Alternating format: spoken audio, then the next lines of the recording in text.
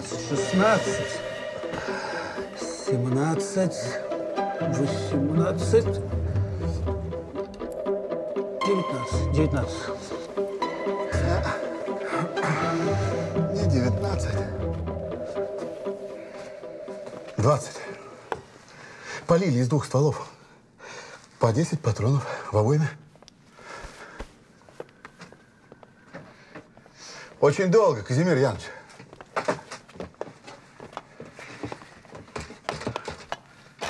Продолжайте.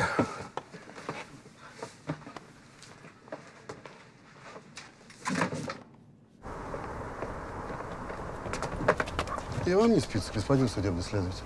С утра почитали бы протокол. Ну уж нет. Антон Филаревич, уж лучше сам проконтролирую. А то господин товарищ прокурора лично телефонировали и интересовались. Поаккуратнее, там трупы. Вот сюда. Видал, что? Или под лавочкой осиживался? Ну, струхнул поначалу, когда стрелять начали. Э, Ну, жить-то охота. Потом глянул в окно. Там лиходеи эти трое в степь ускакали. Э, Со спины только видел, да и темно уже было. Со спины, значит. Стало быть, лица не разглядел? Может, особенности какие? Барышня с ними была, кажись. Барышня, значит. Ну, а убиты кто такие? Ну, по всему, видать, э, иностранцы. По-русски изъяснялись ловко, но с акцентом. Всю дорогу э, в купе сидели. А ежели хотели ноги размять, то завсегда с собой брали свой саквояж. Саквояж-то как раз и пропал. Ладно, ступай пока вместе. Ага, слушаюсь. Я все закончил. Э, особенность одна имеется.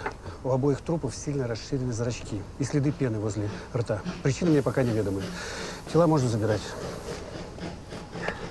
Антон Филаревич. Антон Филаревич! Прямо сейчас заберите. Не хватало еще нам толпы зевак поутру. Заберем. Заберем. Убитые отец и сын Делавинь, французы, представители ювелирного дома Бушерон, следовали из Москвы в Ставрополь. Казаки, посланные в погоню, догнать злодеев не сумели, к сожалению. Так точно приложим все усилия. Полицмейстер говорит, губернатор лично будет следить за ходом расследования. Такие вот дела, Цезарь Аполлинарич.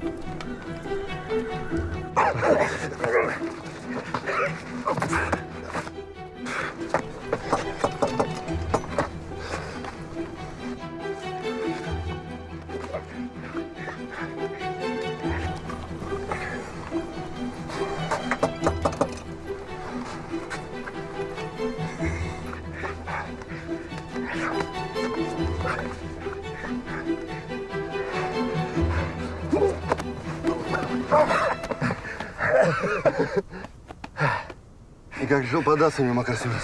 Как можно, Клим Пантелеич? Вот в полсилы боролся. Все честь по чести. Ох, что это твоя Ваша взяла. крестьянская хитрость. За очередной урок спасибо тебе, любезный. Клим Спасибо. Пантелеич, тут к вам господин. Видеть вас желает. Воскресенье вроде. Не время для деловых визитов. Ой, я ему так же говорю. Пойду я, Клим Пантелеич. Да, ступай, спасибо за урок. Так господин шибко извиняется. Говорит, дело дюже срочное. Я ему говорю, вы, мол, заняты, приходите позднее. А он ни в какую. Проводи его наверх, в мой кабинет. Скажи, я скоро буду. А чай? Ну как же не по завтракам же? Ступай уже и проследи, чтобы нас никто не беспокоил. Вот что за люди, а никакого отдыха через них. Ни совести, ни воспитанности.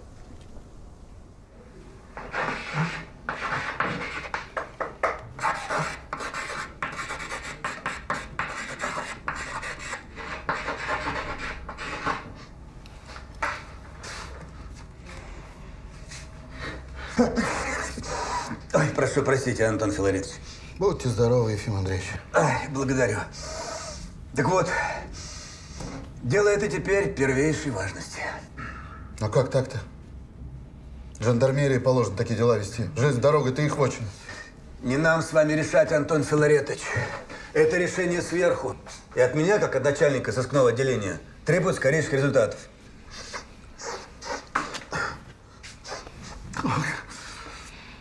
Репортеры набегут. Шум будет. Вот и работать теперь надо с особым рвением, чтоб в лужу не сесть.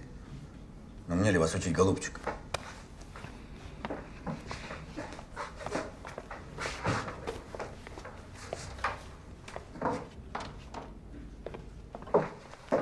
Прошу вас. Благодарю.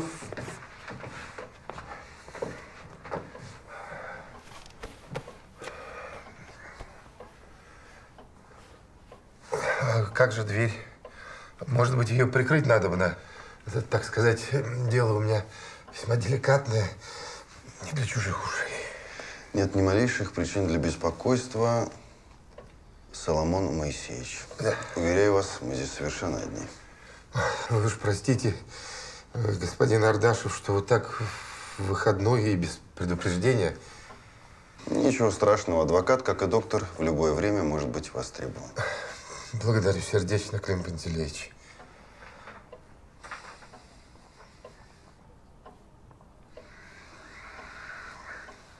Итак, Соломон Моисеевич, я весь внимание. Да, да.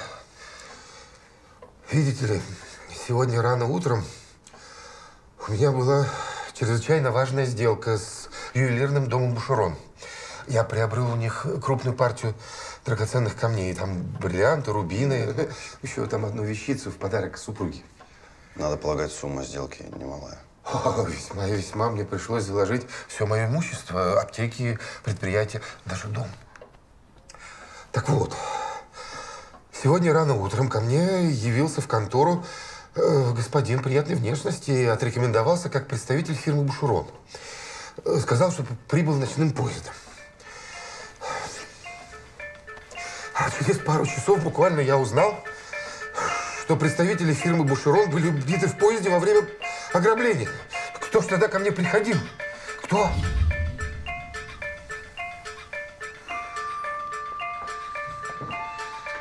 Вот официальное письмо от фирмы Бушерон и прескурант драгоценности на всю сумму оговоренной сделки. А это ваше письмо, ранее отправленное в Париж, качестве, так сказать, пароля, дабы развеять возможные сомнения. А в телеграмме было сказано, что вас должно быть двое. Мой компаньон неожиданно заболел и не смог прибыть вместе со мной. О, но если вы сомневаетесь, мы можем отложить сделку. Нет, нет, все в порядке. Пересчитывать будете? Нет необходимости. У вас безупречный репутацион. А вы уверены, что ваш посетитель был именно француз? Обычно иностранцы путают слова делают ошибки во фразах, даже, даже если хорошо владеют языком. Ну, говорил он с акцентом, но без всяких затруднений.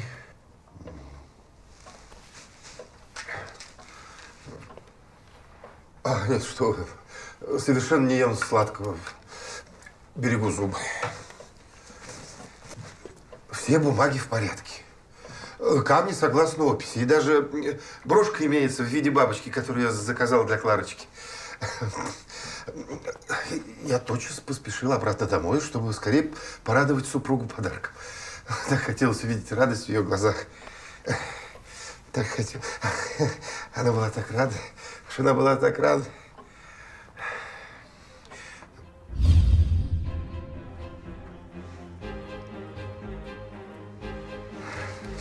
Какая изящная вещица. А как она тебе к лицу, Кларочка? Специально для тебя заказана. Ты меня балуешь, Соломон. Эдакую красоту баловать только в удовольствие. Не надо. Не обижайся, Соломон, мне не здоровится. Но за подарок спасибо. Мне страшно. Я в растерянности. Если камни теперь у меня, то ведь меня могут принять за человека, который имеет отношение к ограблению. И драгоценности вы продать никому не сможете, поскольку они значатся похищенными, да еще при таких трагичных обстоятельствах. Это полный крах. Я в отчаянии. В отчаянии. Позвольте полюбопытствовать, что послужило причиной перевести весь ваш капитал в драгоценные камни? Видите ли, я... Я намерился круто изменить свою жизнь.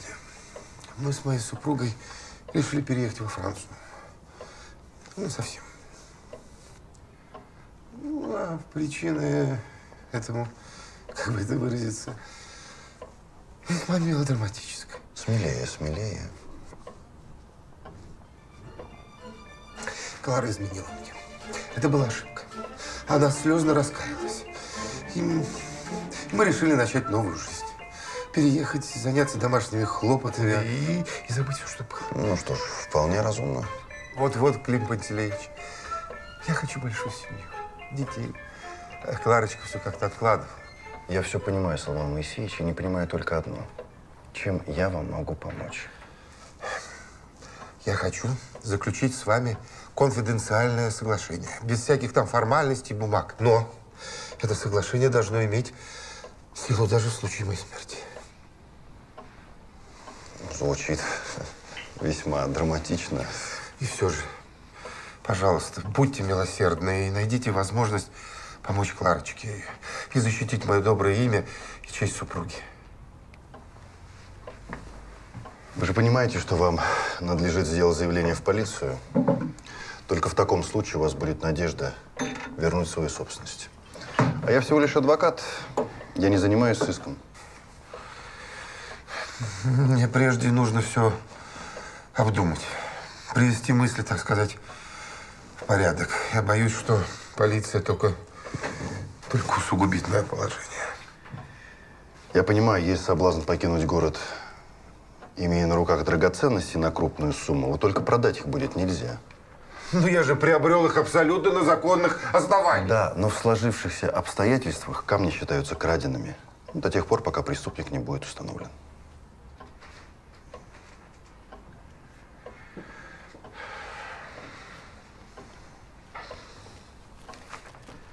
Вот ваш гонорар. Я надеюсь, что все сказанное здесь останется между нами. Все-таки, Клим Пантелеич, я могу на вас рассчитывать? Дайте мне время, чтобы все обдумать, а брошь, которую вы подарили супруге, лучше спрятать пока подальше.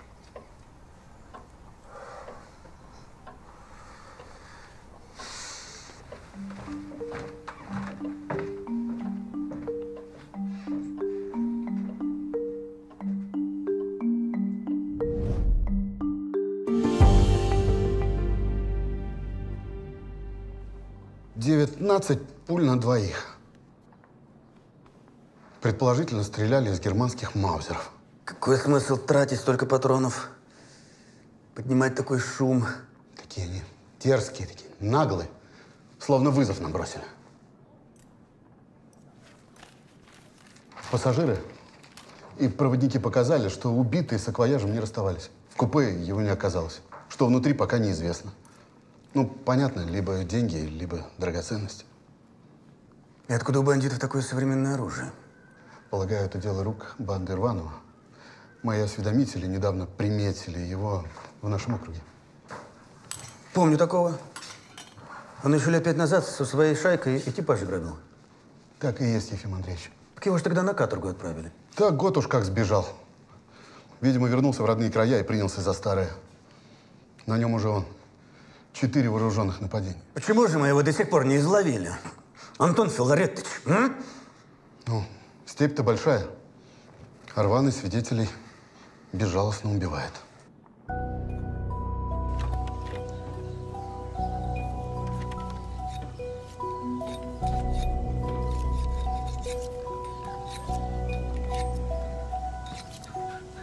Зачем явился? Уговор был держаться по раздельности.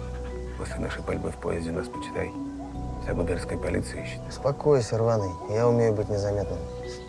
Никто меня не видел. Ну да, ну да. У ваших анархистов это такая конспирация. Слыхал, слыхал. На каторге много таких конспираторов. Дело есть. Карета казенная, полная денег. Охрана малая, фельдъегеря. Мой человек сообщил. Если решишься, через пару дней еще богаче станешь.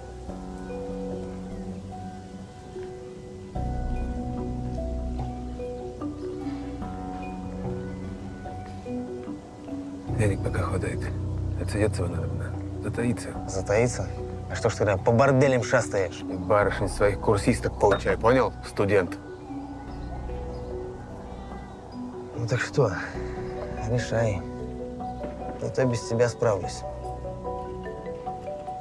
В результате ограбления были убиты французы, представители торгового дома Бушерон, отец и сын Делавинь. Соломон, убитые господа имеют какое-то отношение к твоим делам? Нет, нет, пустой, не обращай внимания. Не отмахивайся от меня. Я жена тебе все же.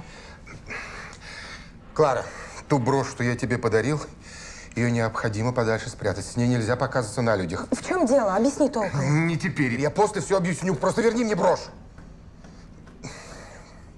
Хорошо. Изволь. Она у меня в шкатулке.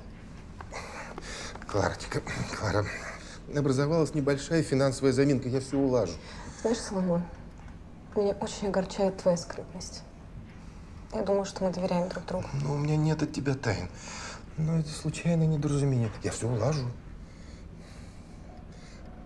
А давай сегодня в театр сходим. м? Развлечемся, шампанского выпьем. М?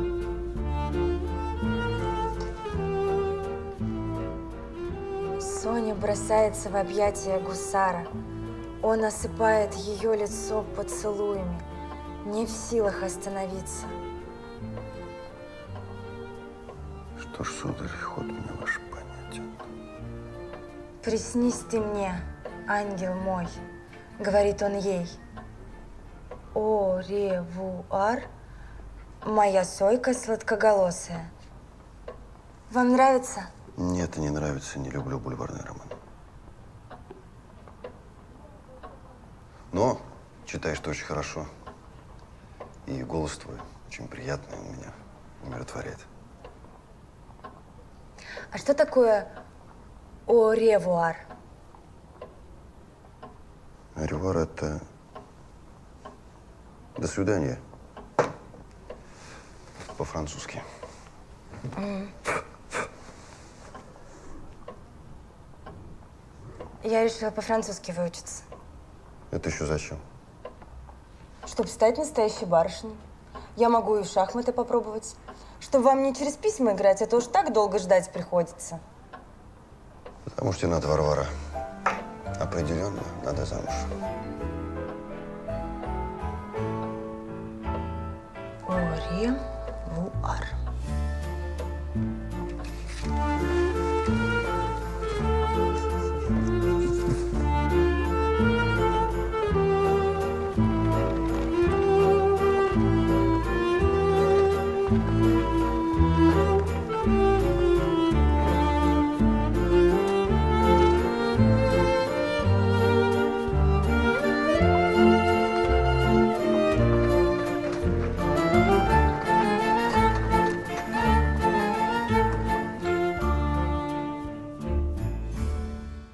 Кому именно направлялись французы, пока неизвестно. Ждем ответа из Парижа. Но свидетели видели на вокзале священника с большим чемоданом, и на груди у него был не наперстный крест, а по ноге. Так получается, что это был не простой священник, а самый что ни на есть архиерей. И на вокзале его никто не встречал, что странно. Ну, а Не по уставу. священник, говорите, это интересно. Проводники также показали, что днем они видели французов в компании какого-то священнослужителя. А потом они все вместе пили чай в купе. Будьте здоровы. Простите, господа. Продолжайте, Антон Филаретович. Проводник вагона второго класса, где и был сорван тормоз, заметил в коридоре даму в белом платье и с вуалеткой. Надеюсь, подробное описание внешности этой дамы удалось получить? Никак нет, господин судебный следователь. Э, среди пассажиров, сошедших в Ставрополе, подобный не был обнаружен. Э, правда, соседи по вагону видели эту дамочку, но толком никто ее описать не смог. Просто хорошенькая барышня 25-27 лет. Русая и с большими глазами.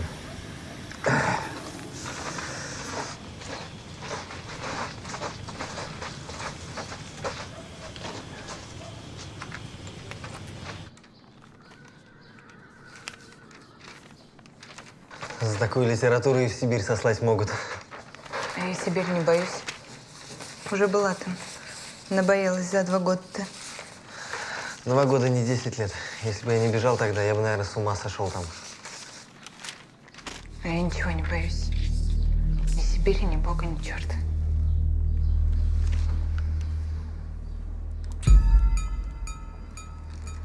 Лишь бы ты был рядом. Никому я тебя не отдам. Это дело рук Рванова, все об этом говорят, и барышня в его банде имеется. Мне нужно знать, где Рваный сохранился. Я, ей-богу, не знаю. Так узнай, не то я тебя сам знаешь, куда упеку. Он же лютый, он меня порежет. Ты моей лютости бойся. Куда Рваный захаживает? В какой бордель? Я, я не знаю, он постоянно меняет места, может быть, засады боится. Может, дамочка, что в банде у него тоже из борделя какого? Нет, она образованная, она не из этих. И даже имени ее никто не знает. Может, вообще врут про нее. Разузнай, где найти Рванова. Сегодня же. И не вздумай меня скрыться. Из-под земли достану. Пошел.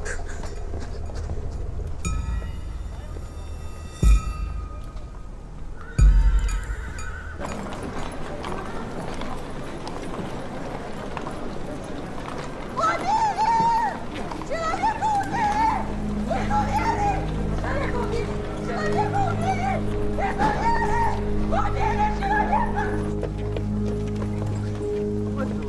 сдаем назад, нечем пялиться по кустом, не в цирк чай. Куда? Назад, назад, назад. Уйди, что ли, в сторону. Так, назад. И вас, уважаемый, прошу тоже не приближаться, понимаете? Не положено, не положено. Куда?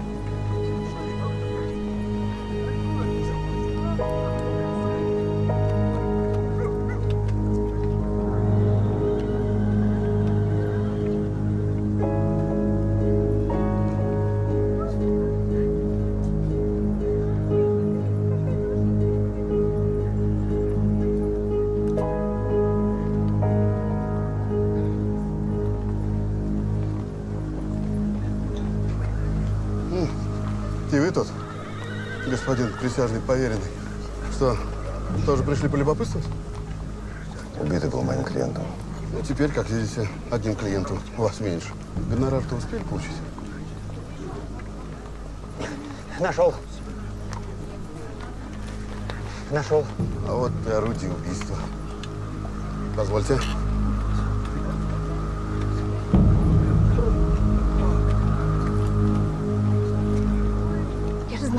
Солидный господин, такой приличный. Он вон на ту лавочку сел и рядышком саквояжик свой поставил. Он на лавочке сидел один. Один. Я к нему подошла сладости предложить, а он говорит, у меня есть уже сладости, ландрин. Ландрин? Монпансье. Ну да. А я дальше по бульвару-то пошла, оглянулась, а там его человек какой-то со спины за шею душит.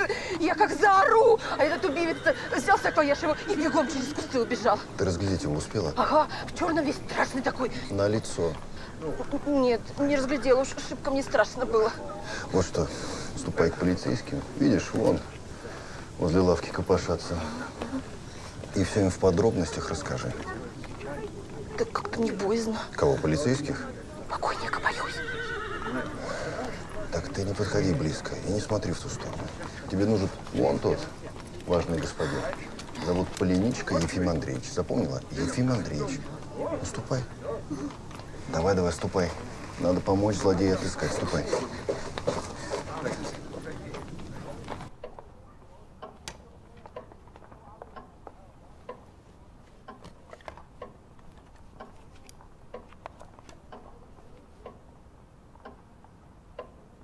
Высочайшего имени его императорского величества.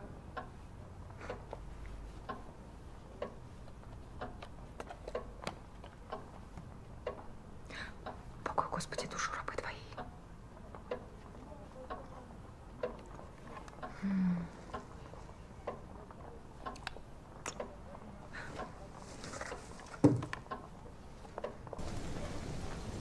Трогай.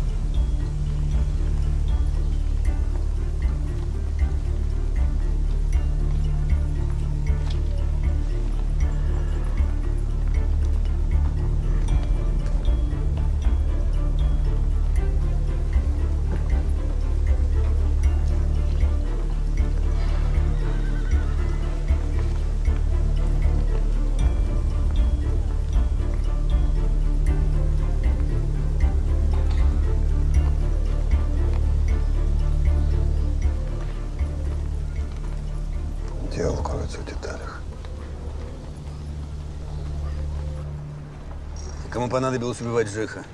Почти в центре города, среди бела дня. Может, конкурент Жиха Петков или Рваный? Рваный. Так изловите его, наконец, и допросите. Изловим непременно. Не соизвольте беспокоиться, господин судебный следователь. Петков уважаемый коммерсант. Зачем ему убивать Жиха? Петков намеревался купить аптеки Соломона Жиха, но тот решительно отказался. И, кстати, с Дорштом у них тоже были сложные отношения, они даже не здоровались. Послушайте, а может быть, орудовал кто-то и вовсе не местный? Цезарь Аполлинарич, вы что, считаете, это обычное ограбление? Ой.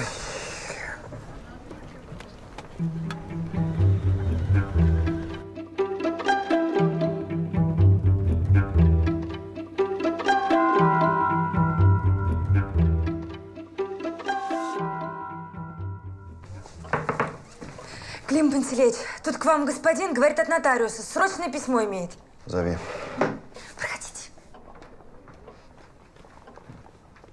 Почтеннейше прошу вашу подпись. Вот здесь. Благодарствую.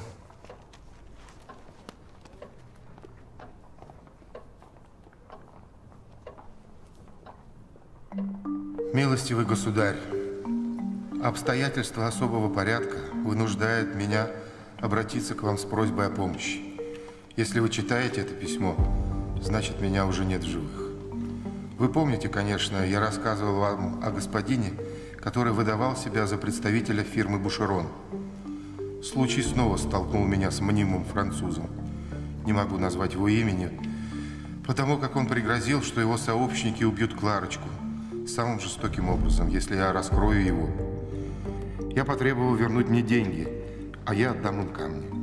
Таким образом, я буду чист перед законом. Вы, уважаемый Клим Пантелеич, обещали мне в случае моей смерти не оставить Кларочку одну и обезопасить ее от каких-либо возможных угроз. С совершеннейшим почтением, ушедший от вас навеки Соломон Моисеевич Жих. По скриптум. До встречи осталось всего два часа, и я на всякий случай решил написать это письмо, оставив его у нотариуса с надлежащим указанием.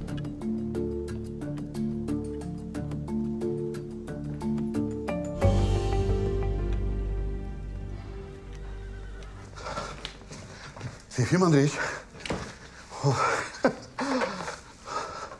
у нас определенно есть подозреваемый. Кто таков? У Клары же был любовник. Один местный доброжелатель поведал. Она изменяла своему супругу с поручиком Драгунского полка Васильчиковым Брониславом Арнольдовичем. Ну и что с того? У него есть мотив. Его финансовое положение весьма плачевно, а тут богатая вдова.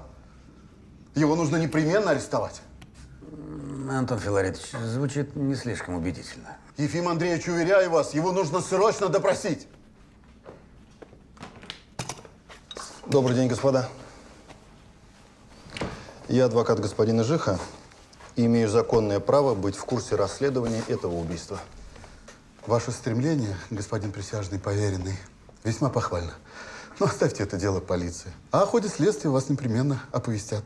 В таком случае могу я забрать вещи убитого? Вдове передадут все вещи ее покойного супруга, как только опишут их для дела. Клим Пантелеевич, простите за нашу резкость, но сами понимаете, события развиваются слишком стремительно. И все же... Голубчик, я вас умоляю, дайте нам немного времени.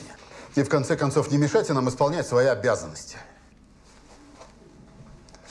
Надеюсь, господин Каширин, что ваше служебное рвение не будет растрачено впустую. Не будет. И в свою очередь, Клим Пантелеевич, мы очень надеемся, что вы поделитесь с нами всем, что будет вам известно касательно этого дела.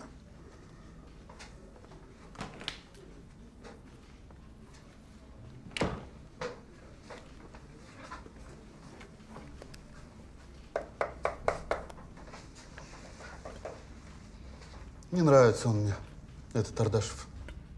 От чего же? Заносчивый больно. Он всего год тут. А несет себя, как заправская знаменитость. И смотрит на нас так сверху вниз, да еще и с усмешкой. Так есть от чего выноситься-то? С чего же это? Так ни одного дела в суде не проиграл. И в прошлом, видать, заслуги имеет. Государь Николая Александровича перстень именной получил. И Владимира четвертой степени. Какие такие заслуги-то? В МИДе штаны, что ли, протирал? Бумажки со стола на стол перекладывал. А вот сие, уважаемый Антон Филаретович, есть важная государственная тайна. Будьте здоровы. Спасибо.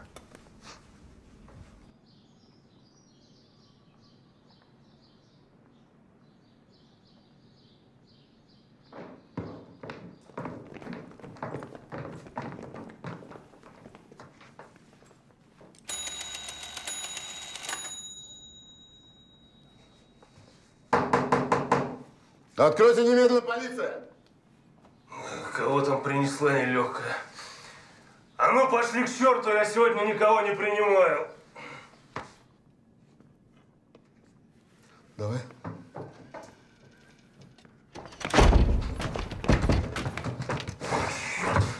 Какого черта?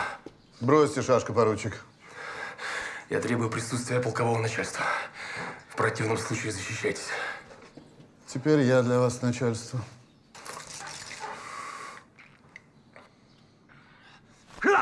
Назад! Назад! Житю! Конторские крысы! А! Не сметь! Трогать боевого! Офицера! За все ответите! Вы за все ответите! Сволочи! За все! Опускайте все! Нет, стойте. Вышли отсюда. Да, дайте даме одеться.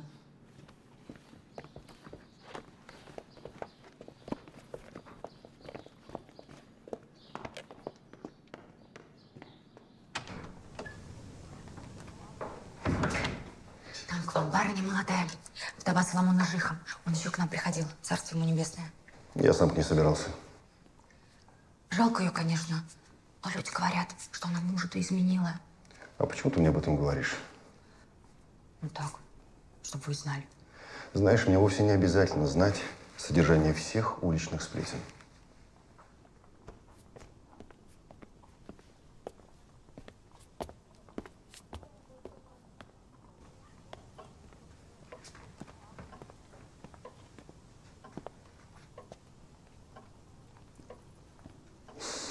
Все время забываю закрыть за собой дверь. Дурацкая привычка. Я открою окно.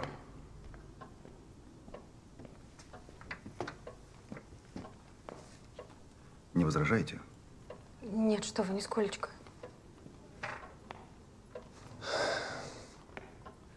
Простите меня великодушно, Клим Пантелеич, за внезапный визит. Просто мне необходимо было с кем-то поговорить. Вам незачем извиняться, Клара Сергеевна. Я же ваш адвокат. К тому же, единственный в этом городе человек чести, на которого действительно можно положиться. Так говорил мне Соломон. Хотите чаю или, может быть, коньяку? Да, благодарю. Коньяк был бы очень кстати. Я небольшой мастер вести светские беседы. Поэтому давайте перейдем сразу к делу. Как вам будет угодно. Расскажите, как прошел ваш с Соломоном Моисеевичем день накануне, накануне его смерти. Прошу вас.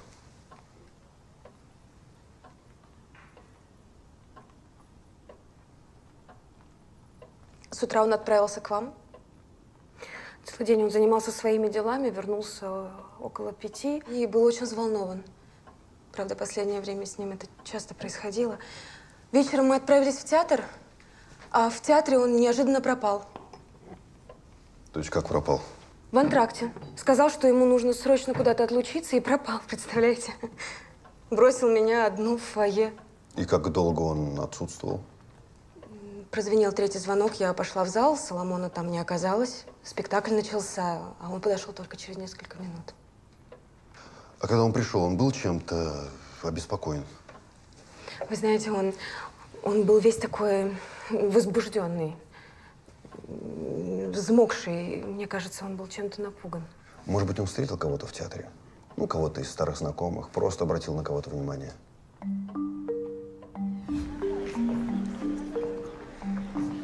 Да. В театре был финансовый консультант Доршт Вениамин Яковлевич. Но с Соломоном они уже никаких дел не имели. И отношения между ними весьма натянутые. А в чем причина? Какие-то деловые разногласия, я не знаю. Наверняка был еще кто-то из знакомых. Вспомните.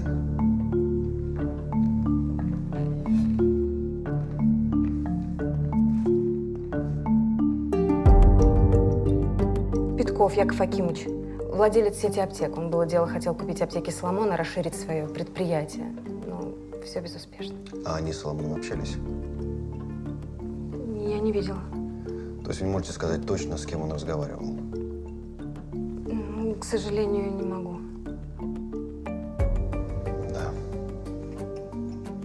А куда вы направились после спектакля? Мы поехали домой.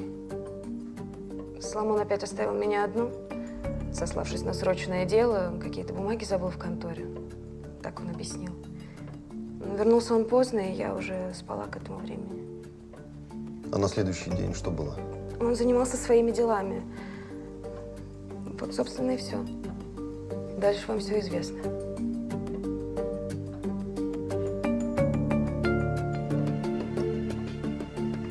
Я не знаю, что мне теперь делать, Клим Пантелеич. Прежде всего, отдохнуть. Я понимаю, совет не оригинальный, но все-таки так будет лучше.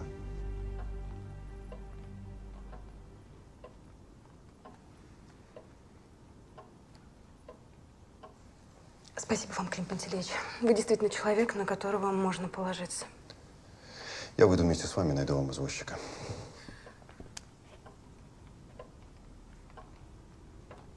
Простите.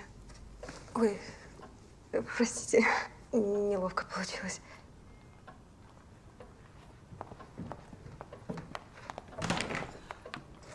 А я вам тут э, чай приготовила. Не нужно, Варвара, мы уже уходим.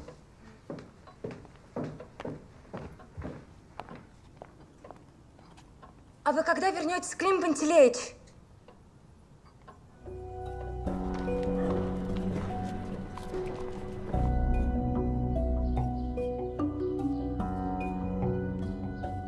Еще одно дело и уедем. Уедем? Куда? Куда глаза глядят? только ты и я вместе. Как это уедем? И предадим наших товарищей? Сереженька, послушай. Мы достаточно сделали, достаточно страдали. Мы имеем право на счастье. И станем жалкими, скучными обывателями? Никогда! Слышишь? Никогда!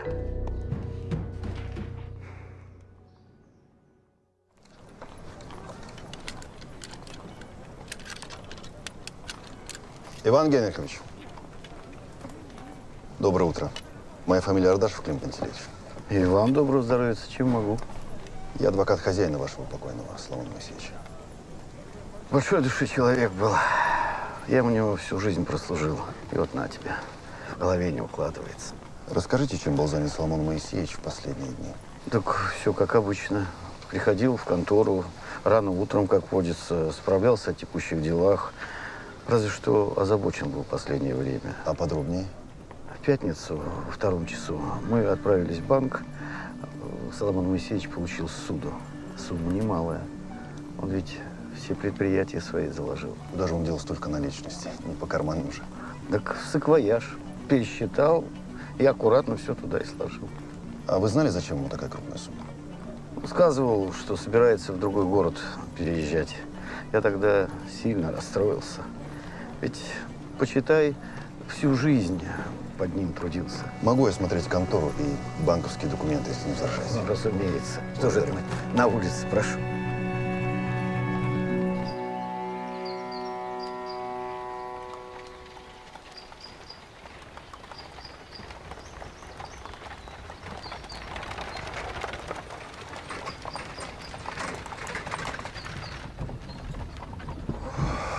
Чертово похмелье. Гулял вчера, небось? Так вчера у меня сын родился. Пили всю ночь. Дурья моя башка. А, ты смотри, мне тут не раскисай. Денег вон на сколько сегодня. Не боись. Эх, мне бы от этих денег хоть малую часть. Дом бы справил. Мы тут жизнями рискуем, а жалование грошовое.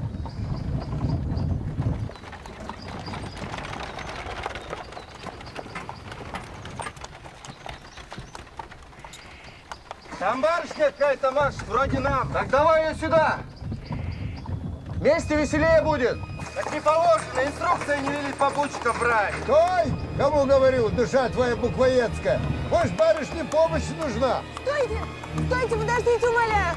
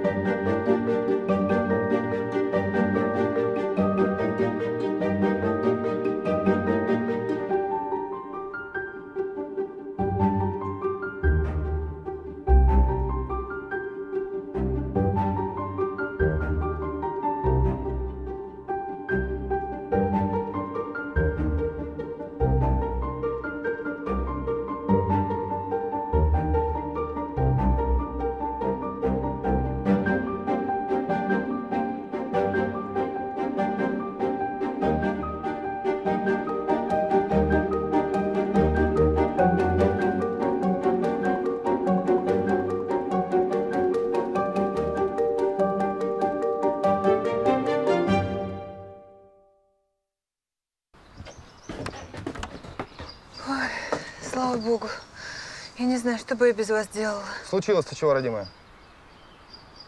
Видите ли, мне вышла размолвка с одним господином, и Не было более возможности оставаться с ним в одной карете.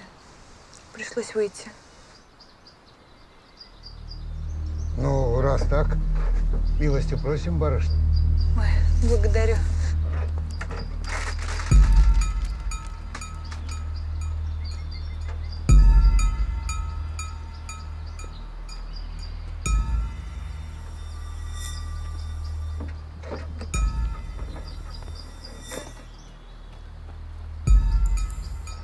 Извиняйте, барышня, неловкость вышла.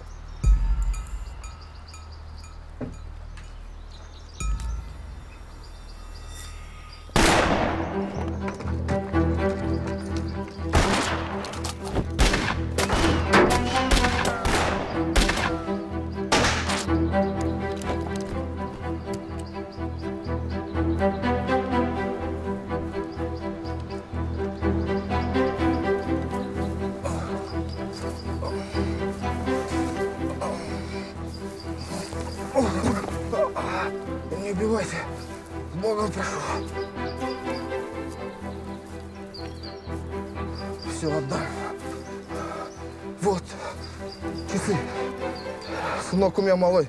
Только народился. Сдурела кошка дикая. А если б меня попала? Полина никогда не промахивается. Забираем деньги, уходим.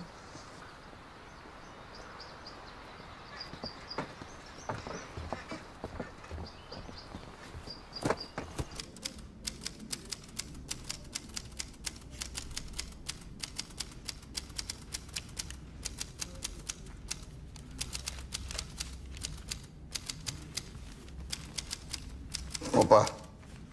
А интересно, почему же ты убивец деньги не прихватил? Торопился, видать. Его торговка спугнула. Гляньте-ка. А покойный-то наш, видать, сладкоежкой был. Антон Филаретович, Цезарь Аполлинарич, вы что, и леденцы поштучно будете описывать?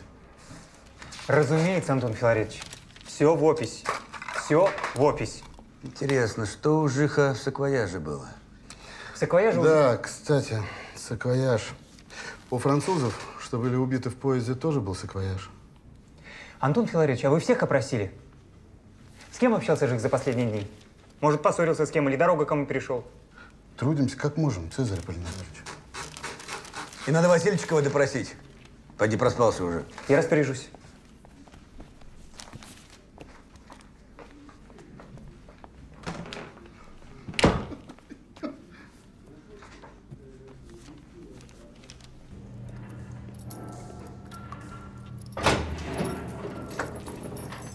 Господин Васильчиков, подъем. Пора на допрос. А где мой бокал шампанского? А? Перед допросом положено бокал шампанского для настроения.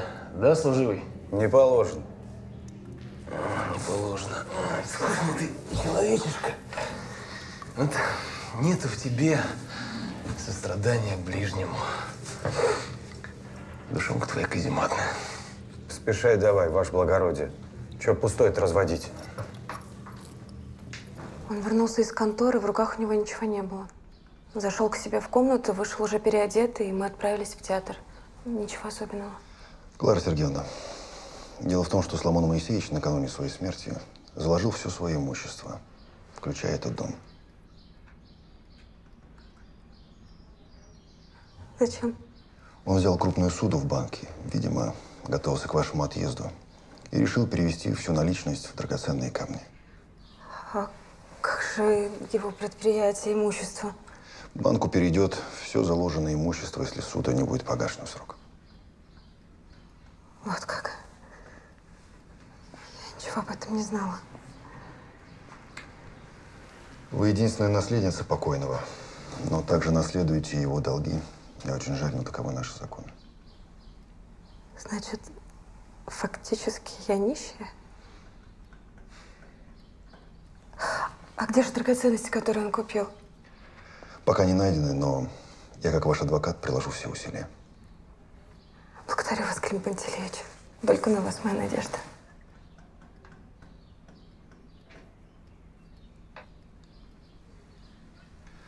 Полиция арестовала подозреваемого в убийстве поручика Васильчикова. Простите за прямоту. Он был вашим любовником. О, Боже.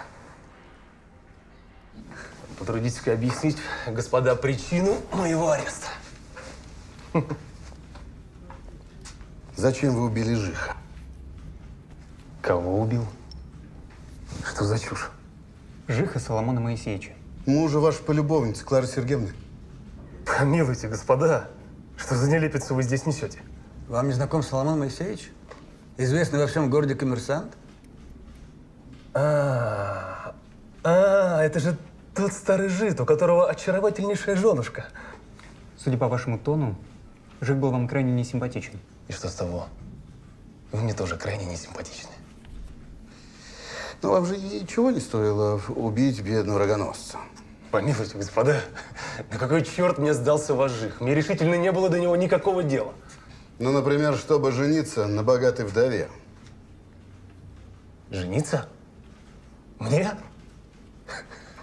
Вы что, шутить изволите? Мы здесь что, водевиль играем, господа? Где вы были в день смерти Жиха? Я находился у себя дома. Где же еще? Приобрел ящик шампанского, и мы с моими друзьями кутили до самого рассвета. Вам это каждый подтвердит. Советую вам хорошенечко подумать и рассказать нам всю правду. В камере как раз располагающая для этого обстановка. Правда, там не очень весело. И для вас будет непривычно. Знаете что? Ваша компания тоже не очень-то веселая. И вообще вы отдаете себе отчет, с кем вы говорите? С боевым офицером?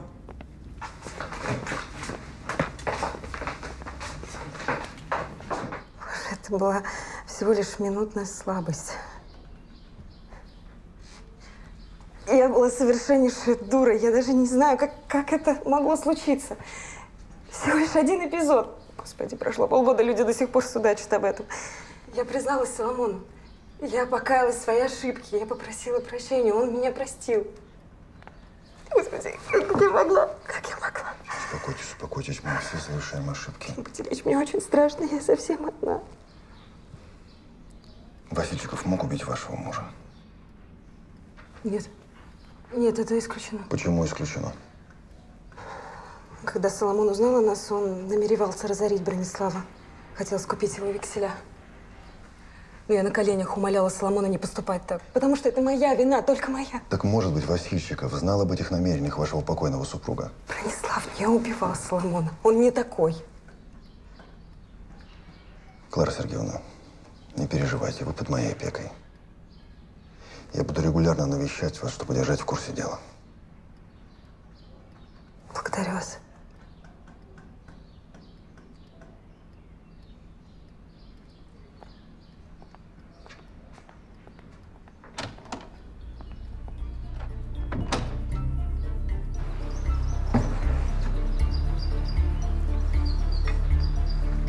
Видать, здесь тоже не обошлось без барышни. Как и в случае налета на поезд. Надо бы справиться у проводников, не видал ли кто такие бусы на той даме, что сорвала стоп-кран.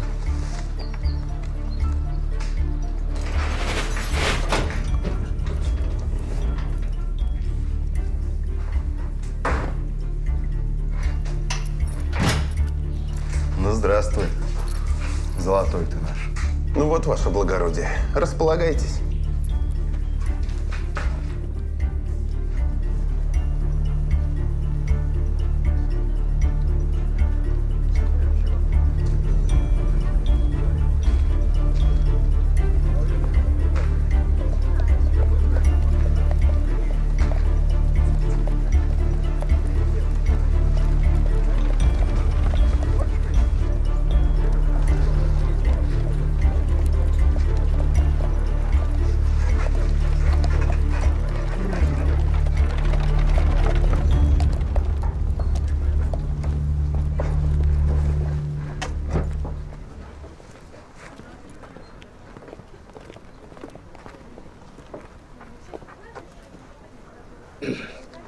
Распорядитесь вызвать почтмейстера для опознания. Слушаюсь.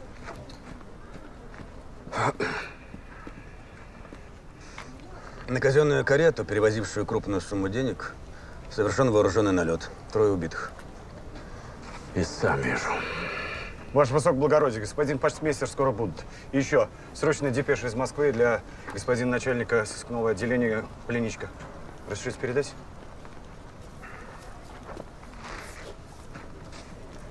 Из Парижа в Москву телеграмма пришла.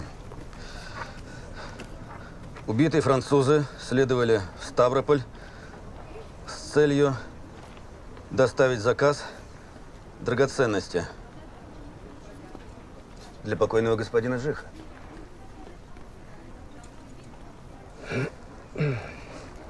А есть хоть одна добрая весть? Или сегодня все только дурные? Мне сегодня, между прочим, губернатору докладывать. Ефим Андреевич, пройдемте в ваш кабинет. Я должен обладать максимально полной информацией. Губернатор, знаете ли, не терпит общих фраз. Каширин, срочно ко мне. Слушаюсь.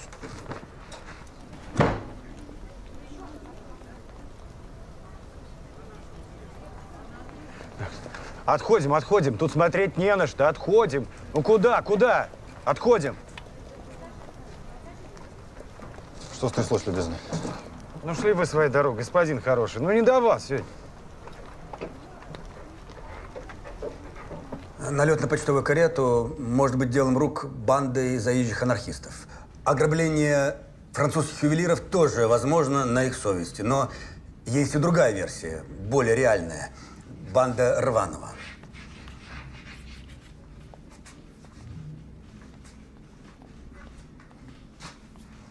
А что по делу убийства Жиха?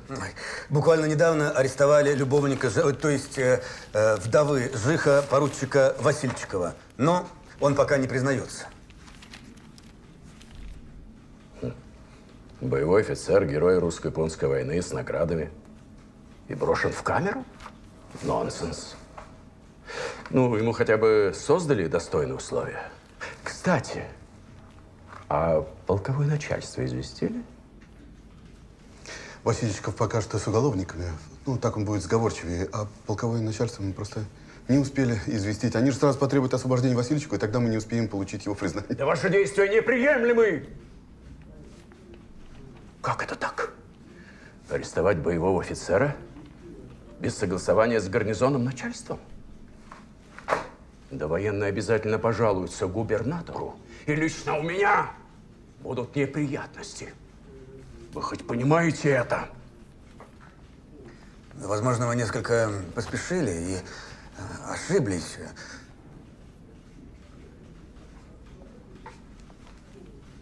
Угу. Ошиблись? Двое французов застрелены ночью в вагоне поезда. Через день известный коммерсант задушен чуть ли не под окнами губернатора. А сегодня в почтовую карете убиты трое. И что ж предпринимает полиция? м? Что прикажете должить губернатору? Ну-ну.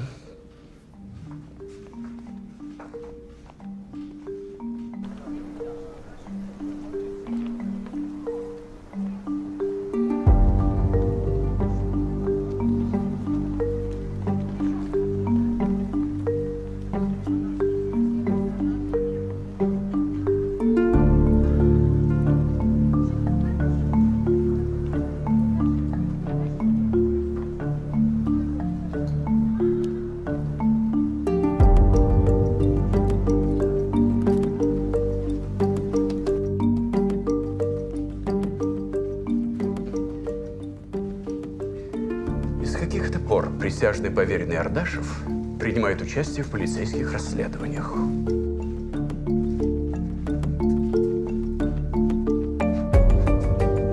Позвольте разобраться, ваше высокоблагородие. Этот Ардашев со своей самодеятельностью лишь досаждает нам. Я не к вам обращаюсь. Присяжный поверенный Ардашев является адвокатом покойного Жиха и его вдовы, но к расследованию никоим образом не привлекался. Да, мы не вправе вовлекать гражданских. Ну, насколько мне известно, господин Ардашев служил в секретной службе Министерства иностранных дел. Отмечен государственными наградами, имеет боевой опыт. Был ранен. Да. Адвокат Ардашев является человеком несомненных достоинств. ни одного дела в суде не проиграл. Потому как берется защищать только тех, в чьей невиновности, безусловно, уверен. Что подтверждает его крайнюю принципиальность. Не могу вам приказать, Ефим Андреевич, но рекомендую воспользоваться содействием господина Ардашева. Да-да. Нам это, знаете ли, может пойти на пользу.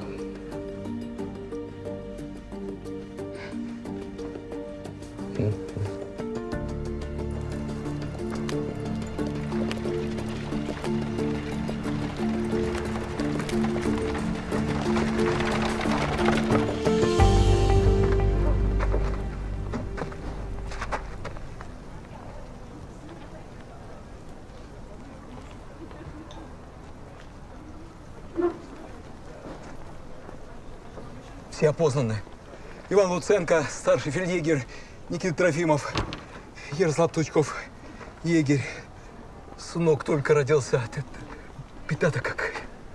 Пята.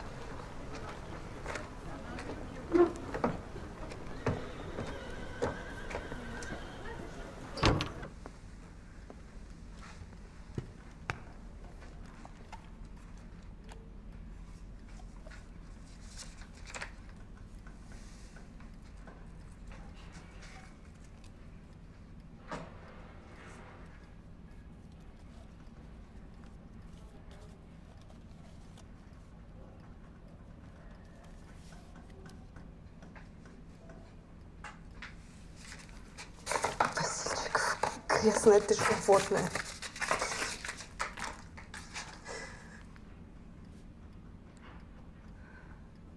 Прости меня, Соломон. Ты был так добр ко мне. Я неблагодарная. Алиби Васильчикова подтвердилось? Опросили почти всех гостей. Говорят, что никуда не отлучался. Пил вместе со всеми. Надо бы отпустить его. Ну, не прям сразу. Что значит отпустить? И еще, по приказу полицмейстера, поставить на всех въездах и выездах полицейские заставы. Досматривать все экипажи, следующие из города в город. Да где ж столько людей-то взять? Прикажете этот вопрос задать полицмейстеру? Или самому губернатору?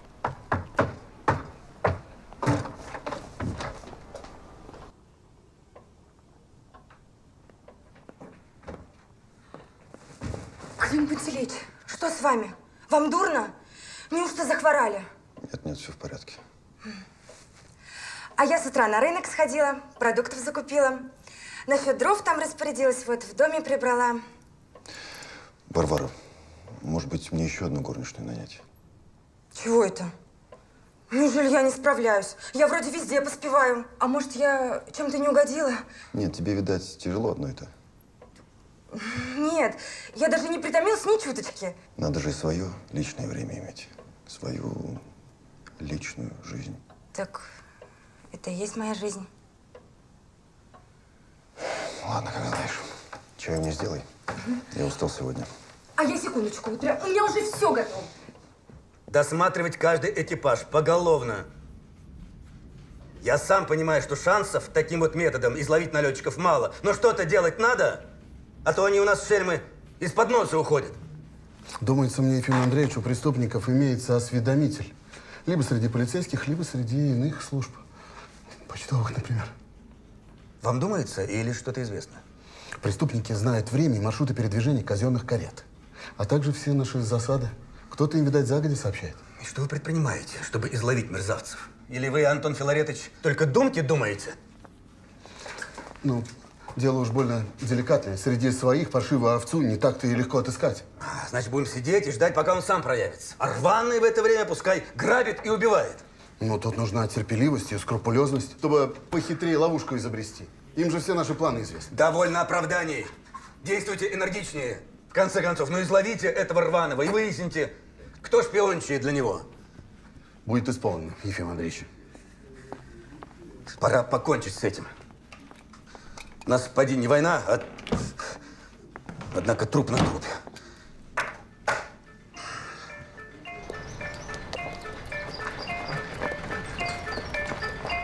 Стой! Что у вас в саквояже? Вот и. Куда следуете, любезный? Господину Доршту. Для обучения его дочери игры на фортепиано. Музицировать, значит, учите? Да? Ладно, открывай. Трогай давай.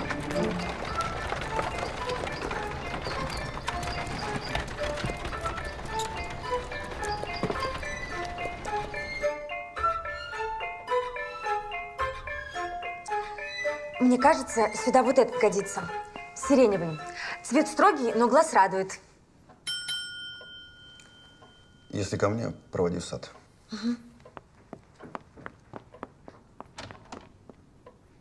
Доложите господину Ардашеву, что к нему начальник сыскного отделения. По важному делу.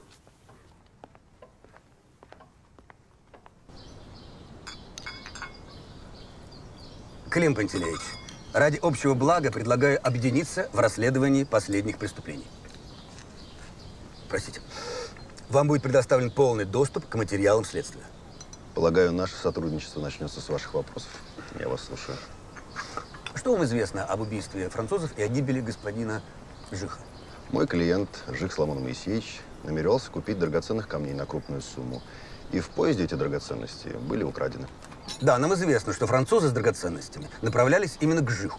Да, тот, кто похитил камни, хорошо понимал, что в Ставрополе на этот товар есть только один покупатель – Жих. Но Соломон Моисеевич об ограблении не знал. Сделка произошла ранним утром, до того, как везде появились сообщения о ночном налете на поезд. То есть вы хотите сказать, что камни были у Жиха, когда его убили? Да. Бедный Соломон лишился и денег, и камней, и жизни. Да. Ваша версия очень занимательная, но слишком заковыристая. А у вас есть ваша версия? У вас есть подозреваемые, кроме Васильчикова? У Жиха было совместное ювелирное дело с финансистом Дорштом. Весьма уважаемым и влиятельным человеком. Наслышан и про их конфликт тоже, но... Доршт отремонтировал наше полицейское управление на собственные средства. Простите. Поэтому вы решили избежать его прямого допроса и положиться на мое посредничество, так? Я рад, что у нас возникло взаимопонимание.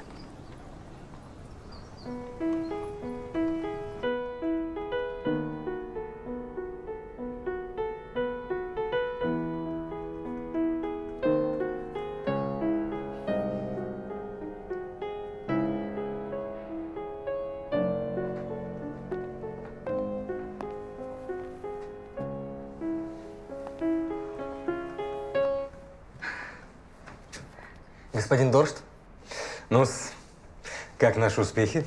А впрочем, я и сам слышу, что Оленька играет с большей уверенностью. Ольга Вениаминовна весьма и весьма талантлива. Все это вашими усилиями и вашим терпением. Ну, не буду вам мешать. Занимайтесь.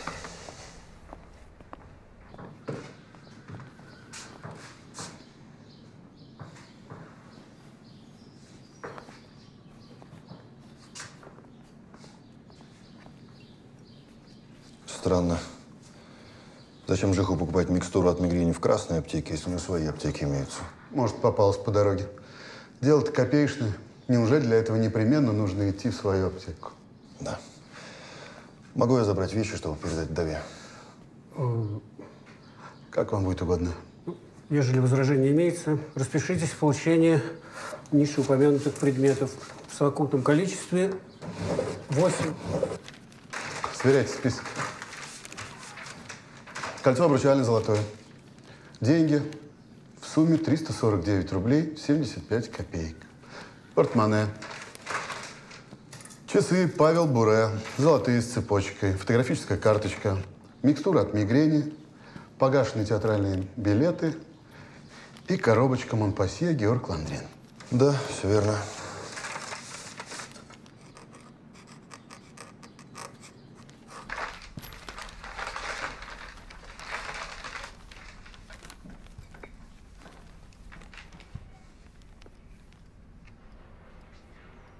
Если вы не против, я оставлю у себя леденцы и микстуру.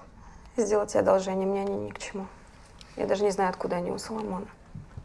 Сладкого он не ел, разве что тайком от меня и мигренями не страдал. Да, тем не менее, купил лекарства в красной аптеке. Почему не в своей? К вам господин Петков. Петков, это который хотел скупить аптеки Соломона. Я не желаю его видеть. Минуту. Было бы разумно выяснить, что он хотел. Примите его, а я останусь здесь. И отсюда мне будет все хорошо слышно. Проводи его в гостиную. Я сделаю, как вы скажете.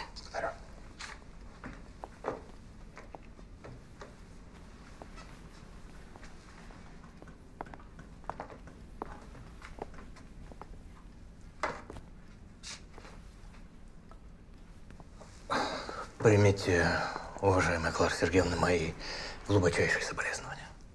Понимаю, как вам сейчас нелегко. Благодарю вас, Яков Акимович. Располагайтесь. Что привело вас ко мне? Сострадание. Я, будьте уверены, очень вам сочувствую, тем более зная сложившуюся ситуацию. О чем идет речь? Ну как же, ваше финансовое положение, оно, к сожалению, весьма плачевно.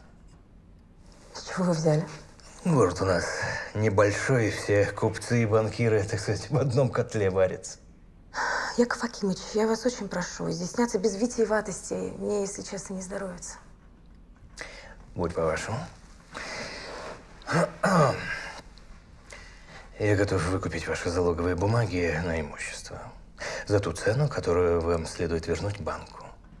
Таким образом, вы избавитесь от долгового обременения и, более того, будете иметь солидное состояние на самостоятельную жизнь. Что ж, у меня иные намерения. Я рассчитываю сначала погасить долг, а затем уж решать судьбу своих предприятий. Возможно, буду управлять сама. Сама. Управлять. Да вы обанкротитесь через неделю и будете вынуждены все продать за бесценок. Милостивый государь, что за тон вы себе позволяете?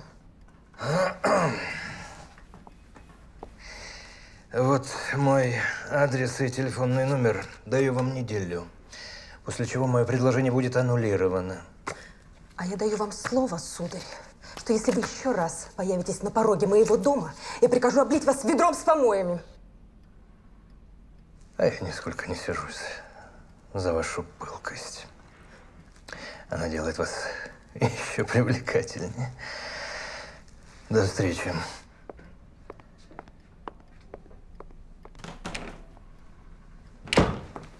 Вы держались весьма отважно. Вы не представляете, Клим Пантелеич, как я испугалась. Петков опасный человек, он бывший военный. У меня мурашки по спине от волнения. Мне нужно, мне нужно на воздух. Не хотите составить мне компанию? Благодарю. У меня дела. Что ж, ну, придется взять своего верного спутника книгу. Будете смеяться. Я, представляете, люблю легкие бульварные романы. Они меня успокаивают. Я не буду смеяться. Моя горничная тоже читает мне бульварные романы, и они меня тоже успокаивают. Да? Значит, у нас есть что-то общее. Клара Сергеевна, я тут случайно увидел... А это... э, Соломону присылали как-то пошлые открытки. Мерзость. Могу я оставить конверт себе? А зачем вам? Хочу проверить одно предположение. Как вам угодно. Благодарю.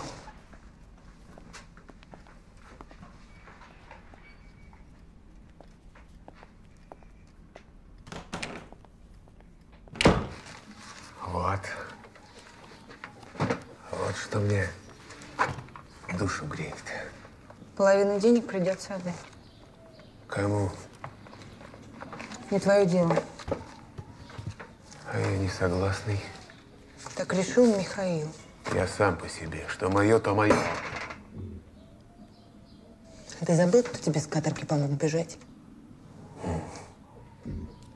А ты ничего. Особенно в злобе своей бабской.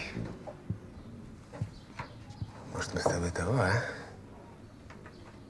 Рожа мне твои не нравится. А что рожа? Другие достоинства имеются. Отведай страсти моей девицы.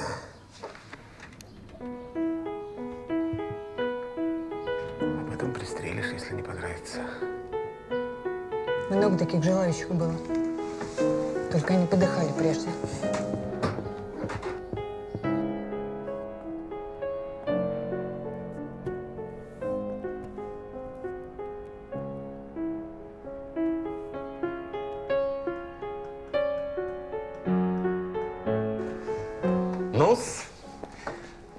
Располагайтесь, Клим Пантелеич. Сигару, коньяку. Благодарю. Воздержусь. Надеюсь, музыка нам не помешает? Нет, нет, нисколько. Дочь, Оля, занимается с преподавателем. Знаете ли, скоро выпускной в женской гимназии. Столько хлопот. Итак, чем могу быть полезен? А, впрочем, давайте я сам угадаю. А, я один из подозреваемых по делу об убийстве Жиха, и вы, Клим Пантелеич, явились для того, чтобы меня допросить.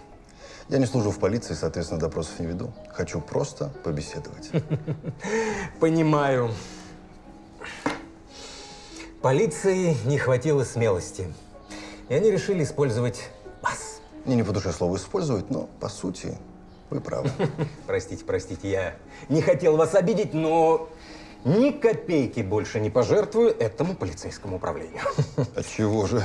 Ну, бог мой, все знают о нашем конфликте с Соломоном. Я должен быть первым в списке подозреваемых. Это же верхняя компетентность.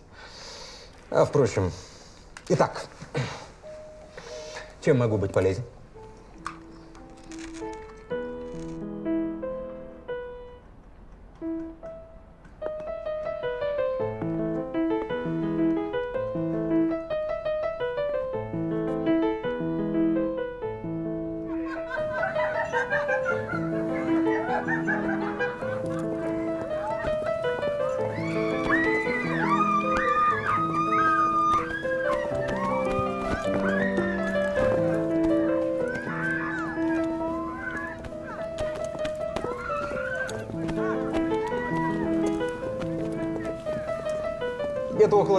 Назад мы вместе с Соломоном решили вложиться в ювелирное дело.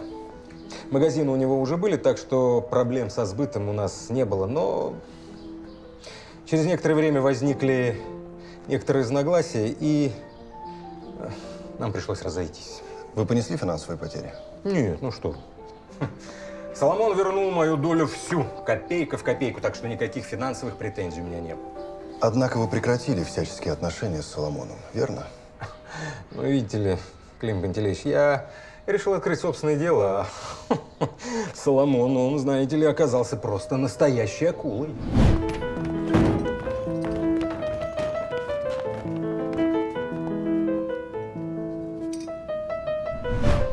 Он же скупил всех лучших мастеров, он просто перекрыл мне все поставки качественных камней. И вы прекратили ваши отношения? Ну, произошел неприятный разговор на повышенных тонах, и больше мы не общались. Вдова господина Жиха утверждает, что увиделись в театре накануне его смерти. Всего лишь мельком кивнули друг другу по обыкновению, не более. И больше в тот день вы не общались? Никоим образом.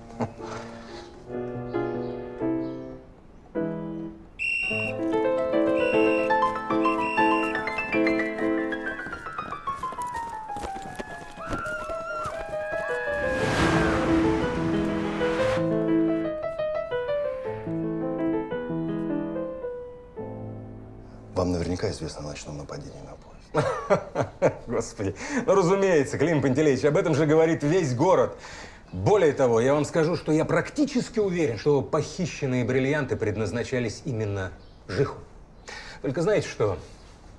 У похитителей возникнут определенные проблемы со сбытом этого товара. Дело в том, что бриллианты фирмы Бушерон имеют весьма специфическую огранку, и их моментально опознают. А что если предположить, гипотетически, что камни попали в руки грабителей, а доставлены покупателю, то есть господину Жихову, теперь по закону принадлежат его вдове Кларе Сергеевне? Гипотетически? Только лишь. Гипотетически, если это действительно бриллианты фирмы Бушерон, то я единственный человек, который готов их приобрести. Любой другой тут же заявит в полицию.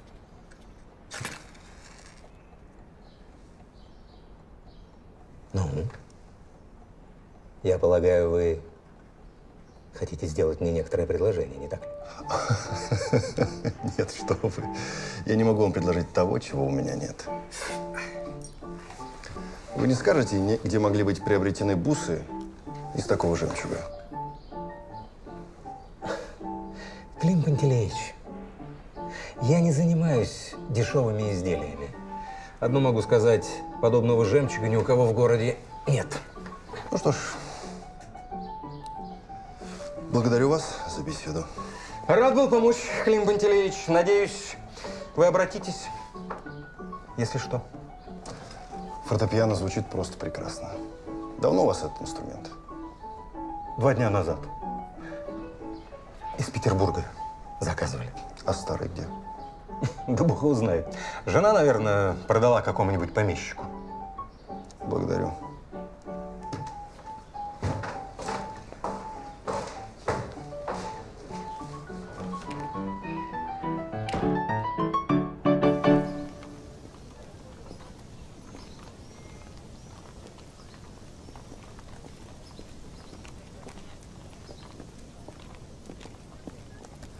Пантелеич, Клара Сергеевна, какая приятная неожиданность. я часто здесь бываю. Много времени провожу с книгами. Пожалуйста, присаживайтесь. Благодарю.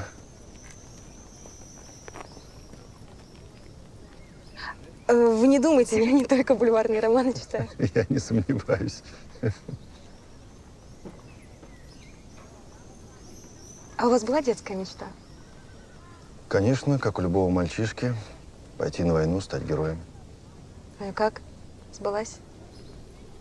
Отчасти. В жизни всегда есть неприятные условности. А так хочется жить полной жизнью.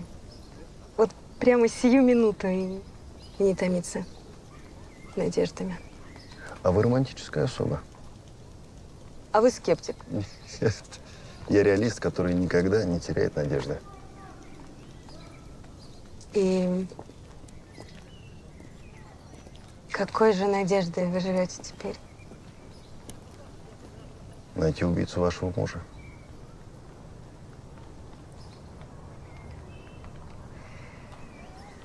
Вы невыносимый реалист. Вы обмолвили, что у вашего мужа не было мигрени, а у вас? Ни Соломон, ни я мигренями не страдали. А зачем ему понадобилась микстура? Да еще так срочно, что он купил ее в красной аптеке практически у своего ненавистного конкурента. Ой, Простите, Клим Пантелеевич, я не знаю, как вам ответить. И мне что-то не здоровится. Вас не затруднит отвезти меня домой? Да, конечно. Это вы меня простите, я докучаю вам своими вопросами. Нет, что вы, тут нет вашей вины. Просто я устала.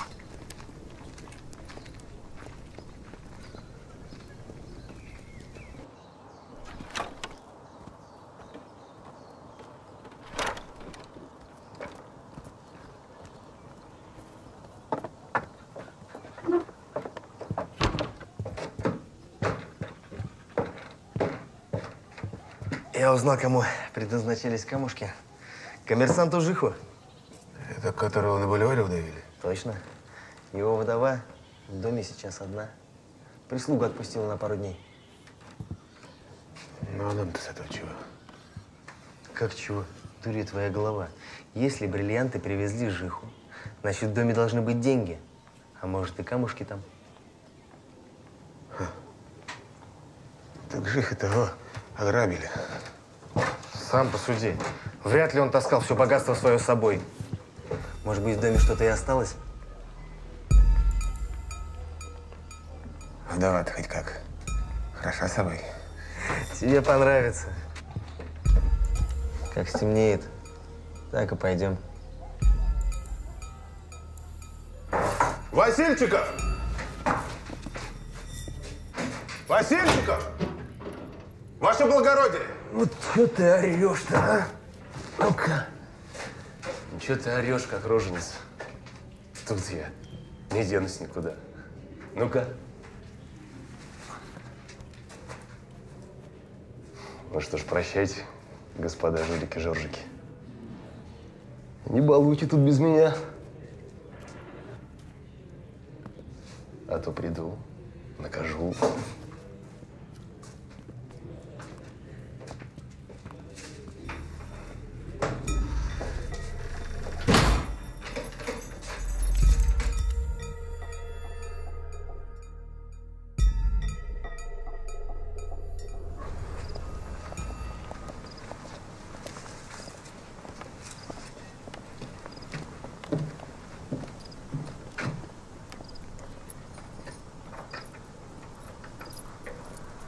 Желаете ли чаю? Я прислугу отпустила, так что самолично могу заварить. Нет, благодарю. Ну что ж, тогда до завтра. Завтра же мы увидимся. Конечно. Дела наши еще не завершены. А, да, конечно, дела. Доброй ночи, Клим Пантелеич. Доброй ночи, Клара Сергеевна.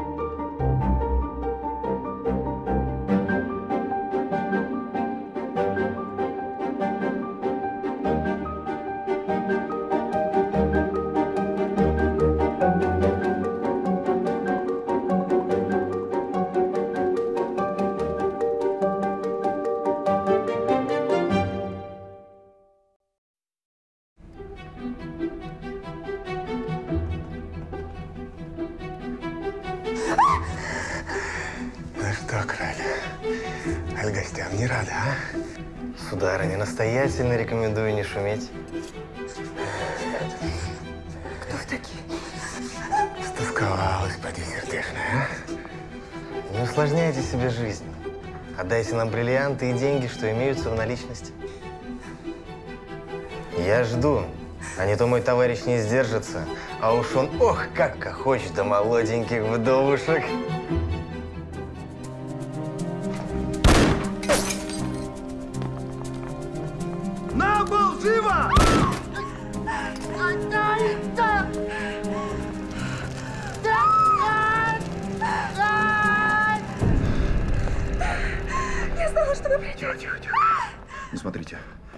Не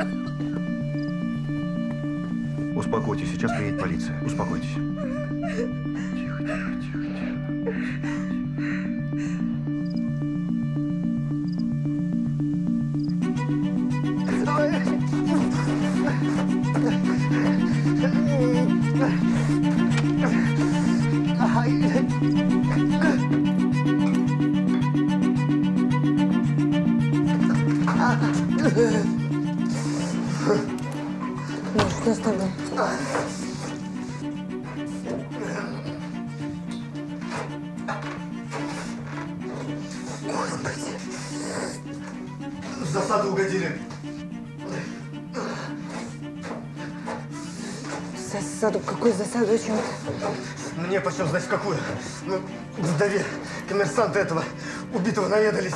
Думали, бриллианты у нее. И наличность немалая. Что тебе надо? Нельзя. Опасно слишком. А где рваный? Убили Рванова. Я сам еле ноги унес. Даром, что подгорел слегка.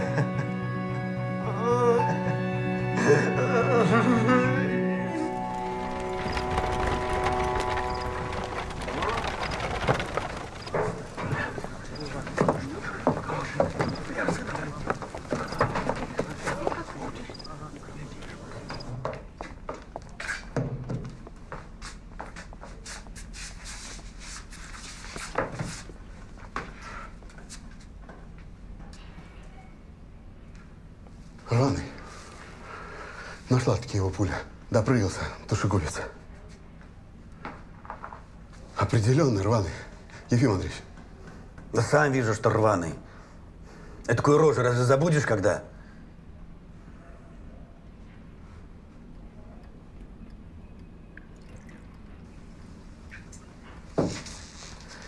Думала, умру от страха. Сердце прыгло, как воробей. Не переживайте, опасность миновала. Не могу в себя прийти. Так переволновалась.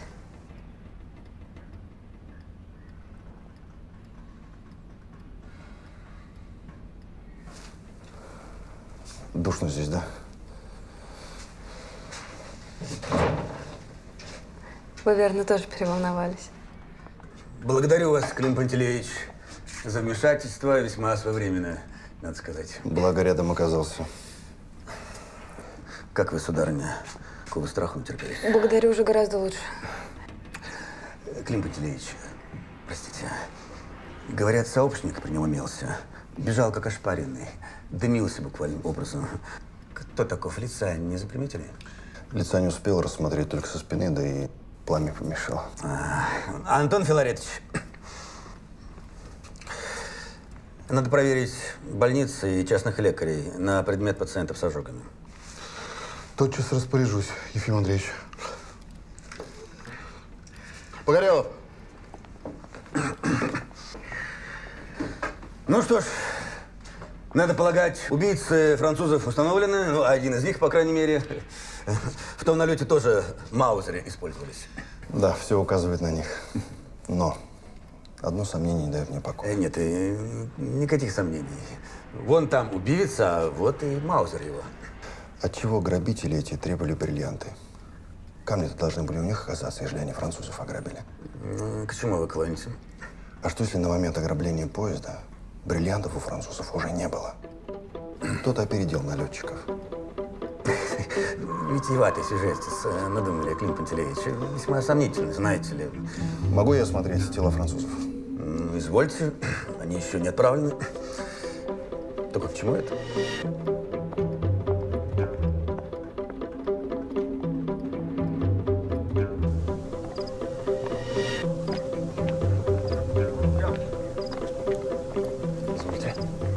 Куда господин хороший не велено. Там полиция нынче. Посторонним туда нельзя. А что случилось? Ну, объясни мне, милый человек, я тоже служивый. Не ради любопытства праздного интересуюсь. Вдову Жиха пытались ограбить. Слава богу, пронесло. Сейчас с барыней беседуют. Я должен ее видеть. Справиться как она? Не велено. До утра обождите. Говорю ж, не велено, куда прешь? Да как ты смеешь?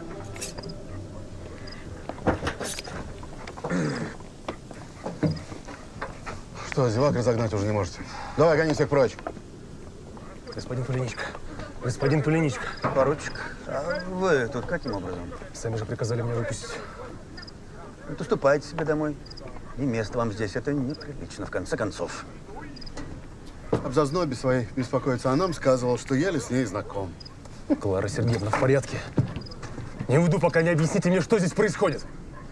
Двое лиходеев с маузерами пытались ограбление совершить. Но адвокат Ардашев вовремя подоспел, спас несчастную вдову. Ардашев в одиночку справился с двумя грабителями. Одного пристрелил, а второго чуть заживо не спалил. Ступайте уже, сударь, ну опять об вас не пересуды пойдут. Пощадите честь вдовы, сделайте милость. Трогай. Неужто вы меня теперь одной оставите, Клим Пантелеич? Там возле дома двое городовых будут дежурить. Так что вам нечем тревожиться. Я, видно, выгляжу ужасно, надо было переодеться. Вы всегда выглядите прекрасно. И еще ваше мужество, с которым вы справляетесь со всеми невзгодами, вызывает мое искреннее восхищение. Знаете, получать комплименты от такого мужчины, как вы, Клим Пантелеич,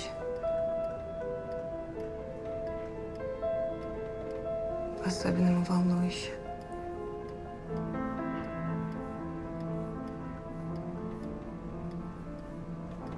Прошу меня простить, сударыня, сейчас не самая подходящая ситуация. А дело лишь в ситуации? В иных обстоятельствах вы были бы не против?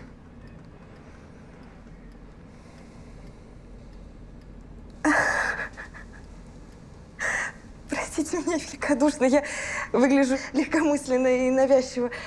Совершенно не- невозможно еще мой траур. Честь имею. Умоляю, не оставляйте меня, я не усну, я сойду с ума от одиночества в этом доме. Хорошо.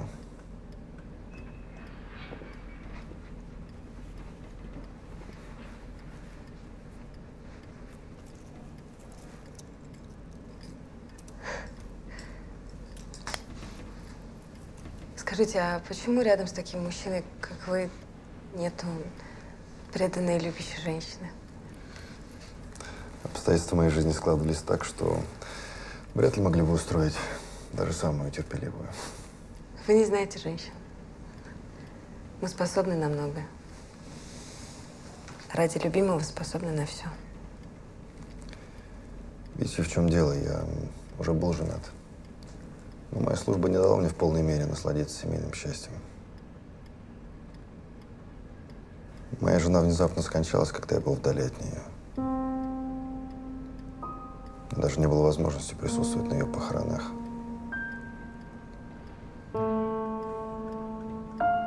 Я так и не смог попрощаться с ней по-человечески. Господин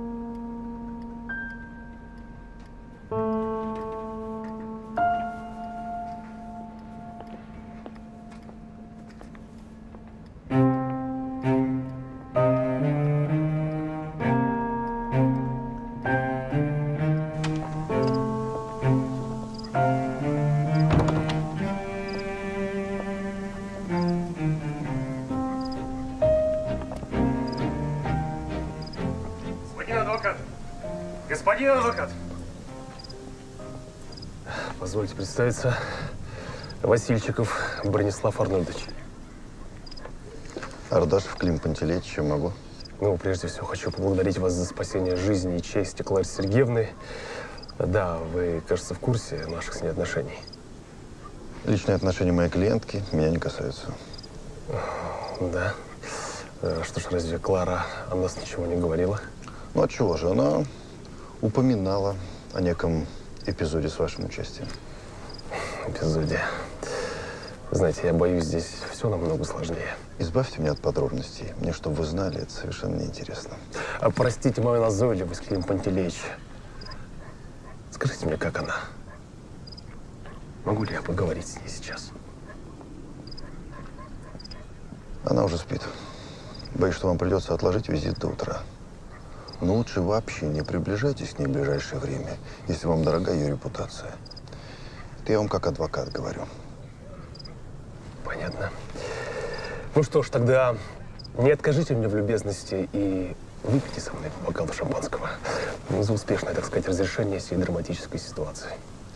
Благодарю. В другой раз.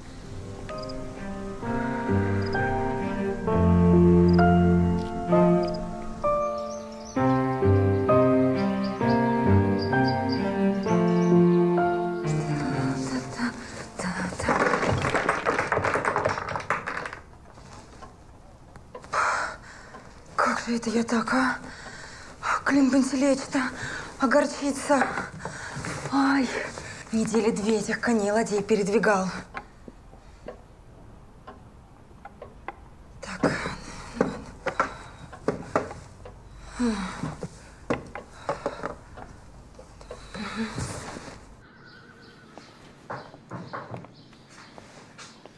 Причина смерти, полагаю, установлена? Шутить извольте, господин присяжный поверенный. И в мыслях не было, да и место для шуток неподходящее. А, быть может, вам интересно знать, какое именно ранение оказалось смертельным? Отнюдь. Я думаю, что не пуля стала причиной смерти. Да, а что же, по-вашему, позвольте полюбопытствовать? Ну, совершенно очевидно, что они были отравлены. Но вы ведь не проводили вскрытие, потому что пребываете в абсолютной уверенности, что их застрелили. Ну, какие же могут быть сомнения? Смотрите. Зрачки чрезмерно расширены. Следы пены около рта. Это не признак отравления. Знаете ли, милостивый государь, я работаю исключительно согласно циркуляру. Делаю то, что мне велят в полиции. Вот что велят, то и делаю. Распоряжение относительно вскрытия не поступало.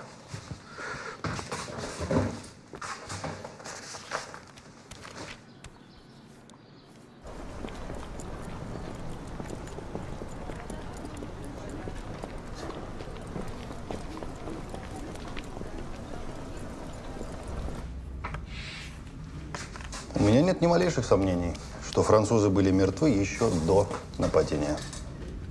И как прикажете вас понимать? У обоих убитых расширены зрачки, а возле рта характерные следы пены.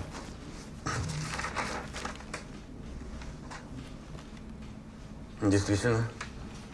В протоколе осмотра тел все признаки упомянуты. Но вы не придали этому никакого значения. Так мыслимо ли? 19 ран. Бесспорная очевидность смертоубийства через пулевые ранения. Факт?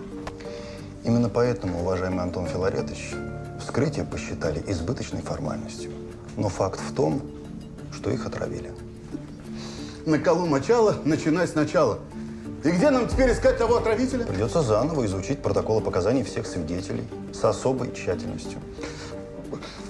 Ефимовна. Антон Филаретович, потрудитесь предоставить господину Ардашеву все материалы для детального изучения. И непременно с фотографическими карточками и со всеми предметами, слышите, со всеми, что были обнаружены в купе.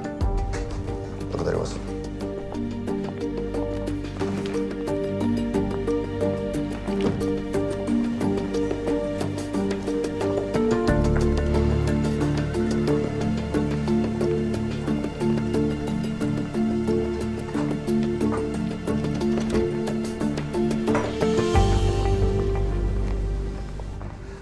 Наши благодетели, да, меценаты.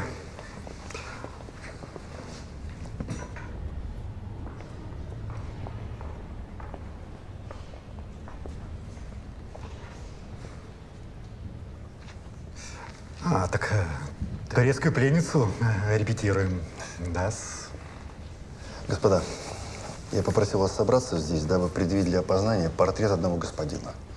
Видел ли кто-нибудь его в театре воскресенье пять дней назад во время антракта? Э, Кажись, он.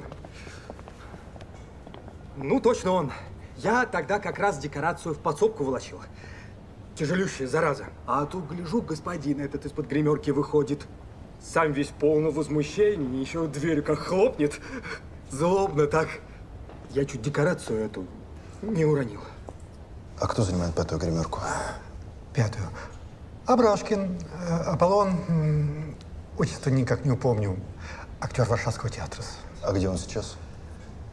Так э, дома поди бражничает. Его уж пару дней никто не видел. На репетиции он не является. Так ведь? Или видел кто?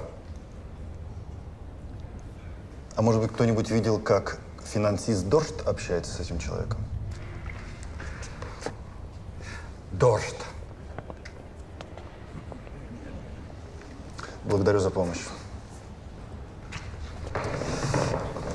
Смею заметить, с господином Дорштом, э, с Вениамином э, Яковлевичем, в антракте беседовал я самолично.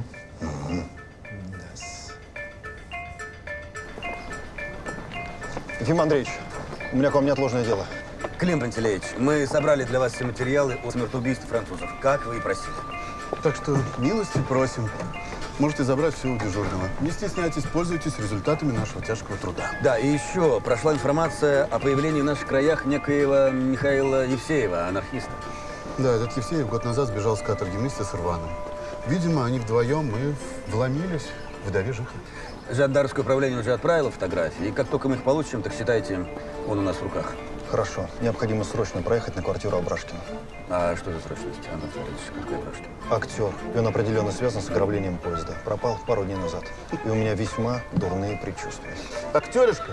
Простите, милейший, а какое отношение актеришка может иметь к вооруженному ограблению? Я уверяю вас, дело крайней важности. Пожалуйста. Ничего, что спиной? Ничего. Луговая 7. Трогай.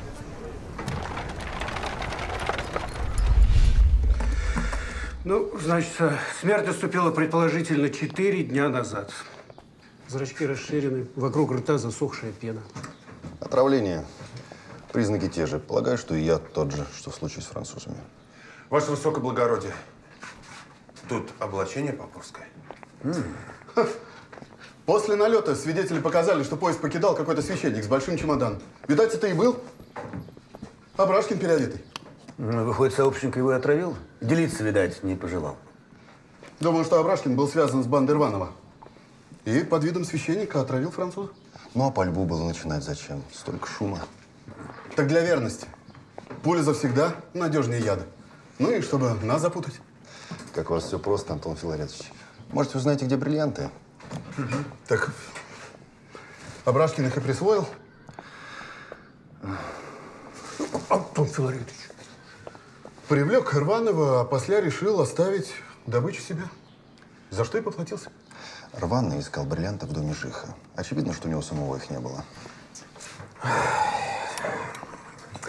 Вопросов все больше, а ответов как не было, так и нет.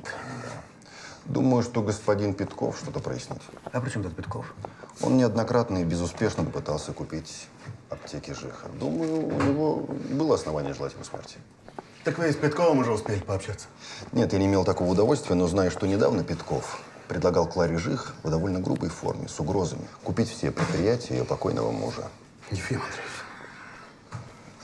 Чего же вы до сих пор нам не сообщили об этом факте, уважаемый Клим Пантелеич? Просто не придал этому значения. Не придал значения. Знаете, Клим Пантелеевич, меня огорчает отсутствие откровенности в нашем с вами сотрудничестве.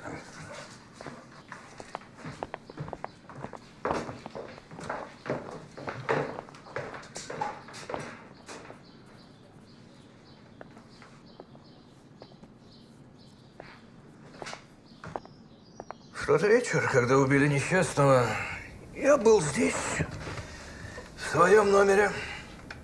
Бедный Соломон. Зачем вам нужны аптеки Жиха?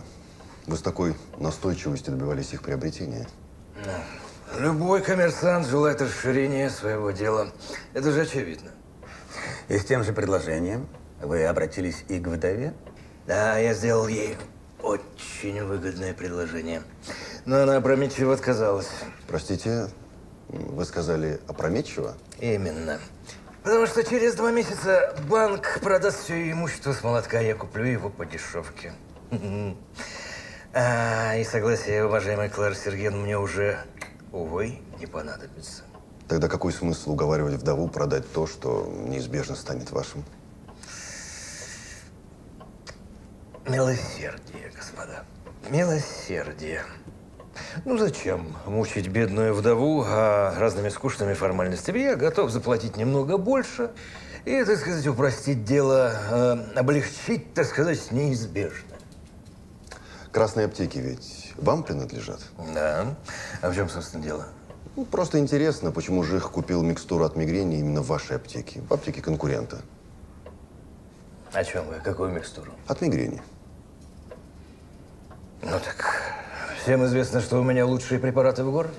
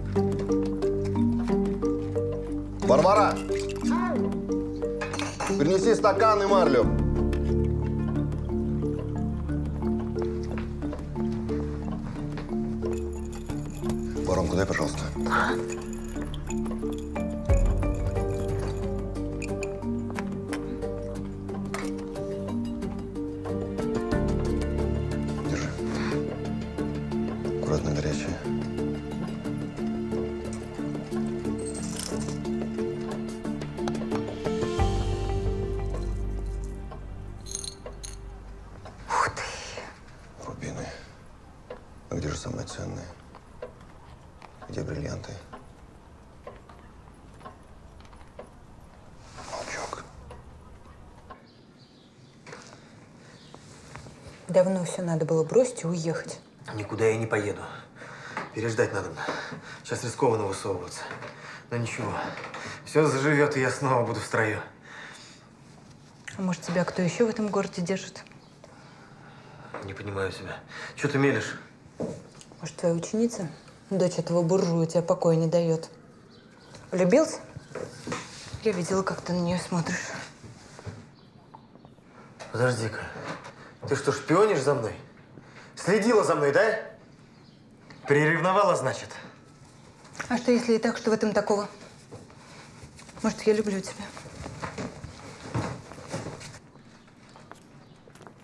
Дурочка. Никого у меня кроме тебя нет и не будет. Может, еще бинты нужны? В аптеку схожу. Ну, раз надо.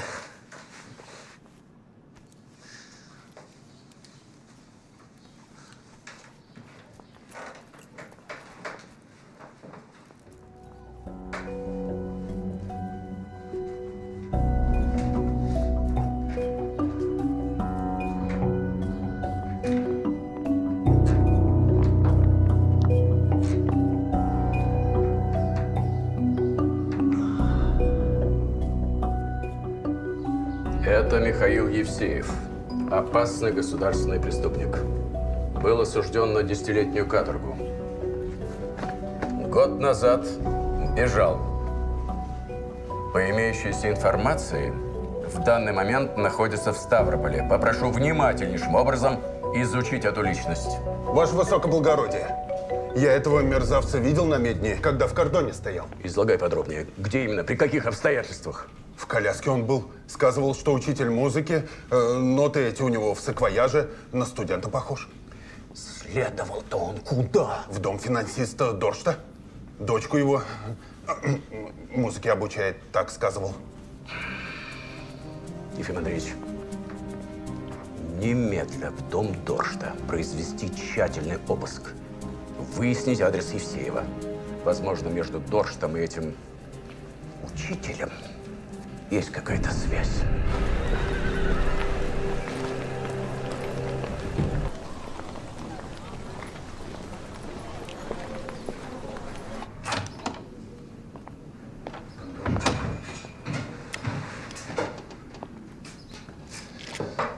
Добрый день, любезный. Добрый день. Чем могу? с- Я адвокат покойного Соломона Жиха. У меня к вам несколько вопросов. Да. В день убийства Жиха вы здесь находились? А точно. Трудился, как всегда. с. Мне известно, что Жих заходил к вам в тот день, купил микстуру от мигрени и оставил на хранение. Да. с. Вот. Жих сам подписал. Я, говорит, зайду позже. Именно за этим пузырьком. Я еще удивился. Чудак, человек, право. Мог бы зайти снова, купить новый. Они же у нас все одинаковые. Впрочем, мое какое дело? Это так это. А почему здесь написано «Аптеки Жиха»? Где? Попробуйтесь. Да, действительно. Даже не понимаю, как такое могло получиться. Мне почему-то кажется, что вам известно, что было в этом пузырьке помимо микстуры. Чему там еще быть? Микстура, микстура. Так вот, настоятельно рекомендую вам вернуть то, что было внутри. Помилуйте, я обычный провизор. Мое дело порошки, микстуры, капли. Я не- нечего скрывать. Захищение чужого имущества вы рискуете оказаться на каторге. Зачем же сразу каторгой стращать? Я, между прочим, честный человек, и мне нечего скрывать. Вот вам крест.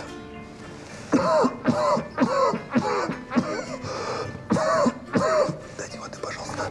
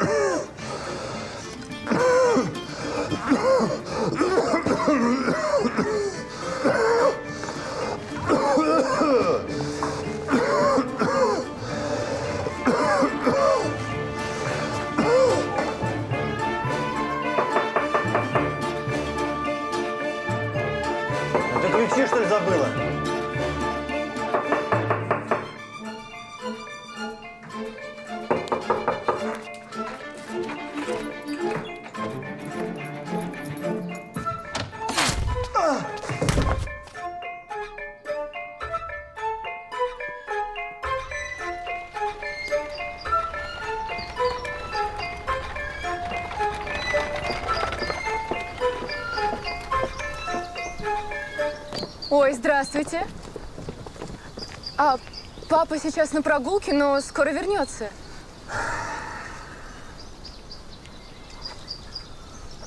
Вам знаком этот господин? Ну, разумеется, это Михаил Никитин, мой учитель музыки. А, а что? А, скажите, адрес его проживания вам известен? Нет. Адреса его я не знаю. В таком случае не возражаете, если мы подождем Вениамина Яковлевича у вас дома? Не сочтите за бесцеремонность. А, конечно, проходите.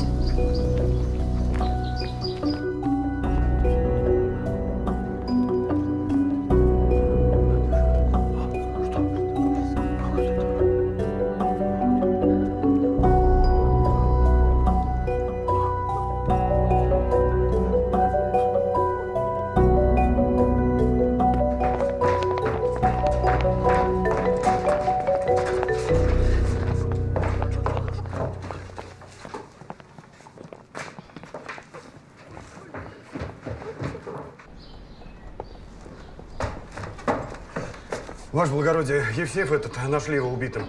Нож в груди. В квартире доходного дома неподалеку тут соседка сообщила. Еще на квартире Маузер обнаружили. Соседка сказывала, что там еще какая-то барышня проживала. А вот и сообщничек нарисовался. Ты меня, любезный, без ножа зарезал. Второй труп за день. Полицмейстер будет в совершеннейшем восторге. Чую, адвокат наш Ардашев что-то утаил. Только и делает, что свиней нам подбрасывает. Вот помяните мое слово, Ефим Андреевич. Двуличный он тип. Господа, это чему же я обязан этакой делегации? Господин Полиничка, господин Каширин, я надеюсь, не заставил вас долго ждать. У нас есть распоряжение произвести обыск в вашем доме. Позвольте, я... Я что, арестован?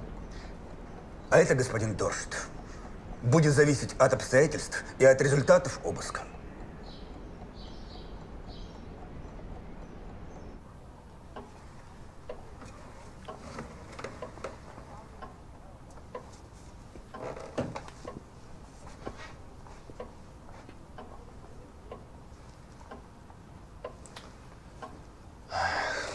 Варвара, Варвара.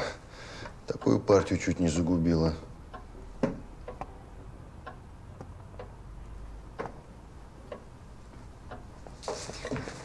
Клим Пантелеич, Да? тут это, дворецкий господина Дождь приходил. Сказывает, полиция пришла, обыск учинила. Хотят хозяина арестовать. Надо к нему ехать.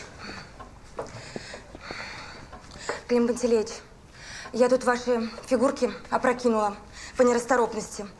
Ну, я назад все возвернула. Может, и не туда, конечно, всех-то не упомнить. По мне так, все фигуры на своих местах. Ступай.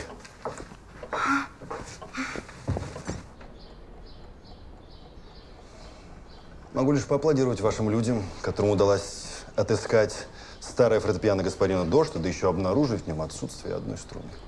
Именно той, которой был задушен несчастный Жих. Так что, уважаемый господин адвокат, как вы заметили, мы тоже кое-что умеем. А вот тут вы ошибаетесь. Это не та самая струна. Жиха убили другой струной. Ну, знаете, это уже ни в какие ворота. И вы что, думаете и впредь следствию препятствовать? Ни в коей мере. Просто имеющаяся у вас струна, ну, никак не может быть орудием убийства. Потрудитесь разъяснить э, ваши возражения. С удовольствием. Не поможете? Присядьте. Ваша, простите за ворот, струна слишком короткая. Ее длина физически не может быть использована для удушения. Ефим Андреевич. К тому же она слишком толстая, что не соответствует характеру нанесенных убитому ран. Любой судебный врач установит это несоответствие без особого труда. Таким образом, оснований для ареста господина Доршта недостаточно. Суд его оправдает. Это ляжет пятном на вашу и на вашу репутацию. Вы забываетесь, Клим Пантелеич. Ваши слова звучат как угроза. Прошу прощения, господа. Там к телефону просят господина Полиничка.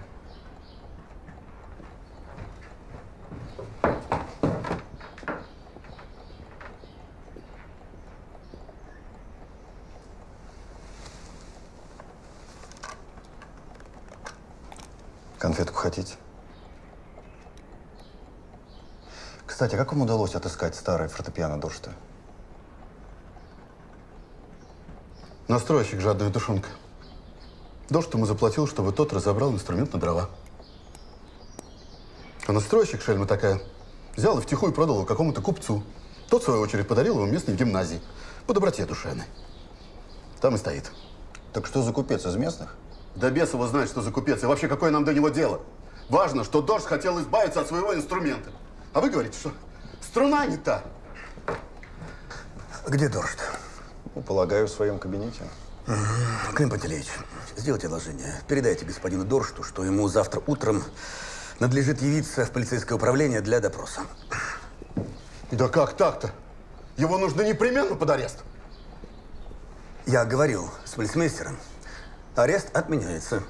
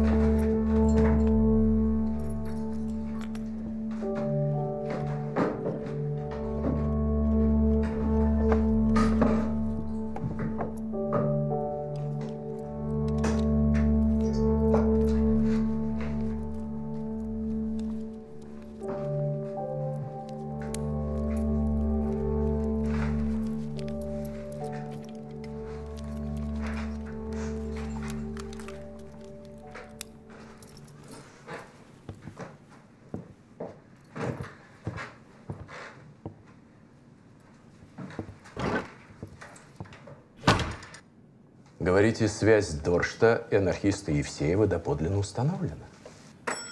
Так точно, ваше превосходительство. Чаю.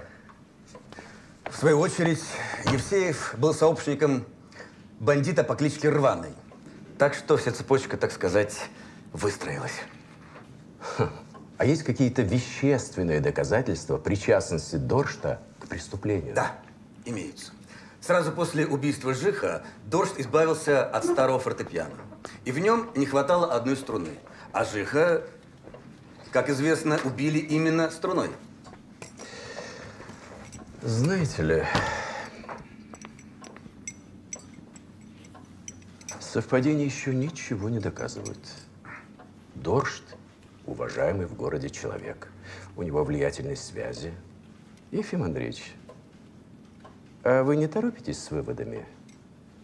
Я не стал бы спешить с арестом Доршта. Так точно.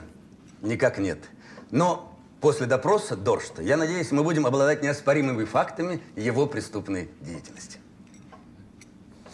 Ваше рвение, безусловно, похвально. Вот только вся ответственность за ваши действия целиком и полностью лежит на мне.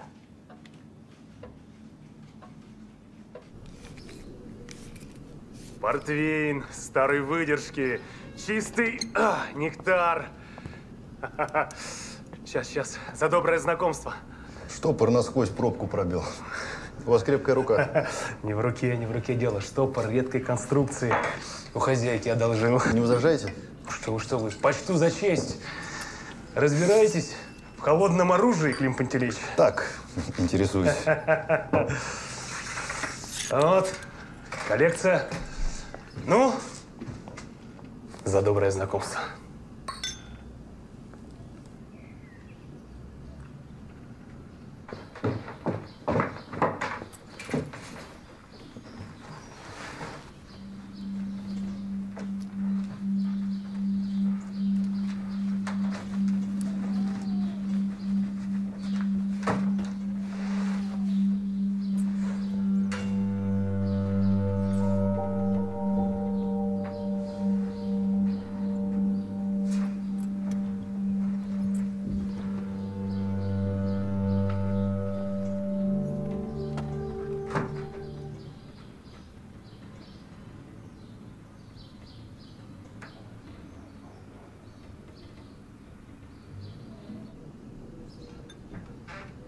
Да, да, видать, налет был дерзкий. Бандиты, наверное, немалый опыт имели. Двое невинных людей погибли. Это не ли трагедия? Да, трагедия, трагедия, Клим Пантелеич. Знаете, сколько невинных душ-то гибнет? Уж я за на своем веку много повидал. На всех слез не хватит. Вот только безвинных-то не бывает. Так кто на войне, а здесь от неудержимой жадности, злобы. Столько смертей из-за бриллиантов этих. Где они теперь? Как-то где? Слушай, и неужто полиция их до сих пор не нашла? Да представьте себе, словно, словно растворились. Да вы что, да вы что, растворились, говорите? Да. Забавно. Забавно. Можно личный вопрос? Конечно. Конечно, Клим Пантелеич, я весь ваш.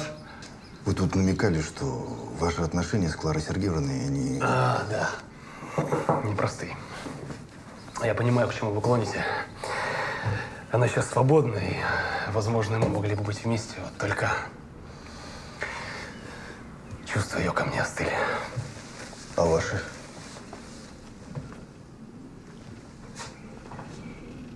Это не имеет значения.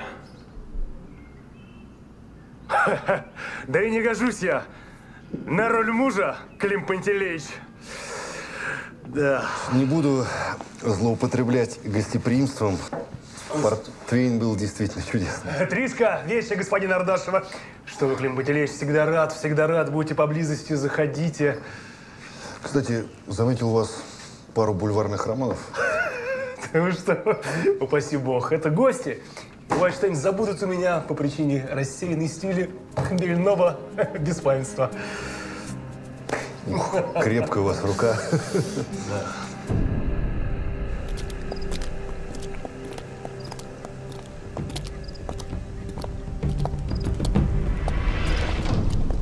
Увольте меня от ваших расспросов. Я не знаю и не ведаю, о чем вы говорите. Это ваши больные фантазии. Я всего лишь обычный провизор.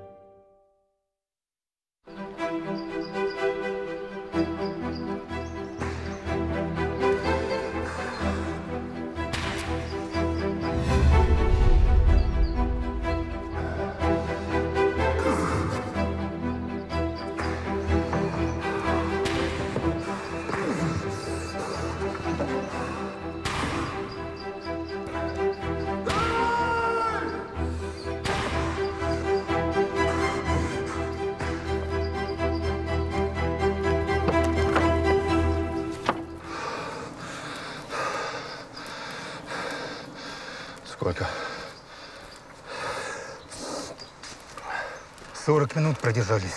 До вечери 20 не одолели. Надо ли себя таки стязать? Все свои страхи и слабости, Макар Семенович, надо внутри себя уничтожить. Пока мы тебя снаружи не разрушили. С другими завсегда легче бороться, чем с собою.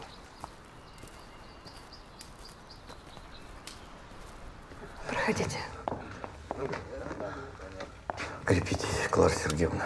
Искренне сочувствую. Соломон Моисеевич был человеком немалых достоинств. Всегда к людям расположение имел. Благодарю вас, Иван Генрихович. Соломон, кажется, только вам и доверял. И всегда вас говорил уважительно. Мои соболезнования. Спасибо, Клим Пантелеич. Без вас бы я не справилась. Клара. А что, Клим Пантелеич, есть у полиции какие версии? Версии-то имеются, только уверенности они не внушают. А, и что же, ни бриллианты, ни деньги так не отыскались? А чего такой непраздный интерес? Бог с вами, Клим Пантелеич. Какой мне интерес? Ради любопытства и вдову жалею. Ведь не, ни с чем бедняга останется. С этим позвольте разобраться мне, как ее адвокат. Да-да, конечно. Вы простите, старика Клим Пантелеич, за расспросы досужие. Не смею вас более задерживать. Я признательна вам, что вы составили мне компанию. Не было мучу же выслушивать все эти сочувствия. Я вас понимаю. Знаете, дорогой Клим Пантелеич, ведь моя прежняя жизнь была весьма унылой. Семейство мое всегда нужду испытывало. А потом вдруг появился Соломон. Богатый, надежный. Он был добр и щедр ко мне. А теперь его нет. Клара Сергеевна, вы еще молоды. Вот я и думаю, может быть, мне принять предложение Петкова? Буду обычной обывательницей, скучной, но с достатком.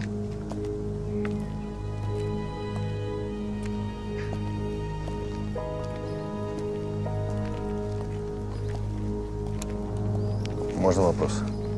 Можно. В кабинете вашего мужа я заметил рододендрон. Неужели Соломон Моисеевич любил цветы? Нет, это была моя инициатива. Соломон равнодушен к растениям. Был. Весьма опасный цветок, ядовитый. А, да, я читала об этом в романах. Я думала, что это так, выдумки. Просто он так красиво цветет. Красота бывает весьма коварной, даже ядовитой. Все-таки вы скептик. Нет, я реалист с большим жизненным опытом. Хорошо с вами. Спокойно. Ну, мне нужно сделать кое-какие распоряжения прислуги. Не провожайте меня. Хочу побыть одна.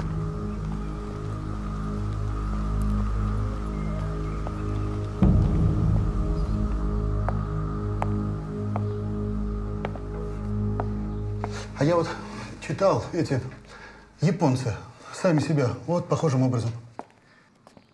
Антон Филаретович, вы несете какую-то колесицу, ей-богу. Какие еще японцы-то? Ну, они сами себе живот вспарывают и таким образом как бы свою честь спасают. Сия манипуляция называется харакири. Самураи – это воины японские, эдакое над собой сотворяли в качестве наказания за проступки. Так это что же, он тоже сам себя? Для православного разве такое возможно? Да не сам он себя. Его, видимо, оглушили для начала. Кровопотек на виске имеется. На лицо очевидное смертоубийство. Здравствуйте, Клим Пантелеич. Вам знаком этот господин? Это провизор Савелов. Я вчера к нему наведывался. Видать, снова что-нибудь такое эдакое выведали. Да, господин адвокат? А нам забыли сообщить. В этой аптеке Жих перед смертью купил микстуру от мигрени. Я пытался выяснить, зачем он покупал лекарства в чужой аптеке, да еще от мигрени, которой у него отродясь не было. Вы, Клим Пантелеич, прямо как ангел смерти. Простите за аллегорию. Где только появитесь, так сразу труп образовывается. Как теперь докладывать? Все равно, что в собственной беспомощности расписываться-то. Шутка сказать, что не день, то убийство.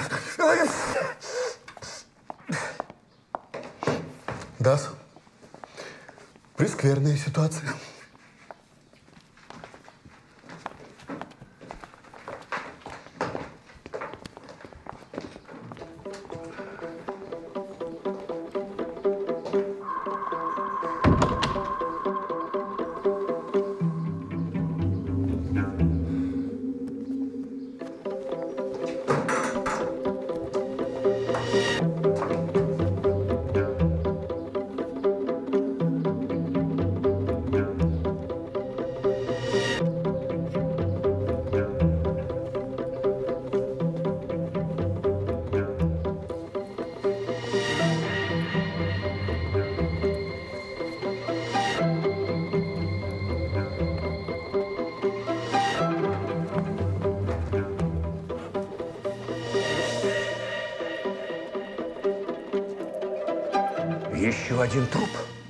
Одного подозреваемого? Это же черт знает, что такое. Вы хоть понимаете, в каком я положении? Понимаю ваше происходительство. И что вы предприняли? Где тот же Доршт? Вы его арестовали? Но вы же сами приказали. Я могу лишь высказывать свое мнение. А решение здесь принимаете вы. Кто здесь начальник сыскного отделения? В конце-то концов. Но провизор никак не связан с Дорштом. И он не, не фигурирует ни в одном деле. Здесь определенно что-то иное. А меня это, Ефим Андреевич, простите, совершенно не интересует. Это ваше дело! Провести расследование и найти преступника. И как можно быстрее. Я надеюсь, вы отдаете себе отчет в том, что в нашем городе еще один труп.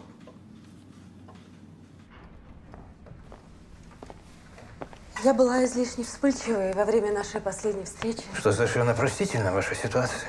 Я сожалею об этом. Мой отказ был поспешным решением, и теперь я вполне готова обсудить детали нашей сделки.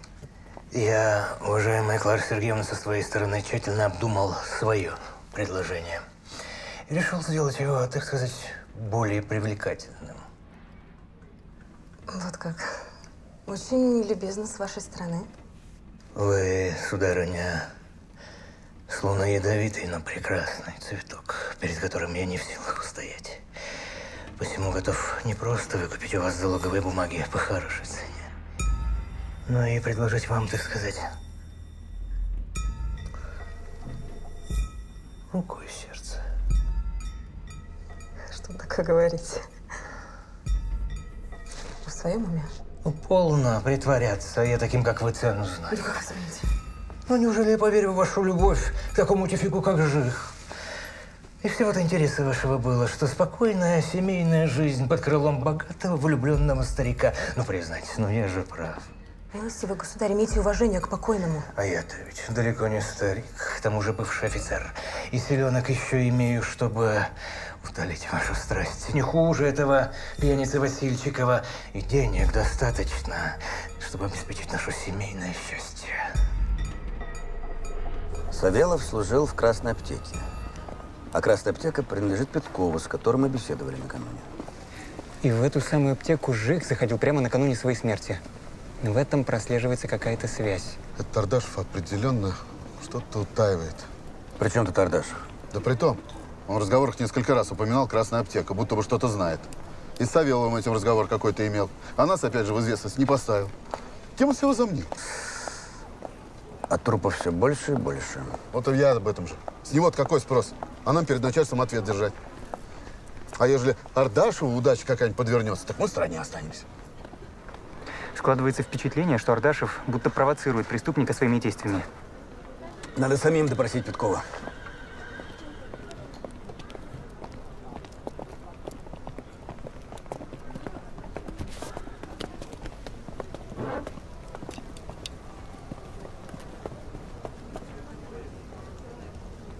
Прекратите немедленно, вы самодовольный индюк.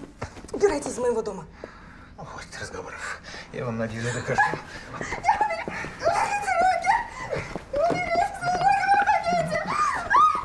Ты негодяй! Грязное животное! Думал, некому заступиться за бедную вдову! Прошу вас, не делайте этого. Он того не стоит. Напротив, он заслуживает смерти. Вот остановись. Тебя отправят на каторгу. Подумай обо мне.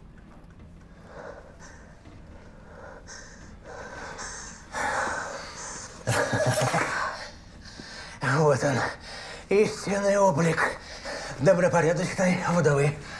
Мужа в могилу, любовничка подбочу.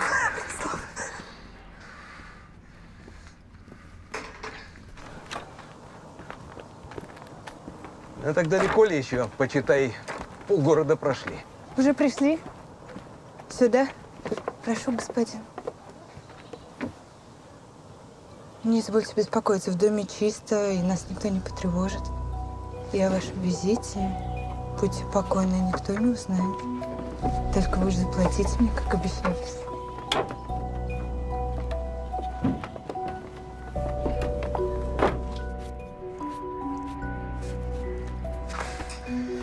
В чем дело, поручик? Вы в своем уме? Что за ребячество? Да уверь, сударь.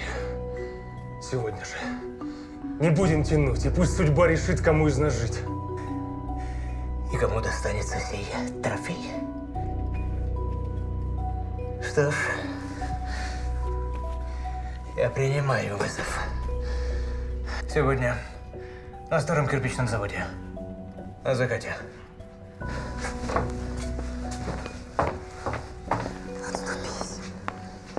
Отступись, не морай руки об эту мразь. Я не смогу. Я не смогу жить, зная, что я не отстоял твою честь. Это пятно будет выжигать меня изнутри. Я убью его. И мы с тобой уедем. Это не займет много времени.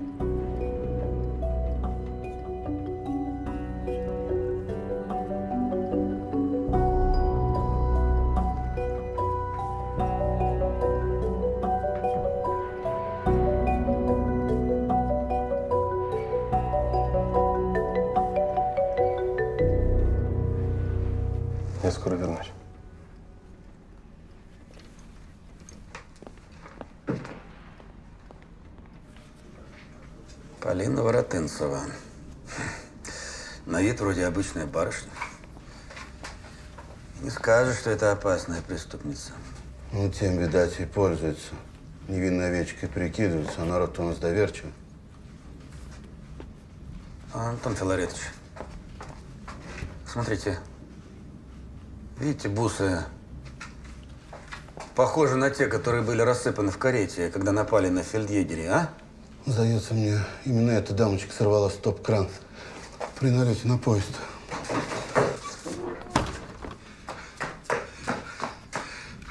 Ты ж взмылился. Будто волк из гонит. Что там у тебя? Ну что, голубчик, ну не тяни, говори, что? Петков пропал. Нет его нигде. Ни в конторе, ни в гостинице. И никто не знает, не ведает, куда он отправился. Петкова в розыск и барышню эту тоже. Есть.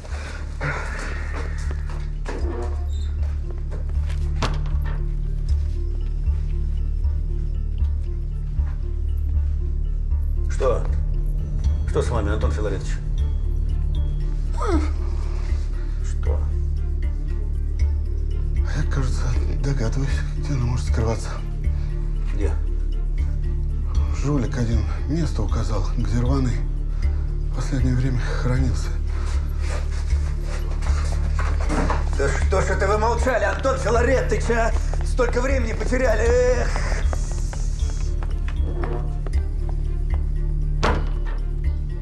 Знаешь, что ты Михаилу сообщение передавал? Про карету казенные. Я за ним следила, думала, он тебе зазноба нашел. А он к тебе бегал. Денег половину отдавал. А нам врал, что товарищам помогает, что ты про конспирацию толковал. А теперь, когда полиция вышла на его след, ты решил избавиться от него? Что, сам? Или какого бродягу нанял, а?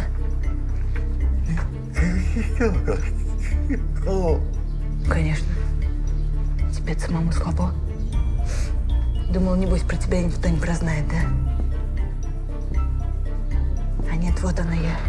И за смерть Миши ты мне отплачешь сполна.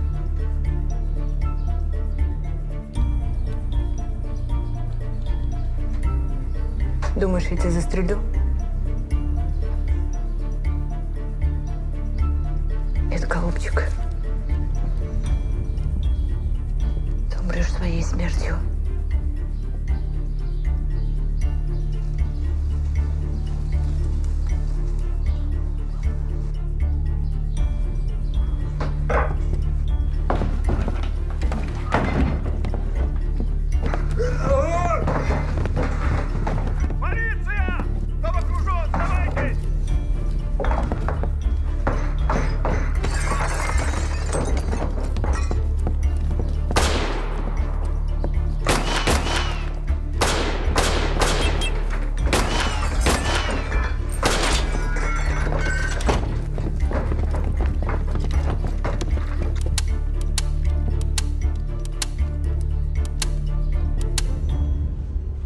Господин Растегаев, Опрометчиво назвали точное место совершения налета.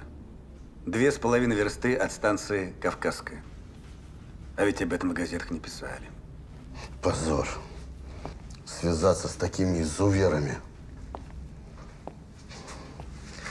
Сколько ваших фельдъегерей убил Рваный со своей бандой?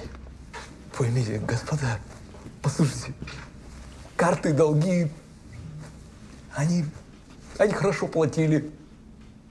То есть вы признаете, господин Растегаев, что передавали налетчикам секретные данные перевозки денежной наличности? Я чувствовал. Я чувствовал, что Рваному кто-то помогает. Ты ведь думали-то на наших. Мы это на наших думали. Мерзавец. Встречался только с Михаилом, и потом эта подруга его выследила нас. Предложила себя, за деньги, разумеется. Ну, я не видел ее раньше никогда, ну и пошел с ней. Так бы и сгнил бы в том подвале, если бы не подоспели. Теперь вас, господин Растегаев, ожидает каторга. Как, впрочем, и Воротынцеву.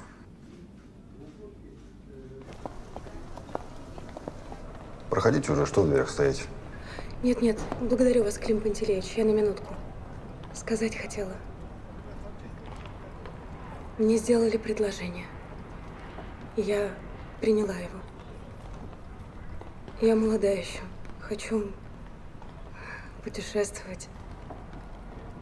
Мир повидать. Людей интересно. Ну, стало быть, в моих услугах вы больше не нуждаетесь. Я безмерно вам благодарна за все. Не знаю, смогу ли чем-то отплатить за доброту вашу. Мои услуги уже оплачены вашим покойным мужем.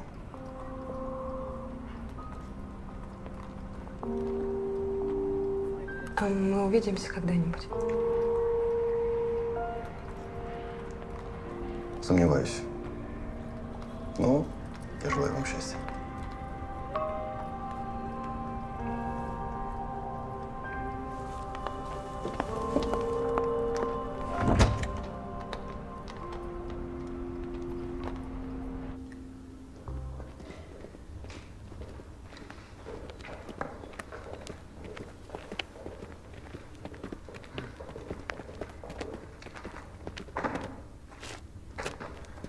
Итак, господа, как было условлено, дуэль произведем через платок. Правила, надеюсь, вам известны. Господа, не желаете ли примириться? Не вижу возможности для мирного исхода нашего конфликта. Ваше высокомерие, поручик, выглядит просто смешно. И проучить вас, я считаю, делом чести. Вам ли упоминать о чести? Довольно, господа. Давайте уже покончим с этим. Извольте написать прощальные записки, дабы избавить от проблем всех участвующих в всем предприятии.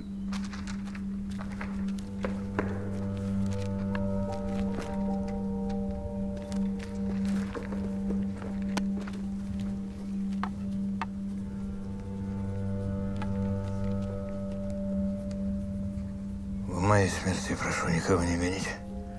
Ухожу из жизни добровольно. Да простит меня Бог. Ну что, Соломон Моисеевич, почти все, о чем вы просили, исполнено. И вдова ваша будет иметь надежного защитника и попечителя. Осталось последнее дело. Письмо это для вас. Какой неожиданный ход. Так, выходит, фигурки-то я неверно расположила. Я гляжу, вы переставили. Варвара, у тебя прекрасная зрительная память.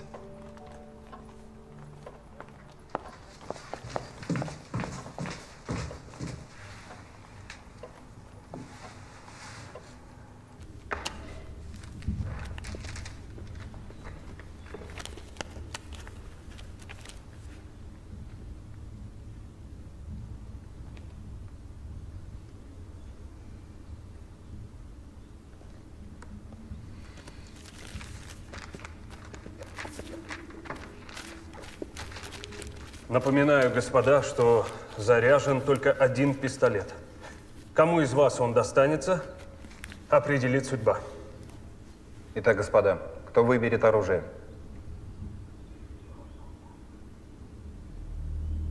Милости прошу, господин Петков.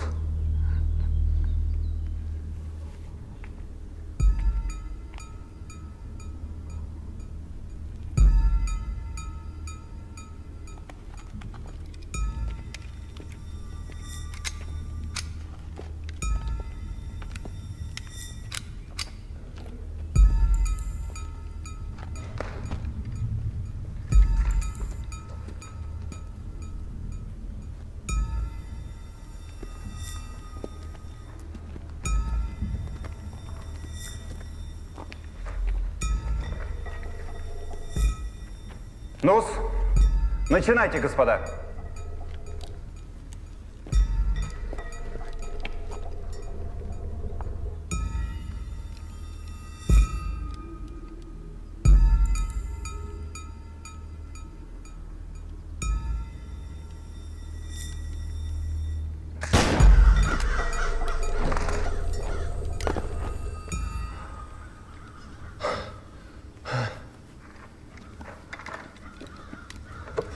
Однако нам надлежит немедленно покинуть это место, дабы избежать нежелательных последствий. Да, нужно, чтобы все выглядело как самоубийство.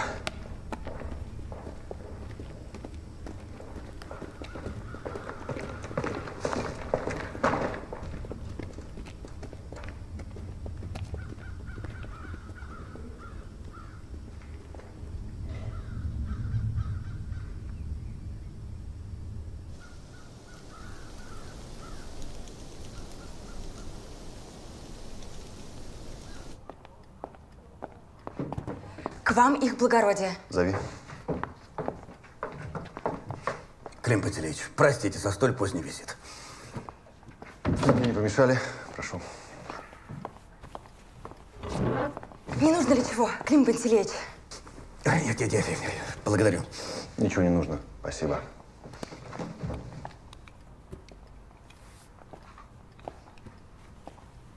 Петков покончил с собой. Нашли его на окраине города. Записка в кармане и с пистолетом в руках. Какая неожиданность. Просто, просто нелепица какая-то. Простите. И еще. Мы взяли подругу анархиста Евсеева, Полину Воротынцеву. Вообразите, хотела убить нашего почмейстера, но мы вовремя подоспели. Теперь все ниточки сошлись? Коньяк будете? Коньяк буду. Почмейстер, шельмец этакий, передавал секретные сообщения банде Рванова. И он же, почмейстер, свел, очевидно, Рванова с Петковым. А почмейстер был знаком с Петковым? Почмейстер – большой любитель докартежной игры. И часто сиживал с Петковым за карточным столом. Благодарю. Так вот, Петков, войдя в сношение с бандой Рванова, решил использовать их для убийства своего конкурента Жиха и присвоить его имущество. Но, видно, совесть замучила или же испугался разоблачения и наложил на себя руть.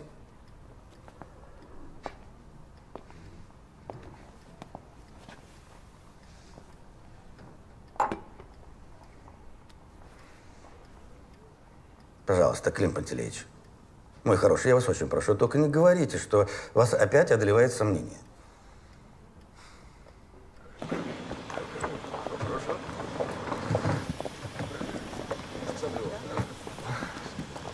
Клим Пантелеич, я приветствую вас. Какими судьбами? Здравствуйте, Бронислав Арнольевич. Дело у меня к вам есть весьма важное. Ну, скорее даже просьба. Да, я всегда, всегда к вашим услугам. Прошу вас, прочтите. Что это? В этом письме имя весьма опасного преступника. Мне нужна ваша помощь, чтобы арестовать его. Ну, Клим Пантелеич, вы могли бы просто назвать его имя. Васильчиков Бронислав Арнольдович. Это что, какая-то шутка?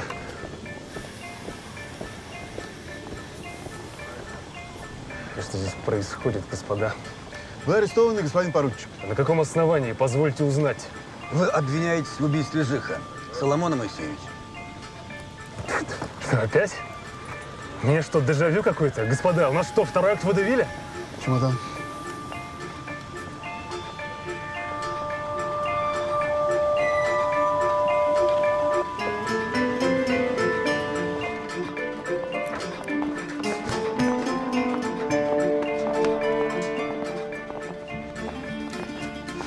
Савелова тоже на вашей совести. А доказательства на вашей ладони. Потрудитесь снять перчатку.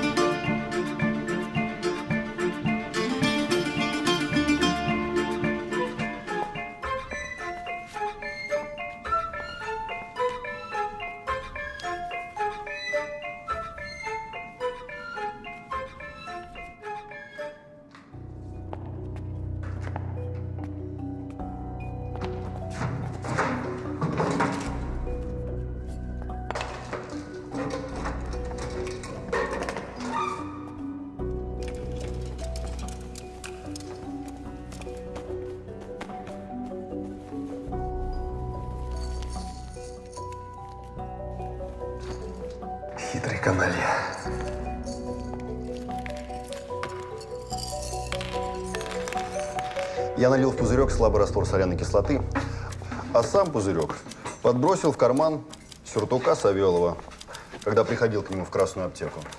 Даже надписал. Рассчитывали, что преступник естественным образом выльет содержимое себя на ладонь. Именно, Ефим Андреевич. Сработало. Вот только зачем было убивать Савелова? Какой в том смысл? Этот жалкий человечишка оказался очень проворным. Он будто бы обезумел. Схватил нож, бросился на меня. Да только в нем столько силы взялось. Я пытался остановить, вырвать у него нож, и в попыхах, случайно, его же рукой вспорол ему живот. Так вышло? Так вышло. Да. А каким образом вы отравили французов? Господин Васильчиков сел в поезд заранее, переодевшись священником. Костюм одолжил у своего приятеля, актера Абрашкина.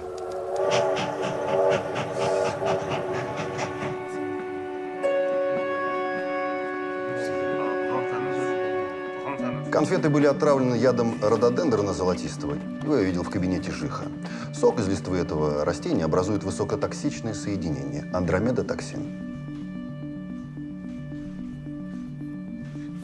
Пиши. А для верности Васильчиков добавил туда еще и снотворное. Потом он подождал, пока яд снотворное подействует, вернулся в купе и забрал саквояж с драгоценностями. А откуда же он прознал про тот яд? Из романов, из бульварных романов, представьте себе. Видимо, из тех, что я видел в квартире господина поручика. Это так, Бронислав Арнольдович? Любезный Клим Пантелеич, конечно же, вы прекрасно поняли, что я помогала Васильчикову. Я прочитала про яд в одном из романов и приготовила его из рододендрона. То, что я поставила его в кабинет Соломона, выглядит цинично, понимаю. Но я тогда не придала этому значения. И поверьте, я не предполагала, что Васильчиков решится на убийство Соломона. Мне нужны были лишь деньги. Нужна была свобода. Я не любила Соломона, но такой смерти ему не желала. А что касательно вас, с вами, Клим Пантелеич, мне было хорошо. И если бы не жизненные обстоятельства, мы могли бы составить отличную партию. Но, увы, прощайте, мой милый друг. Больше мы с вами не увидимся. Ваша Клара.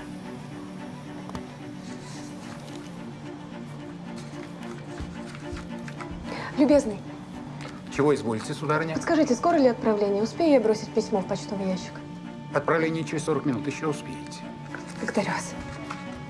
Присмотрите за вещами. Хорошо. Ведь какой неожиданный поворот получился. Банда Рванова в то же самое время решила совершить налет.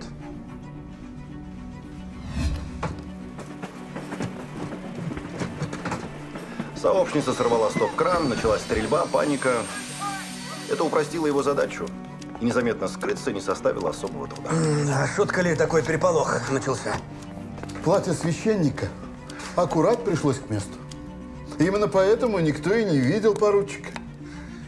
Мне кажется, это вы, господа, начитались бульварных романов. А мне такого даже самого большого перепоя не сочинить.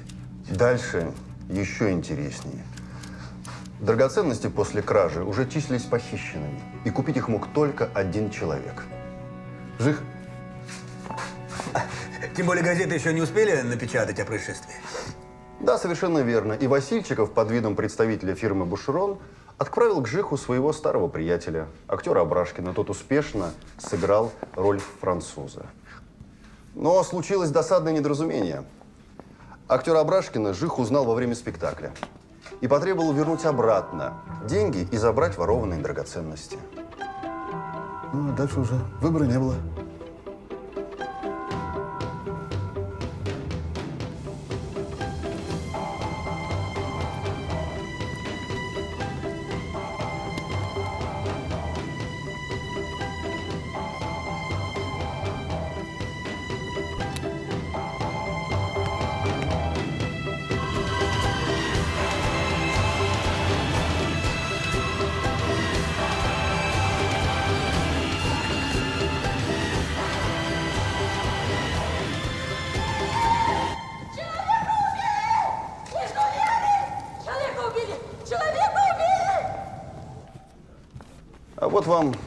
След. След от орудия убийства. Прошу. А где же само орудие? Струна. Вы же сами сказывали, что та, которую мы нашли на месте, не подходит для удушения. Господин Васильчиков весьма хитер.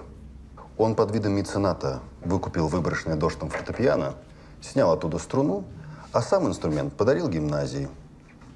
Знал ведь, что мы отыщем это пианино. А саму струну подбросил на место убийства Жиха, тем самым бросив тень на финансиста Доршта. Хитро придумано. Словно не боевым кавалеристом, а виртуозом. Избавьте меня от неуместных аналогий, господа. Все ваши домыслы, господин Ардашев, еще нужно доказать в суде. И не забывайте, что вы имеете дело с боевым офицером! Вот именно. На месте убийства Жиха были найдены следы, указывающие на характерную поступь кавалериста. На бойке сапог подбиты гвоздиками, у которых шляпки в форме треугольника. Ну, давайте себя избавим от необходимости рассматривать подошвы поручика. А тогда каким же образом был отравлен этот актер Абрашкин? Я смотрю, вы все убийства в городе на меня решили повесить. Так, господа полицейские? Потом, потом, потом, Полоша. Пошли, пошли, пошли, я тебя угощу. Портвейн у меня знатный. Специально для тебя оставил. Для тебя, друг, оставил. Ну, Васильчиков просто дал Абрашкину отравленное вино. Тот же яд в перемешку со снотворным. Такую бутылку я видел в квартире поручика. Вот смотрите, одна из квартиры Абрашкина, другая из квартиры поручика. Пробки идентичны, и маркировка на них имеется. Обратите внимание, что обе пробки пробиты штопором насквозь. Вы меня прям рассмешили, Клим Пантелеич. То, что бутылки одинаковые, это ничего не значит. Они куплены у одного торговца. А то, что пробки пробиты насквозь, это вообще ничего не доказывает. А чего же? Обе бутылки открыты одним и тем же штопором. Это установит любой эксперт-криминалист. И штопор этот необычный, у него не менее 12 оборотов. Вещь редкая, но такой штопор у вас имеется. Ну, где же в таком случае сами бриллианты? Жих, боясь, что его обманут, залил рубины карамелью, положил полученные леденцы в коробку Георг Ландрин и отправился навстречу к Абрашкину. А Васильчиков схватил саквояж, предполагая, что камни там. Представляю ваше разочарование, господин поручик. Значит, ко мне. Да-да, они остались в коробке Монпасье, которую вы мне отдали для передачи вдове. Мудрено. И как же Жих планировал совершить обмен? Ну, если бы Абрашкин принес деньги, то Жих отдал бы ему коробку, где были рубины, а затем отправился бы с Абрашкиным в Красную аптеку и передал бы ему оставленный там и подписанный пузырек полный бриллиантов. Таким образом, сделка была бы завершена. Клим Пантелеич, я еще раз спрашиваю, где же бриллианты-то? Спрятаны. Где? В ножнах. Надо сказать, весьма изобретательно. Да-да. Когда я был в гостях у господина поручика, я отметил разницу в размерах ножен и клинка.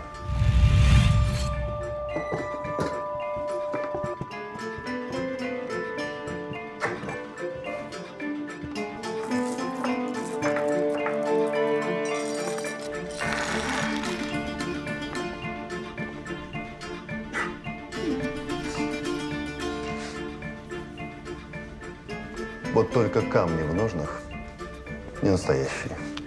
Как не настоящие? Вот ведь незадача какая, да? Когда я понял, как Жив спрятал камни, я обратился за помощью к господину Доршту. В его непричастности я был уже уверен. Он знал огранку дома Бушерон, имел опыт в ювелирном деле и очень оперативно помог мне изготовить фальшивые камни, на которые вы и купились, господин поручик. Ну а где же настоящие?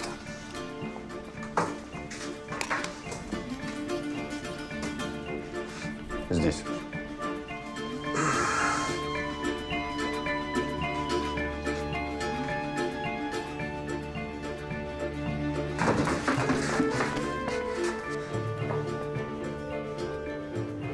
Не извольте беспокоиться. Стрелять не придется. Я умею проигрывать. Жаль, что Клара не рассказала мне про вашу дуэль с Петковым. Его можно было спасти. А ведь все действительно были уверены, что это было самоубийство. Все, включая полицию. Впрочем, я ее понимаю. Таким образом, она хотела избавиться хотя бы от одного из вас. Желательно от вас, ведь победитель должен быть сослан на каторгу. Ох уж это женское коварство. Коварство. Где она? Нам известно, что Клара Сергеевна Жих наняла экипаж и отбыла в неизвестном направлении. Имея при себе саквояж полный денег, который вы у нее спрятали, и рубины, которые я ей отдал.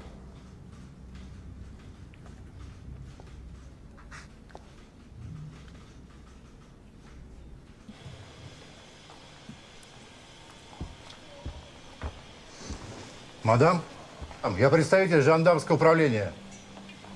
А в чем, собственно, дело? Вы не могли бы нас оставить? Буду признателен.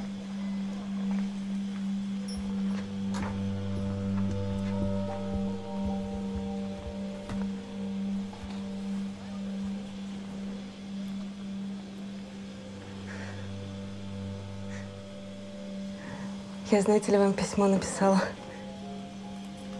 Только вряд ли оно может быть представлено на суде как чистосердечное признание. Это ведь так, пустяки. Билетристика? Вы все равно будете арестованы по подозрению в соучастии.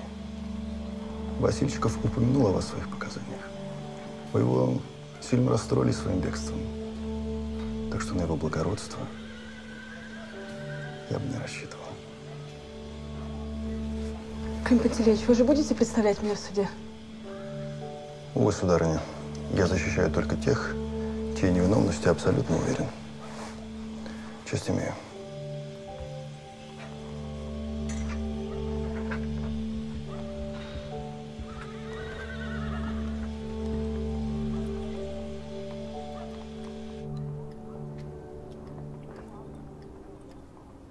Одного я до конца не знаю. Как Васильчиков узнал про Евсеева? Когда? Все очень просто. В ту ночь поручик находился недалеко от дома Жиха. И увидел, как Евсеев убегает после неудачного нападения. Он проследил за ним и вернулся обратно к дому Жиха, отложив расправу на потом. Именно там я его и встретил. Нет, благодарю. Спасибо.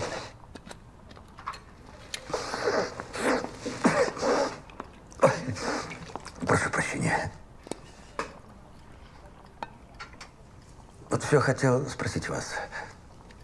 Почему Клара Сердевна не сказала вам о предстоящей дуэли? Ведь мне показалось, что она, так сказать, эм, особым образом доверяла вам. Интересно.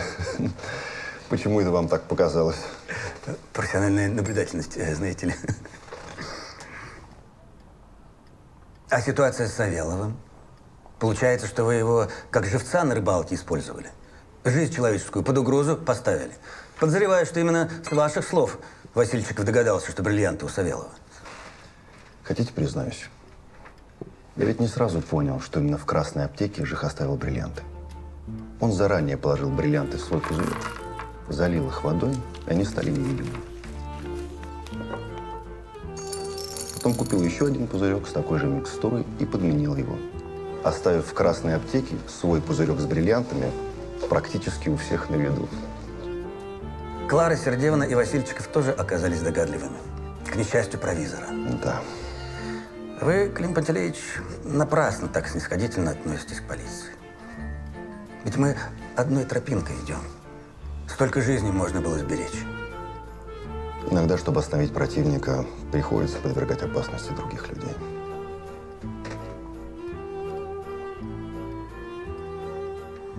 Догадываюсь, что в прошлом вам не раз приходилось делать трудный выбор.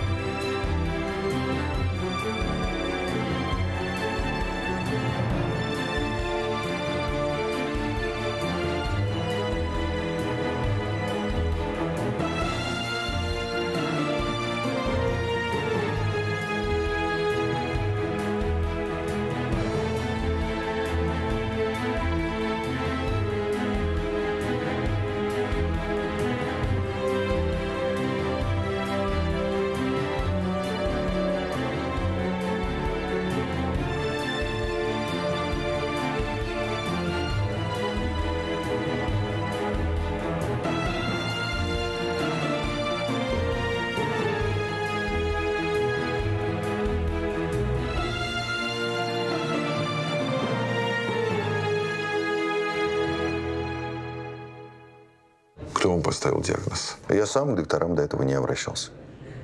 Расскажите, что вас беспокоит? Не могу находиться в тесном пространстве, в помещении без окон. Головная боль, головокружение, тошнота, учащенное сердцебиение, затрудненное дыхание. Да, все это, все это есть. Ну что ж, наша больница одна из лучших на Кавказе, а я, без ложной скромности, единственный последователь учения доктора Фрейда в здешних краях. Я знаком с учением Фрейда, но только поверхностно знаю, что он обращается к подсознанию, чтобы выявить детские травмы. А моя травма получена в зрелом возрасте. Значит, вы знаете причины возникновения вашей травмы? Да, я очень хорошо помню, где и при каких обстоятельствах это случилось в первый раз. Ну что ж, это в достаточной степени облегчит лечение. И вы правы, и метод доктора Фрейда нам здесь не нужен. Достаточно простой терапии. А в чем она заключается? Несколько бесед. бесед. Именно. Я буду говорить с вами, задавать вопросы. Я должен столкнуть вас лицом к лицу с вашими страхами, чтобы вы смогли взглянуть на ситуацию со стороны. Ну, для начала могу предложить 10 сеансов по часу через день. Я готов. Еще могут поспособствовать э, процедуры Института Цандера. Это новейшая методика физических упражнений на аппаратах специальной конструкции. Доктор Нижегородцев очень лестно о вас отзывался. Вы же известная личность в адвокатских кругах. Николай Петрович иногда преувеличивает. Когда первый сеанс? Давайте завтра в 12. Удобно? Да, удобно.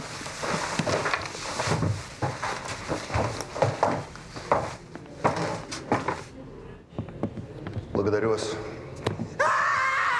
Пустите меня! Пустите! Доктор, она пришла! Доктор, я не сумасшедший! Пустите, я всегда говорю, что она придет! Нет, пожалуйста, не пустите меня! Десятка червей! И у нас Зонтика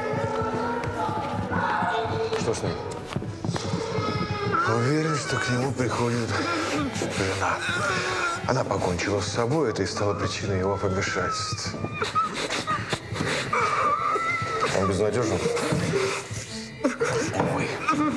Пациент Фартушин всегда вел себя тихо, но в последние дни случился обострение. Утверждает, что жена вернулась.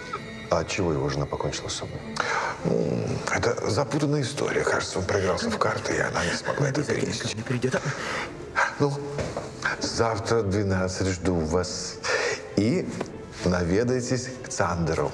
Рекомендую. Благодарю. До свидания. Она придет. Она придет. Она ко мне придет. Она придет. Она ко мне придет. Она ко мне придет.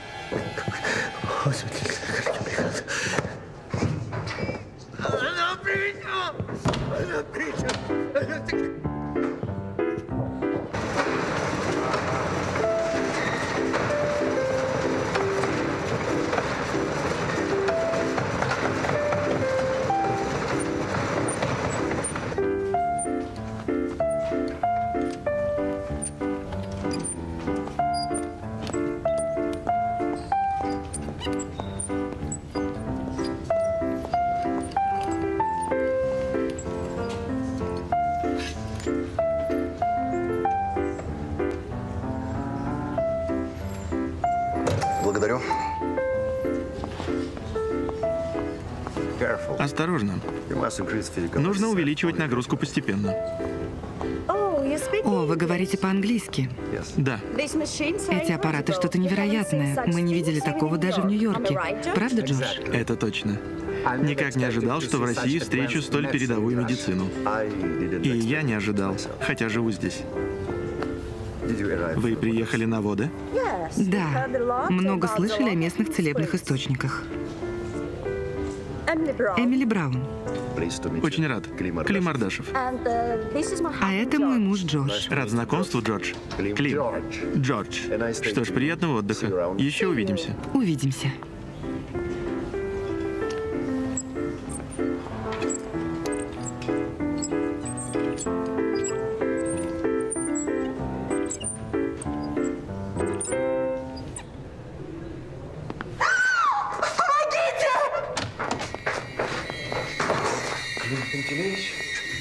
Случилось?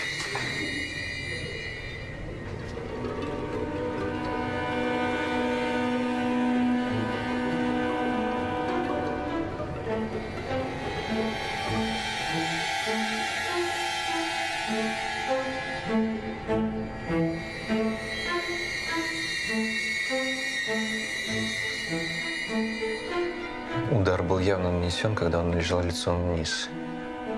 А потом его перевернули. Да, и удар был нанесен мужской рукой. Совершенно с вами согласен. А выбегала отсюда барышня.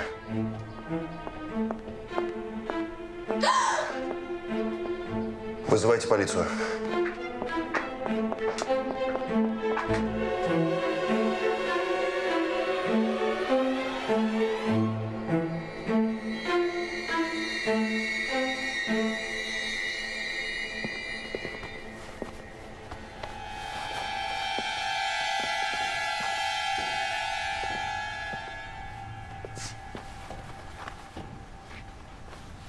А где вы были в этот момент? Э, Я только вышла на пять минут в регистратуру, а когда вернулась, э, эти двое господ уже были там, и, и господин лежал на кушетке. Проходим, сударь. У него в шее был нож. Счет из гостиницы «Бристоль» на имя С. Изюмова. Нам повезло, господа. Десятка червей. Доктор, поднимемся на воздух. Когда приехали? Вчера вечером. А вы? Третьего дня. Думал, нервишки подлечить на водах, а тут такое. Уже был на приеме у доктора Стельванского. Ну и как он вам показался? Кажется, дело свое знает. Думаю, дам ему покопаться в своих мозгах. Да. Прекрасный доктор. Да. Значит, вы просто вошли. Да. Не увидели его.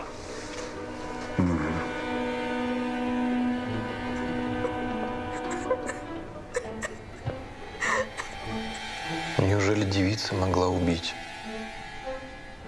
Скорее всего, она вошла, когда дело уже было сделано. Кажется, американцы хлопочут за нее. Думаю, она у них служит. И все же я вынужден вас задержать. Прошу вас. Что случилось? Куда вы ее уводите? Да. Ну что ж, Вениамин Янович, я полагаю, здесь все ясно. Господа, я протестую против ареста моей служанки. Сожалею, миссис Браун, но это неизбежно. Ваша горничная подозревается в убийстве. Но это же ерунда. Зачем ей убивать этого господина? Она должна была узнать для меня, когда освободится массажный кабинет. Она просто вошла. Это она так говорит. Но есть веские основания подозревать ее. Какие основания? На ее платье брызги крови, которые могли быть получены только при нанесении удара. Как это можно определить? Очень даже возможно. А, прошу прощения, господа, моя фамилия Ардашев, я свидетель убийства. Пропустите. Мне кажется, что брызги на платье вряд ли от удара стилетом. Обратите внимание на поднос. Он упал, когда кровь уже была на полу. Скорее всего, барышня держала поднос в руках, испугалась, выронила, и кровь попала на платье. Вы свидетель. Сидите, пожалуйста, в коридоре, мы вас вызовем. Простите, а вы не тот самый Ардашев, раскрывший тайну бриллиантов Бушерона? Об этом писали недавно во всех газетах. Да-да, тот самый. Это наш русский Шерлок Холмс, не проигравший ни одного дела. Доктор преувеличивает, я всего лишь присяжный поверенный. Позвольте выразить мое почтение. Капитан Круше. Следователь Боголеп, все-таки, пожалуйста, побудьте в коридоре до тех пор, пока пристав не возьмет с вас показания. Я бы все же выслушал доводы господина Ардашева. Ну что ж, извольте. Благодарю. Мне кажется, что тело перевернули уже после удара стилетом. Вы не поверите, но мы обратили внимание на этот факт. Я не об этом. Чтобы перевернуть тело, нужна недюжинная сила. Барышня на это не способна. Да-да, и удар нанесен явно мужской рукой с хорошим навыком. Доктор Нижегородцев.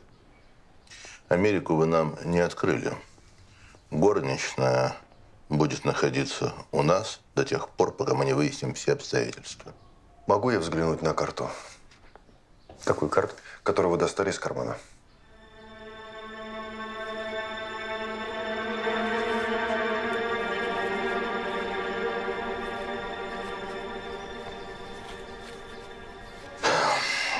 Если понадобится, мы вас вызовем. Благодарю. Рад знакомству, господа. Надеюсь на новую встречу при более благоприятных обстоятельствах.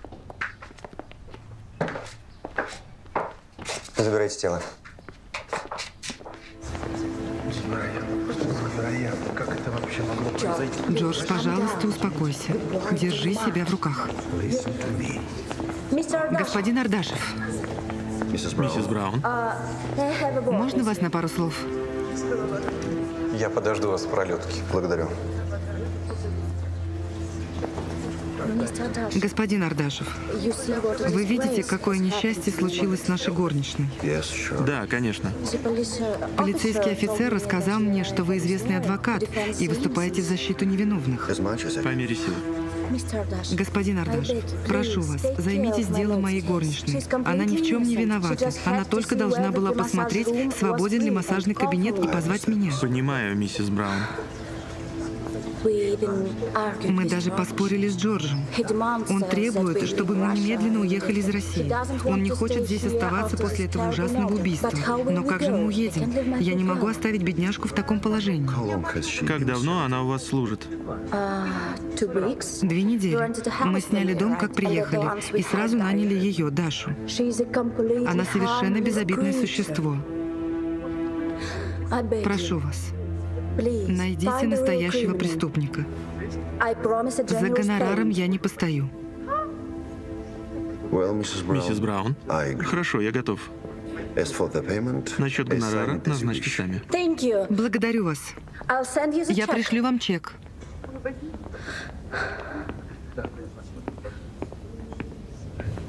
Невероятно. Ничего, надо собраться и пережить все это. Понимаете? Смачная дамочка эта американка. Доктор. А что, я разве сказал что-то непотребное? Это комплимент. Обычно таких девиц изображают на рекламных буклетах автомобилей Форда. Если не секрет, что она от вас хотела? Ну, попросила поучаствовать в судьбе ее горничной и найти настоящего убийцу. И вы согласились? Ну, почему бы и нет? Никогда не умел отдыхать. С чего предполагаете начать? Для начала зайдем в Бристоль, где жил господин Изюмов. Жди нас здесь.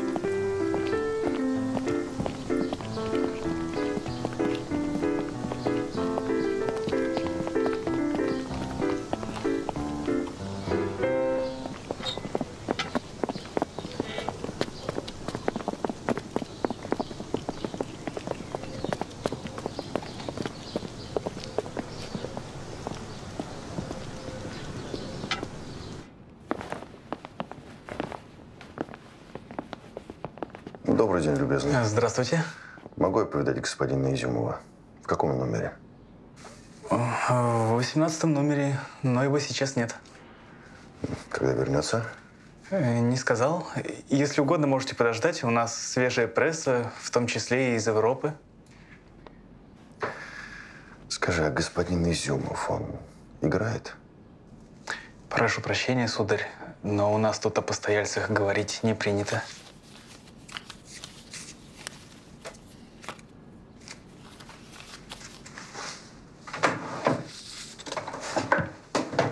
Да, кажется, поигрывает. Давно живет? Уж две недели. А с чего ты решил, что он играет? А коридорный наш Васька видел у господина Изюмова целый чемодан карточных колод, нераспечатанных. Вот бы мне получить одну колоду этого чемодана.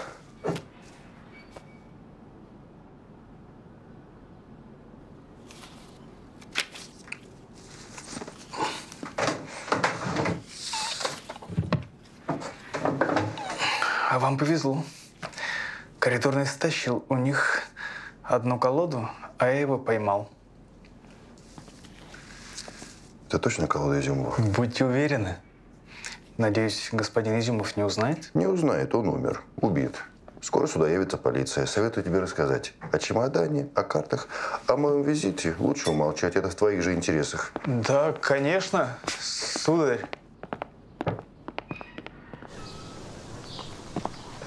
Купец Изюмов, скорее всего, никакой не Изюмов. Он был шулером. Вероятно, стоит известить об этом полицию. Разумеется.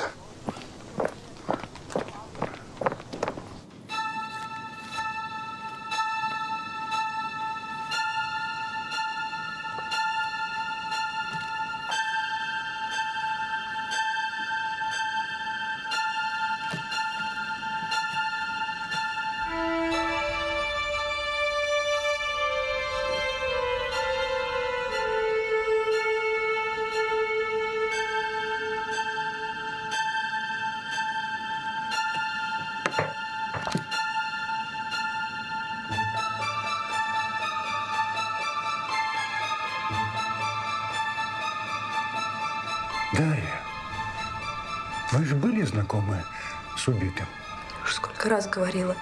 Не знаю я этого господина, никогда не видала. А может быть, видала да запамятовала? Ваше благородие, Христом Богом клянусь, не видала. В скольких домах ты служила в Кисловодске? Да раз уж я упомню, я уже три года тут. Почему уехала из Пензы? Говорили, что здесь господа побогаче и платят щедрее. И как? Не прогадала? Не прогадала. Действительно, приезжают богатые господа, нанимают меня за хорошее жалование. Да и солнце поболе, курорт все-таки. А в Пензе тебе, значит, тяжело было. Не то чтобы тяжело, но здесь лучше.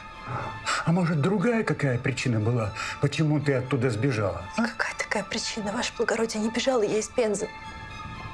А Знаешь, 20 век на дворе. Сейчас по телеграфу за два часа можно достать справку из любого города России. Какую справку? Я вас не понимаю. А такую справку. Из полиции Пензы. Не зря же ты оттуда сбежала. Знаем, что ты сделала. И здесь за старое взялась. Не сделала я там ничего, и тут тоже ничего. Не виновата я ни в чем.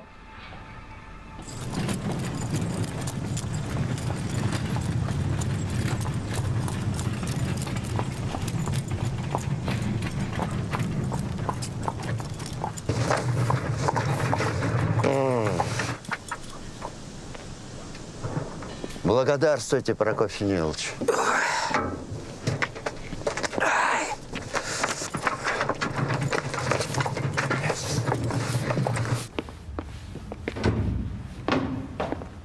Доброго здоровья, Прокопий Нилович. Что, все собрались? Точно так, вас дожидаются. Ага.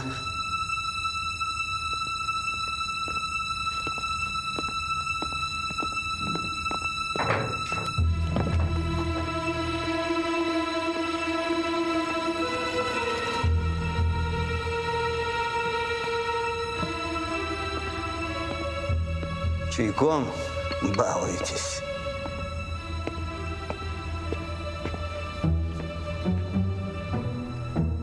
А что, если Дарья ограбила Шулера? Возможно, она каким-то образом узнала или увидела, что у него с собой значительная сумма. Он ведь накануне сорвал куш на даче у Кавериной. Дарья вошла, убила и вынесла деньги под платьем. Кто того исполнителя в Цендеровской больничке порешил? Так уж баба порезала. Сам ты баба. Перо за ухо по самую рукоять. Это баба? Она просто не вовремя туда влезла. Дядь Прош, не мои это. Не мои. А стилет? Вы ж его видели? Трудно представить, чтобы такое оружие девица просто носит при себе на всякий случай. Да, это было бы странно. Хм. Хотя, если учесть ее прошлое, может, она и вправду без ножа на улицу не выходила. Знаю, что залетные. Но кто здесь смеет так своевольничать? Так говорят, у него карту нашли, чего у десятку. Вроде как знак это. Знак чего? Еще эта карта в кармане убитого. К чему она? Счастливая карта. Игроки ведь суеверные. Ну, возможно.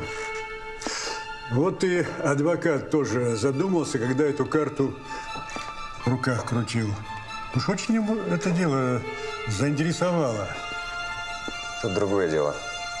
Если хотите спортивный интерес, этот присяжный поверенный довольно известная личность.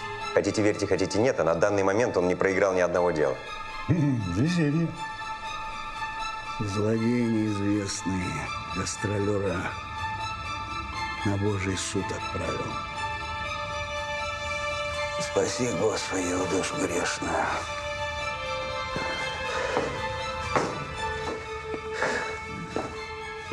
А ведь он за спокойствие свое оброк нам сполна заплатил. Ваше благородие, там посетители дожидаются. Какой посетитель? А, вот, изволите видеть. И давно ждет? Так э, с полчаса уже. Ардашев, что ж ты не доложил? Так вы чай кушать изволили? Зови, зови и чайник убери. Сей момент.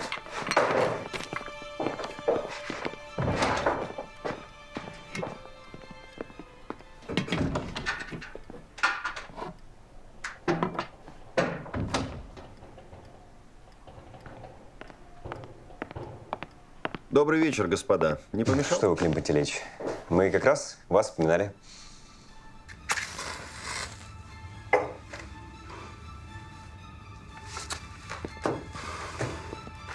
А если злодею этому одних заезжих светуков мало покажется?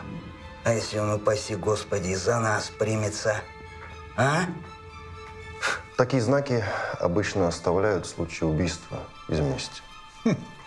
Но это слишком вольное допущение. Мы даже не уверены до конца, что господин Изюмов был шулер. Он возил с собой чемодан с картами.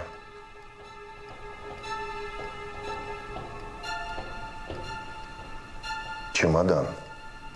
Чувствую я, грешник этот среди нас за одним столом сидит и картишки перебирает. А как возьмете злодея на примету, сразу ко мне. Ну, с Богом.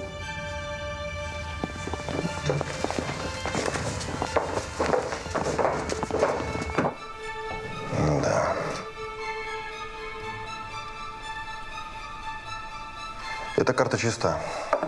А вот карты из номера убитого меченые и другого рисунка.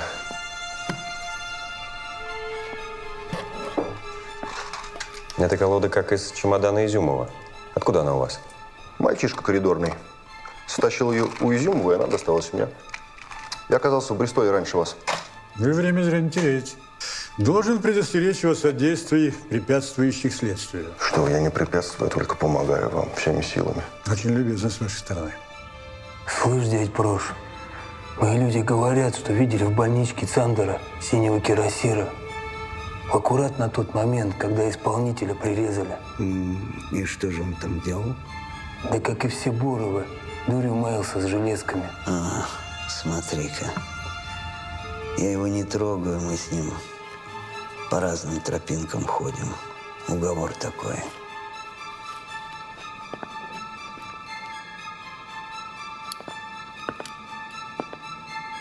Так может, совсем страх потерял? Да конкурента прибрал. С него станется. Ты вот что, ты поставь кого-нибудь походить за ним. Сделаем.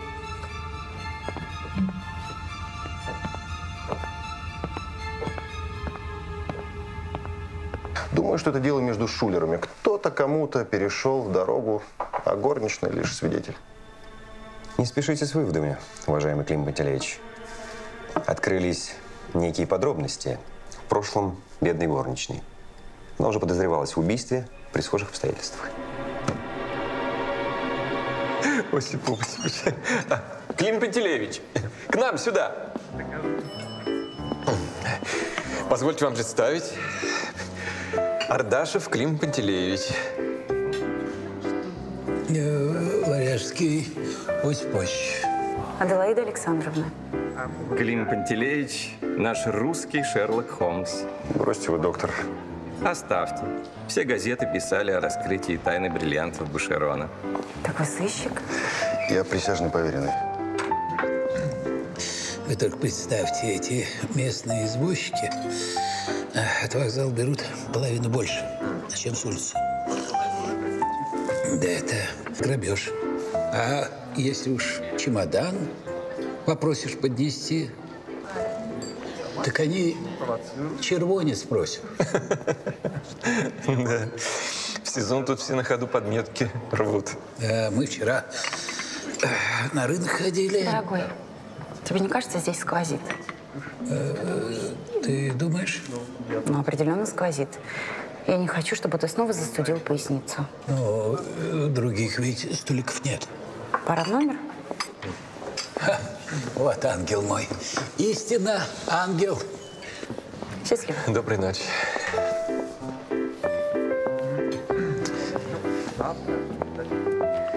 Не правда ли интересная пара? Удивительно, почему она вышла за него замуж, ведь он не богат. По любви, наверное, доктор. Вы так невозмутимы, когда шутите. Вы были в полиции, что нового? Завтра. Все? Завтра. Завтра. Да. Ну, я пойду. Доброй ночи. Доброй ночи. Чай, пожалуйста. Да. Я посоветовал доктору, чтобы он поднес к твоим губам зеркальце. А этот, этот самонадеянный болван меня так и не послушал. Глупые, глупые бездари. Господи, если бы они вняли моим словам. Милая, им бы не пришлось тебя откапывать. Скажи, любимая, скажи, любимая, они не поранили тебя лопатой? Нет? Как самочувствие, любезнейший? Ну, слава богу. Вижу, неплохо. Письмецо написали? Давайте я отправлю. Это кому, жене? Вы не волнуйтесь, отправим письмецо ваше. А то вы в последнее время много волнуетесь. Позволяете себе с персоналом ссориться. А это что у вас? Что-то новенькое? Ну-ка.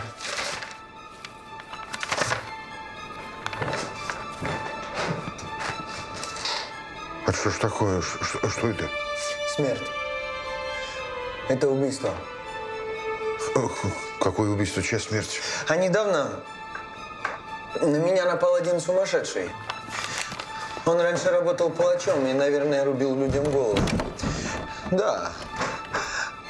Я уверен, он рубил людям голову, потому что у него был такой огромный нож. Слава тебе, Архангел Михаил, ты меня спас.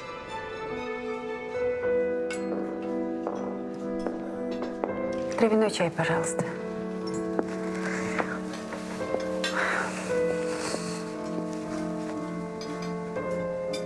А вы еще здесь? Мне не спится. Все это правда, что о вас рассказывал доктор? Он преувеличивает. Ну, расскажите о своих невероятных приключениях.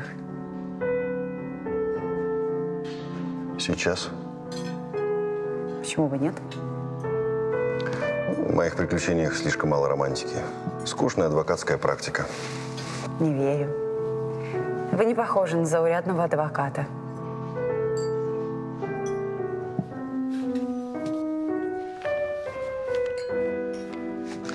Извините, мне пора.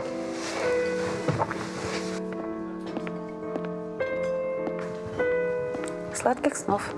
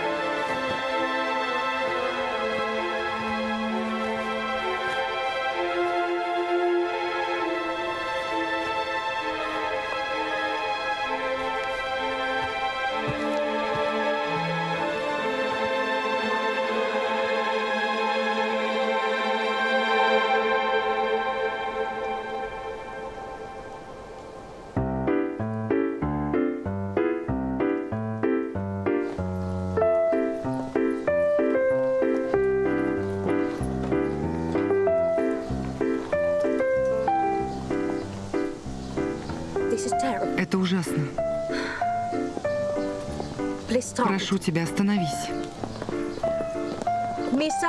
Господин Ардашев.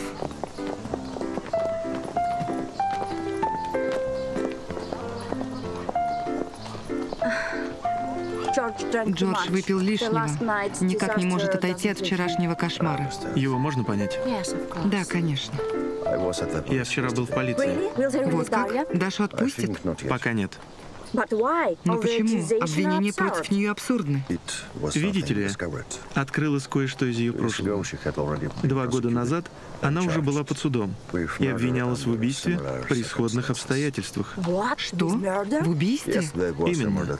Был убит помещик, у которого Дарья служила горничной. Косвенные улики указывали на нее. На суде она показала, что помещик принудил ее к сожительству, но она не убивала.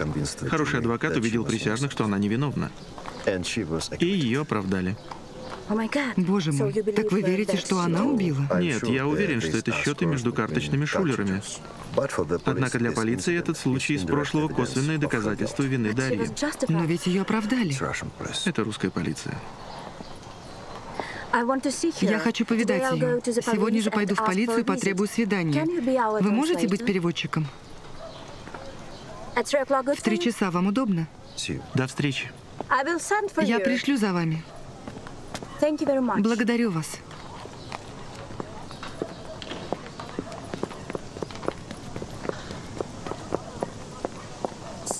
Прекрати пить.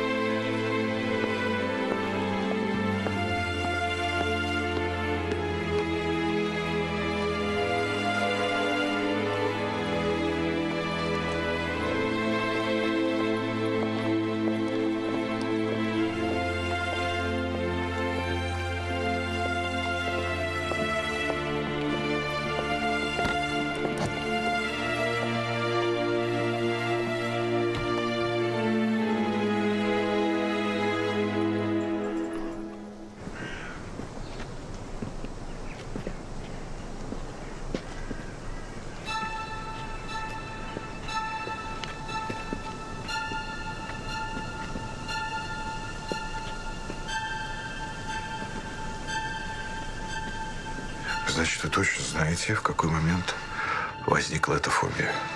Да, совершенно точно. Это случилось три года назад. При каких обстоятельствах? Я попал в тесное пространство, очень тесное. И долго там находился. Насколько тесно? Я едва мог повернуться. Вот как. И что же это было за место? Это было под землей. Угу. Можете описать мне это место, как вы там оказались? Боюсь, я не могу этого сказать. Я понимаю, вам трудно, но мы здесь, чтобы преодолеть страх. Вы должны описать мне это место. Доктор, обстоятельства, при которых я получил эту травму, было связано с прежней службой и государственной тайной. Вот как. Ну, вы же адвокат. Да, но до этого я служил по линии... Я служил. Ну, это несколько неожиданно и ну, затрудняет наше лечение. Ну, хорошо. Можете хотя бы описать это пространство, не касаясь прочих обстоятельств? Да, конечно, это была могила. Меня похоронили. Господи, как это могло произойти? Мы же договорились, что мы не будем касаться обстоятельств. Да-да. Так вот, мне пришлось пробыть там двое суток, и после этого у меня случился первый приступ, когда я попал в подвал без окон. Доктор? А, да, простите, я, я, я слушаю. Все в порядке? Если что, мы можем перенести сеанс. Нет, нет, я готов. Впрочем, впрочем, простите. Ради бога, простите. Мне, мне нужен ваш совет. Вы же юрист, адвокат. Это не займет много времени, а потом мы, мы продолжим.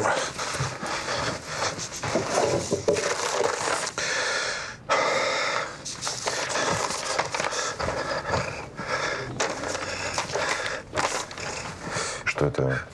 Это нарисовал один наш пациент. Так вы видели его вчера? Десятка червей и мертвое тело – это... Именно. Утром я прочел в газете об убийстве в институте Сандера, а ночью обнаружил эти рисунки у него. Э, Вы хотите сказать, что он нарисовал это до? Именно. Это он нарисовал два дня назад, вот это с десяткой. А, а Валета вчера. А что говорит он сам? Помилуйте, он ничего не говорит, он сумасшедший. А можно на него посмотреть?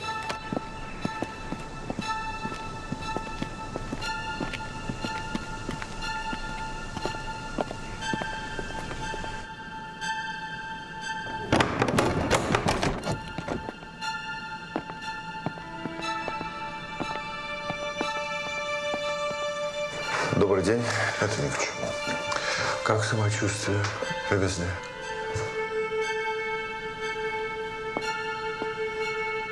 Флэш-рояль. Вы играете? Он везде рисует флэш-рояль. Это главная комбинация в покере. Никогда! Успокойтесь, тихо, тихо. Никогда, конечно. О, Никогда. Господень Михаиле Архангеле, демонов сокрушитель, запрети, запрети всем врагам, борющимся со мной. И сотвори их, яко овцы, и сокруши их, яко прах пред лицем ветра, и будем мне помощь во всем. В пустынях, в скорбях, в печалях, на распутьях, на реках и на морях. Тихое, тихое пристанище мое. О, Вы позволите?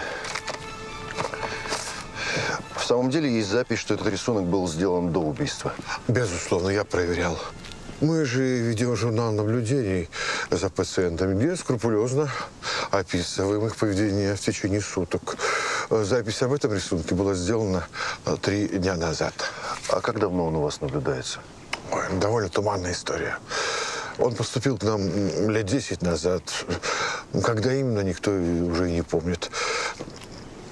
Ходили слухи, что он, мол, был последствием из убийства жены и в камере предварительного заключения сошел с ума. Ну, так ли это на самом деле? Я пытался найти ответ на эти вопросы, но все его ранние бумаги куда-то запропастились. И он всегда рисовал этот флеш-роял? Именно. Возможно, эта комбинация сыграла роковую роль в его жизни. Ну, два последних рисунка отличаются. Да, но если первый рисунок предсказывал происшедшее убийство, то второй предсказывает убийство, которое может произойти. Как это возможно? Это вы мне ответьте. Вы же врач. Надо сообщить в полицию.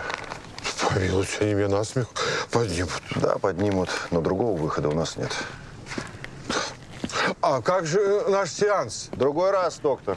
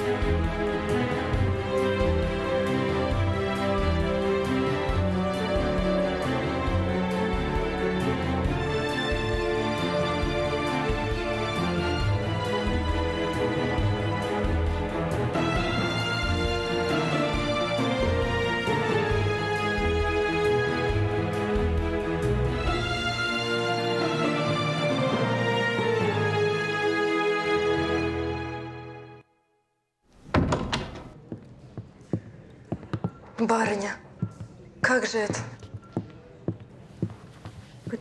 Здравствуйте, милая. Вот решила навестить вас. Как вы здесь? Миссис Браун спрашивает, как вы себя чувствуете. С Божьей помощью. Не обижают. У нее все хорошо. Господин Ардашев – адвокат. Он любезно согласился помочь. Он сейчас занимается вашим делом. Скоро вас выпустит. Миссис Браун говорит, что я занимаюсь вашим делом. Я адвокат, и скоро вас отпустят. Премного благодарна. Видит Бог, я ни в чем не виновата. Видать, судьба моя такая страдать без вины. Говорит, что она невиновна. Вы имеете в виду то убийство в Пензе? И вам про то уже известно. Да, был такой случай. Тогда тоже хотели меня наказать безвинно. Да присяжные не поверили в мою виновность. Извините, я задам Дарье несколько вопросов по делу. Хорошо? Спасибо. Мне сообщили в полиции, что в Пензе ваш хозяин был убит ножом в собственном доме. И вас подозревали, потому что он домогался вас и преследовал. Все так, сударь. Только не убивала я его.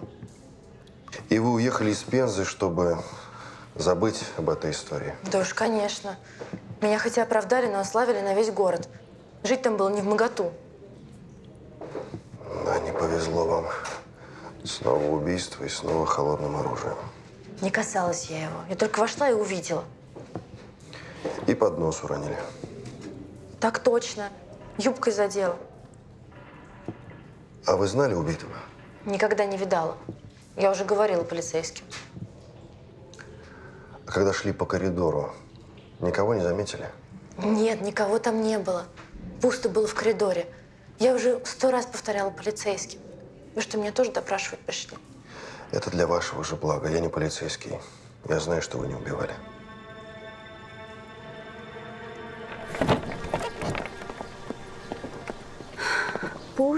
Бедная. Какая ужасная судьба. Прежний хозяин подвергал ее насилию. Как это возможно?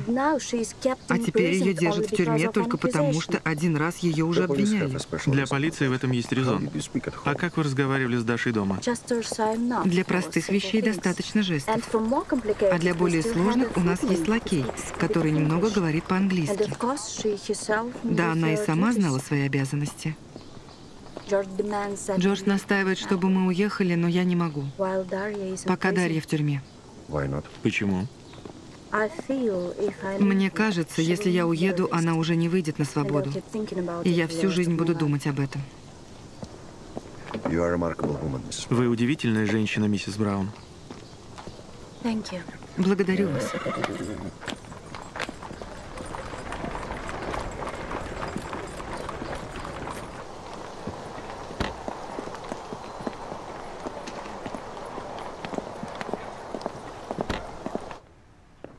Так куда мы сегодня пойдем? Куда хочешь. Но вечером опять у Кавериной. Опять играть? Ты уже вчера вон проиграл этому толстому таракану целых сто рублей. А зачем, спрашивается? Значит, так надо. Я же не юлальщик какой, чтобы по мелочи выигрывать. А кто такой юлальщик? Мелкий шулер, играющий по базарам и трактирам. А судья еще не созрел для больших ставок. Пусть пока порадуется. Ну, не знаю. Я бы никогда в жизни не отдала бы такие деньги. Опять Кавериной. Каждый вечер у Кавериной. Мне кажется, ты там уже провел полжизни. Сколько лет ты уже играешь там? Знаешь, ты иди. А что, мы не пойдем сегодня никуда? Ты права, один вечер можно пропустить. Ну, мы можем пойти в какое-то другое место. Нет, не сегодня. Ну, ладно. Я пойду.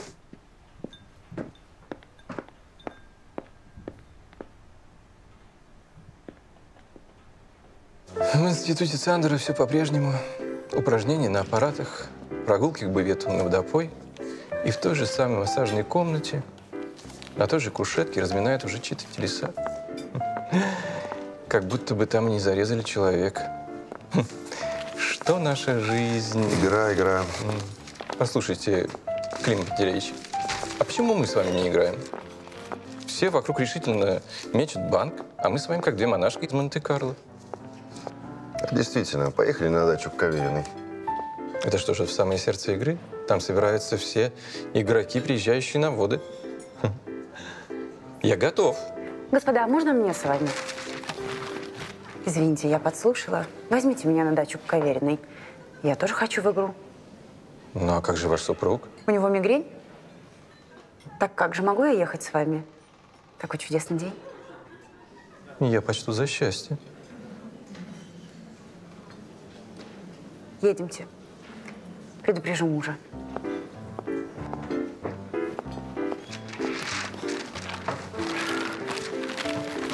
Какой чудесный день. Когда у мужа мигрень. Да. Здесь в окрестностях поистине волшебные места. Вылазки на природу доставят вам истинное наслаждение и разнообразит ваш досуг. Это было бы прекрасно. Стой! А что же здесь за места? Скала коварства и любви. Вот. Прошу. А почему она получила такое название? О, это благодаря старой легенде. Расскажите. Молодой пастух влюбился в юную красавицу, дочь горского князя. Но ее отец был против неравного брака и решил выдать замуж за богатого соседа. И влюбленные поклялись, что лучше погибнуть вместе, чем разлучиться. И вот когда восрубили трубы и на двор въехали сваты жениха, влюбленные уже поднялись на вершину скалы и уже готовы были сброситься в пропасть. Это прекрасно. И, как полагается, первый бросился в пропасть юноша Аликонов. Он упал на острые камни и разбился. Увидев своего жениха мертвым, девушка испугалась и не стала прыгать. Впоследствии она вышла замуж за нелюбимого старика. Неожиданный финал. Ну, Почему неожиданно? Вполне предсказуемый. Женщины рассудительнее и прагматичнее мужчин. Это врачебная практика привела вас к такому заключению? Опыт сердца, дорогая Аделаида Александровна, и наблюдение за окружающей жизнью.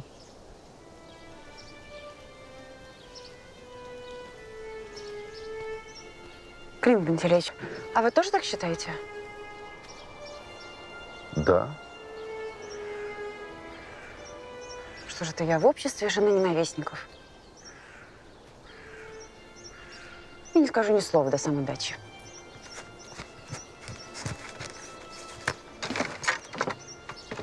Ну что вы, Аделаида Александровна, как можно? Ой, овечки! Смотрите, какие красивые. Мы можем мимо овечек проехать? Ну, пошла!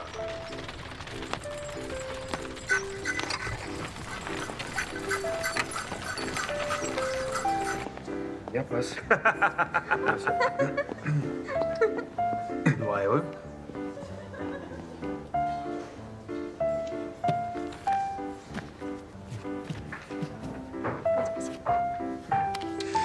Официант! Будете играть? Я оставляю вас на попечение, доктор. Повторите. Сию минуту. Коньяк. Я пас.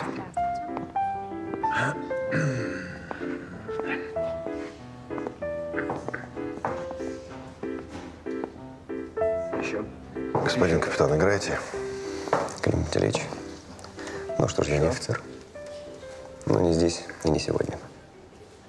Телефонировал вам доктор Селиванский? Достаточно. Да. С ним общался следователь Боголепов. И, конечно, доктору досталось. Скрываемся. Боголепов высказал все, что он думает о предсказаниях, предсказателях и о самом докторе Селиванском. Но вы все-таки здесь. Да. Здесь собираются все гастролеры.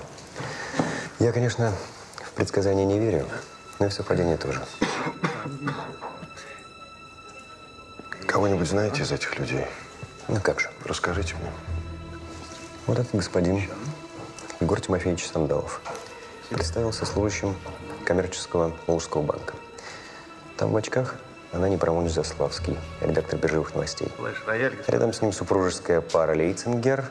И напротив них Граф Орловский. Но остальных вы знаете. Благодарю вас. Рад, что вы здесь. Да, хорошего вечера. Чего изволите?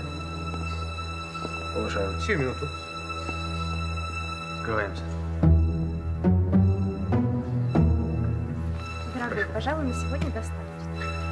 Ну, пожалуй, сегодня ты права. Удваиваю.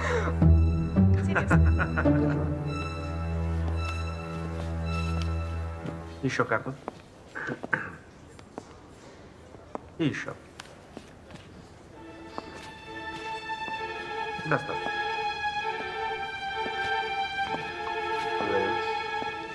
Добрый день, господин Крушен. Добрый день. Мы встречались? Нет, Каверина Ольга Андреевна. М, Госпожа Каверина. Рад знакомству с хозяйкой заведения. Можно вас на пару слов? Я могу на правах хозяйки поинтересоваться. Вы ведь здесь не случайно? Увы. Полиция предполагает, что, вероятно, новое убийство игрока. Вы думаете, это произойдет здесь? Вполне возможно. Но делается все возможное, чтобы предотвратить преступление. Я очень на это надеюсь. Я имела уже приватный разговор с господином полицмейстером. Он обещал мне охрану и защиту. Жус мне хватит. Еще карту.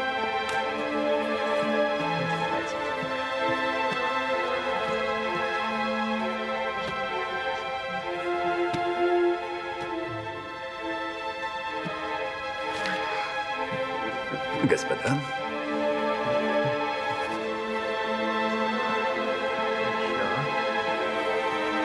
Еще карту. моя табакерка. Господа, моя табакерка.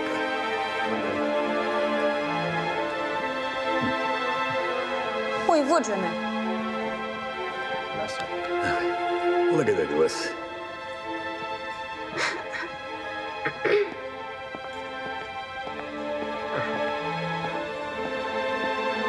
Братец, налей-ка мне коньячку.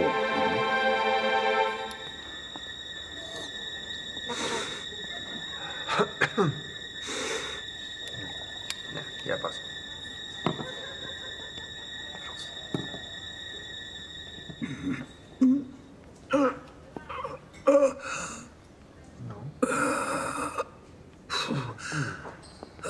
Быстрее.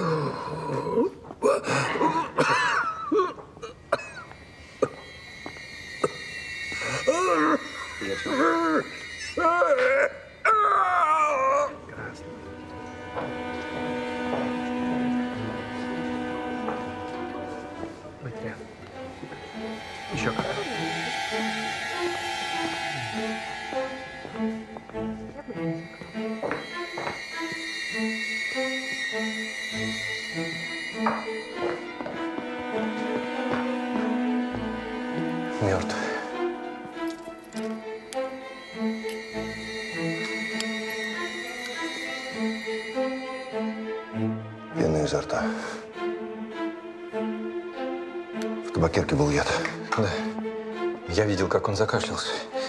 Почему грудь обнажена? Вероятно, почувствовал жжение в груди и расстегнулся. Вряд ли.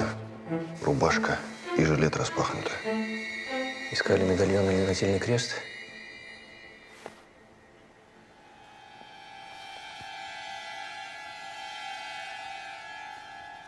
Болят червей. Как на рисунке.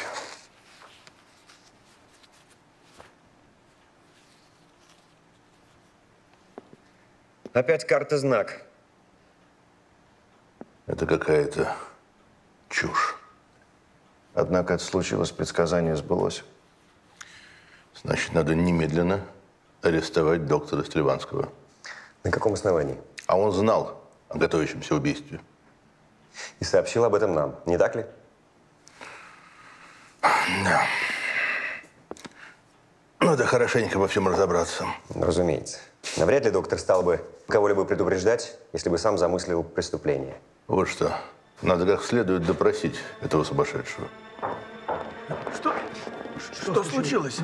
Ш- Что такое? Господа, сюда нельзя. Сюда нельзя. Проходите. Проходите, проходите. Бедный граф. Ему так везло. Господа, сюда нельзя. Граф?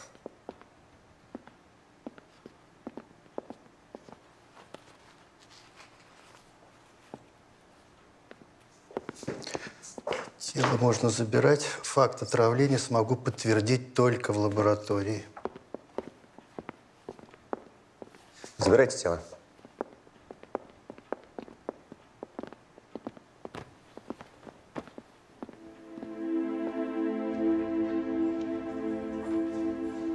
Снова убит Шулер. И снова карта. Пока нет доказательства, что первая жертва был Шулер. Уже есть.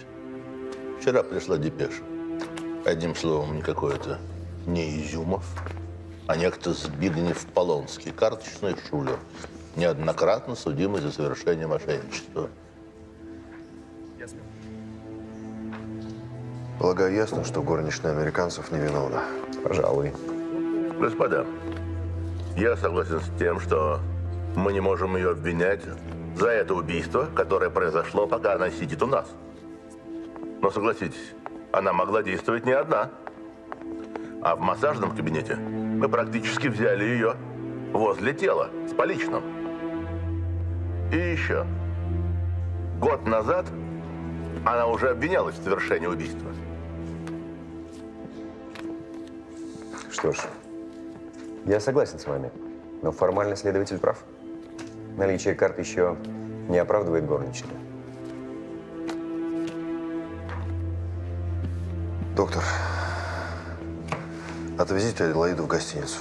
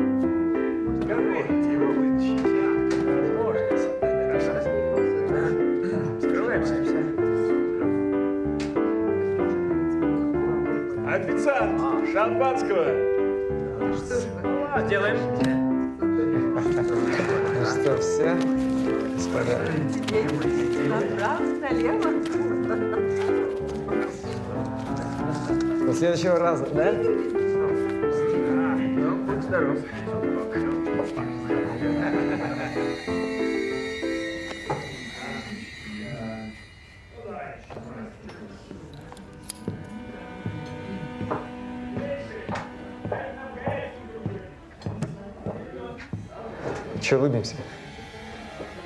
Нечестно играешь. А ты докажи. Как думаешь, если я расскажу им про твои фокусы, что они с тобой сделают? Слышь, Кто здесь главный? не понимаю, о чем вы говорите. Все ты понял. То пожалуй. Тише, тише, тише. Хорошо.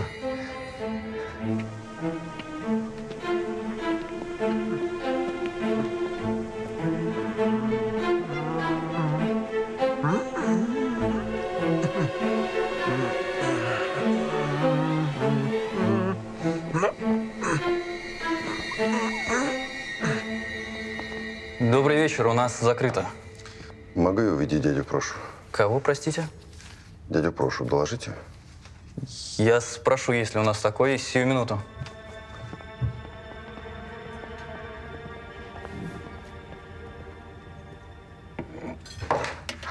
Прокофий Нилович вас примет. Прошу за мной.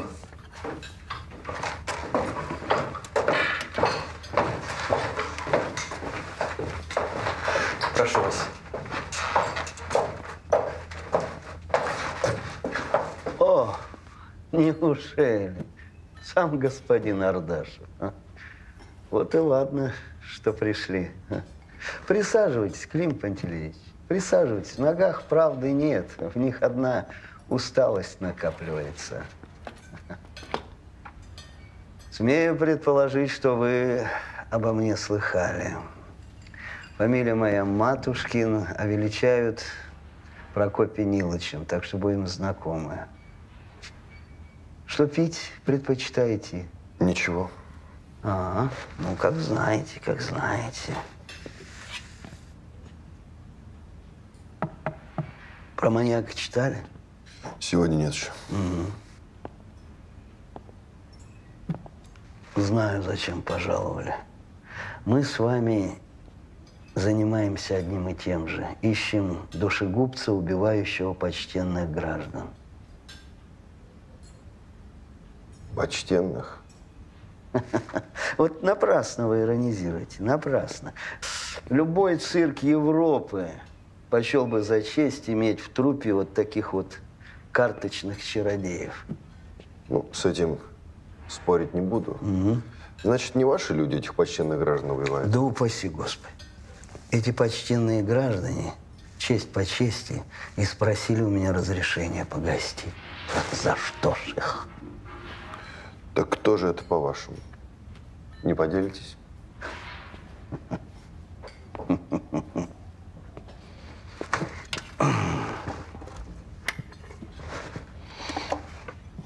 Прошу. Нет, благодарю.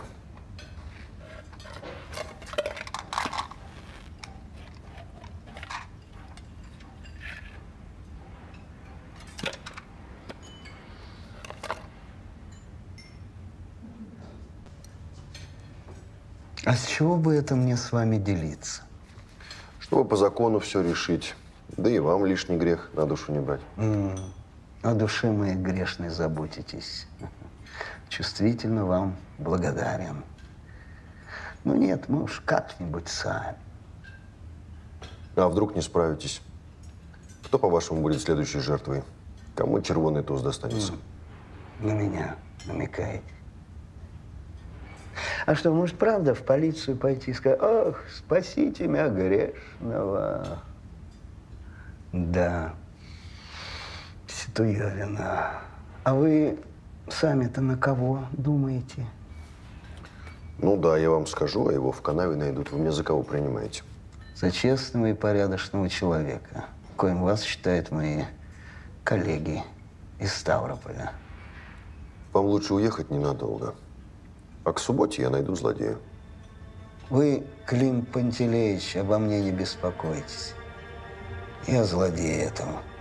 Не беспокойтесь более. Дело ваше. Доброго здоровья. Доброго здоровья. Да.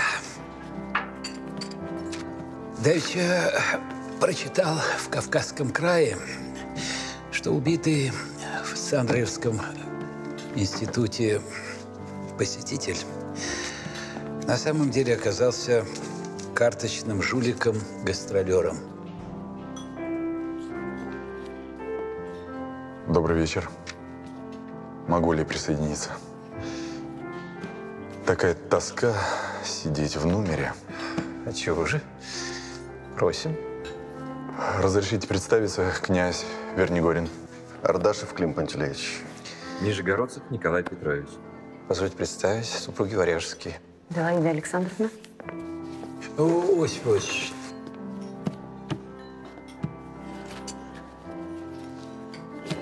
Сдавайте.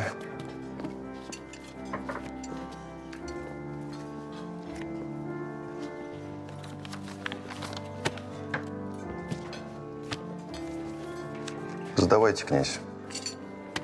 Кажется, мы все имели несчастье видеть драму графа Орловского.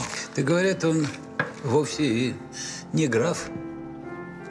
Ведь это вы разоблачили жулика, да? Там все было очевидно. На, пас. Вы разоблачили? Если вы про эти два убийства, то Тут все очевидно. Жулики режут друг дружку. Да, все может быть. Да, все-таки позвольте заметить, милостивые государыни и государи, 8 рубликов за сутки в номере этой гостиницы цена очень завышенная, да. Это почти что э, Добавляю. 21 французский франк или м, 17 э, немецких марок. Еще? Э, Там где-нибудь в Ницце или Шандау. Еще? Э, Комната, простите за выражение, с ватер-клозетом э, платит такие деньги. За границей все гораздо дешевле и лучше. Да. В Париже мостовые по утрам моют с мыльной пеной. И извозчики не матерятся, и не пахнет от них э, перегаром. Они не пьют, потому что у них тепло, а у нас без этого околей. Благодарю, господа. Было очень приятно. Пойду пройдусь перед сном.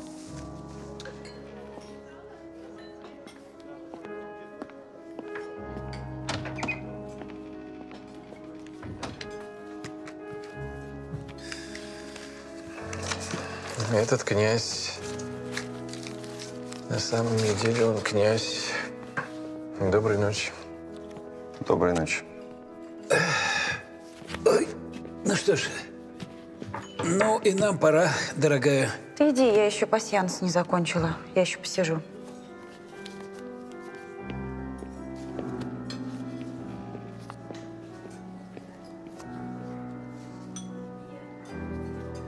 Хотите, я вам погадаю?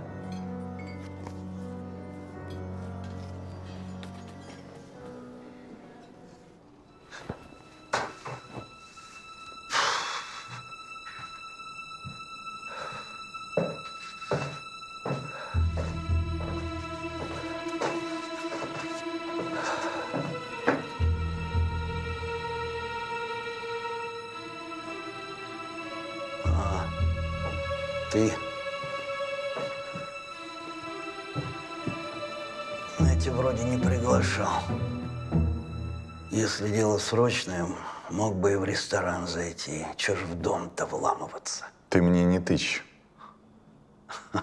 Прощения просим, ваше благородие. Скажи спасибо, что я тебя не сразу заметил, а то б и ружьишко со стены снял. Слушай сюда, тварь болотная. Еще раз упырей своих пришлешь, отправишься вслед за ними. Уразумел? Уж больно вы обидчивый молодой человек.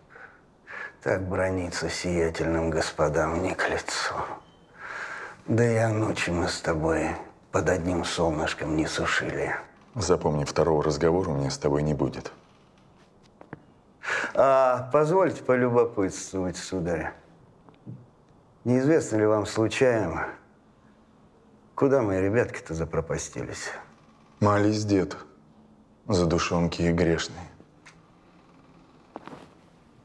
Ну да приятного свиданица. А с чего это вас синий кирасир? Чудно.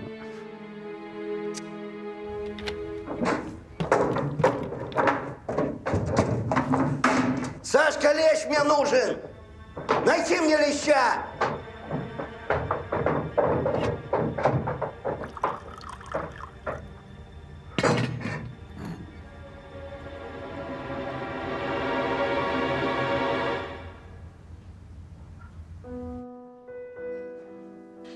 Улыбаетесь?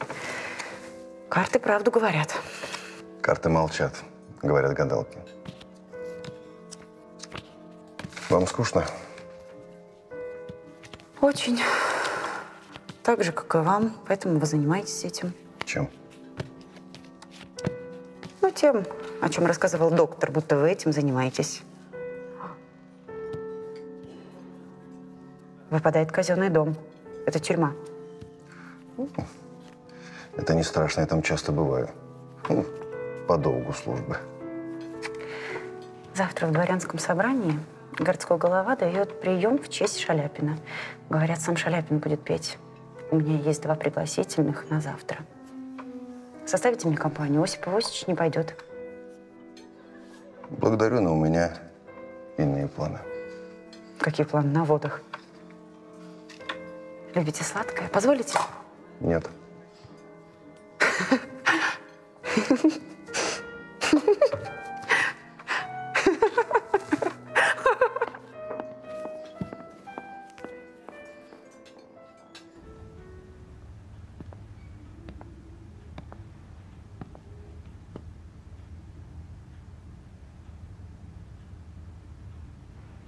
Ну, что ты целишься в меня своими зенками, как будто дулом водишь? Да я, Порфирий Ильич, не со зла. Взгляд у меня с детства такой, еще мать покойница об этом говорила. Как бы знала бедная женщина, какого упыря на свет произвела, она б тебе в колыбели задушила. Слушай меня внимательно. В Кисловодске появился синий кирасир. Поселился в метрополе в двенадцатом номере. Пора с ним кончать. Смотри, не своевольничай, чтоб без пыток. А как уделаешь злыдня, рядом это оставишь.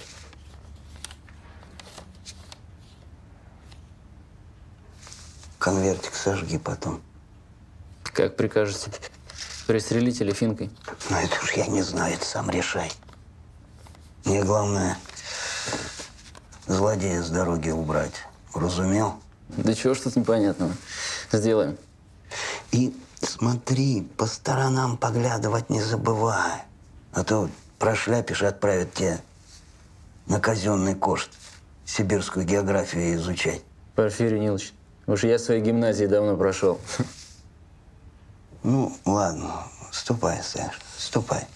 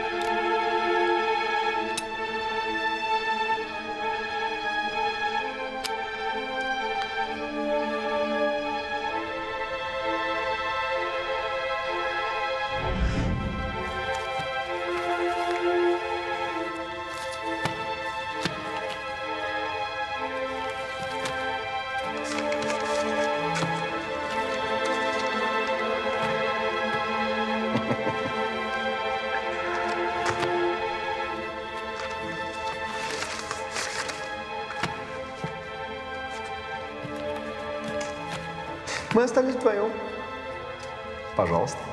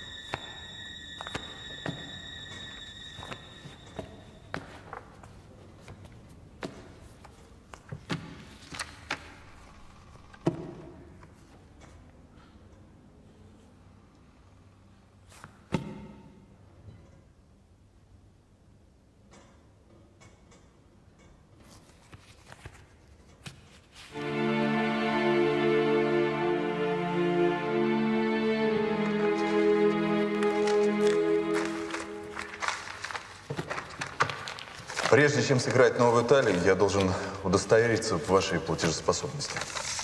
К сожалению, векселей у меня больше нет, но я готов составить долговую расписку на недостающую сумму. Я вам говорил, что у меня есть кожевельное дело. Господа? У меня годовая прибыль 500 тысяч. Мне нет никакого дела до вашей фабрики. Я человек далекий от скорняжного ремесла. Мы попросту тратим время. Извольте расплатиться за проигрыш.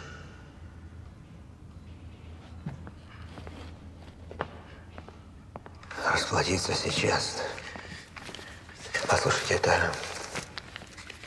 Это положительно невозможно. Даже если я сейчас соберу все деньги и, и драгоценности, я все равно смогу погасить только часть долга.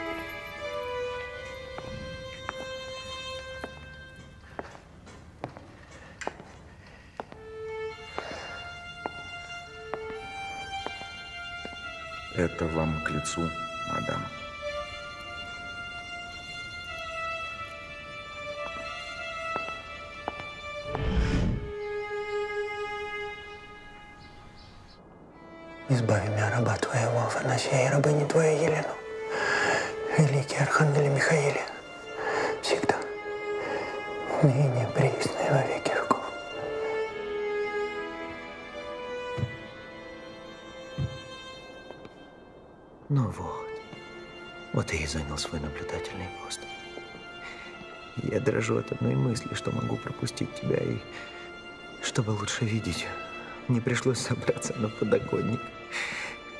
Наиначе всего я боюсь, что ты заблудишься и пойдешь не по той тропинке.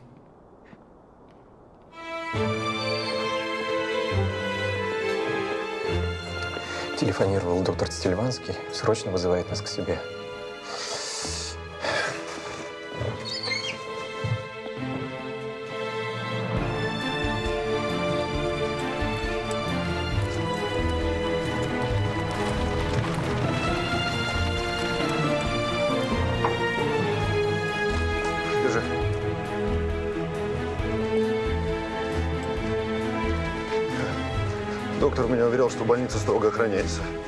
Думаете, эти рисунки больному кто-то приносит? Почему бы и нет? Сюда может пройти кто угодно. Господа, как хорошо, что вы приехали. Проходите. Вчера у меня был следователь. То есть и второе преступление с червовым валетом сбылось. И, и по некоторым вопросам следователя я понял, что он и меня подозревает. Меня. Мне нужна ваша помощь, Клим Пантелеич. Я боюсь, что без вашей помощи этот следователь меня укатает. Я готов помочь. Могу я взглянуть на записи наблюдений? Конечно. Ну, Я все-таки материалист и в мистические способности не верю. Тут должно быть очень простое и прозаичное объяснение. Понятное дело, что Фортушина не могло быть ни в Цендеровском институте, ни на даче у Кавериной. Стало быть, убийство совершает либо кто-то из медперсонала больницы, либо тот, кто приходит извне. Это я и говорил. Теперь все будут думать именно так. И будут подозревать, подозревать всех нас, медиков. Ну, на это разве только что следователь Боголепов способен. Этого достаточно. Ой, хотелось бы поточнее знать, что же все-таки явилось причиной помешательства Фортушина. К сожалению, он поступил сюда задолго до моего перевода в Кисловодск. И, как я уже говорил, все ранние бумаги не сохранились. Могу я поговорить с ним еще раз? Да, конечно.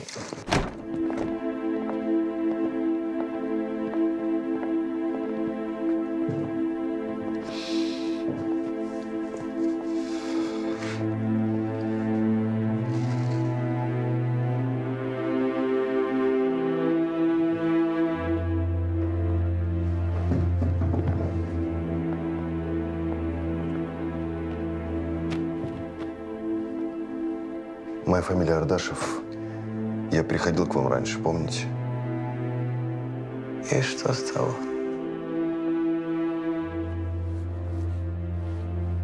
Я хотел поговорить с вами об одном деликатном деле. Вот.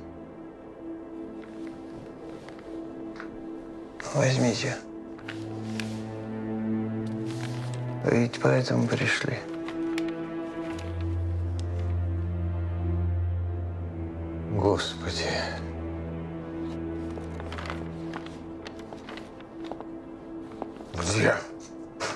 Произойдет убийство? А! Где?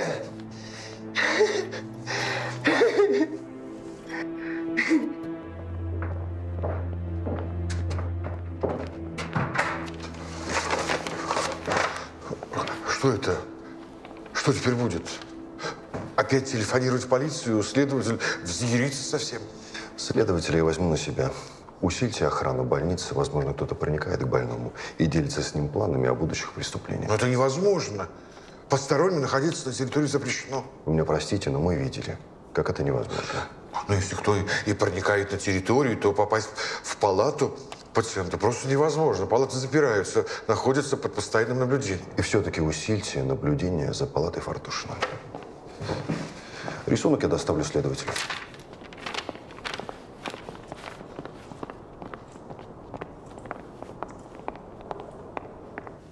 Одному дается слово мудрости, другому слово знания тем же духом, иному пророчество. Вы же самый непримиримый скептик, из которых я только встречал. Неужели вы поверили, что бывший нотариус – пророк? Убийство произойдет сегодня на званом вечере городского главы.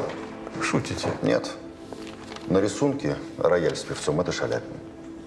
На званом вечере будет все высшее общество Кисловодска.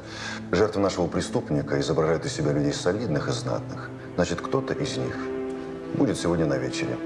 Там наш преступник попытается их достать. Нужно срочно оповестить полицию. У вас пистолет имеется? Пистолет? Да. Нет, никогда не было. Охотничье ружье есть, двустволка, дома. Ну, значит, пойдете без оружия. У нас всего пару часов. Нам надо поторопиться.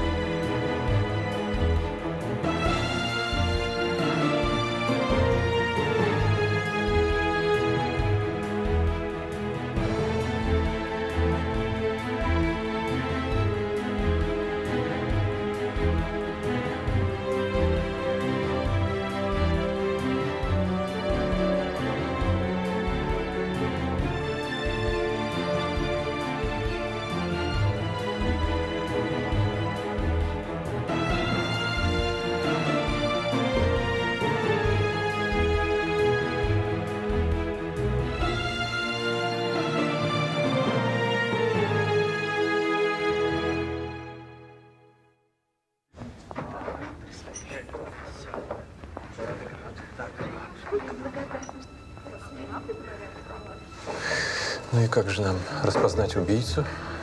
Только наблюдать и надеяться, что он выдаст себя как-то. Благодарю. Как? Просто смотрите по сторонам, доктор, и примечайте что-то странное и необычное.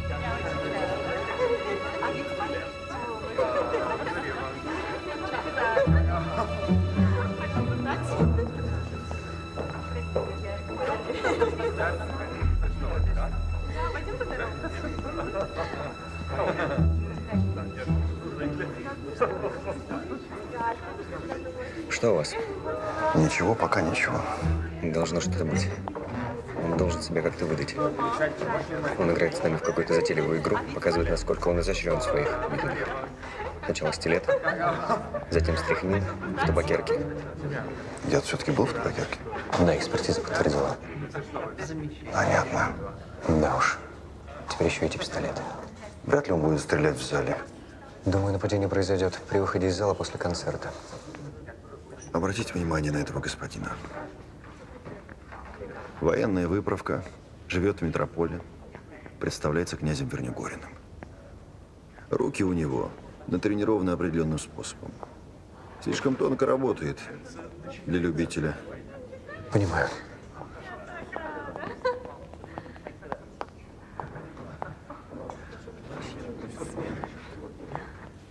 Николай Петрович, добрый день. Госпожа Каверина. Очень рада вас видеть снова в наших краях. Скажите, а этот господин, это адвокат Ардашев?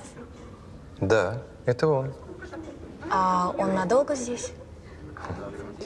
Приехал попить водички. Приятного вечера. Благодарю.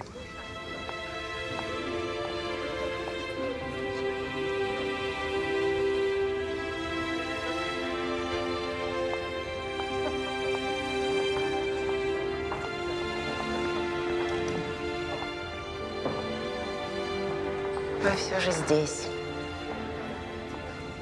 Доктор затащил меня. Я вижу, вам общество доктора куда приятнее моего. Ну что вы, просто общество доктора, оно неизбежно, как смена дня и ночи или времен года. А меня, значит, можно избегать.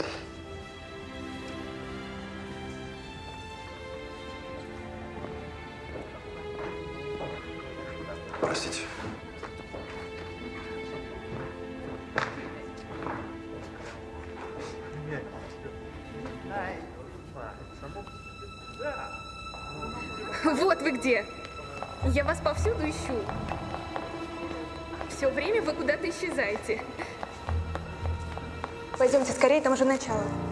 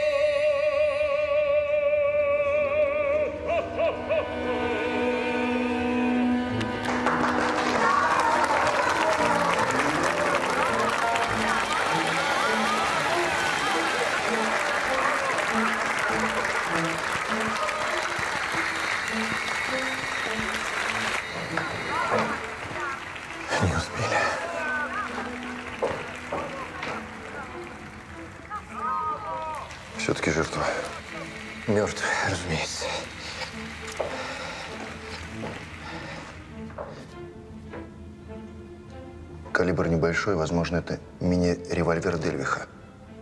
Из-за овации ничего слышно не было. И снова что-то искали на груди.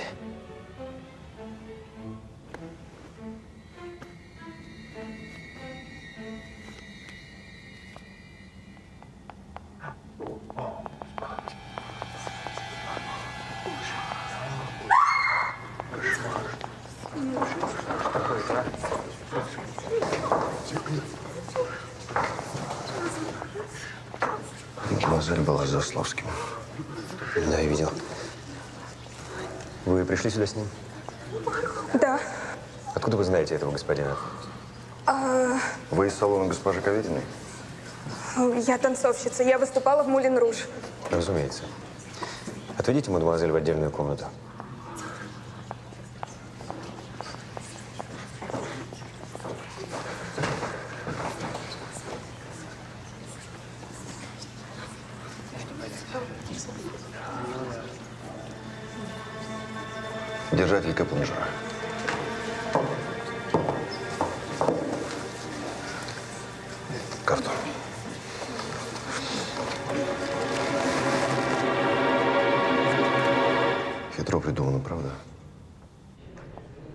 Танцовщица. Я выступала в Мулин Руж. Это мы уже слышали.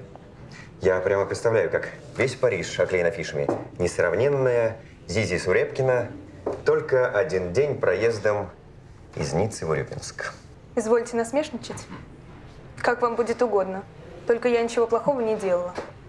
Где вы находились в момент убийства господина Заславского? А в какой такой момент? Я не знаю, когда был этот момент. Я сидела, слушала волшебный голос господина Шаляпина. Господин Заславский стоял позади, за спинкой моего кресла. А потом все вскочили, начали аплодировать, ну и я тоже. А потом гляжу, его нет, господина Заславского. Ну а потом вы сами знаете. Как давно вы были с ним знакомы? Вчера познакомились. Там же, в борделе у Кавериной? Зачем вы меня оскорбляете? В пансионе госпожи Кавериной я снимаю комнату. Нас представили. Да-да. Скажите, что вы знаете о роде деятельности Заславского? Кажется, он какой-то газетчик или что-то в этом роде. А в момент овации вы покидали зал? Нет, что вы. Я только и смотрела на господина Шаляпина и хотела подойти, чтобы взять автограф, ну куда там. Дежурный!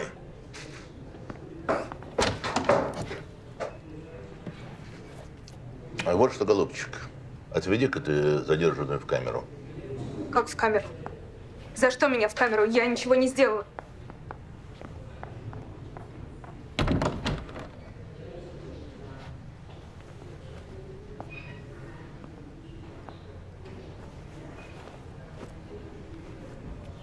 Напомните мне, за что мы задержали эту девицу?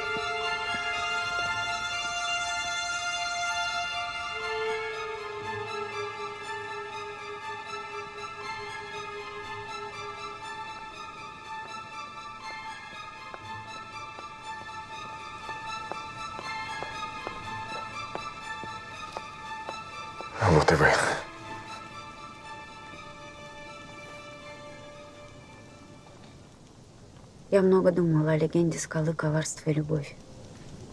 Это и впрямь очень печальная история. Могу ли я надеяться еще на одно свидание? Да. Но пусть оно состоится там. Там? Вы готовы отправиться туда? С вами... С вами хоть на край света. Когда, душа моя? Всему свое время. Не торопите меня. Нужно, чтобы он не мешал нам. Я пришлю вам записку и назначу рандеву. А сейчас я должна идти. Я провожу вас. Не стоит.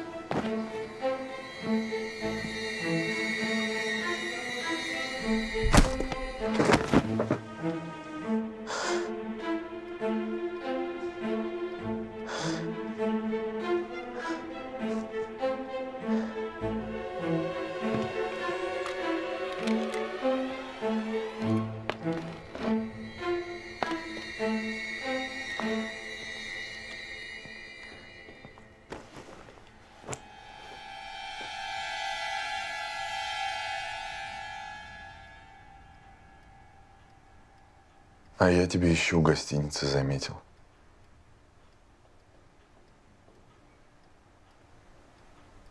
Сам догадался или кто надоумил?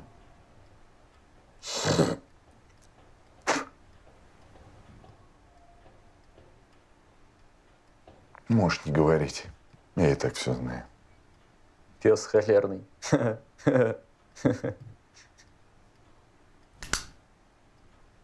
Ты лучше помолись, а то черти уже ждут. Не тебе мне проповеди читать. Ты сам одной ногой в могиле. Так что скоро свидимся.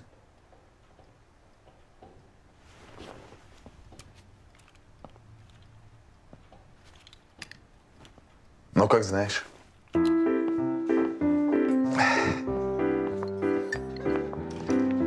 Доброе утро. Доброе утро. Приятного аппетита. Благодарю. Какие новости? У нас две новости. Полиция хочет привлечь гипнотизера, чтобы допросить Фартушина. Какая бессмысленная затея. Мы приглашены. А вторая новость? Госпожа Каверина хочет видеть вас. Зачем? Ну, вероятно, хотела бы с вами переговорить. Интересно. Да, это очень известная особа в округе. Казино, мюзик-холлы, публичные дома, семь дач, девочки, карты, рестораны. Хотя официальная игра разрешена только в Мавритании. Полиция уж была хотела привлечь ее, да куда уж там. Очень высокие покровители. И она решила пригласить меня через вас. А мы старые знакомые. Вероятно, какая-нибудь деликатная тема. Она ждет нас в Сандровском институте. Господа, прошу прощения, закрыто. Пропусти.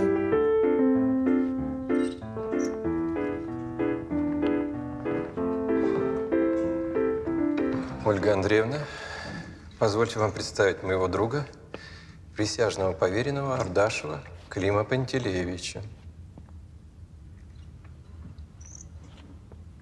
Я вынуждена просить вас о помощи, Клим Пантелеич. Как вам известно, по подозрению в убийстве полиция арестовала француженку, главную исполнительницу мюзик-холла Мавритании. Я беспокоюсь о ее судьбе и хотела бы просить вас взять под свою опеку невинно обвиненную. А что, если она является соучастницей преступления? Поверьте, Зизи никак не могла совершить такого злодейства. Тем более, как это странно, убивать клиента, заплатившего за три дня вперед. Звучит вполне разумно. Я очень рада, что вы на ее стороне. Я готова предложить вам аванс в пять тысяч рублей. Благодарю вас, но в деньгах нет никакой надобности. Я думаю, что все убийства совершает один и тот же человек. К тому же я уже взялся за это дело. Зачем же платить мне дважды? Но дело не только в Зизи. Все эти преступления несут значительный вред репутации кавказских вод. Боже упаси, если курорт опустеет. Многие едут в Кисловодск не только, чтобы пить нарзан, но и попытать счастье в игорных домах. Но это уж мы понимаем. Мои высокопоставленные друзья очень хотели бы, чтобы вы, используя ваш талант, как можно быстрее нашли настоящего убийцу. Мне не стоит повторять дважды. Я сделаю все возможное. В свою очередь, хотел бы попросить вас об одолжении. Да? Все, что могу. Собери вещи.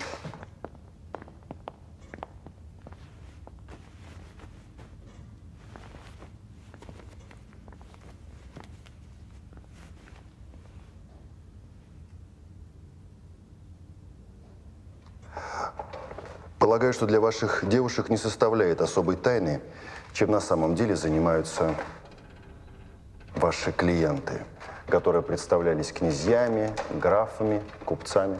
Что вы имеете в виду?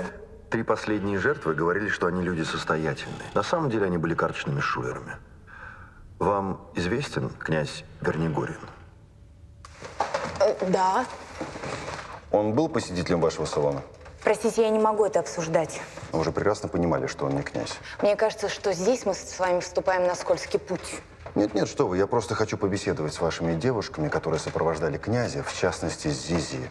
А вы им, в свою очередь, скажите, чтобы они были со мной максимально искренне. И что вы хотели узнать? Что у него на груди? Простите. Особые приметы. Ожог, родимое пятно, шрам. Я думаю, что вашим девушкам это известно. Я постараюсь вам помочь. Благодарю вас. Проводи господ.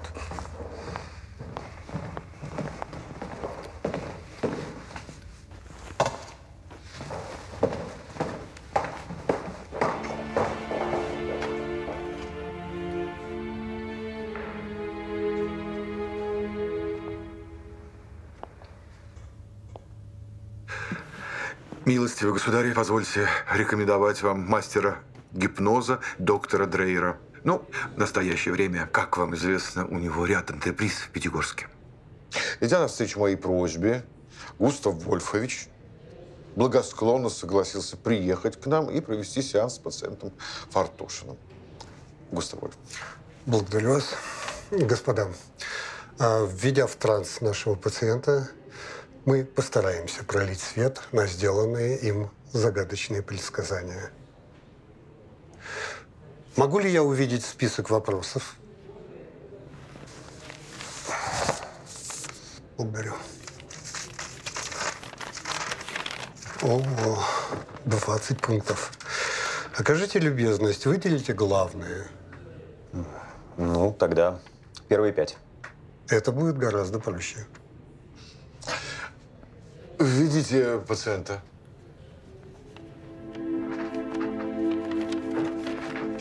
Афанасий Милентьевич, присаживайтесь. Нам надо с вами переговорить.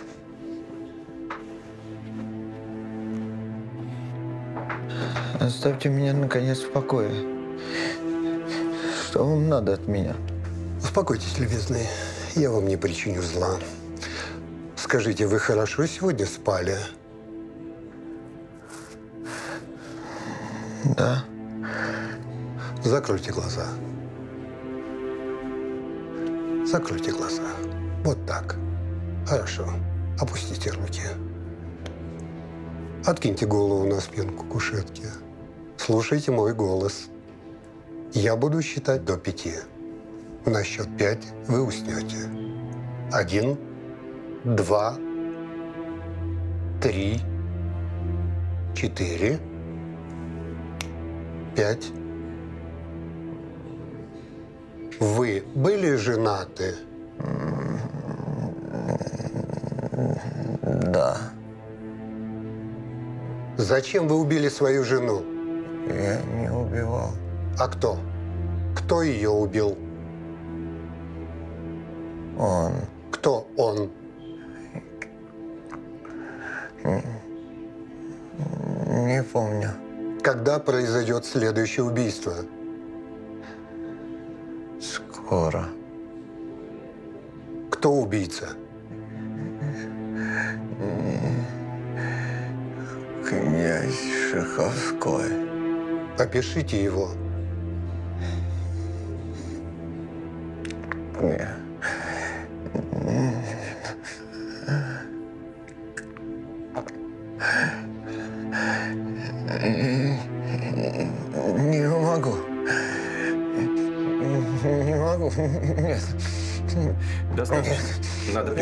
Сеанс. Не могу. Нет. Прекратите сеанс. Откройте глаза. Санитар! Уведите пациента в палату. Я не сумасшедшая. Я всегда говорил, что она придет. Она пришла. На улице был дождь. Уж не знаю, помог ли я вам или нет, одно скажу. С этим человеком работать было очень сложно.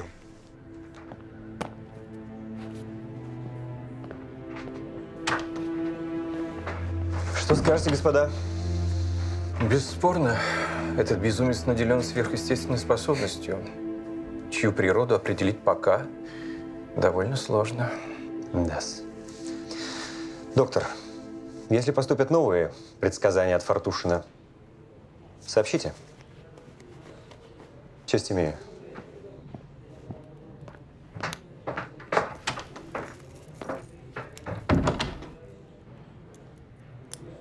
Об этом заведении есть случаем колода карт? Карт? Да, именно. Вот, э, извольте. Вы держите карты у себя? Да, что? Нет, ничего. Что вы задумали? Хочу что заложить? Здесь? Нет, в палате Фартушина хочу сыграть с ним. С ним? Да, наедине. Что-то же опасное, как врач не могу согласиться. Да, в самом деле он еще не оправился от этого гипноза. В таком случае я отказываюсь от расследования. Хорошо. Но мы будем стоять за дверью. А как долго вы собираетесь пробыть с ним? Я думаю, что ждать меня не имеет никакого смысла. Санитаров я вызову сам. А вы, Николай Петрович, отправляйтесь в гостиницу. Я думаю, что я задержусь здесь надолго. Хорошо, вас проводит Фартушин санитар. Он же будет дежурить в коридоре возле двери и прибежит к вам по первому зову.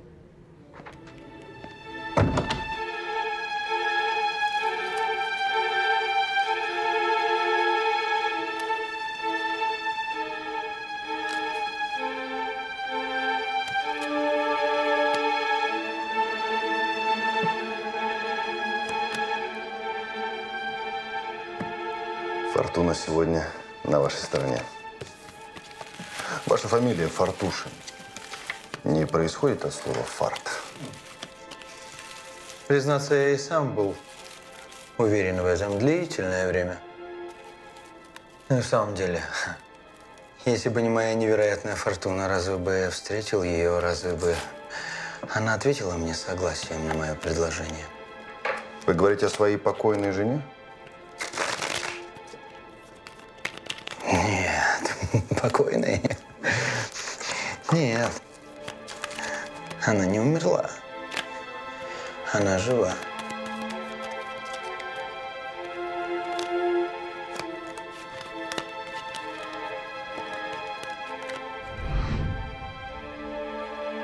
Уважаемый Афанасий Милентьевич, я бы на вашем месте приостановился. Сегодня Фортуна не созвучна вашей фамилии. Такое часто бывает. Но я готов сделать благородное дело и вернуть вам вексель. Вернуть? Да, но при одном условии. При каком же?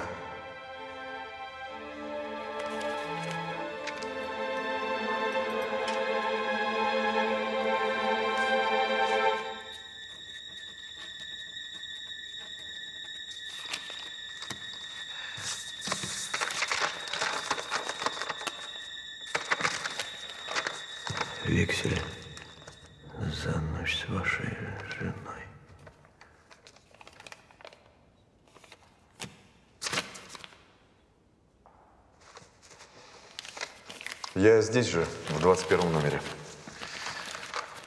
Потрудитесь ответить в течение часа.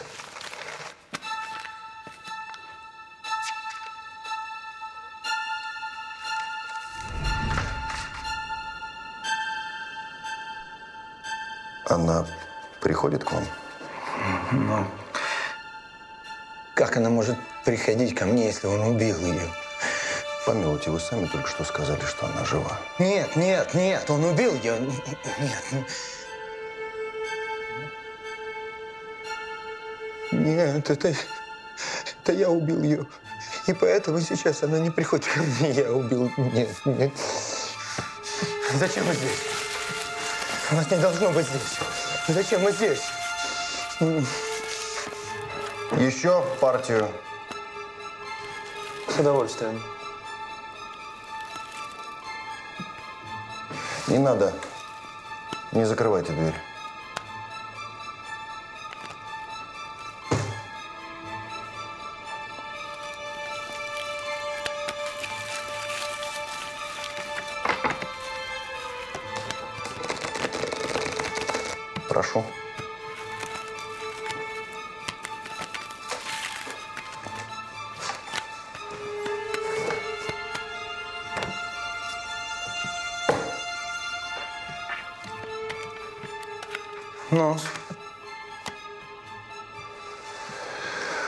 Пишете ей письма? пишу. Это все, что мне остается. А кто же их доставляет? Птицы. Иногда доктор Стильванский, но птиц я предпочитаю больше голубей. А рисунки для кого вы их делаете? Он умрет. Я рисую его смерть, а значит, он должен умереть. Он тот, кто убил вашу жену? Да. Нет, но... Да, нет. Я... Нет, но... Это я убил ее.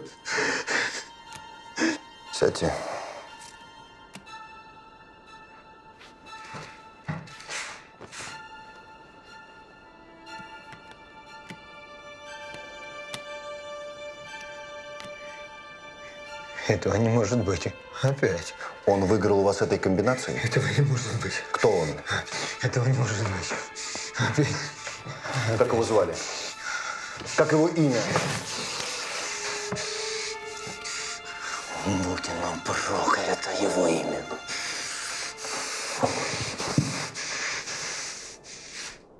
Это был князь Шаховской.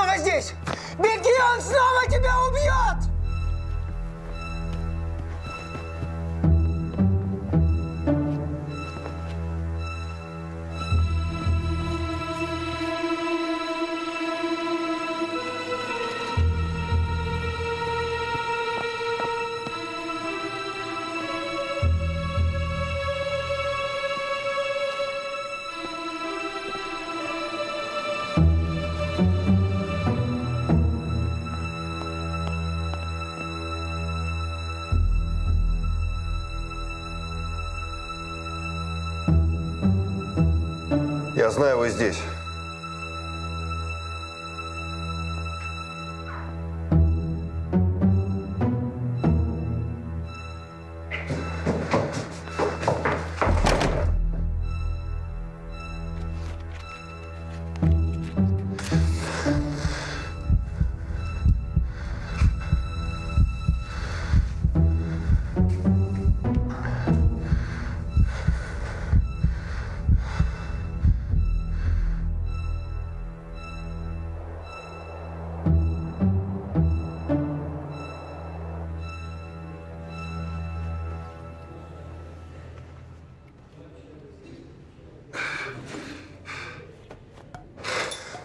Очнулись. Ну, славьте Господи, я за доктором.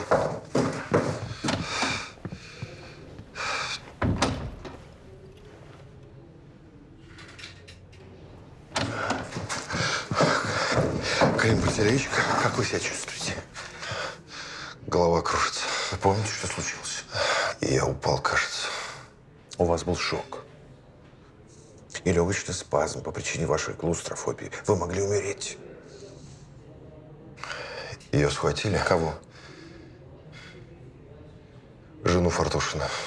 Помилуйте, Клим Пантелеич, что вы такое говорите?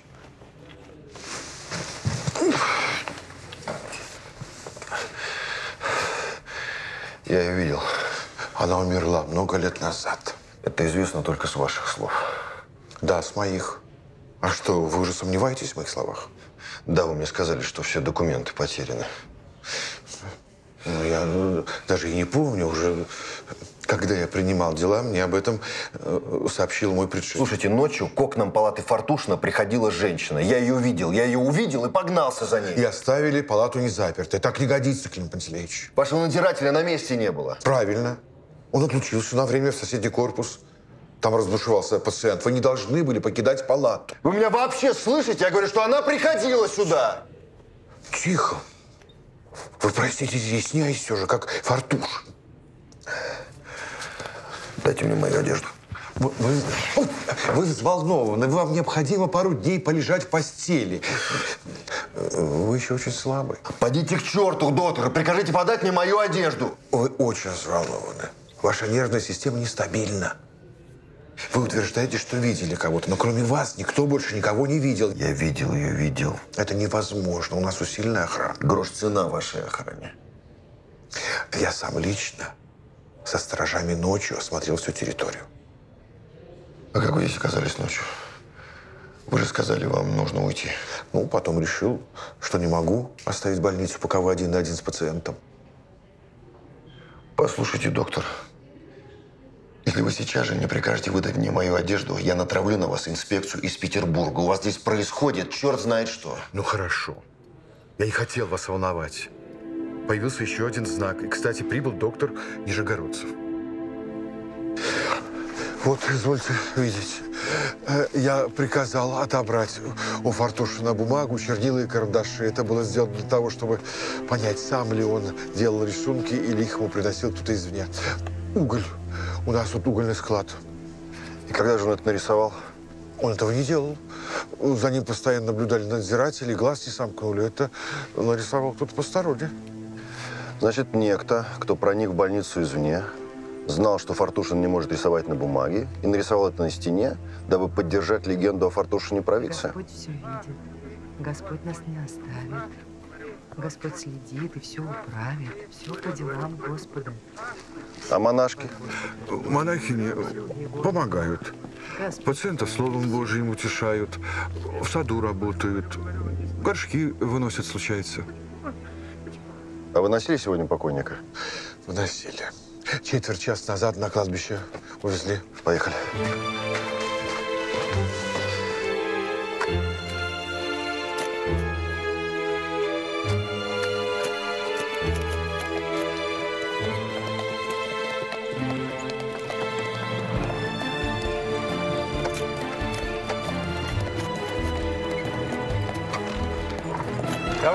хороните?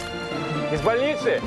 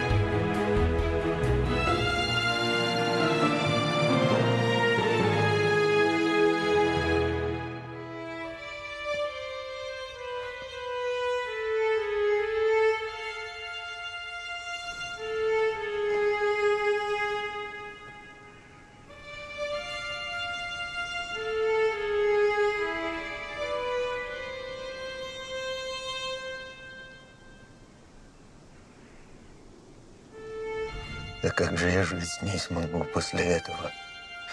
Вы...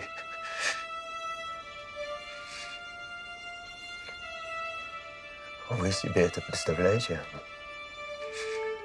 А? Да что вы стоите и молчите, как истукан? Вы же... Вы же жизнь мою уничтожаете, вы же без ножа меня режете. Но неужели у вас не найдется хотя бы талика сострадания?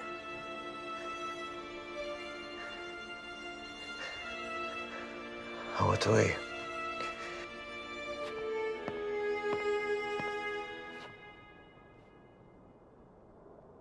Представьте, каково мне на мгновение как бы вы поступили на моем месте? Я? Застрелился бы.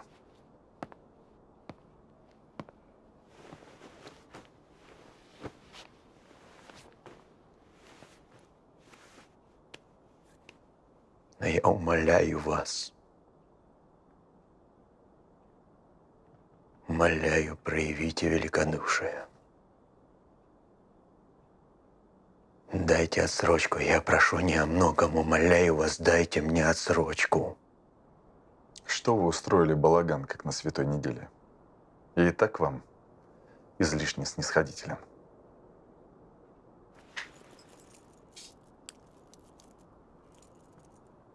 Для принятия решения у вас осталось не более 20 минут.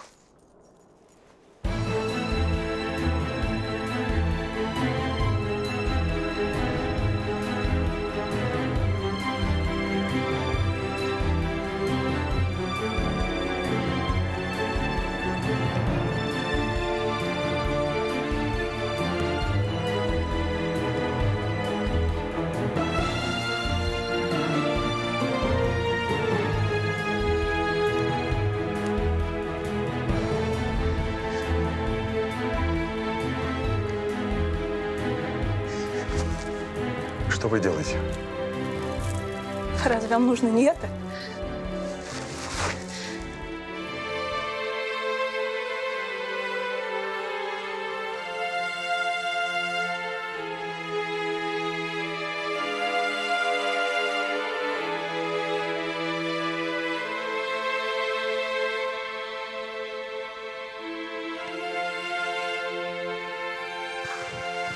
Вы странный человек. Отказались от целого состояния, чтобы вот так просидеть со мной всю ночь? А вам плохо со мной?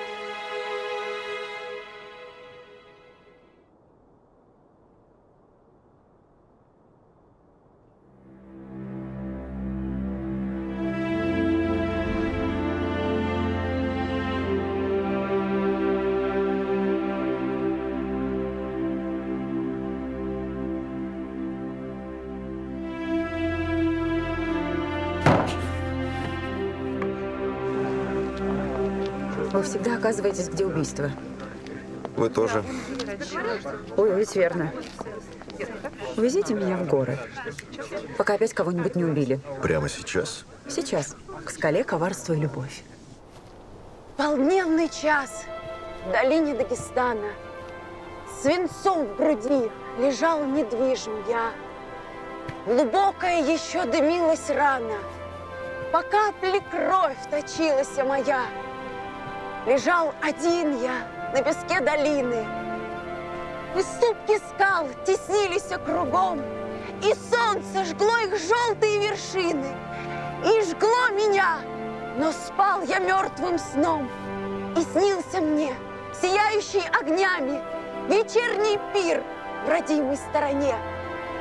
Меж юных жен, увенчанных цветами, Шел разговор веселый обо мне.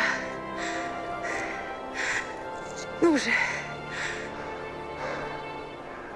Но в разговор, веселый, не вступая, сидела там задумчиво одна, и в грустный сон душа ее молодая, бог знает чем, была погружена.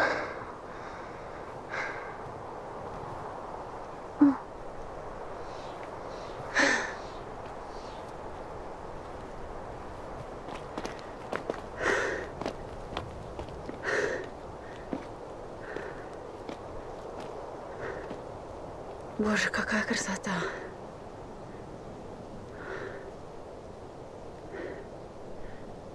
Посмотрите.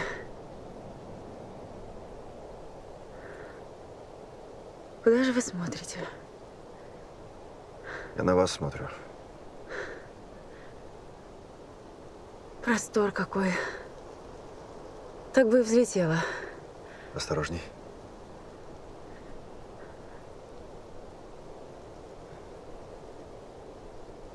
Боитесь? Нет. Высоты я не боюсь. Тогда идите сюда.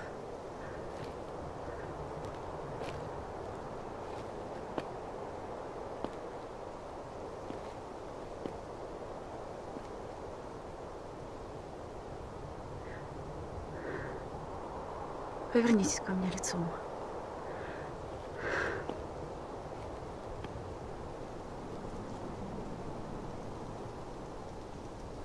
Помните ту легенду про двух влюбленных? Полюбили когда-нибудь так, чтобы в пропасть, без оглядки?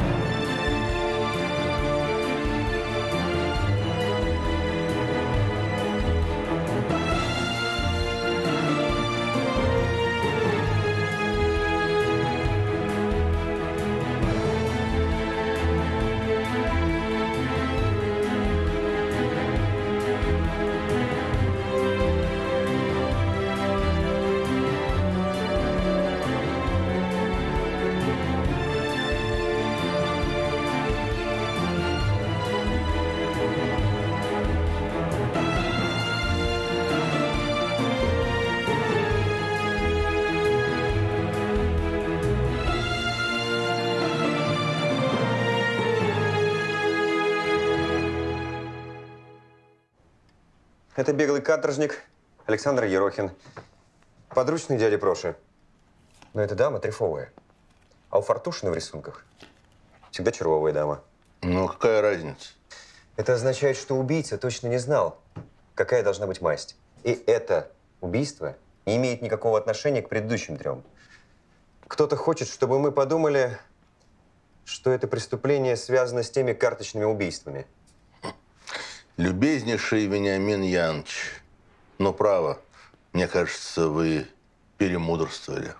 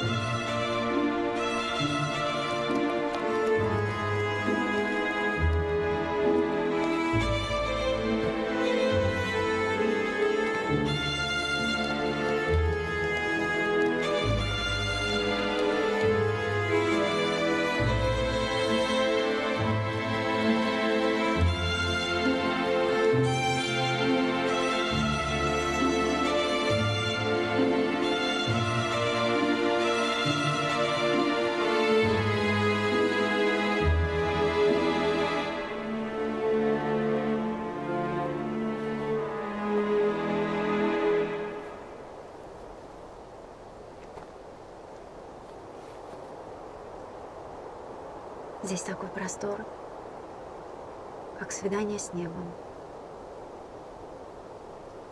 Десять лет назад я встретил одну даму. Кстати, весьма похожую на вас. Ее муж – самодовольный болван, азартный картежник. Проиграл мне однажды сумасшедшие деньги, которых у него не было. А чего вы дрожите? Здесь не жарко.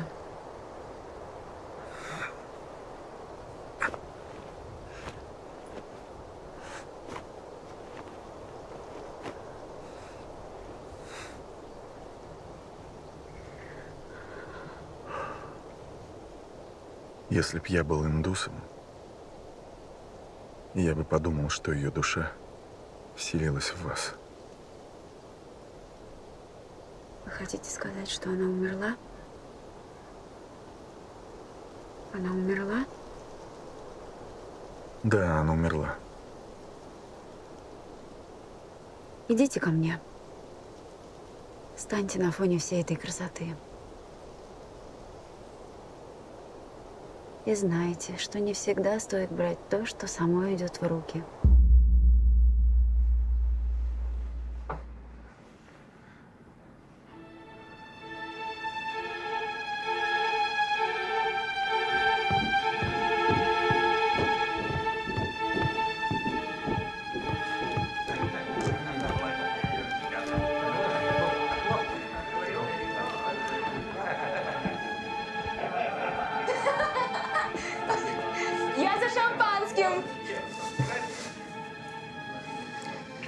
Сыщик, вы за мной следите? Во-первых, я не сыщик. А, да-да, присяжный поверенный. А как вы меня нашли? Я вас не искал, но вы мне нужны. Да, госпожа Каверина меня предупредила. Ну и что вам угодно? Вы были с князем Вернигориным? Ну, допустим, и что? Госпожа Каверина предупреждала вас, чтобы вы были сговорчивее. Предупреждала. Да, я была с князем Вернигориным. Вы знали, что он игрок? Да, знала. Пожалуйста, вспомните, что у него на груди. А, на груди у него два шрама. Один сумасшедший игрок как-то ударил его ножом два раза, но не сильно. Благодарю вас, Зизи.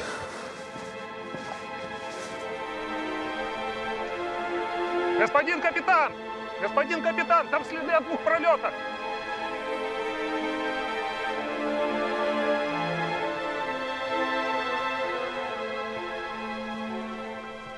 Господин капитан, там следы от двух пролеток. Хорошо.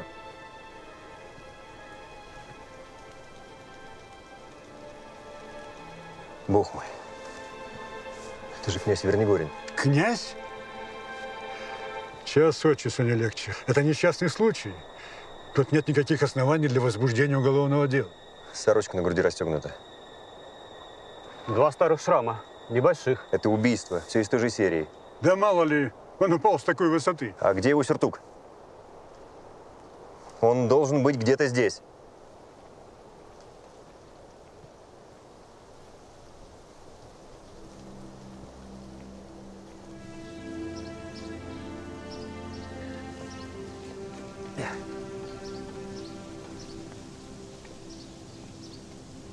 Доброе утро, Клим Пантелеич. Доброе утро. Доброе утро.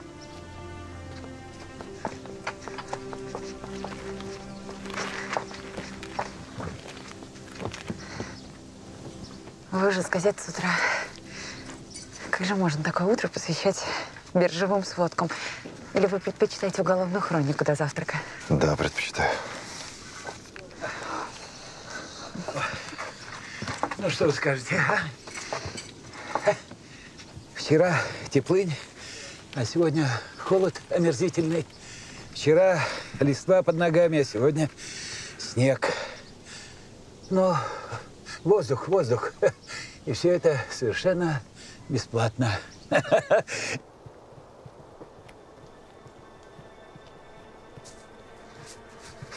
Вот он. Так. Господи, опять дама. Да, но на этот раз червовая, но опять из клозетной колоды. Однако постойте. Вот.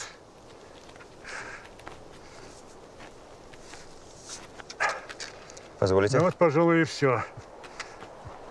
Смотрите, дамский платочек.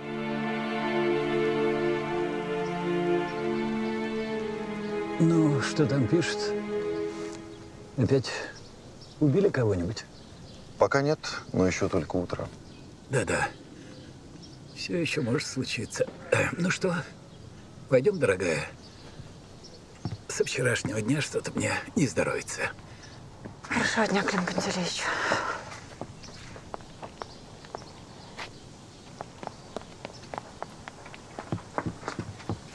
Когда мы увидимся? Нам не нужно больше встречаться.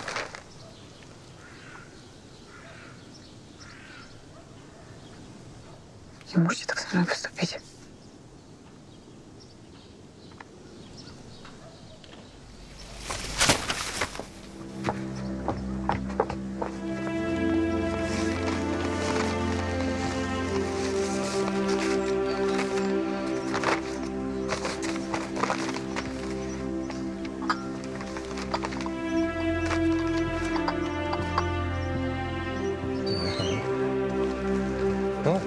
Пожаловал? Здравствуйте. Добрый день, господа. Добро пожаловать в наши пенаты. Клим Пантелеич, позвольте вас на два слова. Вот что теперь делать? А если у вас Извинись перед господами. Ты все понял, башка твоя дурная? Понял, все. Иди быстро. Позвольте полюбопытствовать. Была ли с вами вчера Аделаида Варяжская между тремя и пятью часами дня? Со мной? Ваша компания.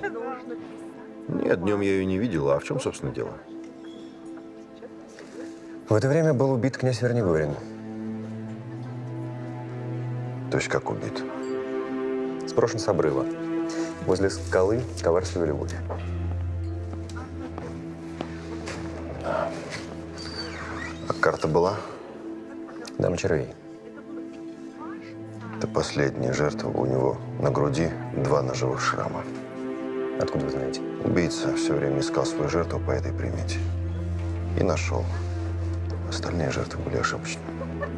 Полагаю, вы правы. А при чем здесь госпожа Варяжская? Насколько мне известно, она была в Цандеровском институте в момент первого убийства. Была на даче у Кавериной. Также присутствовала на вечере Шаляпина. Не извините, но по такой логике можно и нас с доктором подозревать. Бросьте. А вас, слава богу, речь не идет. Да какие основания? Я... Вы видели у госпожи Вряжской такой платок? Я не обращал внимания на ее платки. Вы думаете, это ее платок только потому, что там инициалы АВ? А вот я сейчас у госпожи Варяжской это и спрошу. Я пойду с вами.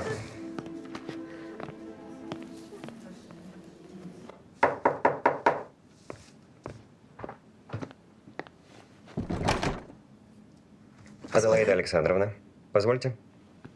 У меня к вам несколько вопросов. Каких вопросов? Что случилось? Э, чем обязаны, господа? Осип Осипович, прошу прощения, несколько вопросов к вашей супруге. Скажите, где вы были вчера с трех до пяти часов пополудни? Здесь, в номере, разумеется. Потрудитесь объяснить, в чем дело. Осип Осипович, вы подтверждаете, что ваша супруга была здесь? Разумеется. Мы ложимся спать днем. И когда я уходил к себе около трех, Аделаида была уже в постели. Вы сказали к себе. Что это значит? Ну, в свой номер. Мы снимаем два номера и спим в разных номерах. А, видите ли, я храплю безбожно и с носовым свистом. Получается, что с трех часов дня и до самого утра вы супругу не видели? Ну, я был в номере, плохо себя чувствовал. Потрудитесь объяснить, в чем дело, или покиньте номер. Еще один вопрос, и я все объясню. Скажите, это ваш платок? Мой, откуда он у вас? Когда вы в последний раз были у скалы коварства и любовь? Я там еще не успела побывать. Каким же образом ваш платок очутился там, в ущелье, рядом с телом погибшего князя Вернигорина? Князь, он погиб? Убит, я полагаю. Так каким образом там очутился ваш платок?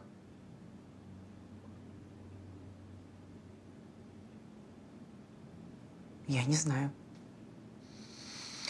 В таком случае вам придется проехать со мной в участок для дачи показаний.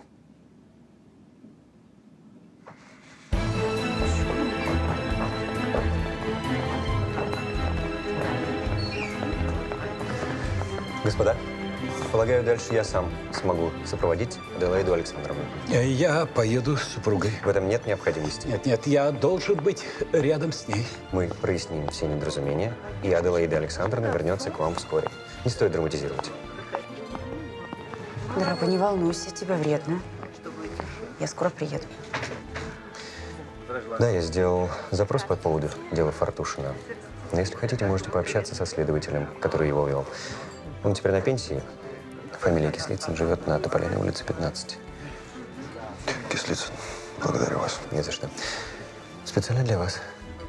Сделал запрос в управлении. Но, полагаю, теперь это уже не имеет значения.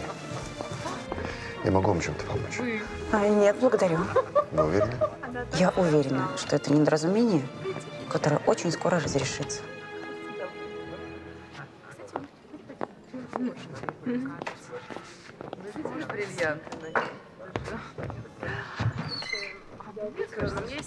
Вот эта история.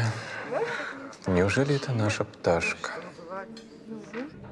Аделаида Александровна Варяжская года.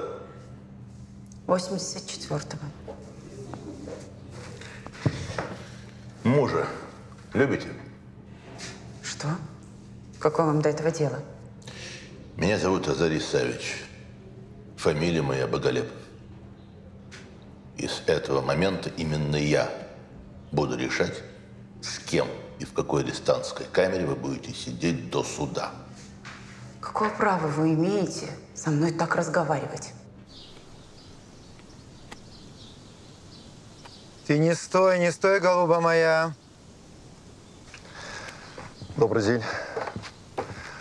Моя фамилия Ардашев, Клим Пантелеевич, я присяжный поверенный. Я хотел бы поговорить с вами об одном вашем прошлом деле. Прошу вас. Благодарю.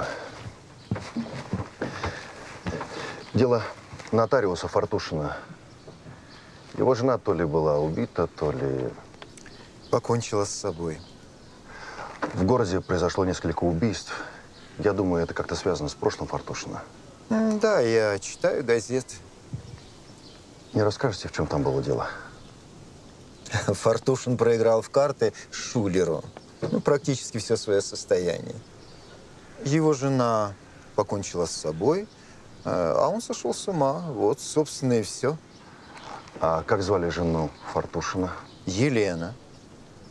А в девичестве Лаврова. Да. А у нее есть родственники? А, Тогда по моему вызову приезжала мать э, с младшей сестрой. А вдруг у вас остался адрес? Э, Да, конечно, в, в моих записях. Сейчас посмотрим.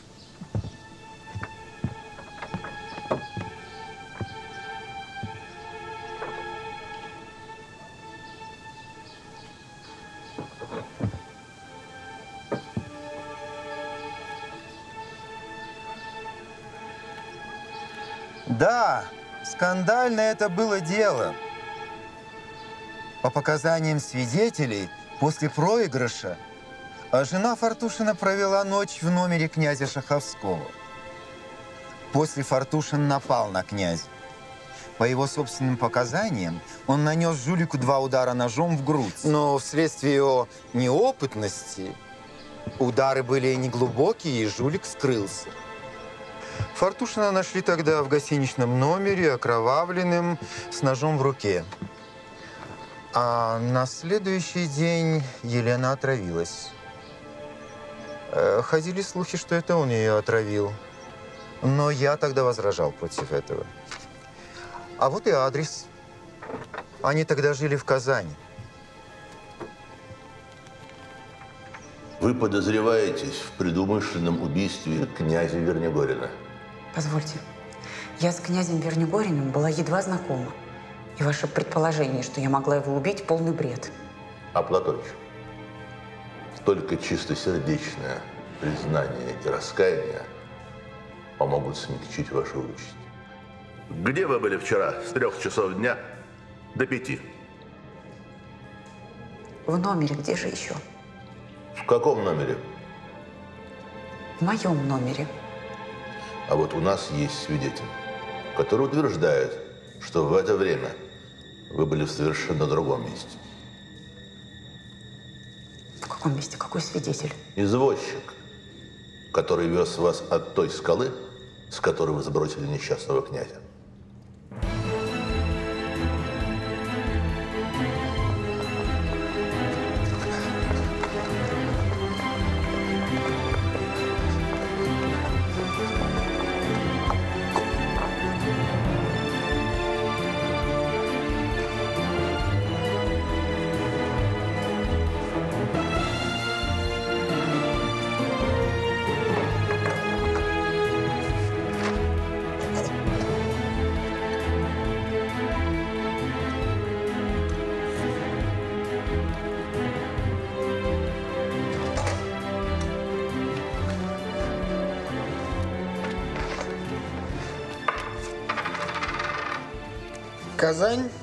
Улица Мещанская, 28. Лаврова Анне Кузьминичне, верно? Да, все верно.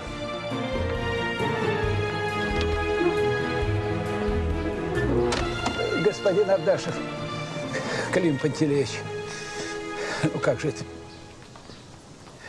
Ее арестовали, ее держат в камере, и они всерьез думают, что она убийца. Вы ее видели? Видел, разрешили свидание. Аделаида в камере. Это ужасное зрелище. Сделайте что-нибудь, э, найдите убийцу. Вы же это можете. Я вас нанимаю. Я заплачу вам э, любые деньги. Ну, не любые, конечно. Ничего не нужно. Я и так делаю все, что могу.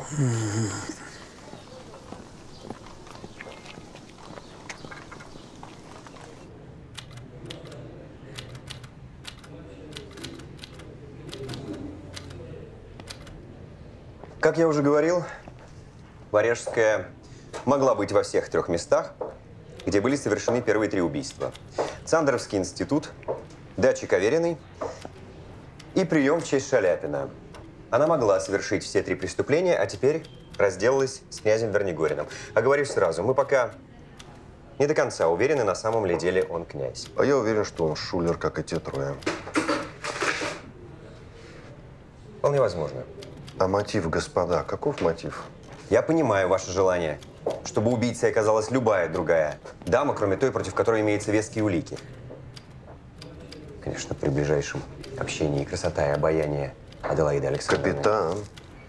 Платок. Откуда там ее платок? Дайте мне свидание с ней, и, возможно, вы узнаете. Это, конечно, против правил. Но для вас и для вас.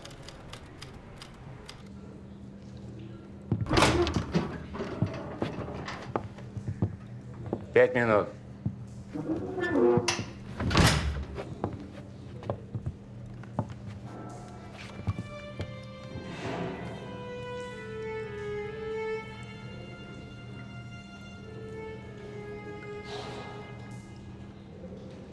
Вы пришли? Нужно рассказать им, как там оказался ваш платок.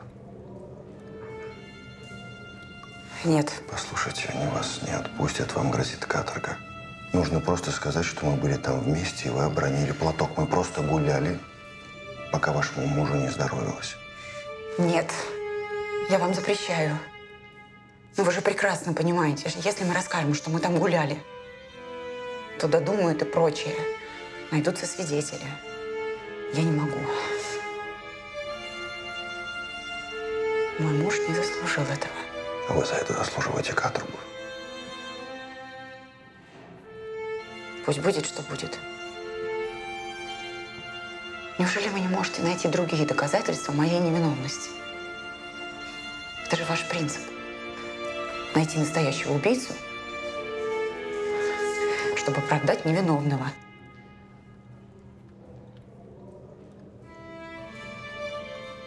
Охрана. Мне очень жаль, Браун. Меня? Или того, что между нами было?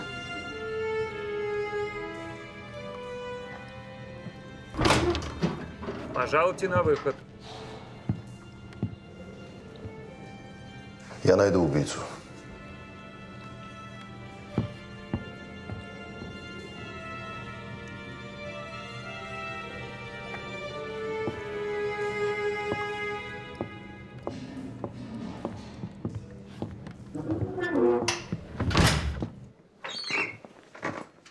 Господин Ардашев, вам письмо.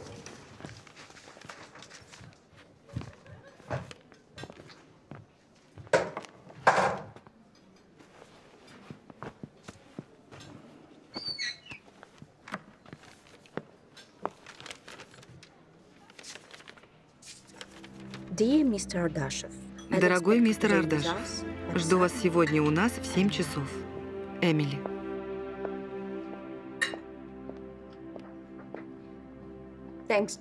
Благодаря вам. Даша на свободе. Значит, мы теперь свободны. Завтра уезжаем. Надеюсь, у вас останутся и другие впечатления о наших местах, кроме тех, что вызваны убийствами и допросами полиции. Да, это было нелегко. Но, по крайней мере, у вас играют в покер. Без этого совсем была бы тоска. Джордж. Не обращайте внимания. Джордж вообще очень мало чему придает значение в жизни, кроме карт и оружия. Оружие? Вы коллекционер? Нет, просто люблю пострелять. Здесь удивительная природа. Эти горы, леса, а эта скала с романтической легендой. Вы там были? Да, посетили с. Джорджем. Но я знаю, что и там произошло убийство. Увы. Из той же карточной серии. Бедная госпожа Варяжская. Я не верю, что она убийца. Надеюсь, вы докажете ее невиновность. Я тоже не верю. И делаю все, что могу.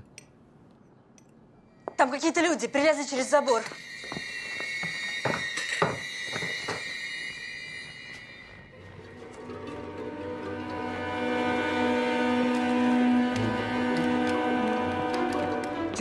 Джордж, where are you going? ты куда?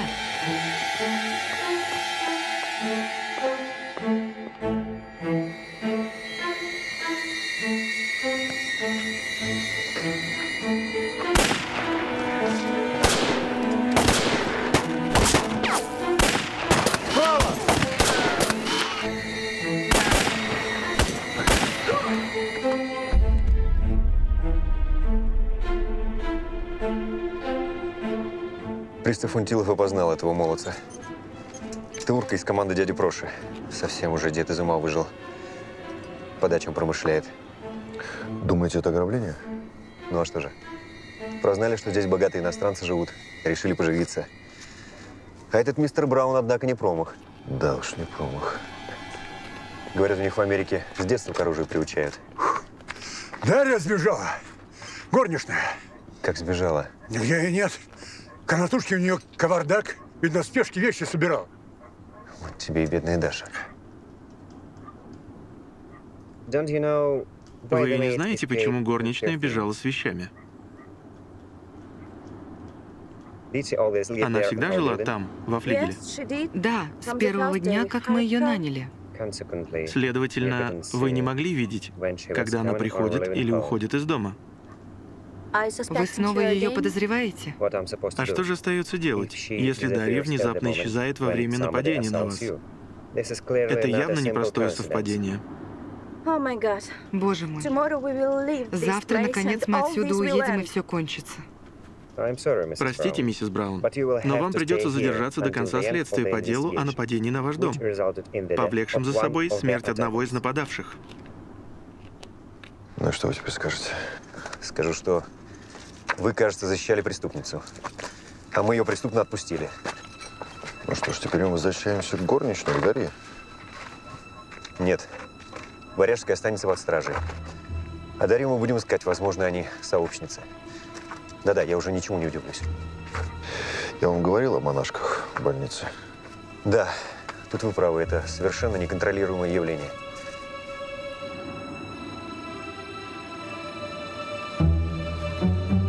Рот открыт и обуглен. Как вы полагаете, что могло быть причиной смерти? Крови нет. Может, задохнулся, может быть, подавился. Вскрытие покажет.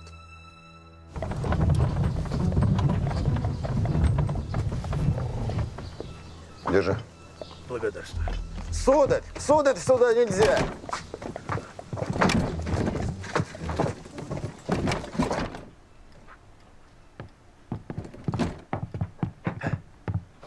Я предупреждал.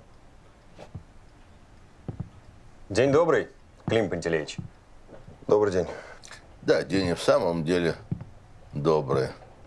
Вот, пожалуйста, проявил сознание, избавил мир от своей мерзкой персоны. Кстати, хоронить его теперь будут не на кладбище. А вы уверены, что это самоубийство? Клим Пантелеич, здесь и думать нечего. Кухарка ясно сказала, последние пять дней был странен. Никого к себе не впускал и из дома не выходил. Но если это самоубийство, то где же орудие? Ведь не мог же он, выстрелив, открыть дверь, избавиться от пистолета и сесть на место. А вы что, не нашли орудие убийства? Клим Пантелеич, ну, право поверьте, я не первый день работаю в полиции. Мы здесь все тщательным образом обыскали. Я понимаю. Кстати, очень неплохо, что вот все это никоим образом не связано с этими десятками, дамами, королями. Господа, значит, нам ничего не остается, как арестовать дворника и кухарку. А мотив? На коем убирать Вожалова? Чертовщина какая-то. Я так понимаю, слово за мной? Мне кажется, что орудие убийства состоит из трех важных частей. Сигары, патроны чрезвычайно малого калибра и горящие свечи. Любой из этого шандала. Позвольте пинцет. Патрон был аккуратно вставлен в кончик сигары таким образом, что пуля была направлена к ее основанию. Когда он согнулся, чтобы прикурить, капсуль воспламенил патрон, и он прямиком отправился в рот жертвы. Клим Пантелеич, согласитесь, что вот все это сотворить, что вы нам рассказали, надо, чтобы кто-то проник сюда. Смотрите. Подарочная лента. Может быть, убийца отправил сигары по почте? Да, все верно.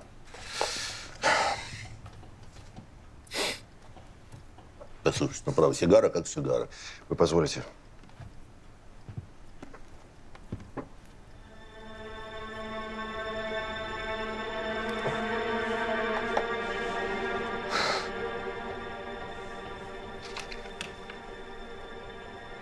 Убийство. Кажется, вы опять ошиблись с госпожой Варяжской. Снова убийство после ее ареста. Посылка пришла по почте. Она вполне могла отправить ее до ареста. Завтра в 10 утра я предоставлю вам убийцу. Что-то есть? Нужно, чтобы завтра вы и Боголепов были у нас в гостинице. Я пригласил всех заинтересованных лиц. А сейчас Вы не можете сказать, кто убийца? Сейчас нет, завтра. Что ж, мы будем. И Варяжскую привезите. Хорошо. А Дарью Самохину? Ее тоже нашли? Да, взяли ее на вокзале. Свою причастность к происшествию отрицает, говорит, просто испугалась и бежала. Везите ее тоже. До завтра.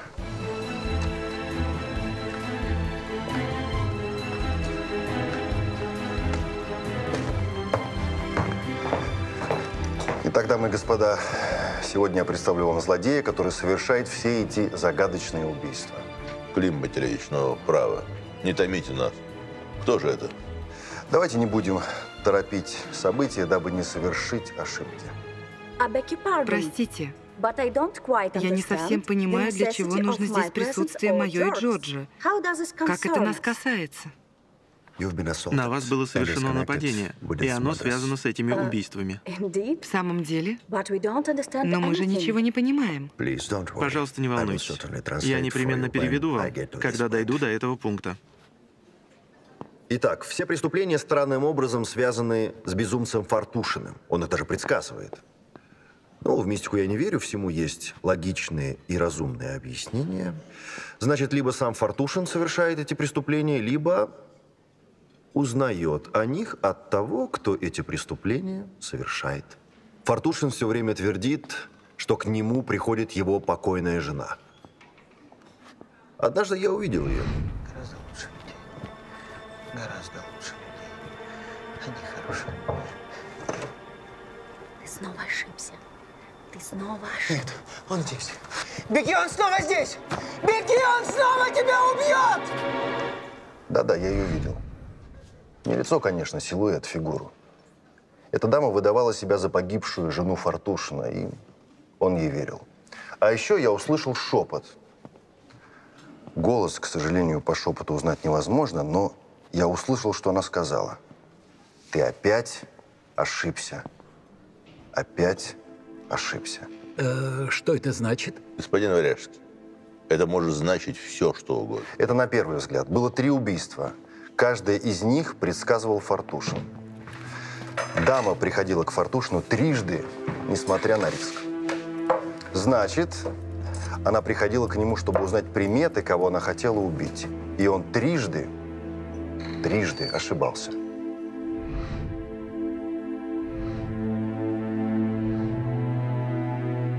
Господин Круше, если вы вспомните внешность трех первых убитых, то согласитесь со мной, что все они были примерно одного и того же типажа, одного возраста и даже одного роста. Да, пожалуй. И все были шулерами. Верно. Однако жертвой должен был стать только один шулер, лица которого убийца не знал. Да, но вы забываете, Вениамин Янович, что его знал Партушин. Однако не мог его как следует описать. Да, потому что была особая примета, которую не так просто было увидеть. Потому что она была на груди. Да, именно. И, как вы знаете, человеком с такой приметой был князь Вернигорин. Он и был целью. Убийцы, а все остальные были ошибочны. Позвольте, если Вернигорин, как вы говорите, объект мести, тогда кто же мститель? Жену Фартушина звали Елена Лаврова. У нее была младшая сестра Анна. На момент гибели Елены Анне было 16 лет. Значит, сейчас ей 26. Да, именно. Среди всех подозреваемых были три дамы этого возраста. Это госпожа Самохина, госпожа Варяжская и мадемуазель Зизи. Госпожа Самохина одинока. У госпожи Варяжской умерли родители, и она вышла замуж. А вот биографию мадемуазель Зизи я не знаю, но думаю, что дама, которая работает в подобном заведении, окончательно порвала связь с родными. Таким образом, все три дамы могут выдавать себя за ту, кем не являются. Господи боже, что же это? Я не дама из заведения, я танцовщица. Прошу прощения. Вы не забыли о нас? Одну минуту. Что? Я сейчас подойду к вам и все переведу. Итак, дамы и господа, хочу представить вам злодея, который сотрясает весь Кисловодск. Это миссис Эмили Браун. Что вы говорите? Я не понимаю. Это сейчас она подданная Соединенных Штатов Америки. Доктор? А 10 лет назад ее звали Анна Юрьевна Лаврова. Ее семья после трагедии переехала в Европу, а в Париж она вышла за богатого американца. И стала миссис Браун. Я телеграфировал вашей маме в Казань, но ответа не последовало. Тогда я попросил доктора телеграфировать в местное полицейское управление, и мы получили ответ.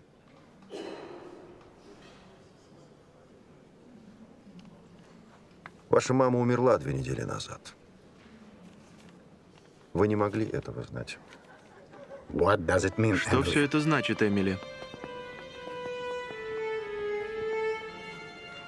Господа, но, но э, э, это же, этого не может быть!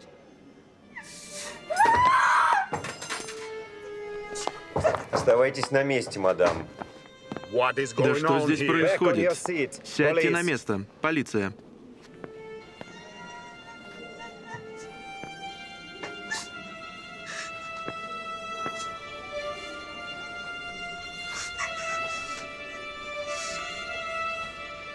Вы сказали, что часть убийств совершена мужской рукой. Разумеется, у нее был сообщник, так называемый мистер Браун.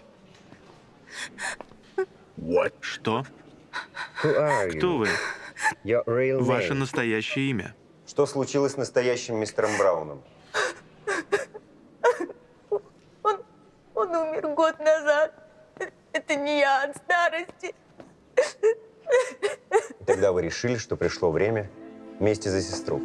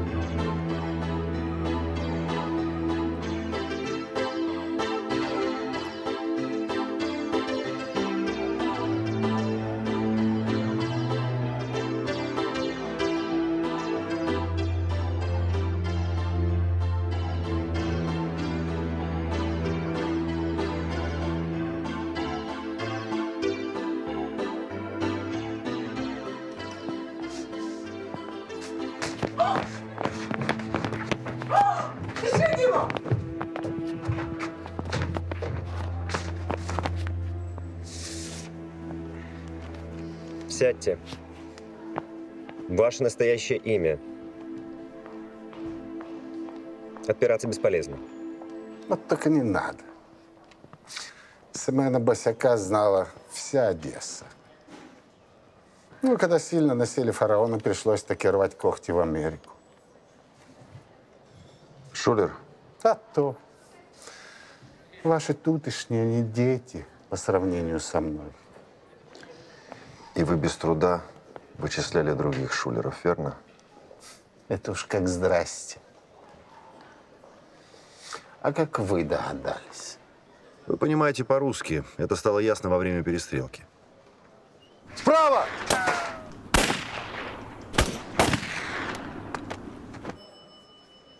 А, да.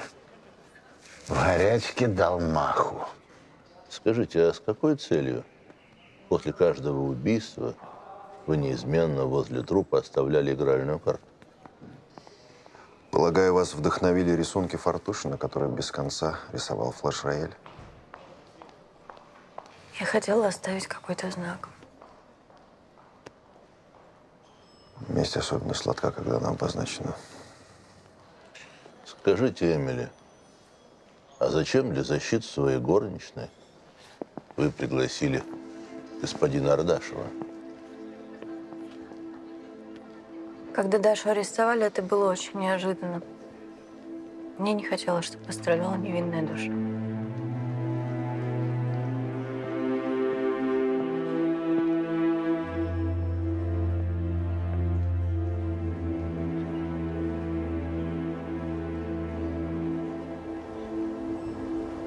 Если б я был индусом, я бы подумал, что ее душа вселилась в вас. Вы хотите сказать, что она умерла? М? Она умерла? Да, она умерла. Довольно воспоминаний, идите ко мне.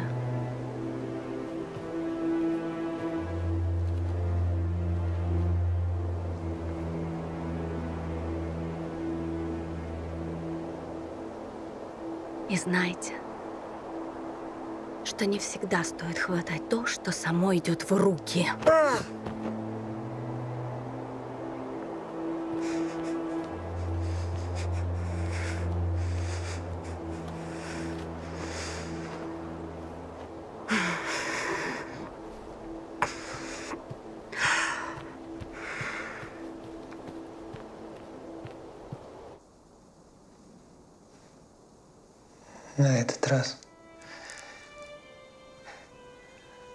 Тебе принесет просто ветер.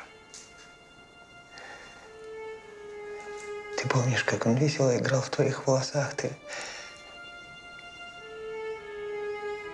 ты помнишь, как мы мчали на этой веселой тройке, когда ты смеялась? Шутка называла меня площадным подьячим. Как же давно это было? Было ли это вообще? Я всегда буду писать тебе письма, всегда их буду. Я буду шептать тебе эти слова. Потому что теперь небо моя бумага, моя. Мои слова — это свист ветра. А мое перо — это... Это мое сердце любимое.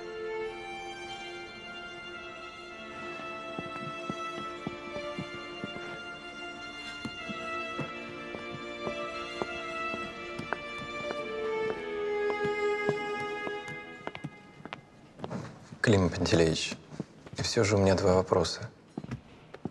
Зачем они убили этого старого бандита? Дядю Прошу? Он оказался проворнее нас.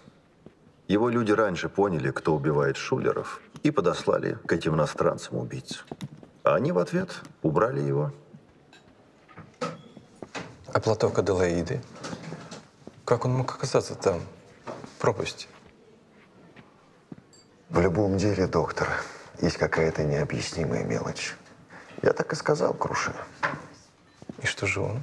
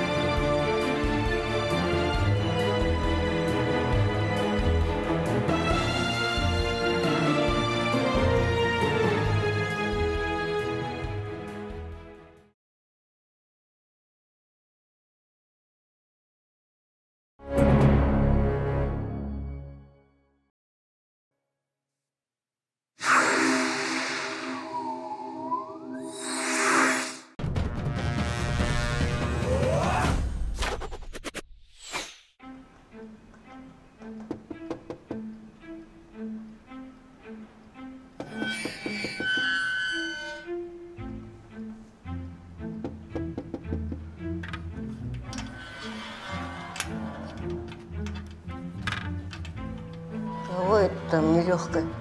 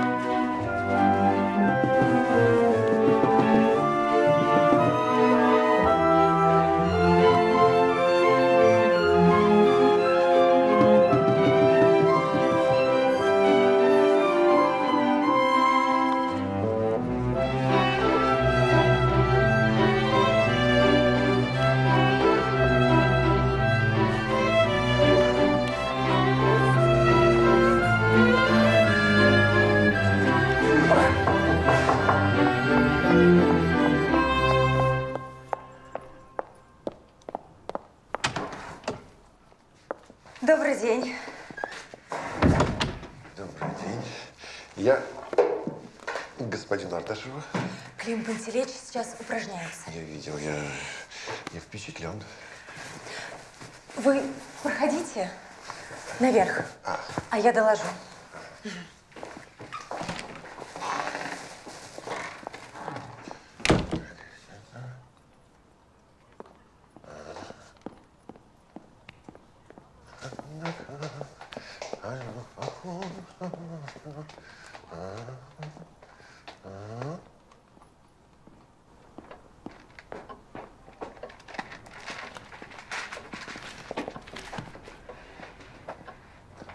Ну, доброе утро. Впечатлен. Это прям битва атлантов, не иначе. Иронизируете? Ну что вы, что вы, это... э, Я просто восторгаюсь вашей физической формой. Сам-то я э, давно, кроме своего саквояжа, ничего в руках-то и не держал. Чаю хотите? Да, пожалуй. Что привело вас в столь ранний час? Ну, дело у меня не совсем обычное. Речь пойдет о моей пациентке Загорской Елизавете Родионовне. О ее галлюцинациях. Галлюцинации – это же по вашей части, правильно? Э, Скорее, не галлюцинации, а реальное явление необъяснимой природы. Ну, это тоже не по моей части. Ну, тем не менее, я сам был свидетелем вот этого э, странного феномена. А, как-то я сидел в комнате у Родионовны. Я как раз выписывал сигнатуру, как вдруг в окно кто-то постучал. Тут же комната наполнилась какими-то странными страшными звуками, смехом, улюлюканьем, гиканьем. А, я выглянул в окно, никого. А примерно через минуту в канделябре сами собой начали загораться свечи, одна за другой. Натурально, понимаете? Да.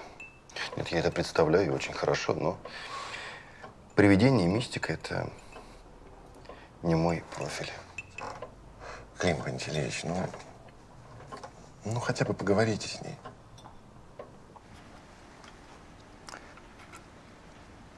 На нашей семье Загорских Игнатьевых определенно лежит какое-то родовое проклятие.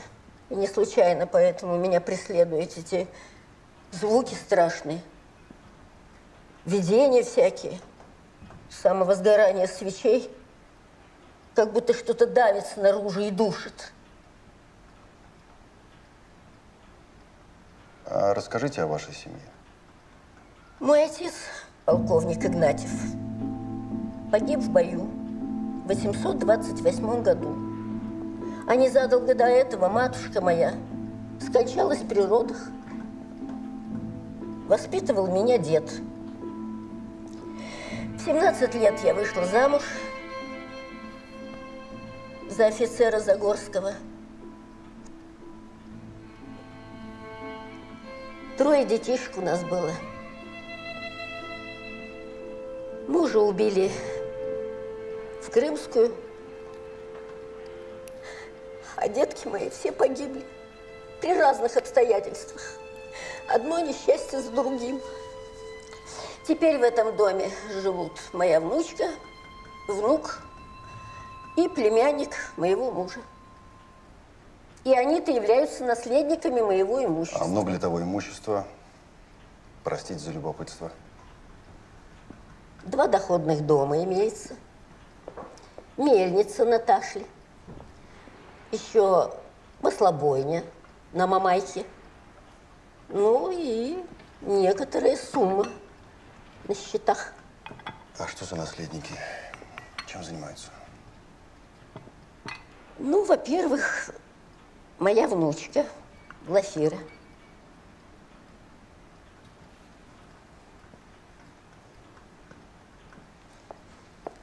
Шуры-муры у нее с этим репортером Савраскиным. Так. Ну, потом Аркаша Шахманский, внук мой бестолковый. Коллежский секретарь с копеечным жалованием. Ну и Варенцов, Полинарий, сын сестры моего мужа. Тут в карты продулся, дурень этакий. Знаете, очень мне не нравится, что он сдружился с этой артисткой из местного театра, Ивановской. Понятно. Лет-то Ивановской немало. И надежды на удачный брак все меньше.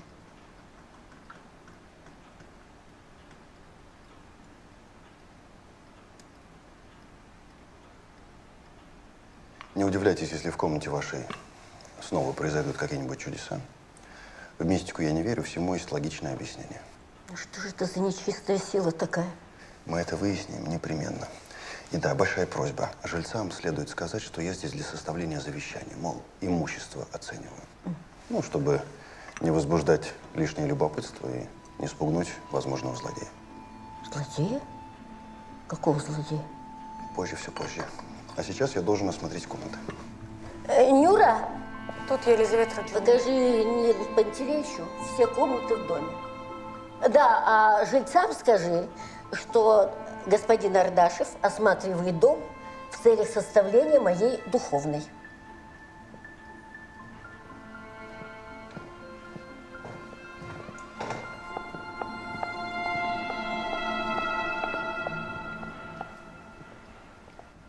Есть вариант, при котором все мы гарантированно не останемся в накладе. Ну-ка. Пусть каждый из нас даст нотариальное обязательство, что, получив любую часть наследства, он поделит его поровну между собой и двумя остальными родственниками. А чего же это поровну, Аполлинарий Никонорович? Мы с Аркадием Викторовичем прямые внуки, а вы седьмая вода на киселе. Да-да. Добрый день, господа. Моя фамилия Ардашев. По просьбе Елизаветы Родионовны провожу подробный осмотр помещения.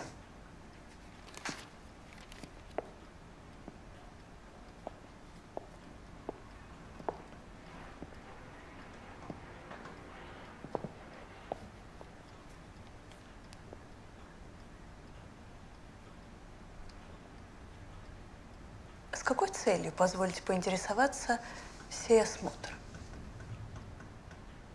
С целью составления завещания Глафира... Виссарионовна.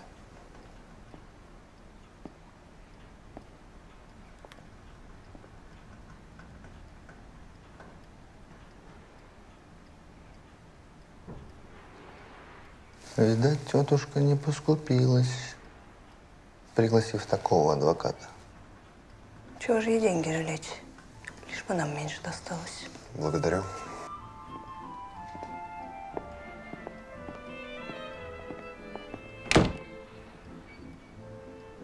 А здесь проживает музейный служащий Корзинкин. Он раньше-то архитектором был, а сейчас захворал чехотка.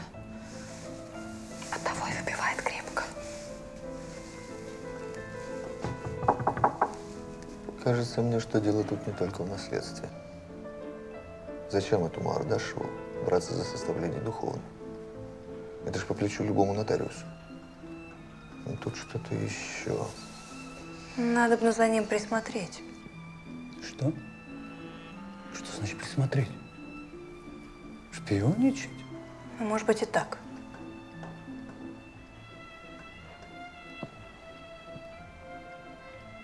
А вот это без меня. Подумаешь, велика птица.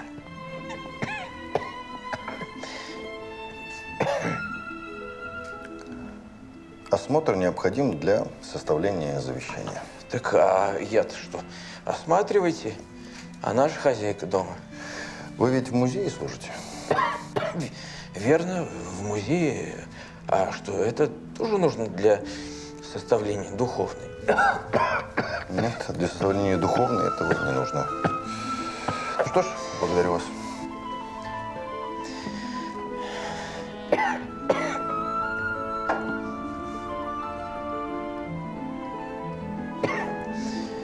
Возмутительное легкомыслие. Так небрежно относиться к археологическим ценностям.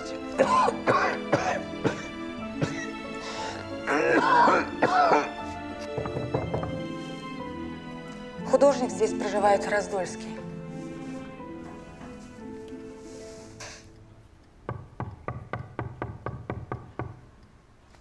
Днем обычно не бывает.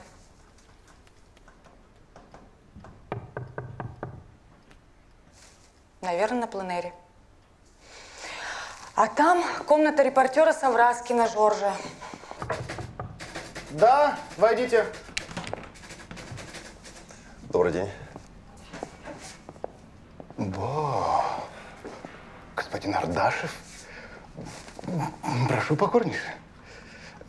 Позвольте представиться, Савраскин э, Георгий Поликарпович, репортер. Можно просто Жорж. Читал ваши статьи. Неплохо, неплохо. Весьма польщен. А чем обязан визиту знаменитого присяжного поверенного? Помогаю в составлении завещания госпоже Загорской. Mm. Оцениваю имущество. Ничего серьезного. А, я в этой комнате недавно поменялся с Варенцовым. Ему здесь, видите ли, было очень жарко. На наследнички-то, небось, закопошились, как тараканы в банке. Того и гляди, сожрут друг друга. Состояние-то у Загорской немалое. К чему такая неприязнь? Я слышал, что с одной из наследниц у вас довольно близкие отношения.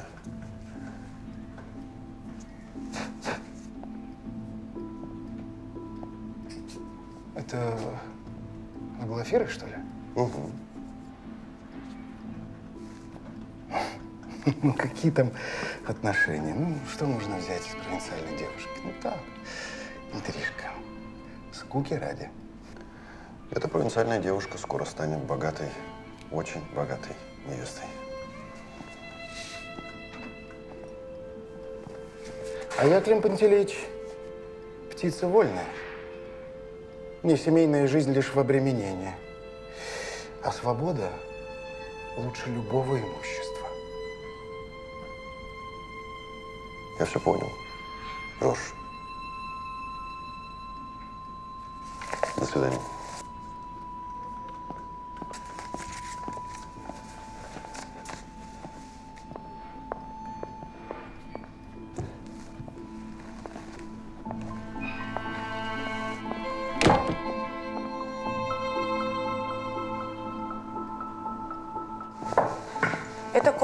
Артистки Ивановской, Изабелла Юрьевна. Она, наверное, уже проснулась. Юра! Простите, ради бога.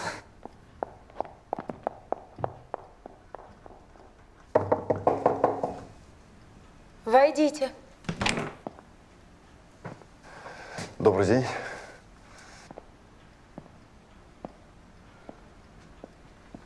Моя фамилия Ардашев, Клим Пантелеич. Провожу подробный осмотр помещения с целью составления завещания. Конечно. Благодарю.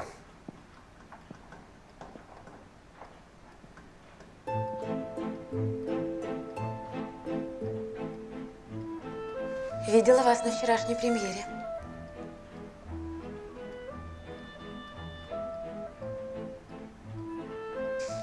Как вам постановка?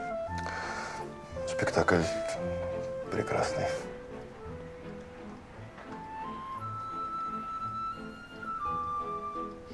А кому же Загорская решила отписать свои сокровища? Я интересуюсь из праздного любопытства. Мне ничего об этом не известно. Сделайте одолжение. Шепните, как узнаете.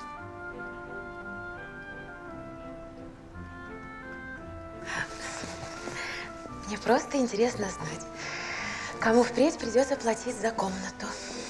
Для вас это имеет значение? Да бросьте, Клим Пантелеевич. Я же просто шучу. Пытаюсь поддержать беседу, а с вами это непросто. Я закончил. Благодарю вас. Ну что ж, увидимся на очередной премьере.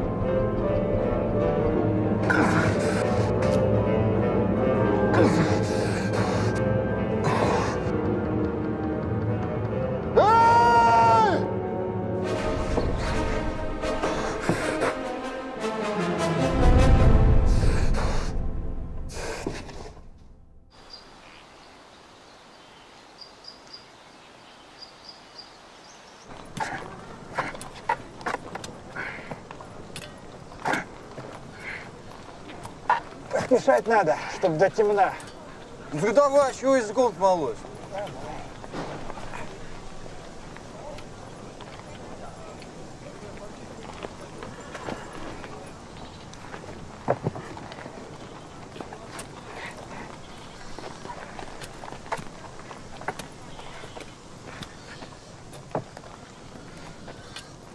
Че это? Может, монета или брошь?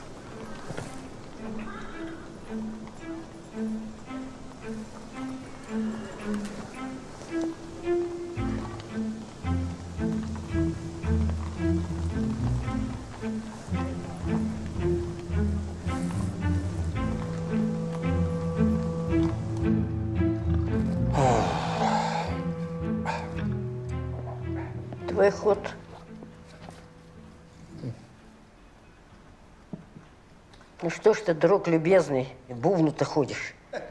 Совсем за картами не следишь? Почему же не слежу? Очень даже слежу, бабушка. Просто у меня другой масти не осталось. А где же господин Ростольский? Вчера не имел чести с ним познакомиться, думал, тут застану. Небось, малюет очередной свой шедевр. Ну вот, я о том и говорил. Кисловодске, спустившийся на дно колодца Нарзана водолаз-инженер, обнаружил в северной части место, куда уходит целебная вода. Дно источника, оказывается, не очищалось со времени устройства каптажа. И по той же причине вода из нашего колодца уходит. Да. Надо бы дно почистить. Чисть не чисть, пользы все равно не будет. Это почему же? Тут надо бы правильно заклинание прочитать. А вам известно, какое именно? Ну так, Ну так зачем же дело стало? А мне кажется, господа, что все эти магические заклинания, как и спиритические сеансы, чистой воды фокусы. ваш скепсис, милостивый государь, все только от вашего высокомерия и невежества. Имеется множество научных подтверждений. Ну, полно, полно, Порфирий Нифонтович. Чего воздух-то сотрясать? Приступайте. Что прямо сейчас, здесь? Ну, а почему бы нет? Здесь много всякой нечисти собралось. Да уж. А мы поглядим на силу ваших заклинаний. Ну что ж, господа, извольтесь, я готов. Только нужно э, ведерочко воды набрать из колодца. Юра, принеси водички из колодца. А артельщики-то копали-копали. Потом, глядь, сверкает что-то. Они и подумали, может, клад какой. Ну и давай землю руками разгребать. А там скелет. Никому ни слова. Благодарствую, барин. Только бы в следующий номер успеть. Живой водой наполняйся, заклятием и дурному сглазу не поддавайся, врагу не сдавайся. А если кто к тебе со злым умыслом придет, тот пусть на свою голову кару страшную возьмет. Святой водой наполняйся, заклятиями и дурному сглазу не поддавайся, врагу не сдавайся. А если кто к тебе со злым умыслом придет, тот пусть себе страшную кару на голову возьмет.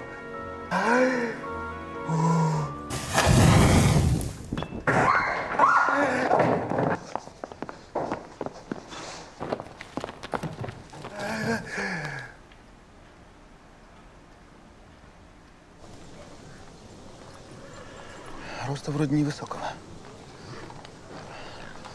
Мундир времен Николая Первого. Ну мы это, фундамент копали вон под керосиновую будку. И наткнулись на эти мощи. Ну, любезный, глянь-ка, что у него в карманах. Ну, живи, живи.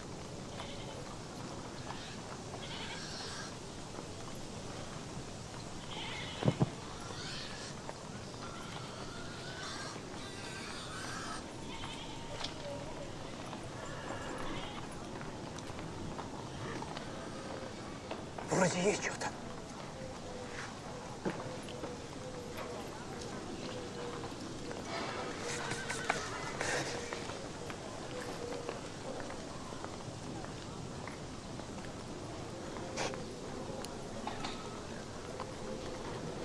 майору Р. Игнатьеву от генерала Ермолова.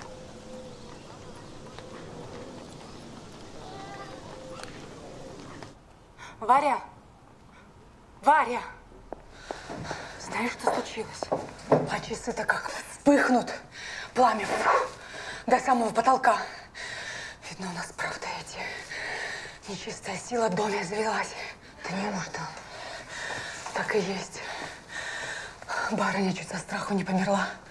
Я ее потом чаем и каплями отпаивала. Спит теперь сердечная. Ну а что дальше? Ай. Не то меня нынче заботит простая твоя душа. Скажи мне, как мне лучше с ним быть? Ну, ты же говорил, что он тебя любит, и ты его. Чего еще? Как мне с ним быть?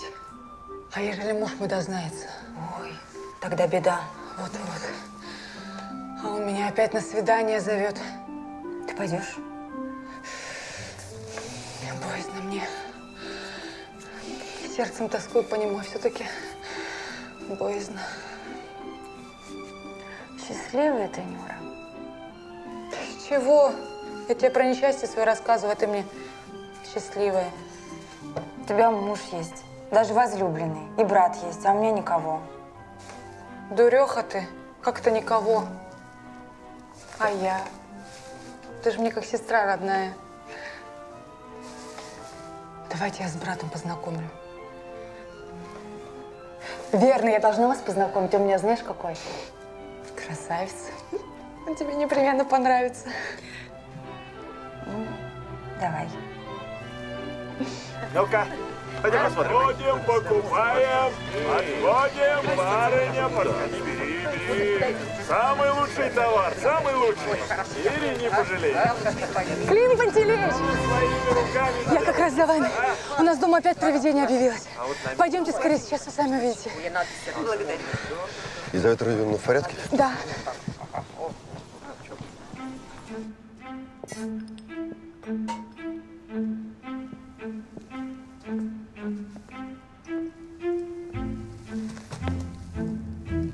Кто-то заглянул в окно, увидел белое лицо.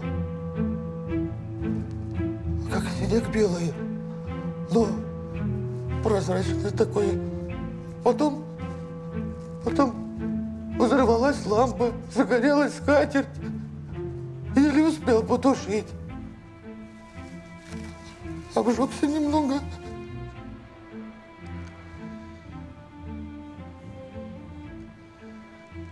Пойдемте на воздух, что тут керосином дышать.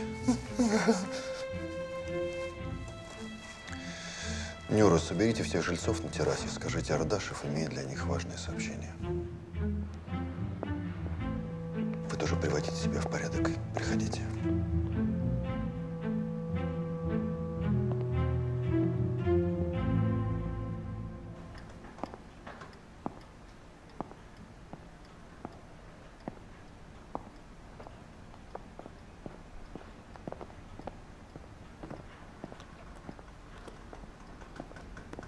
Что здесь происходит? К нам присоединился господин Раздольский. Добрый день, Мандас Бенедиктович. С кем имею честь? Присяжный поверенный Ардашев. Художник Раздольский. Прошу, присоединяйтесь.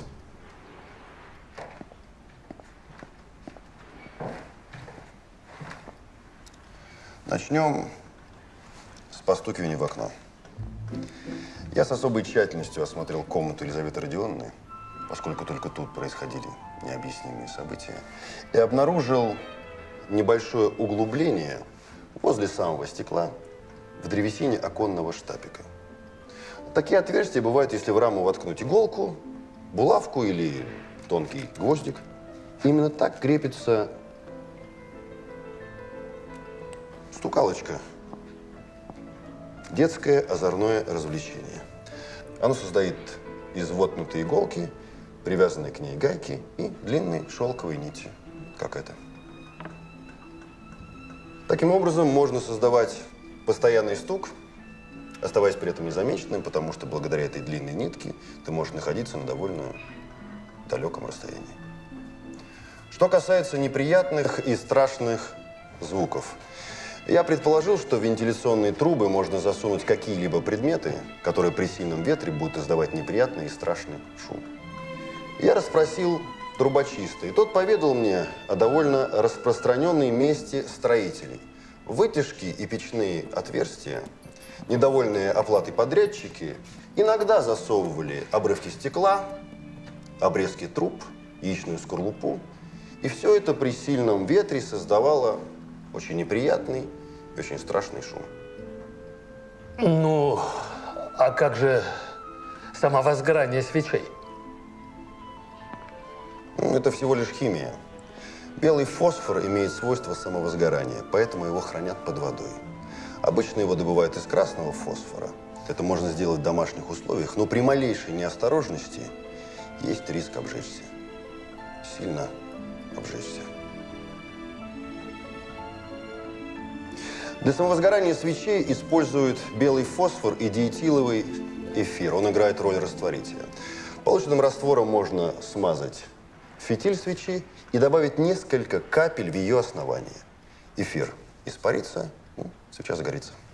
А как же загоревшиеся часы? Ну, они же вспыхнули у нас на глазах. Ну, тут конструкция посложнее и похитрее. К гирям часов привязываются фосфорные спички, а на определенном расстоянии стоит чаша с серной кислотой. Гиря опускается, фосфор входит в контакт с кислотой и все загорается. Вот я обнаружил в часах.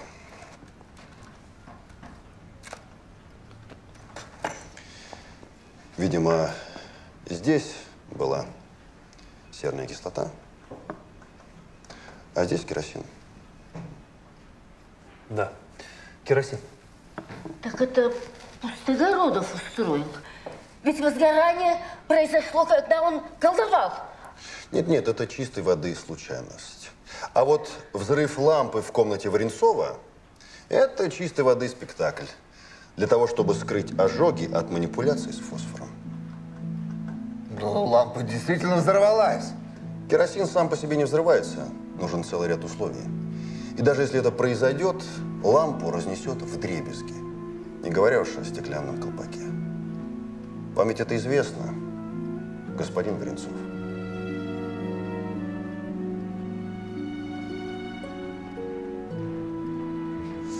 Бесшумно передвигаться по дому господину Варенцову помогали сапоги на каучуковой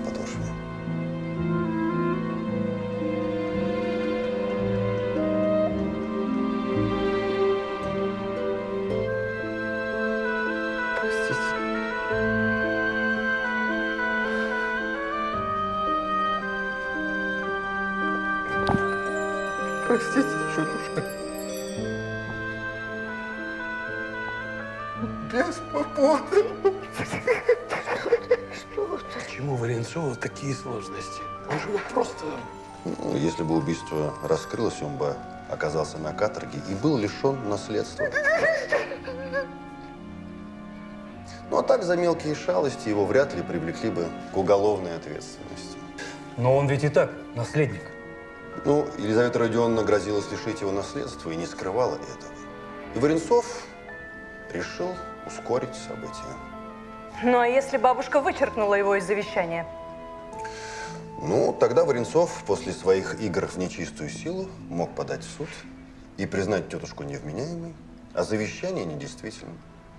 Так что вам, Глафира Виссарионовна, проще было бы поделиться с ним наследством, чем утонуть в судебных тяжбах. А, а где Пустогород?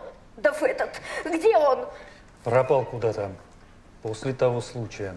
Люди его в церкви видели, говорят, молился всю ночь на коленях и плакал горько. Господи, Господи Иисусе.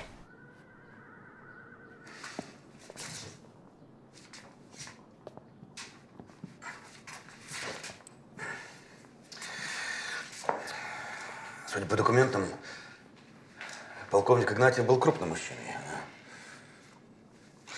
Покойник столько лет пролежал в земле, мог усохнуть. К вашему сведению, Антон Филаретович, кости со временем в размерах не уменьшаются. Видимых повреждений на костях и черепе нет. Трудно сказать, от чего умер этот несчастный. Надо поговорить с дочерью Игнатьева, с госпожой Загорской. Там к Антону Филаретовичу пришел репортер Савраскин, сказывает по срочному делу. Антон Филаретович, ничего ему не сообщайте. Нам лишняя статья ни к чему. Угу. Этот Савраскин без моего ведома и буквы не напечатает. Он у меня вот где.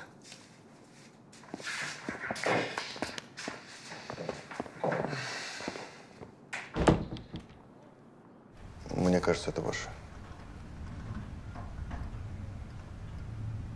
Благодарю вас, Клим Пантелеич.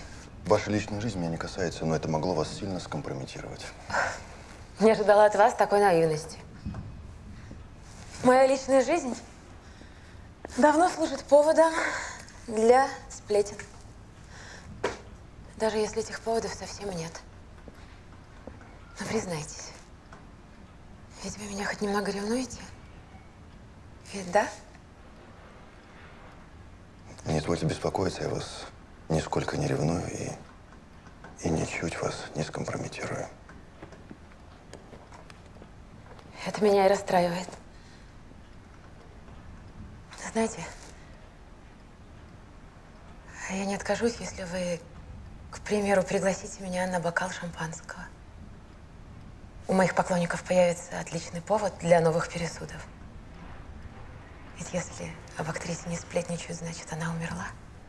Вы, сударь, обвиняетесь в недонесении полиции по поводу обнаруженного захоронения. Артельщики сообщили, что вы были там прежде полиции и завладели найденными часами. Я репортер. Это мои служебные обязанности. Не более того. Я тотчас вас арестую и в камеру за осквернение могилы и расхищение безымянного захоронения. Городовой! Слушай, Антон Филаретович. Нет, ну, по- по- по- под- подождите. Ну, зачем? Вот э, часы, я сам их хотел вам передать. Не успел только.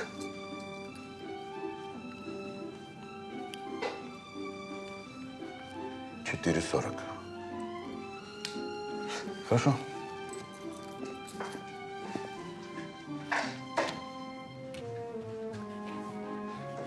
Пишите объяснительную и расписку. Какую расписку? Что вы будете мне постоянно докладывать о всех известных вам правонарушениях и подозрительных лицах. Пишите. Это, это что ж, я, я бедничать, что ли? Пишите, я сказал. И не надо тут делать вид, что вы не понимаете, о чем речь. Ну, знаете ли, я репортер. У меня профессиональная гордость имеется. Никаких доносов я писать не намерен. Это не донос, это донесение. Показания артельщиков у меня все запротоколированы. Хотите во строк?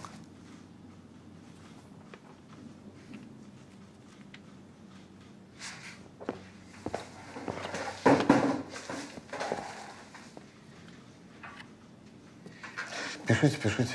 Это ваше ремесло.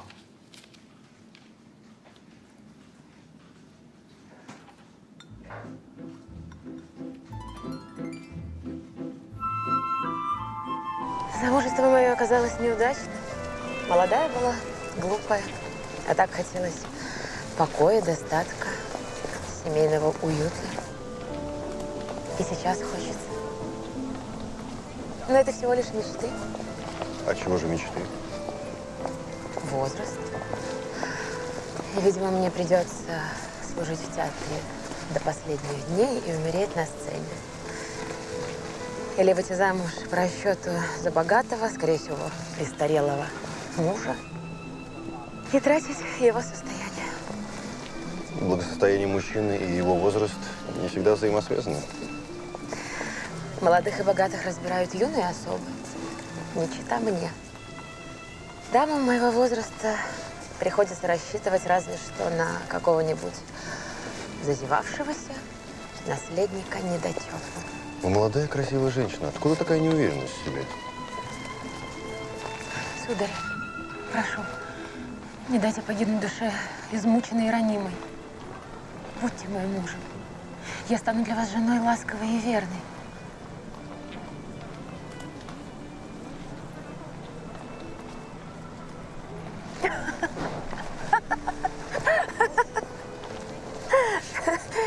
Это монолог моей героини из новой пьесы. Я приду непременно. А вас не так просто смутить, Клим Пантелеевич.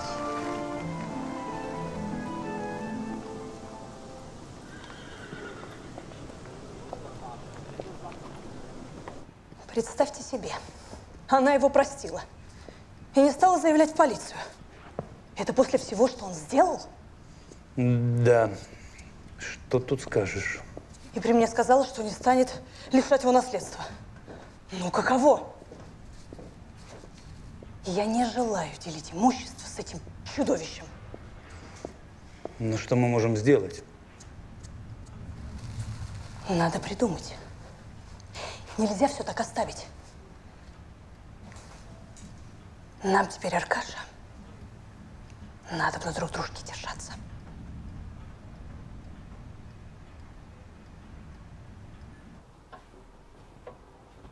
Вчера вечером на Соборной площади найден скелет неизвестного мужчины. При нем были обнаружены часы с надписью «Майору Игнатьеву» от генерала Ермолова. Игнатьев, Игнатьев. Это же отец нашей Загорской. Игнатьевой девичестве.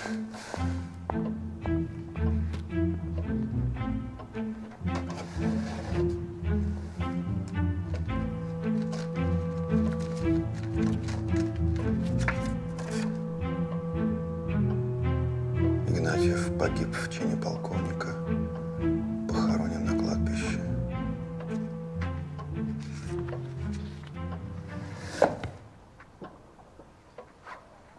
Значит, найденные останки не могут принадлежать ему. Жизнь-то у барыни сплошь горе да трагедия. А может, это вообще не он? На кладбище-то. Вы так думаете? Я тут покопался в полицейских архивах и выяснил, что лицо полковника Игнатьева в бою было очень сильно э, обожжено. И что, вместо Игнатьева захоронен кто-то другой? Так, кто же его знает.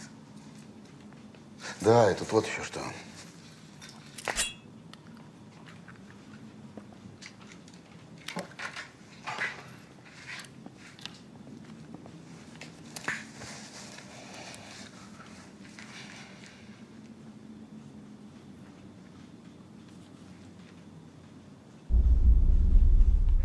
Мой отец похоронен на кладбище в 828 году.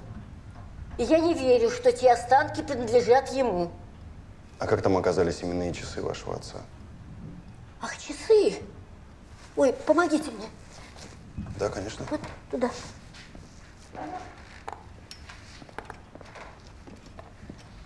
Так он их потерял. Ага, спасибо.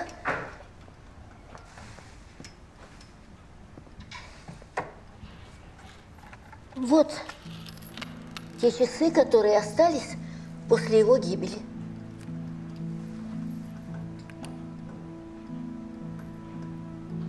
Самоваров?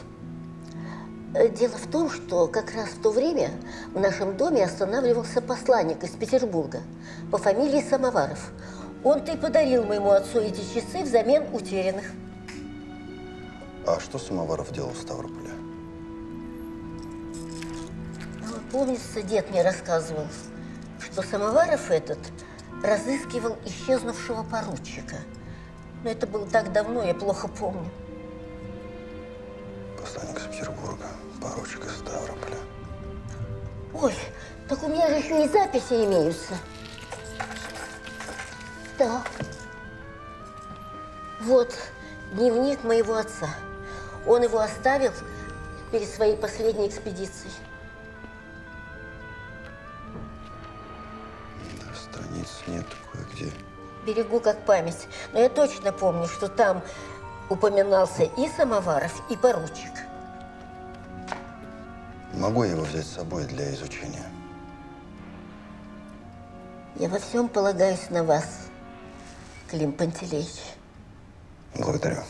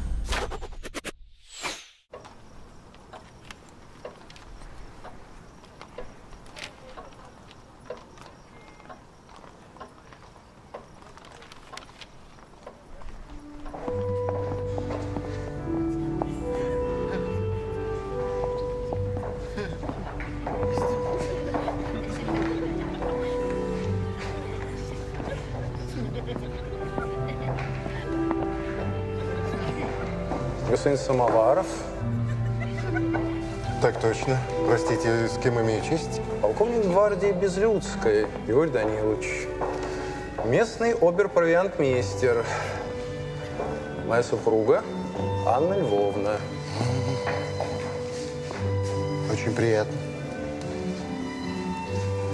Иван Авдеевич Самоваров, надворный советник. Ну как же, наслышанная вас, Иван Авдеевич. Разве же такое возможно? Я только что прибыл, а мое официальное представление должно случиться только завтра. Ну, слухи всегда опережают нас, дорогой Иван Авдеевич. Выходит, вы прямо с корабля и на бал. Представляете, только расквартировался и, к своему удивлению, сразу попал на прием. Насколько я понимаю, вы посланы сюда для того, чтобы инспектировать именно мое ведомство. Совершенно верно. Как инспектор провиантмейстерской комиссии при главном штабе. А Вы остановились здесь, у Игнатьевых? Да, Родион Спиридонович любезно согласился предоставить мне свой дом, а я воспользовался. Очень рад. Спасибо, да. Простите, случайно ваша деятельность не связана с исчезновением одного из моих подчиненных, поручика Рахманова? Что вы, что вы? Расследованием исчезновения людей занимаются совсем другие персоны. Я всего лишь инспектор. Господа, довольно о службе. Это невыносимо скучно. Прости, душа моя. Дамы и господа, я вижу все в сборе, так что милости прошу к столу. Простите, что я вас так долго томил, утерял чувство времени. Мой бригет, к сожалению, безвозвратно потерян. А жаль, это был подарок генерала Ермолова. Родион Спиридонович, простите великодушно. Родион Спиридонович, позвольте мне на правах гостя первому вручить вам подарок. Вот. Я даже не знаю, что сказать, Иван Авдеевич. Это от чистого сердца. Прошу вас. Иван Авдеевич, ну, Прошу. Благодарю.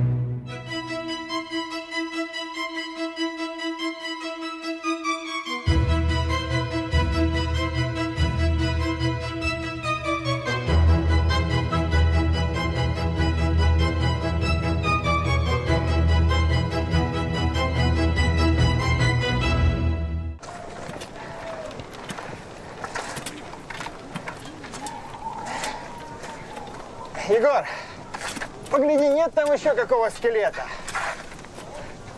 Да ты глубже копай, может, клад отыщешь. Да тут такое дело. Глубже никак нельзя. Грунт намокает. Видать, вода близко. Надо фундамент ложить. Как бы его не размыло. Фундамент-то. Добрый день. Добрый день. Лег на помине.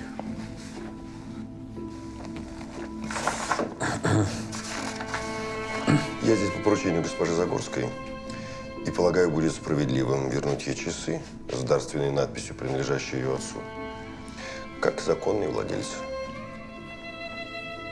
Откуда вам, уважаемый Клим Пантелеич, известно про дарственную надпись на часах? Прочитал из газет. Да, конечно. Конечно, да. Я-то сам воздерживаюсь от чтения. Давление, знаете ли. Но я не возражаю. Да, вы можете передать и госпоже Загорской. Кстати, Антон Филаретович считает, что останки принадлежат полковнику Игнатьеву, переодетого в мундир поручика. А в могиле на кладбище останки кого-то другого. Да, кстати, на мундире не хватает одной пуговицы. Это так, для точности. Скорее всего, останки принадлежат некоему поручику, у которого каким-то образом оказались часы Игнатьева. И кто же этот поручик? Пока не знаю. Можно в архиве посмотреть. Угу.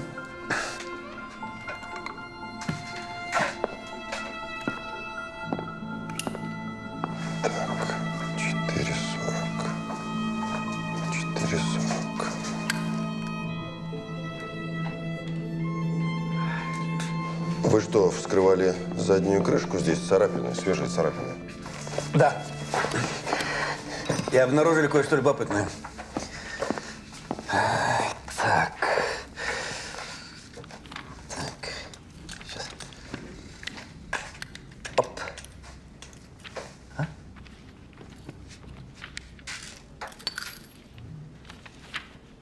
Если я не ошибаюсь, эти монеты появились в России в 1828 году как часть контрибуции, выплаченной Персии по условию мирного договора. И в то же самое время обоз с этими ценностями проходил через Ставрополь. Вот. Вот, есть. В том же году здесь пропал некий поручик Рахманов. Нашли что-нибудь еще? Да.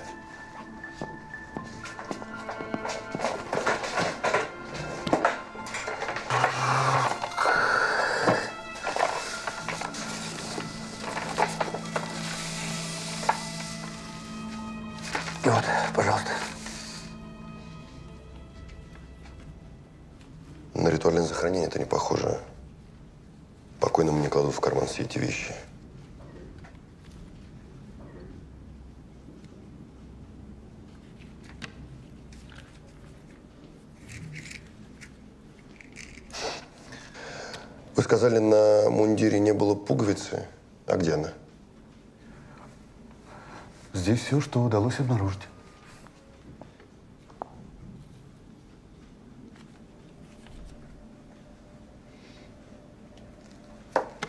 Возможно, покойный снимал оттиски с печатей, чтобы изготовить дубликаты. Могу я забрать все эти вещи для изучения? Да, пожалуй, нет. Это же вещественные доказательства, поэтому, извините, увы. Жаль. Благодарю вас. До свидания.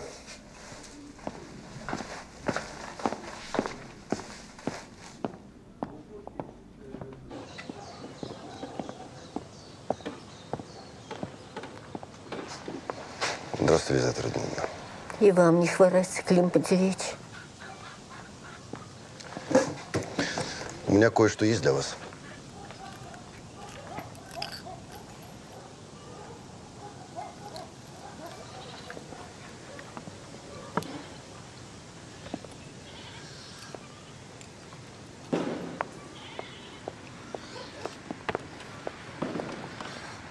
Покорнейший, вас благодарю, Клим Пантелеич.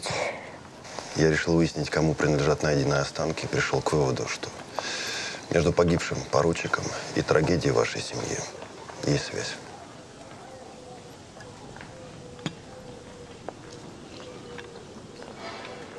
Правда, придется распутывать эту историю с 1828 года.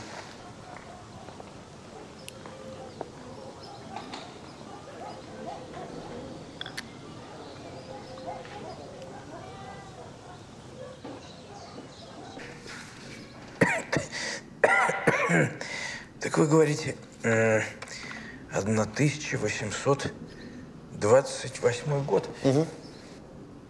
А что именно вас интересует? А мне нужны все архивные материалы, приказы гарнизонного начальства и фортификационный план крепости. Ага. А. Так, так, так, так, так, так. Мгм. Фортификационный план крепости за 1820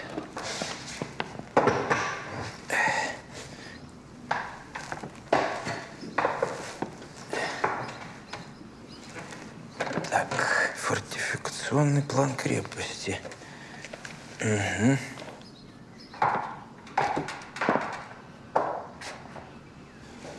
Так. Ну вот. Все, что... Мгм. Касается 1828 года. Благодарю. Мгм.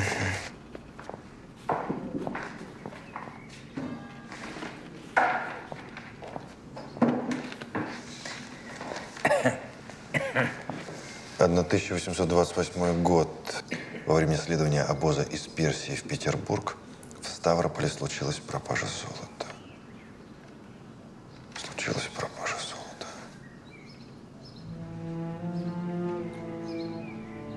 Неизвестный похитил золотые монеты, а после опечатал сундук заранее приготовленной печатью. Именно сундук номер восемь, ключ от которого был похищен либо у кого-то из ответственных офицеров, либо с него заранее был снят дубликат. Что-нибудь еще? Ваше превосходительство. Чрезвычайно важно, чтобы никто не догадался о моем расследовании. Пусть все считают, что я простой инспектор по провианту.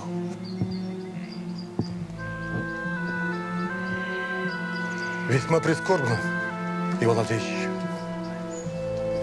что кто-то из моих офицеров оказался замешан в этом воровстве. Надеюсь получить результаты вашего расследования как можно скорее.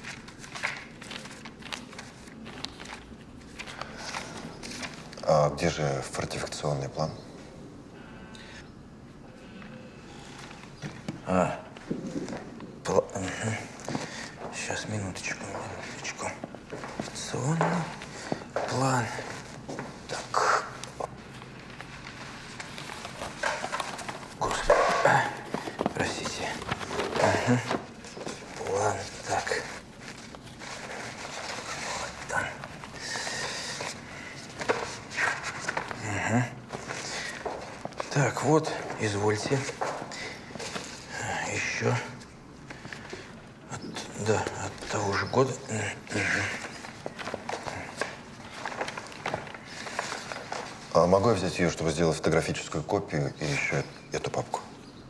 Ну, нет, извините, это никак невозможно. Э, На это есть строжайший запрет. Все документы должны находиться здесь. Хорошо, тогда я сделаю рисунок прямо здесь.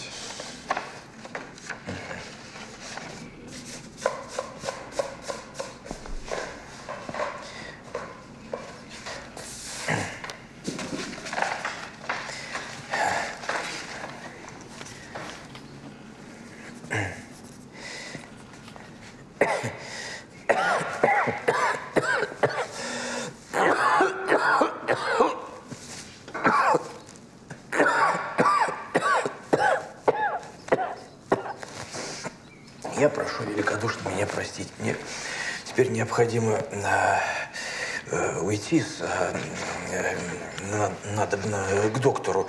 Э, Вы, если хотите, э, приходите завтра, если есть возможность. Э, Да, конечно. Простите.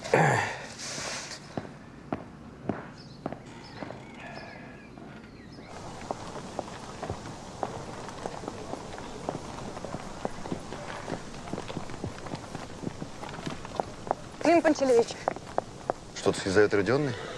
вот, велели передать вам лично в руки. От кого? Там все в письме.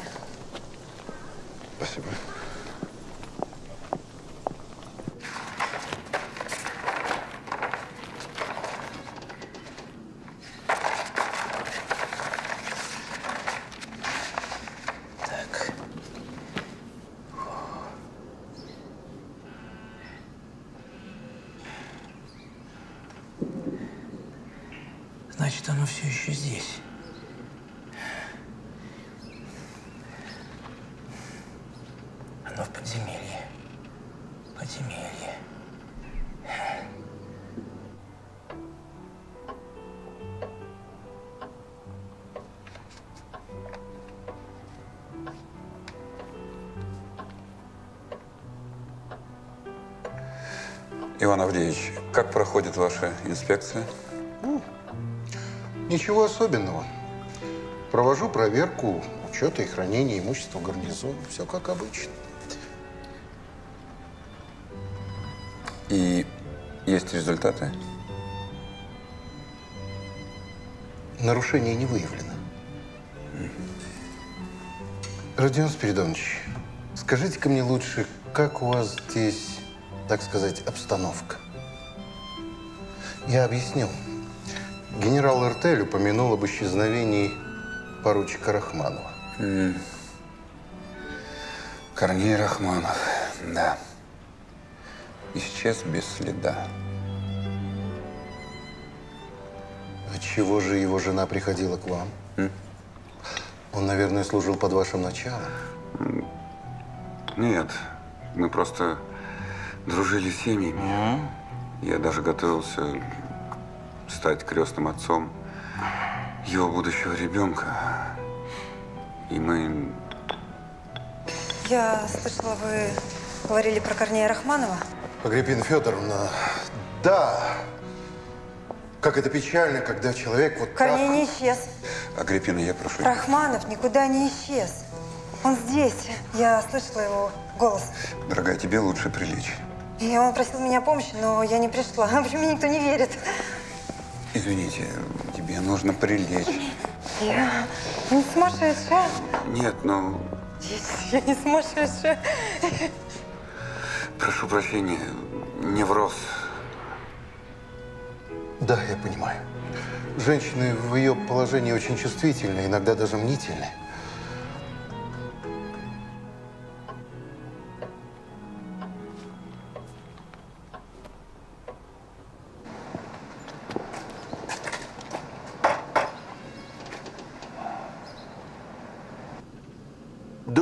Мартыныч, Каширину.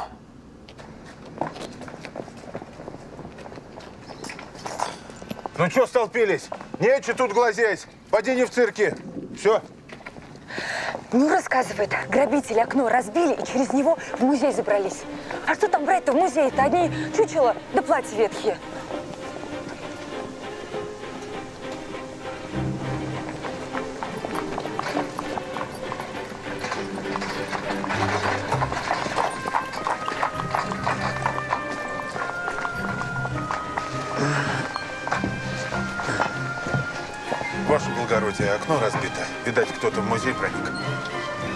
Пойдем посмотрим, что там внутри.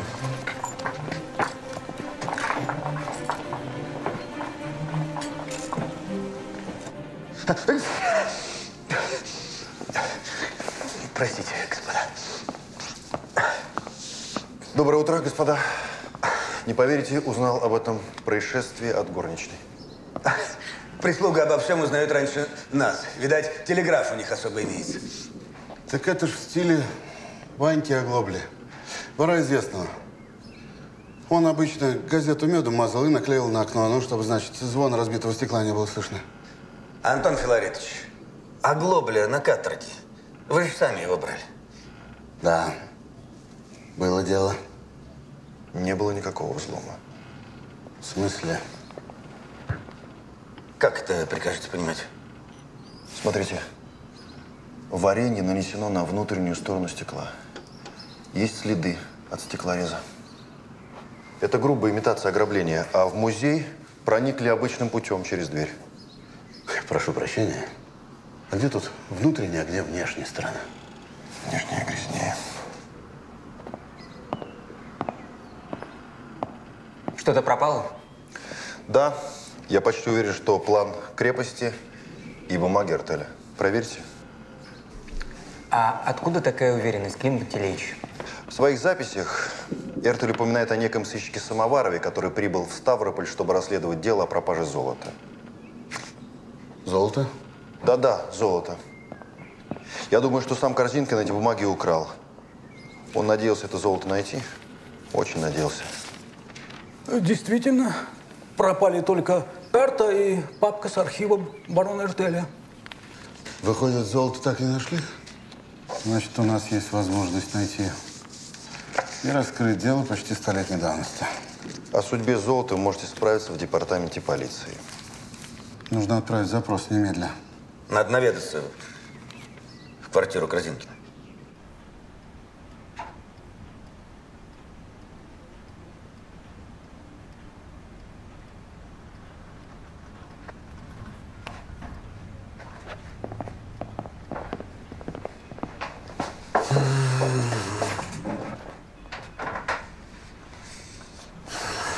А вы, Викентий Станиславович, какими судьбами? Да, Загорская меня срочно вызвала. Не здоровится ей что-то. Ну, раз уж я тут оказался, решил сам труп осмотреть. Тем более, Корзинкин мой пациент был. И каков ваш вердикт? И я полагаю, он скончался сегодня под утро, где-то между тремя и четырьмя часами. Вот. э, Покой не наблюдался у меня не один год. Страдал чехоткой и, видимо, умер от последствий болезни. Выходит, причина смерти естественная. Да, тем более, что и окна, и дверь были заперты. Викентий Станиславович, будьте так любезны, осмотрите тело еще раз. И, пожалуйста, с особой тщательностью. Вы намекаете на то, что я невнимателен? Нет, нет, я не хотел вас обидеть, просто я настаиваю на повторном осмотре. Пожалуйста.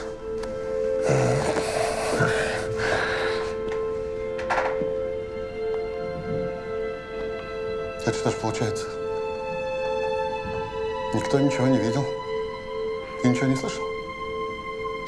Мы, знаете ли, предпочитаем естественным образом спать по ночам. У кого еще был ключ от комнаты Корзинкина? А, так э, у меня был вот э, на общей связке. Только почему-то ни один не подходит, хотя все на месте я пересчитала. Да. А, В итоге даже пришлось дверь ломать.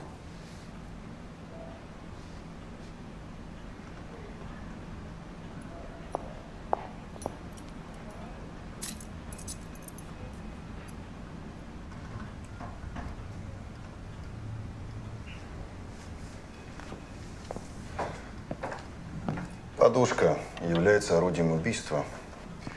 О чем свидетельствует перышко во рту покойного? Ефим Андреевич.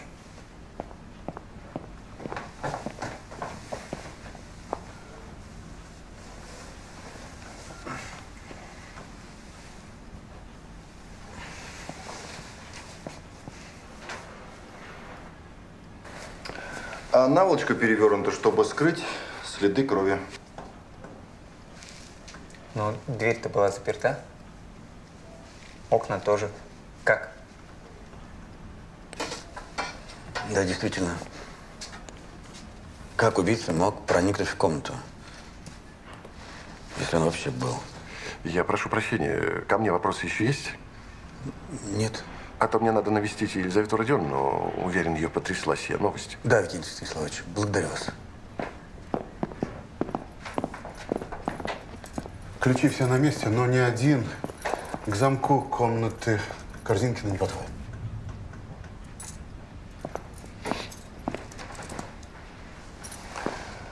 Разрешите?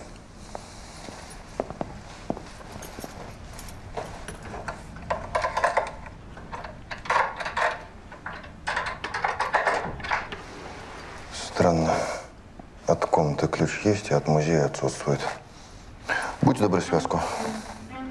Вы мне, Клим Пантелеич, не начальник. Антон Филаретович. Будьте любезны. Либо Корзинкин знал преступника и открыл ему дверь самостоятельно, либо преступник, подменив ключ на связке, самостоятельно открыл замок. Да, и сюртук спокойного убийца снял сам. Согласитесь, странно. Человек ложится спать, снимая сюртук и оставаясь при этом в штанах. Убийца торопился, поэтому не очень аккуратно сымитировал естественную смерть Корзинкина. А зачем вообще убивать Корзинкина? У него взять нечего. Думаю, что Корзинкин из бумаг узнал про золото и с кем-то поделился. Да, и этот кто-то не пожелал, чтобы про клад узнали другие, и заткнул Корзинкину в рот. В прямом и переносном смысле. Надо осмотреть другие комнаты. Позвольте.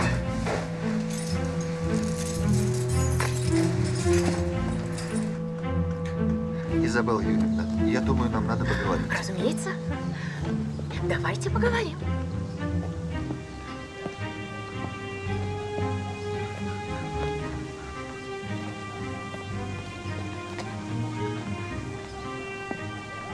Викентий Станиславович, а почему все-таки сами решили осмотреть покойного, не стали дожидаться судебного медика? Ну, я же вам все объяснил. Если я уже был здесь, зачем вызывать другого врача? Клим Пантелеич, а к чему эти подозрительные вопросы? Всего хорошего.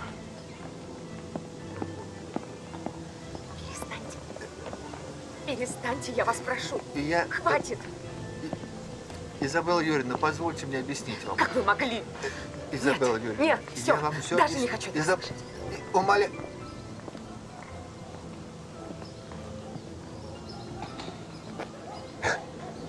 От кого-то хороните, Клим Пантелеич? Вы меня напугали. Простите. Да, решил проверить, можно ли залезть в комнату Корзинкина через окно. Ага.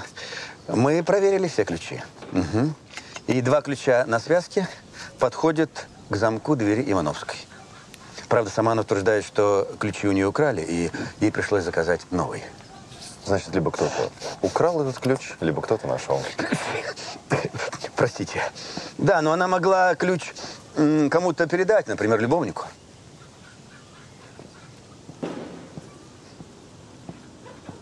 Хотя вряд ли она может быть подозреваемой. У нее же нет мотивов. И с Корзинкиным справиться тоже физических сил у нее маловато.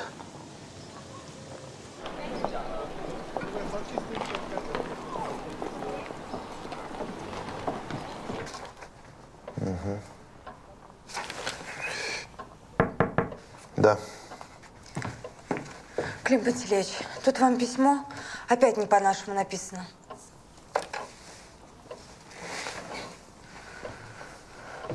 Так.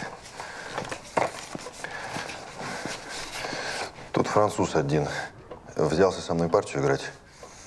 Интересный соперник оказался. Б5. Хороший ход.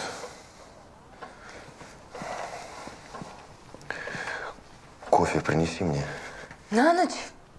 Неси. Опять всю ночь спать не будете?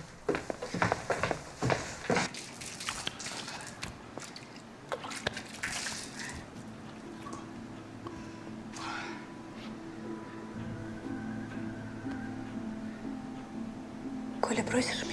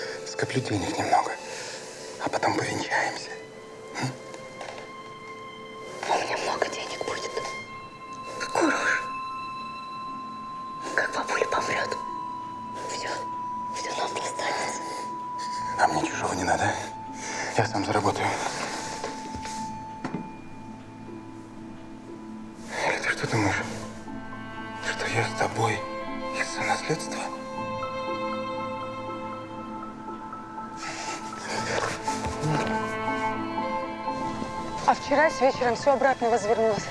Стала, значит, она слышать голоса заупокойных сродников своих умерших. У нее видения были? Были, и стены напротив будто бы чьи-то глаза на нее смотрели. А доктора Лисовского пригласили? Так там уж давно.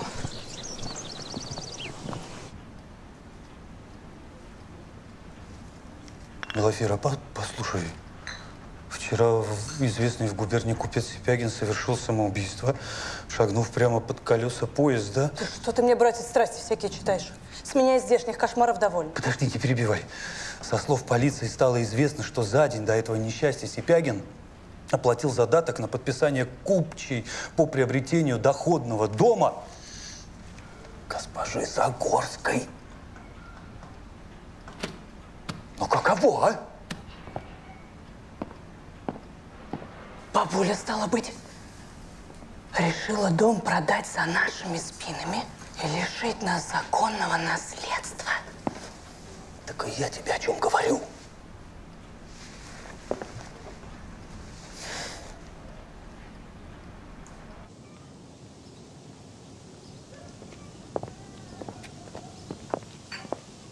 Добрый день. Добрый. Добрый день, Елизавета Родионовна. День-то добрый. А вот ночь была злая. И полицейские в конец замучили. А что такое? Ну, все расспрашивали меня, почему я решила дом Сипякину продать. А я ничего не решала. И дом продавать не собиралась. То есть как, не собирались? Да он сам. Продай дом, да продай. Ну и я в шутке ради ему бесстыжую цену загнула, а он возьми и согласись. Да еще задаток дал. А я тогда подумала, ну, а почему бы и нет-то? Ведь за эти деньги я два дома купить смогу. А вот ночью меня опять видения стали мучить. Как будто все мои родственники свое недовольство выражали. А вы сегодня лекарства какие-нибудь принимали? В моем возрасте без пилюль и микстур уже никак нельзя. А где вы их покупаете? В какой аптеке? Ну, Зачем в аптеке? Мне Викентий Станиславович их приносит. Ваши двусмысленные взгляды и намеки, Клим Пантелеич, совершенно неуместны. Я сам лично закупаю лекарства и проверяю их. И уверяю вас, они не могут быть причиной галлюцинаций.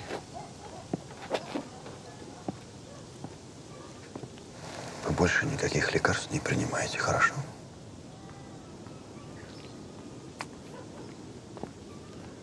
Пузырек я возьму с собой. С вашего позволения.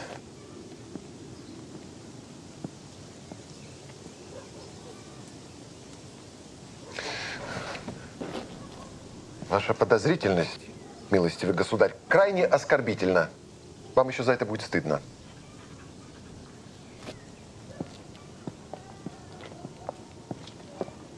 Ну, право же. Сколько можно?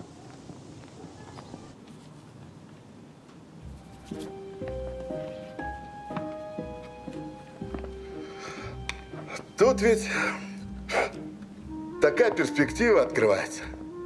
Найти золото, пропавшее аж в середине прошлого века. А? Это ж как минимум внеочередной титулярный советник. Станислав второй степени. А может быть даже перевод в Санкт-Петербург. Не о том думаете. Мы преступников ищем не ради наград и звания, Антон Филаретович. Угу.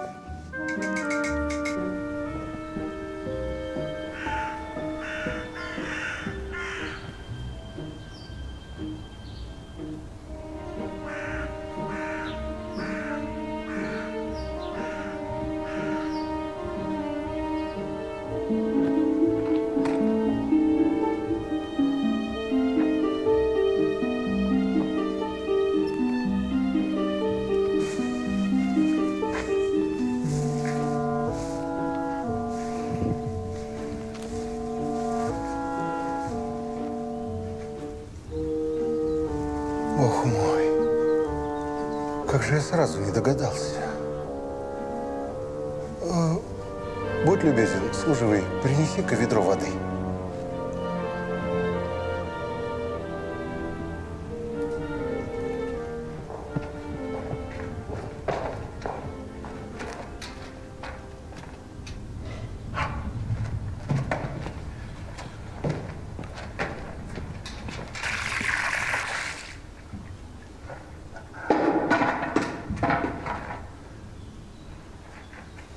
Пустота. Так вы, вы полагаете, там подземелье?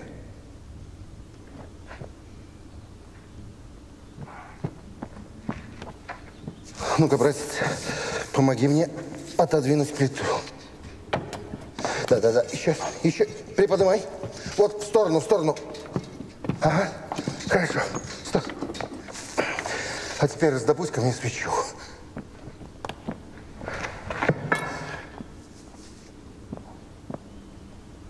Родион Спиридонович. Да. Есть ли среди личного состава, скажем так, кто-нибудь щуплого телосложения? Штабс-капитан. Имеется один малохольный. Сейчас приведу. Благодарю.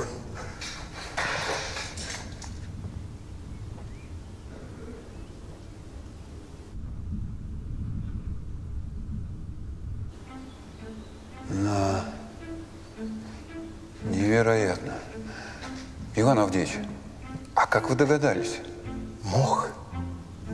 Щели в полу забиты мхом со стен. Кто-то пытался скрыть, что сдвинул плиту, а мох здесь сухой. Да, я вижу, глаз у вас наметанный. Ну, братец, подходи. Подходи поближе. Ну что, пролезешь в такую щель? С меня что в водке? Ну, конечно, попытаться-то можно.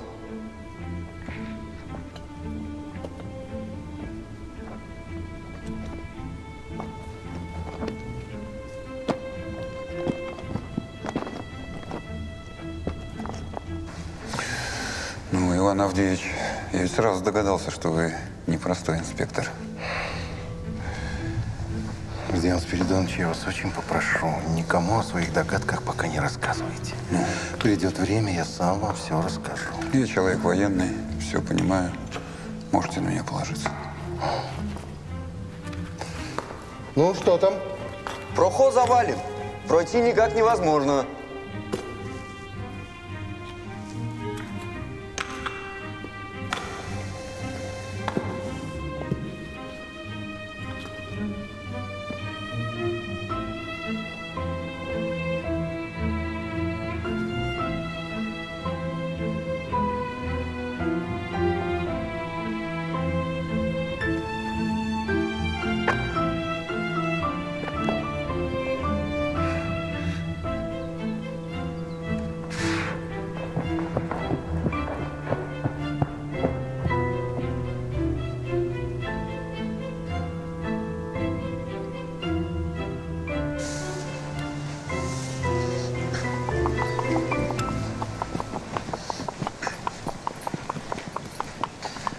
Прогуливаетесь, Клим Пантелеич?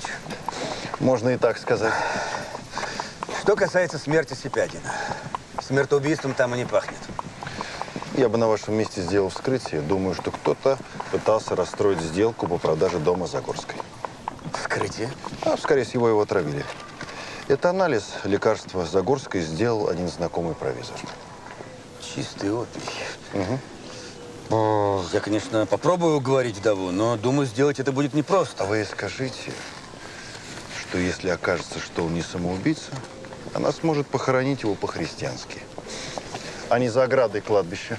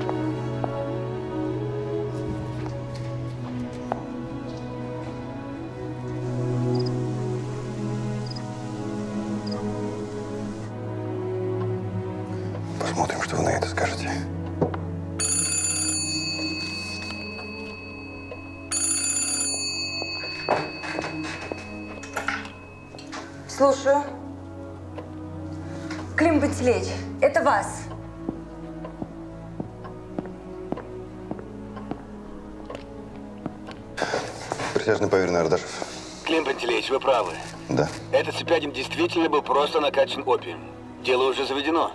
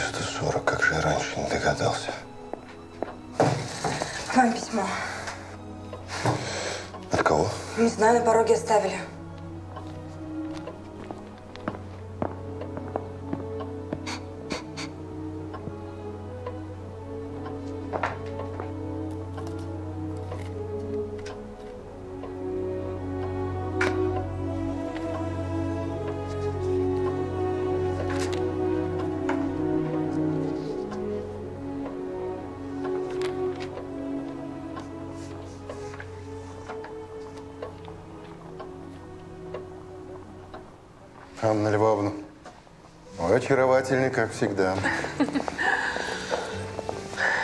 Жаль, что мужья перестают это замечать. Для них с возрастом важнее бильярд и карты. Анна Львовна, голубушка, сударь, позволите. Конечно. Я ждала вас, хотела с вами. Иван Андреевич, между прочим, поручик Рахманов был влюблен в Анну Львовну. Что вы говорите? И ее муж даже угрожал ему. А потом поручик пропал. Кстати, Родион Спиридонович, а вы не припомните, поручик пропал до прибытия обоза? Ну как же, отлично помню. Поручик Рахманов пропал, когда босс уже был здесь. В ту ночь я был дежурным по гарнизону. Вы дежурили в ночь прибытия обоза? Так точно. В ту ночь дежурил именно я.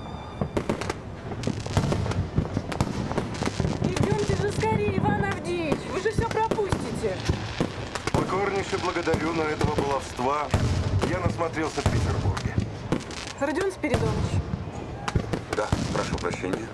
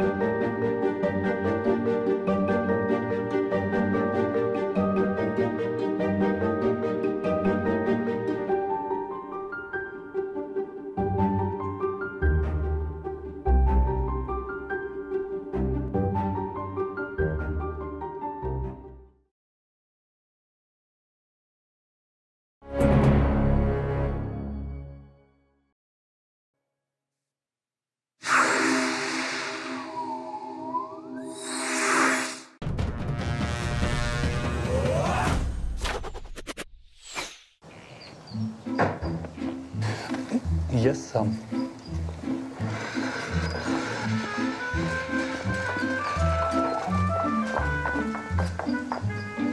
Аккуратнее. Я же не мешок картошки все-таки. Действительно, аккуратнее.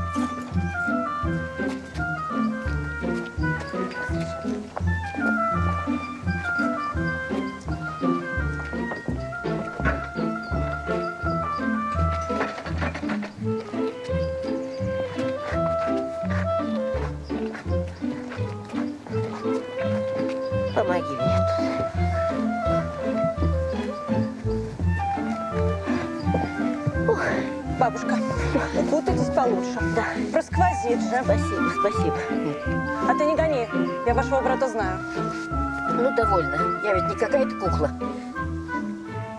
Изабелла Юрьевна! Изабелла Юрьевна! Не желаете ли с нами на прогулку в Волофузовский сад? Я присоединюсь к вам чуть позже. Вчера долго не могла уснуть после спектакля.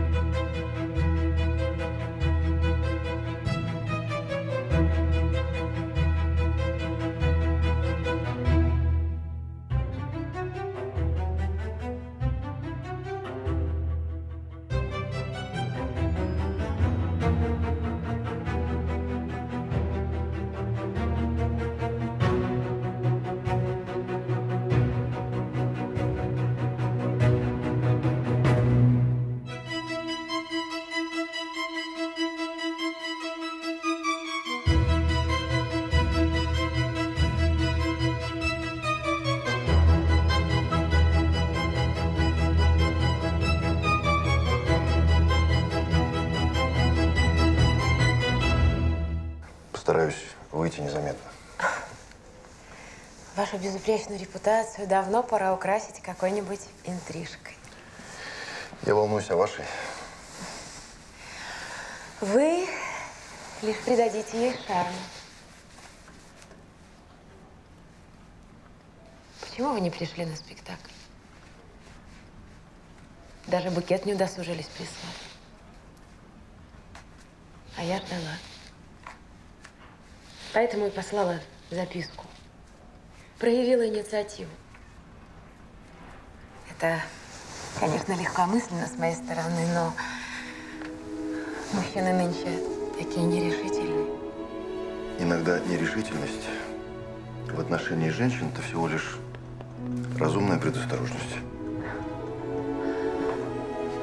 Конечно. Ведь мы такие коварные, такие опасные. Еще непредсказуемые и скрытные. Скажите, вы знали о мистических шалостях Варенцова?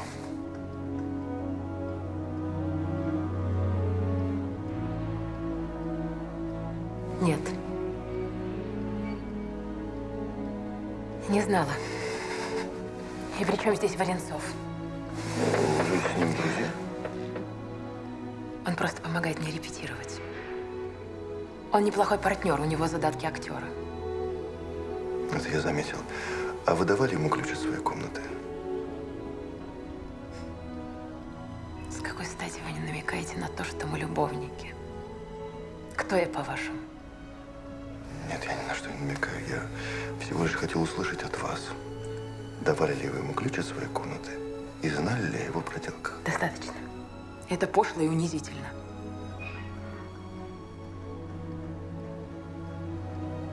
Я не хотел вас обидеть. Однако вам это удалось. Вы бездушная ищейка.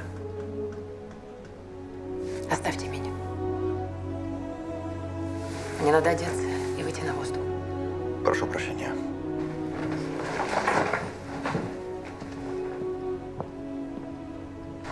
Зачем было делать вскрытие Сипягин? Он ведь сам бросился под поезд. Ему кто-то помог. Да, кстати, труп из-под колес паровоза – то еще зрелище. Вскрытие показало наличие опия в организме Сипягина. Так что он был не в себе, когда оказался под поездом. И как только вдова дозволила кромсать покойного. А я объяснил ей, что если мы докажем, что ее супруг не самоубийца, то она сможет похоронить его на кладбище, по-людски. И опять церковь, как положено. Как у вас это ловко получилось, Ефим Андреевич. Ничего не скажу. Я бы так сразу не додумался.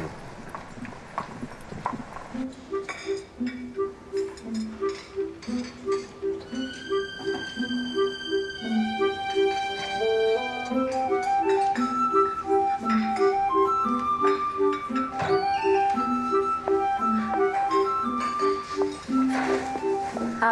я. Аполлинарий Никонорович, не желаете составить мне компанию? Я к вашим услугам с превеликим удовольствием.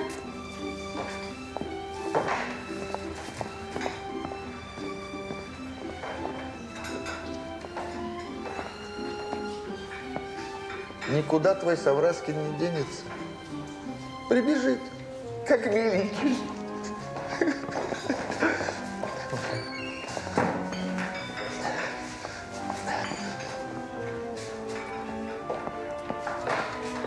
Мое почтение.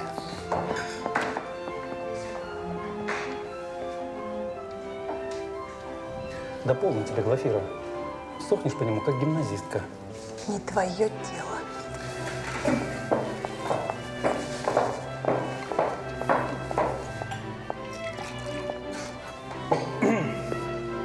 Задам, господа.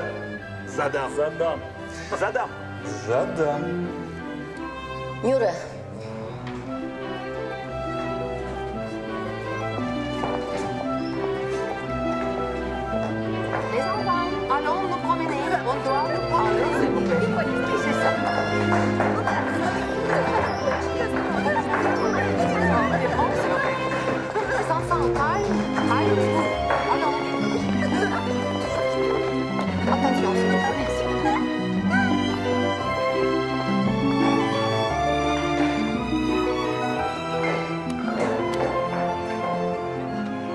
хорошо, хорошо.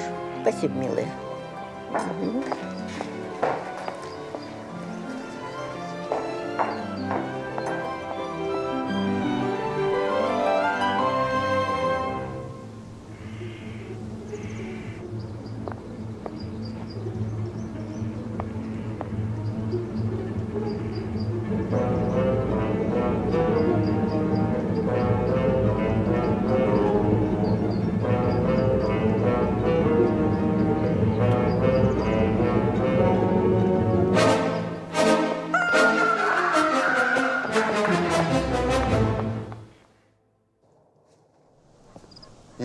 Поаккуратней, не затопчи.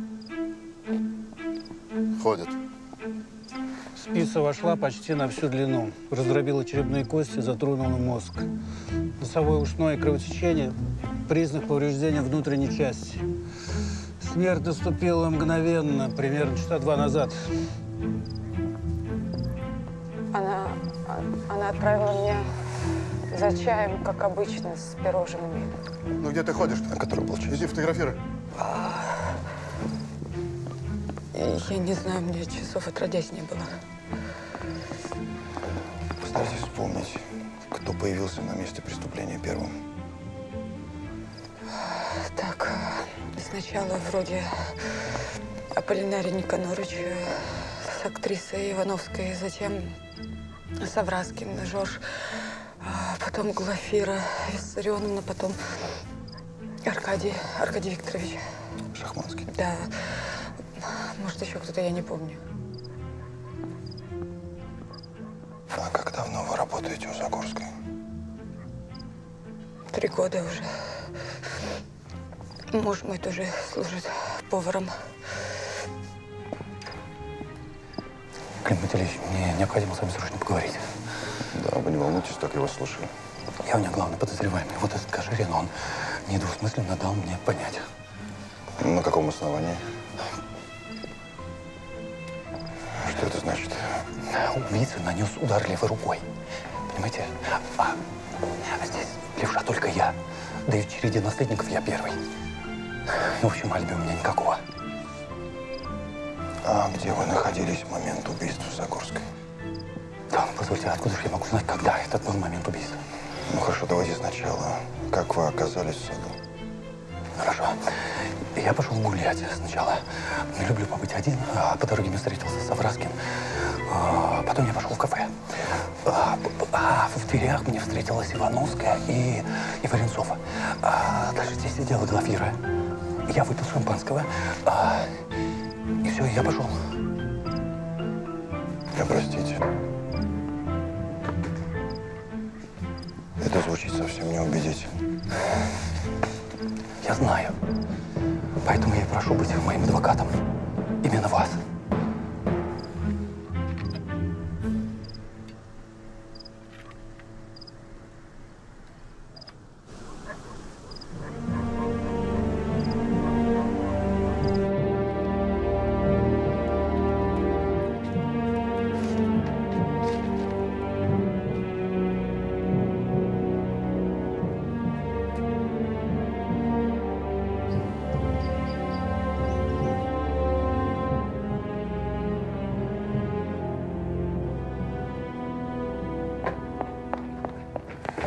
Письмо месье Лежа отправила?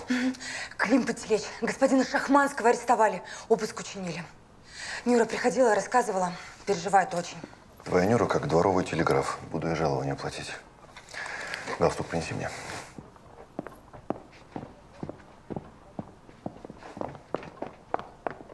Три инцидента со смертельным исходом. По одному покойнику в день. Каково, а? И что мы имеем на сегодня? Арестован Шахманский. Внук убитой домовладелицы Загорской и ее законный наследник. Сознался? Пока нет. Вещественные доказательства? Обнаружены. Самое, что ни на есть надежное. С утра мы получили письмо. Письмо без подписи. Буквы вырезаны из газет. Случайный свидетель указывает имя убийцы. Это Шахманский. И это все? В письме указано, что Шахманский скрылся с места происшествия по песчаной дорожке. Затем он э, снял свои резиновые калоши, завернул их в газету и положил их под правую тую, что у левого пруда. Э, Потом спокойно отправился в кафе. Э, Антон Филаретович выехал в Лафузовский сад и обнаружил эти самые калоши в указанном месте и следы на этой самой песчаной дорожке. Вы уверены, что эти калоши принадлежали Шахманскому? Разрешите, ваше высокоблагородие. На внутренней части подошвы имеются металлические вставки с буквами А и Ш. То есть Аркадий Шахманский. Я допросил несколько сапожников, и один из них подтвердил, что это именно он вставил в подошву колош Шахманского эти самые буквы. Да, правда, Шахманский утверждает, что калоши он всегда оставлял за дверью, и у него их украли за день до убийства Загорской. Мы произвели обыск, но, к сожалению, ничего не обнаружили. Связь Шахманского с другими убийствами, музейным служащим Корзинкиным и купцом Сапрыгиным... Сипягиным. Сипягиным купцом не установлено. Да. Доказательства косвенные. Поэтому нам необходимо чистосердечное признание Шахманского. Он сознается, можете не сомневаться, ваше высокоблагородие. Займитесь этим лично, Антон Филаретович. Полагаюсь на ваш опыт. Свободны.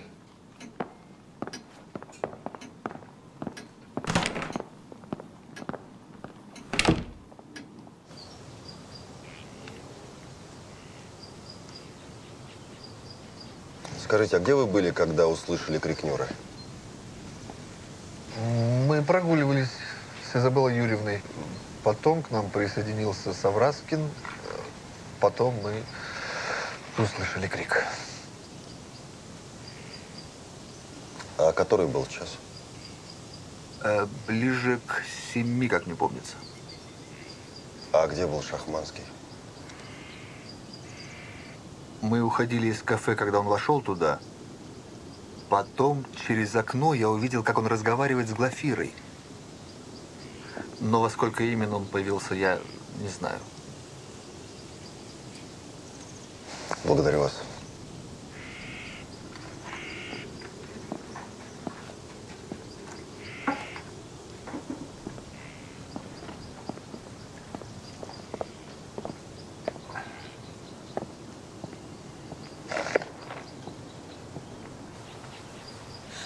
Аркадий Викторович, он, он никак не мог убить барыню. Я это точно знаю. Я просто, я просто рассказать никому не могу. Почему? Не могу и все. Ну как же так, а? Он в тюрьме, а ты ему помочь не хочешь? Я, я боюсь. Ты понимаешь, что его безвинного на каторгу отправят? Понимаешь? Я, я не могу. Ну что ты заладила? Я не могу, я не могу. Рассказывай, что знаешь. Давай. Меня мог видеть у пруда Модест Бенедиктович, художник наш. Ну, во всяком случае, я заприметил там его этюдник. Ну, Вы сами у него спросите. Я у него обязательно спрошу. Если вас интересует мое мнение, то Шахманский не способен на убийство. А вы кого подозреваете? Никого. Даже представить себе не могу, кто это. А где сейчас Ростульский? Так на пленэре в Волофузовском саду. Где же ему еще быть?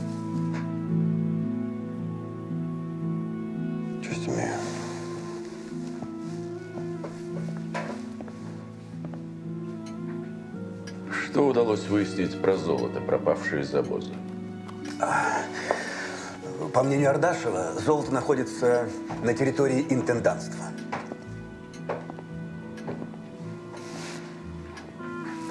А при чем здесь Ардашев?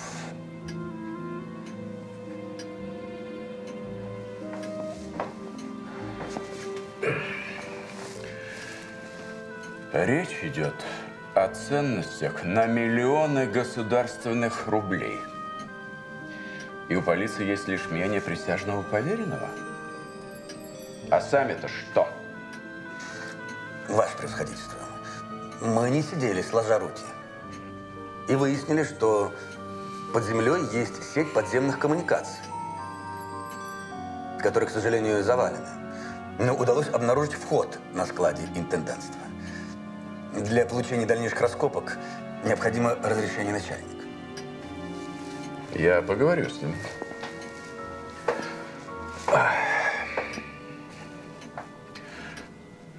Тут ведь дело такой важности, что при раскрытии уже не Станиславом, а Владимиром на ленте пахнет. О как! Понимаете? Понимаю, ваше превосходительство. Понимаю. Я не помню, когда Аркадий пришел в кафе. Глаза бы мои его не видели. Вы тоже считаете его убийцей? Кого же еще? Небось, торопился наследство свое заполучить. Он же главный претендент. У вас ровно такие же права, как у Шахманского.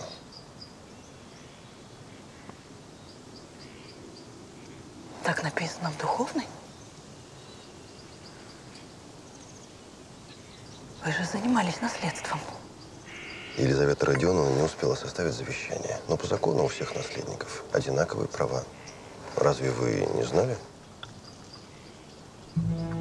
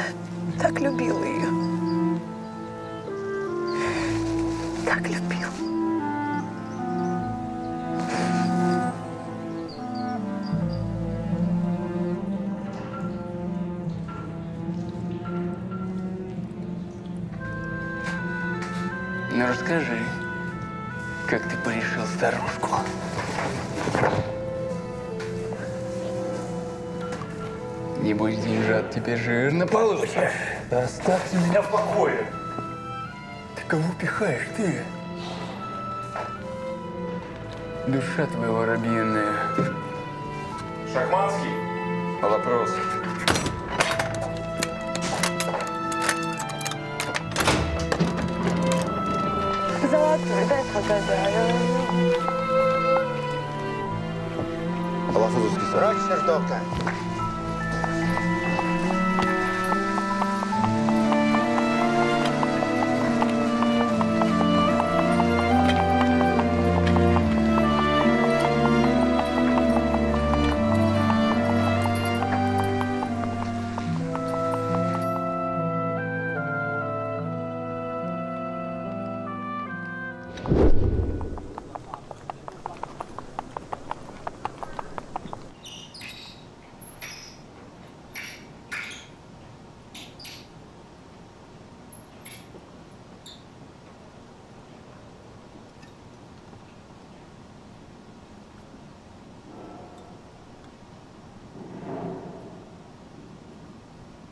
Все доказательства против вас.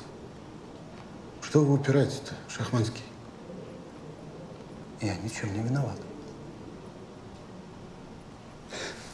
Я вам рекомендую признаться.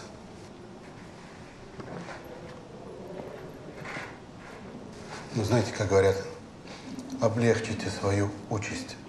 На каторге сейчас очень несладко. Говорю же, я никого не убивал.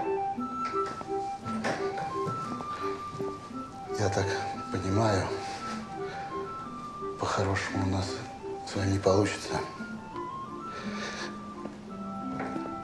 Видать, понравилась вам жизнь тюремная. Так что ли? Это возмутительно. Это просто дикость какая-то. Тем более вы не имеете права меня здесь держать по необоснованным обвинениям.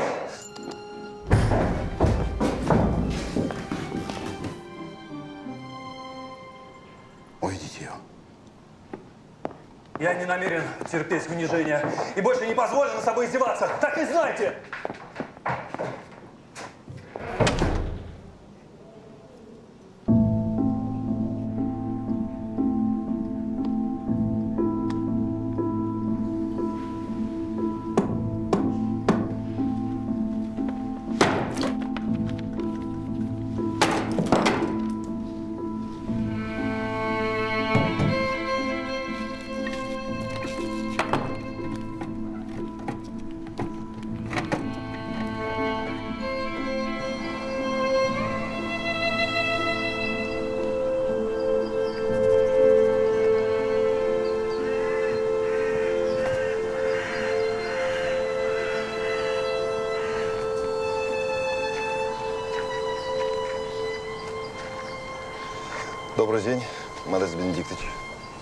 Приветствую, э, Клим э, Пантелеймонович.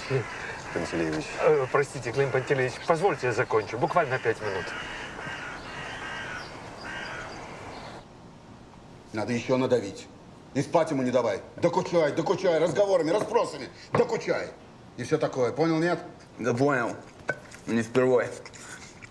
А может это его слегка помять? Я тебя помну. Вот только попробуй. На каторге сгною.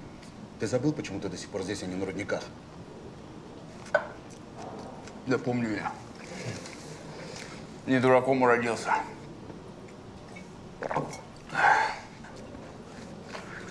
Только хотелось чего-нибудь для поднятия духа в виде поощрения. Будет тебе. Для поощрения. Когда Шахманский в убийстве признается.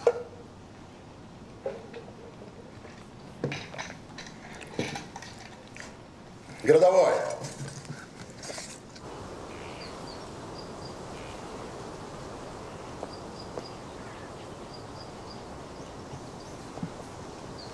Вы уж простите за ожидание, Клим Пантелеич. Это вы меня простите. Я вас от работы отвлекаю. Понимаете, кувшинка – цветок капризный. В пять она уже начинает привередничать. В шесть она скрывается под воду, а целый час закрывается. Удивительная пунктуальность. Давно хотел заглянуть к вам, посмотреть ваши работы. Ну, всегда милости просим. Но сейчас, насколько я понимаю, речь пойдет не о живописи. Да, у меня к вам очень простой вопрос. Что вы видели в день убийства Загорской? Я, знаете ли, когда работаю, ничего вокруг не замечаю. Господин Шахманский арестован. Его подозревают в убийстве. Я в это не верю. Пожалуйста, вспомните, что вы видели в день убийства Загорской. Ладно. В тот день я ненадолго отлучился. На то были природные потребности. И наткнулся на Шахманского. Увидел его в кустах с Нюрой, вернее, услышал. Они там... Ну, у них было свидание. Вы меня понимаете? Да. Аркадий тоже меня заметил, потом умолял, чтобы все сохранилось в тайне. Нюра – это женщина замужняя. А в котором часу это было? Ну, немногим после шести. Кувшинки все уже спрятались. То есть в то самое время, как убили Загорскую. Значит, у Шахманского есть алиби и есть свидетель, верно? Боюсь, что э, Нюра не решится рассказать об этом полиции. Понимаете, город у нас небольшой. Я понимаю. Я родился в этом городе. Благодарю вас.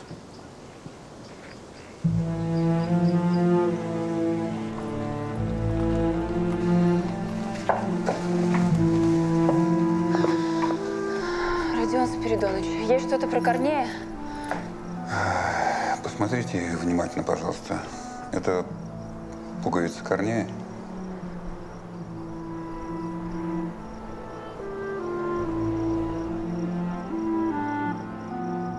Вы уверены? Нитка. Красная. Не по уставу. Он меня еще отругал.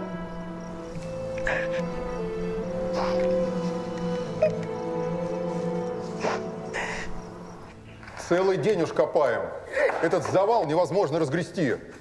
У вас вообще-то есть какой-то план? План? Есть, конечно. Копать, пока не попадем в подземелье.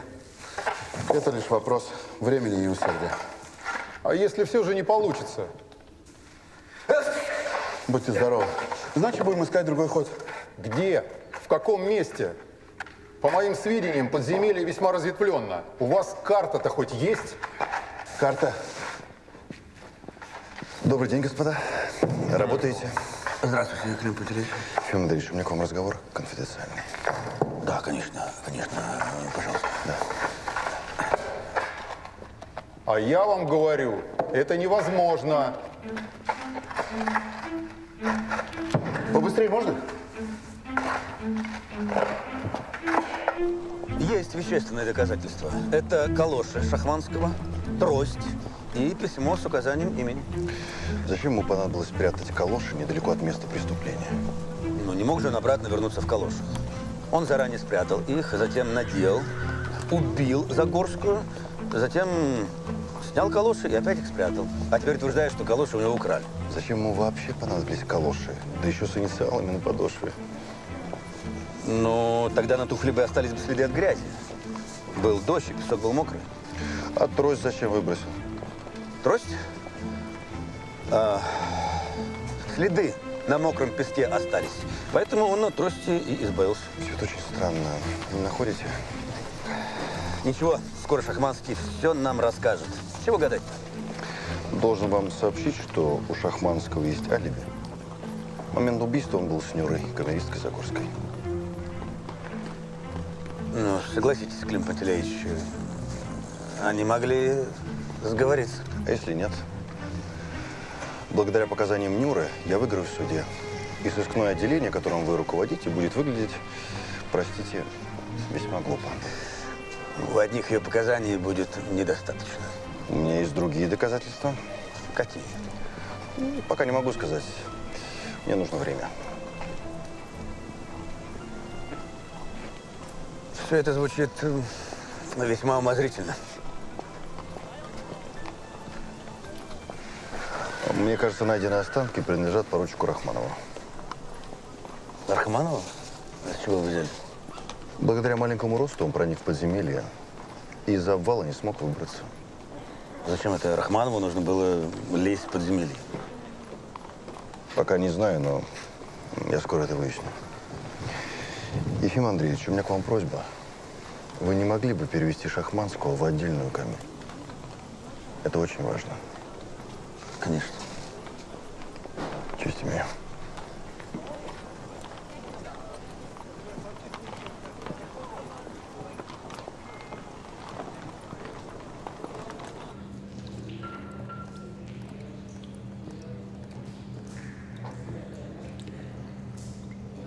В чем дело? Что вам от меня нужно? Поговорить хочу. О чем? Скука здесь страшная. Расскажи сказку. Какую сказку? Как ты свою бабку покнул. Ты все красной шапочкой прикидываешься. И всем не вдомек, что ты на самом деле серый волк. Злющий-призлющий.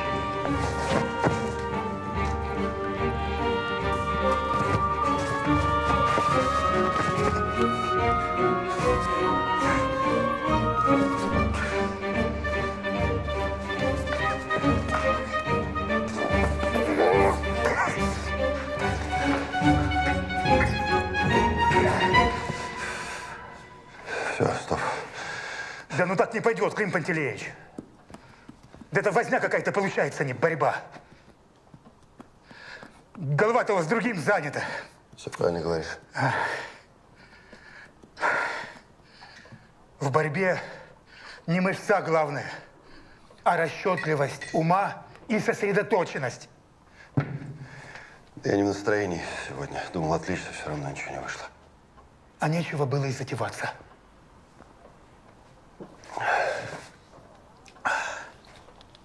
Ладно, пойду я.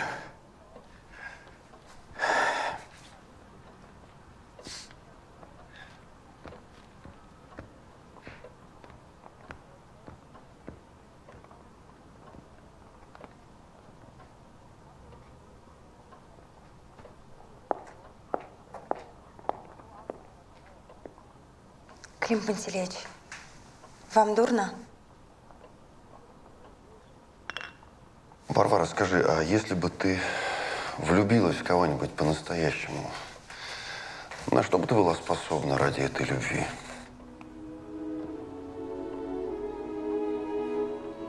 Где предел женской беззаветности?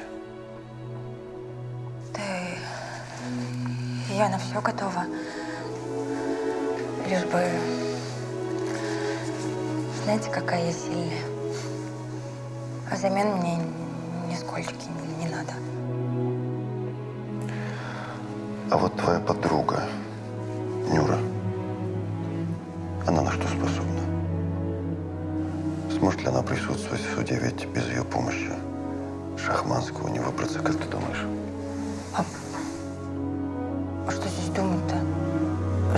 ради любви на многое способна.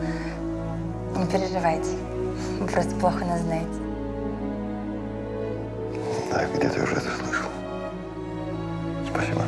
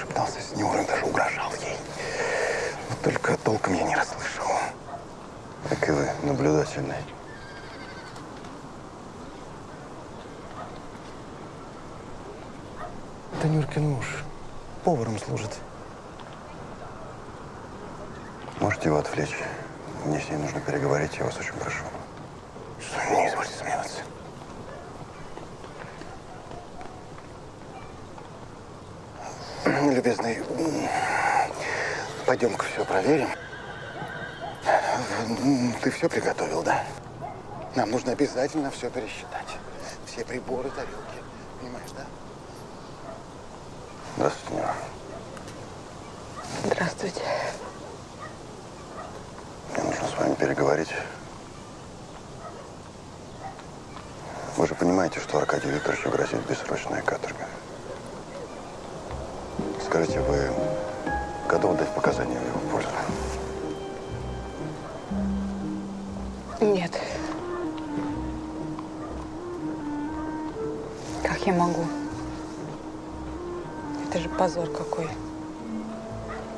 Раздольский вот тоже требует, чтобы я призналась, продаст с Аркадием. Угрожает даже все мужу рассказать. Аркадий Викторович ничего не рассказал о вас в полиции. Бережет ваше имя, рискуя своей свободой. Подумайте, вы единственный человек, который может его спасти.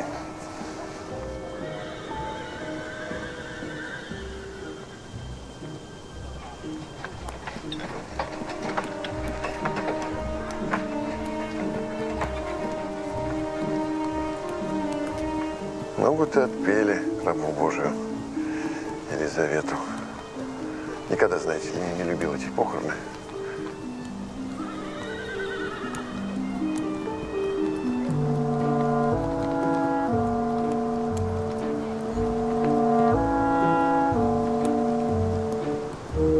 Вот отсюда мы выносили тех холерных покойников. Несколько солдат и половников. Э, Тут же на телеге их и погрузили. Аккурат тогда, когда прибыл персидский обоз? Да, охрана обоза разбежалась кто куда, едва проведав о холерных. А морг у нас аккурат напротив интендантского склада. Ну, темные люди. А у злодея в тот момент появилась возможность вплотную приблизиться к сундукам. Сделать слепок, например, замка. Ну или навредить повозки. Простите, а не мог ли злоумышленник, убив поручика Рахманова, похоронить его под видом холерного больного? Откинуть покойника? Нет, никак невозможно. Я же все время находился рядом. И в морге, и на кладбище. Никуда не отлучался. Благодарю.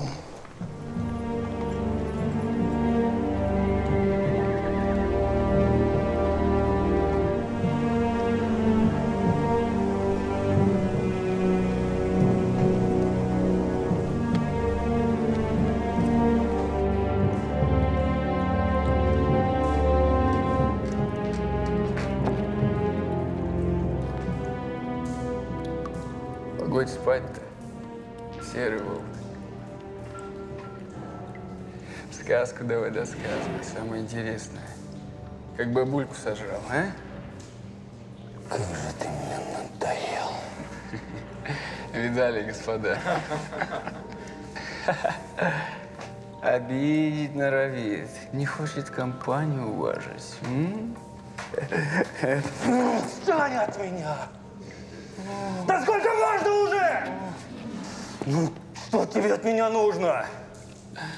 Осерчал сердешный. А я ведь по доброте. Так только, чтобы беседу завязать. м?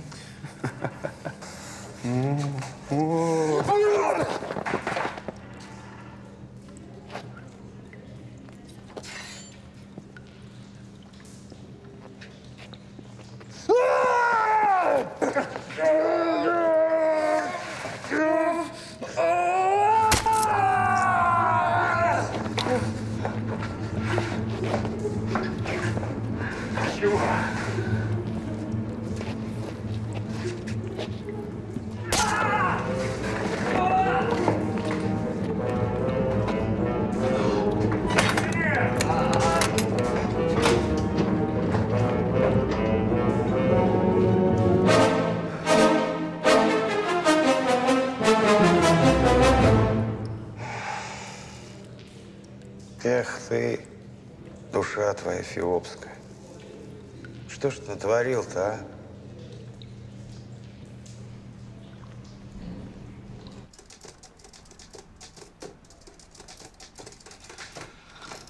Ну, давай дальше рассказывай. Сама же пришла. А что рассказывать? Про вас Шахманским. Про связь вашу греховную. Я уже все рассказала. Виделись мы. Свидание у нас было в этот день. Где именно? Подробнее. В Алафузовском саду. На скамейке у пруда. Там кустарник густой. Так. А хозяйка твоя в то время где была? На другом конце сада. Задремала она, вот я и решила. Отлучусь ненадолго. Ненадолго. Мне еще нужно было в кафе за чаем и пирожными для Елизаветы Родионовны. Я за Аркадием Викторовичем потом следом пошла. За Шахманским. Ну да. А потом, когда, когда к барыне вернулась, то она уже... Такой страх на меня напал.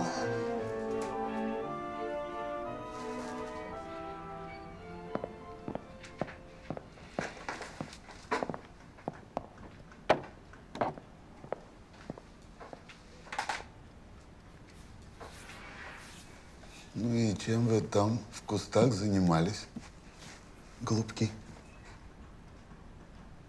Как можно? Не могу я. Стыд-то какой.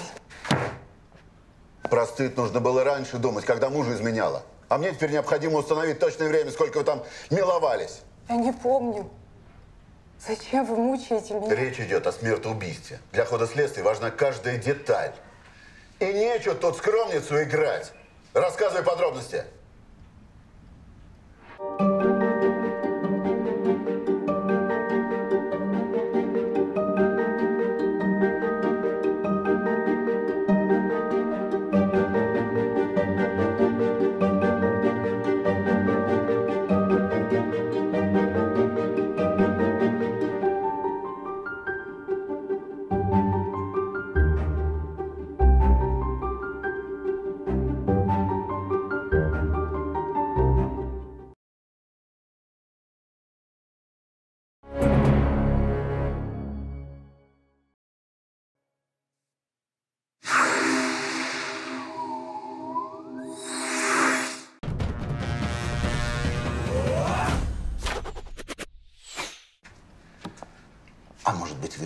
Шахманским в сговор вступили?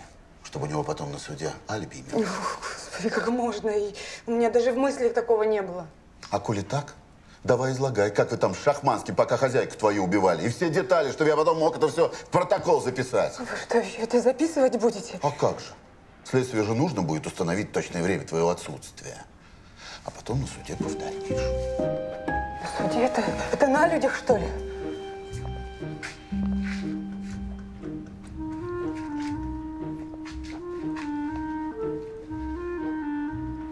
Быть, не было никакого свидания? Может быть, ты просто за чаем ходила? А теперь решила Шахманского от каторги уберечь?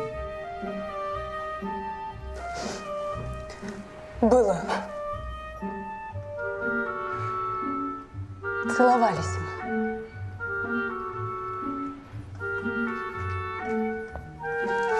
Если неправду говоришь, сама под суд пойдешь. Антон Филаретович, спасибо. Дальше я сам. Вы, судебный следователь, вам решать.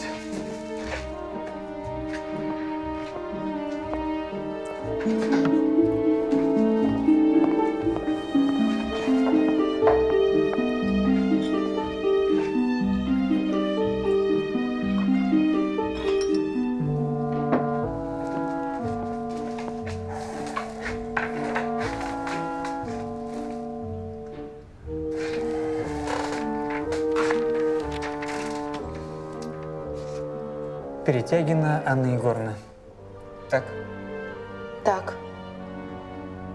Какие у вас отношения с господином Шахманским? У нас чувства с ним серьезные.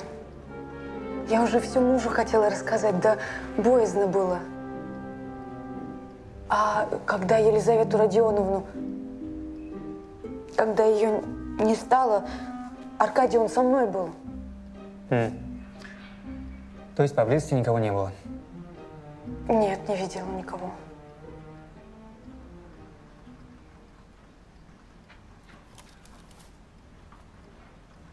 Можно я ему посылочку передам? Ничего же нельзя-то. Можно. Ему как раз полезно будет для поправки здоровья. Почему вы так говорите? Потому что господин Шахманский в тюремном зарете его в камере ножом порнули.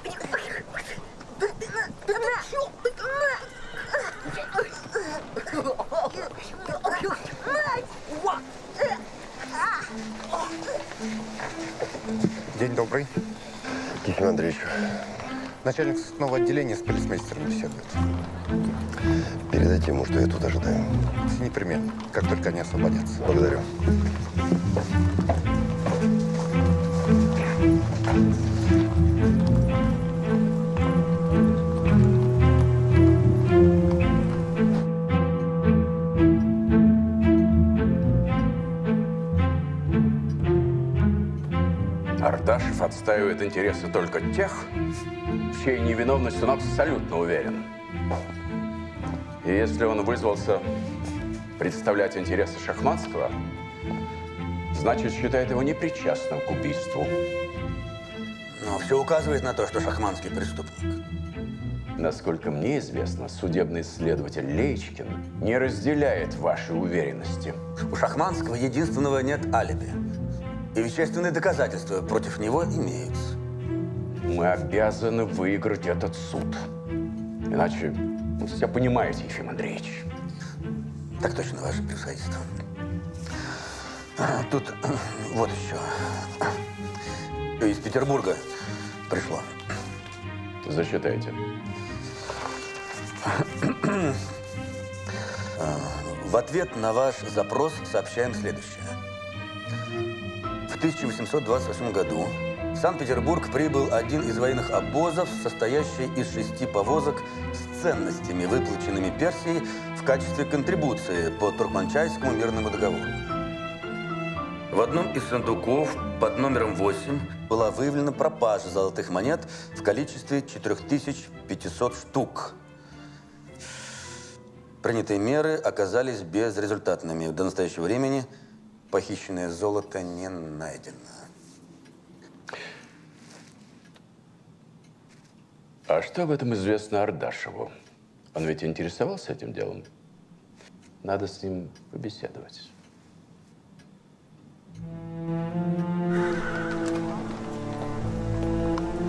Дневник генерала Эртеля.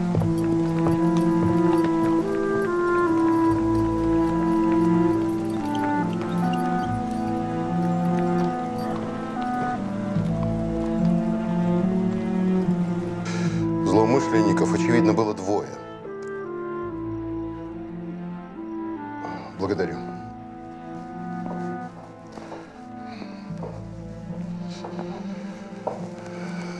Пропавший поручик Рахманов и его сообщник.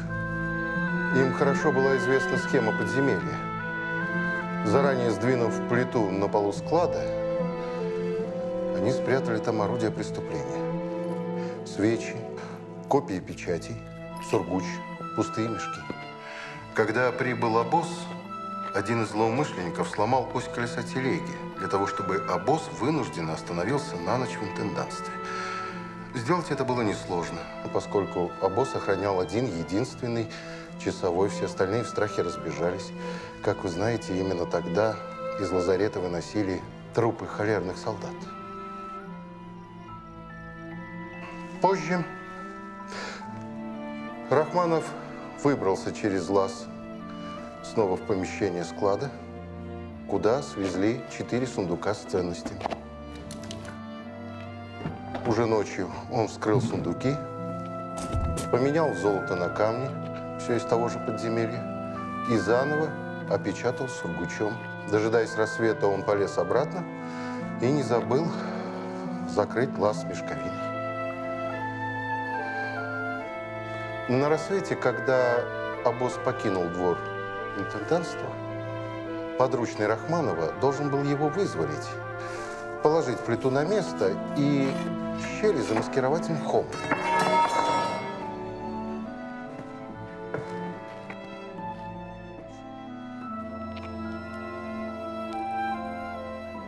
Ваше превосходительство, на все вопросы можно получить ответы, если продолжить раскопки. В этой связи я... Вынужден категорически отказать. После ваших земляных работ, а в особенности взрывных, стены пошли трещинами. Убытку-то сколько? Ваше превосходительство... Да и сабель не хватает, а обстановка нынче крайне неспокойная.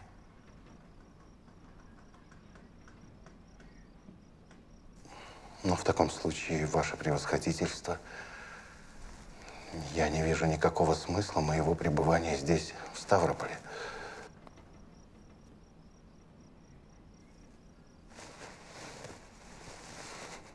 Честь имею.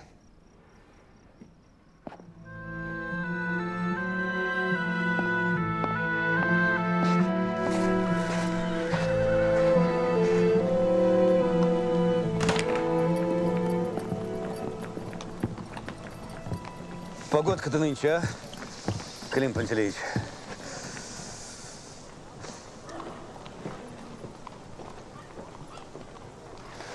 Я абсолютно уверен, что золото все еще где-то здесь. Да, будь оно неладно, столько смертей от него. Что же вы, Ефим Андреевич, Шахманского не перевели в отдельную камеру? Я же вас спросил. Да, опоздали мы чуток, самую малость. Ну и то к добру. Минуты позже и неизвестно, что случилось бы с вашим Шахманским.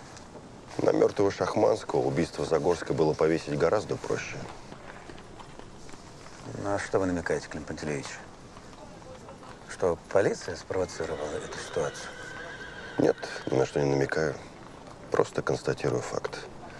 В сложившихся обстоятельствах мой подопечный обвинен еще в одном убийстве. Это усложняет линию защиты очень. Зря вы так. Пантелеич.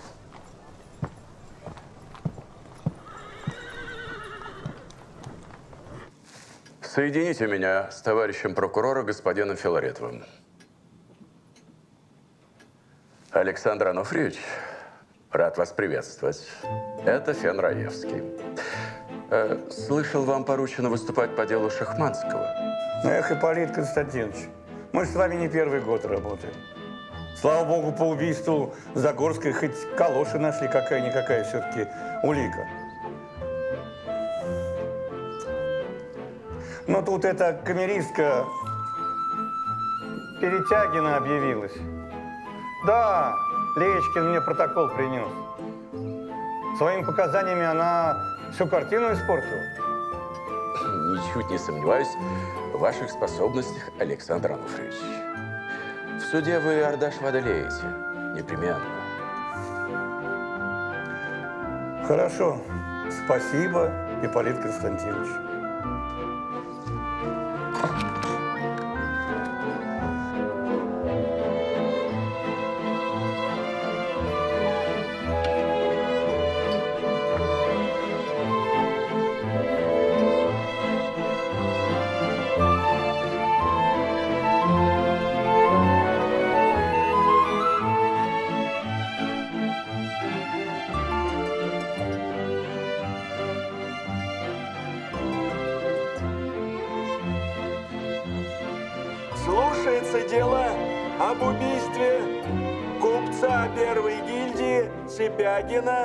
Капитона Игнатьевича, музейного смотрителя Корзинкина Назара Филипповича, дворянки Загорской Елизаветы Родионовны и заключенного тюремного замка Якова Егоровича Беспутька.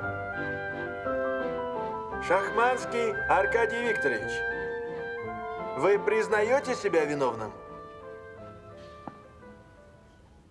Нет, не признаю. Приступаем к судебному слушанию. Вызовите первого свидетеля.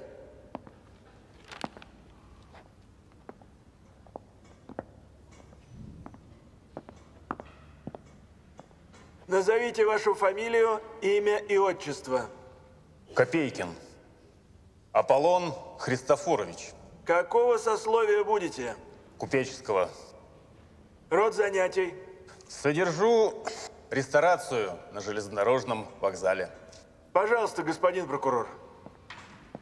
Вы можете показать человека, который сидел за одним столом с покойным господином Сипягиным до того, как он бросился под колеса локомотива? Да, вот он. Вы уверены? Совершенно уверен. Даже не знаю. Хорошо, хорошо. Ну что ж, благодарю вас. У меня более нет вопросов, Ваша честь. Есть ли вопросы у защиты? Да. Скажите, вы лично были знакомы с Сипягиным? А, нет. Потрудитесь указать среди этих господ Сипягина. Прошу вас.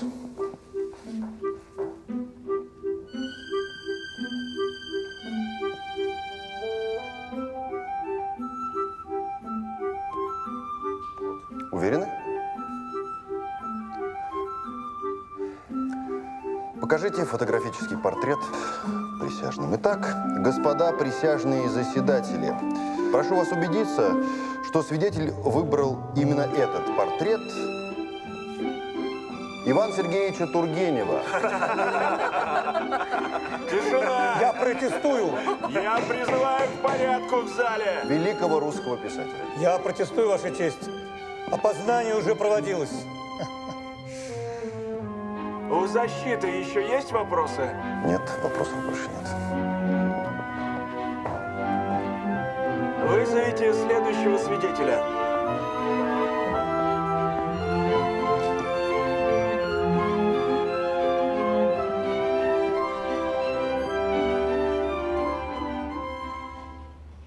Назовите вашу фамилию, имя и отчество. Э, Колыванов Евлампий Федорович. Какого сословия будете? И из крестьян мы? Род занятий? Так дворник я. Пожалуйста, господин прокурор. Скажите, вы видели подсудимого возле музея в день э, убийства Корзинкина? Э, видал, он шел от музея. Вы уверены, что видели именно господина Шахманского? А, ну, может быть, он, а может быть, и не он. Как это прикажете понимать? Вы только что утверждали, что видели именно Шахманского. Я, ваше благородие, по фамилиям-то не разбираюсь. А так-то вроде как похож. Я человек маленький, мне что велено, то я и сказываю. Что значит велено? Кем велено? Так он? Нелепость какая-то. Так э, сказывал же, что, коли сам точно не помнишь, так нечего суд путать. А полиции так все доподлинно известно. Вот и говори, которого судят, тот и был возле музея. Ведь так? Так как тебе не совестно лгать-то прилюдно? Что ты несешь? Я тебя, ты меня первый раз видишь, ваша честь. Я протестую. Что это такое? Это просто подлог. Это невозможно. Конечно. Порядок в зале суда. Господин Каширин, покиньте зал судебного заседания. Ваша честь, это ложь. Вон. Ты же меня первый раз видишь. Да, я вот это... Вон, а он... честь. Вон! Ну, я... Я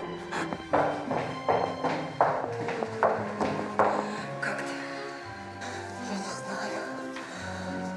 Велели тут обождать. Говорят, вызовут. Ты, Юра, молодец. Ты человека от каторги спасаешь. Главное, не робей. А я за тебя в зале молиться буду. Спасибо.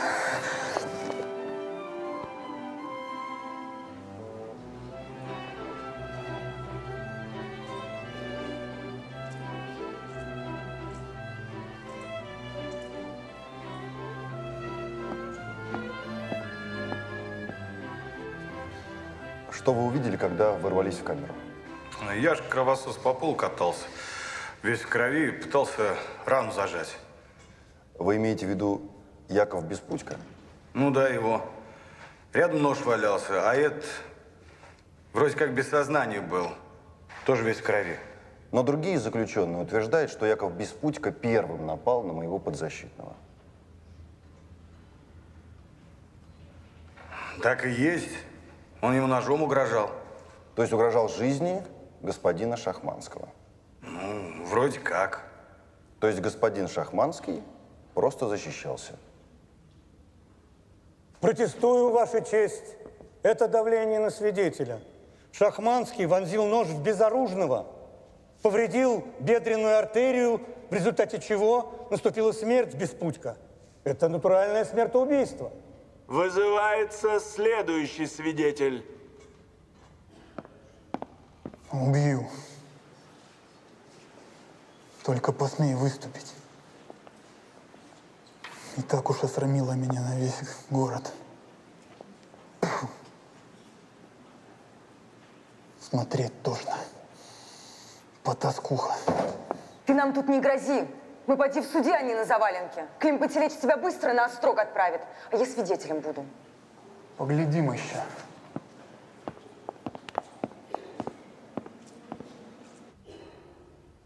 Шахманский появился минут за 15 до этого. Ивановская и Варенцов прогуливались неподалеку. И Савраскин вместе с ними. Обращаю ваше внимание, на момент совершения убийства обвиняемый Шахманский в кафе находился один. Разрешите, Ваша честь?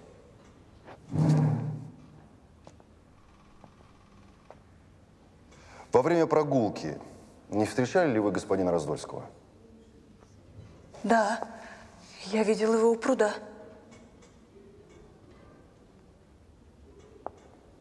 Это все? Пожалуйста, следующий свидетель.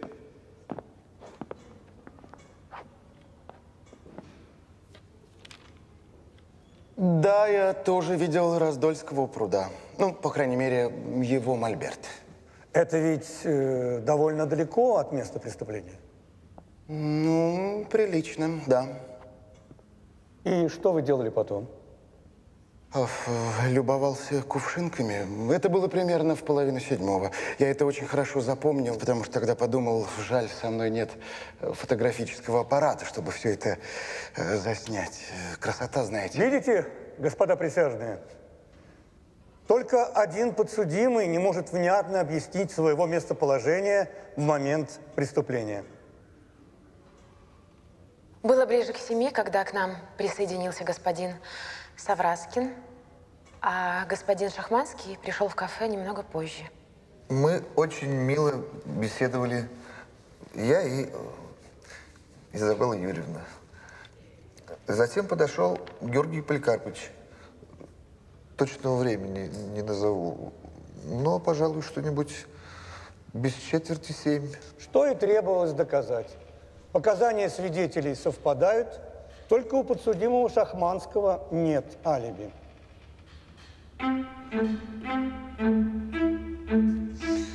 А в последнее время моей пациентке Загорской мерещилось кровавое пятно за тумбой. Это видение появилось у госпожи Загорской незадолго до гибели. Да, до этого ей мерещились э, покойные родственники. И это кровавое пятно погибшая видела не единожды. Определенно, она мне жаловалась несколько раз. И пятно было всегда на одном и том же месте. Да? Да, всегда на одном и том же месте. Ваша честь, к чему подобные вопросы? Это к делу не имеет решительно никакого отношения. Имеет.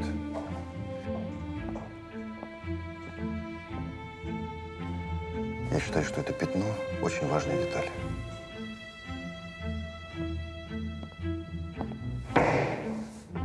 Объявляется перерыв на 10 минут.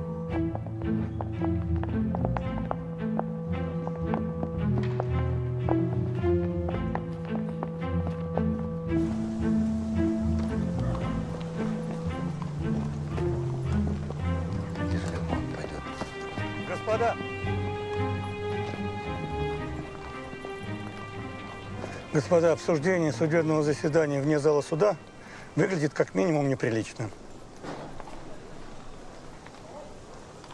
Вы напрасно подозреваете нас в сговоре. Помогите нам с Ефимом Андреевичем разрешить давний спор. Что лучше поднимает настроение, монпансье или нюхательный табак? Не желаете? А может, хотите мою табачку? Благодарю. Предпочитаю папиросы.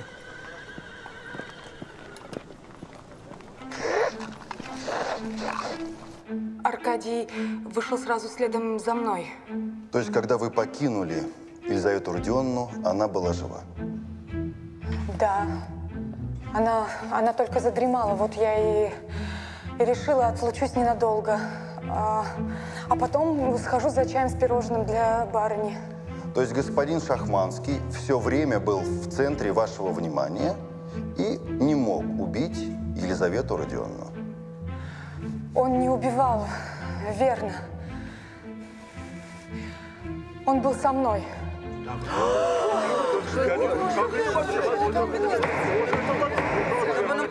Порядок в зале суда. Тишина. Ваша честь, у свидетельницы имеется личный интерес. Она может быть в сговоре с подсудимым Шахманским, с которым неоднократно прелюбодействовала, имея законного супруга. Таких женщин обыкновенно называют... Протестую. Господин прокурор пытается сорвать допрос очень важного для защиты свидетеля и вообще ведет себя неподобающим образом по отношению к женщине. Хочу вам напомнить, что уголовный суд занимается расследованием преступлений, а не причиной семейных неурядиц. Принимается. Можете продолжать. У меня все. Вы свободны. Вниманию присяжных заседателей предлагаются вещественные доказательства. Прошу. Калоши Шахманского, найденные недалеко от места преступления. Отпечатки следов от этих калош на месте преступления. Трость Шахманского, отпечатки которой тоже были на месте преступления. И записка из вырезанных газетных букв.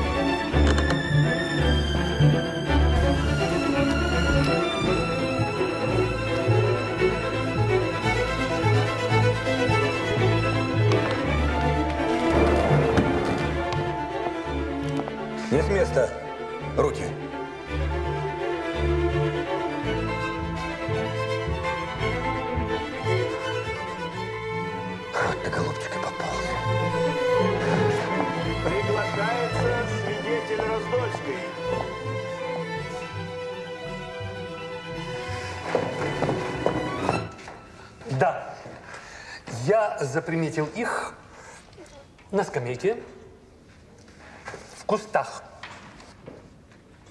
Было около шести. А сколько времени, по-вашему, было, когда господин Шахманский покинул место свидания?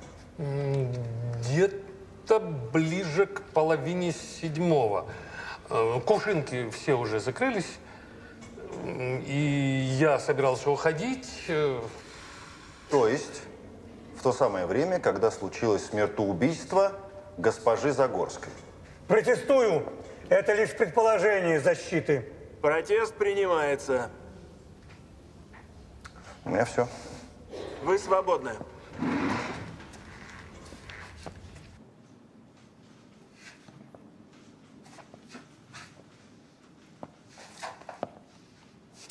Ардашев хитер.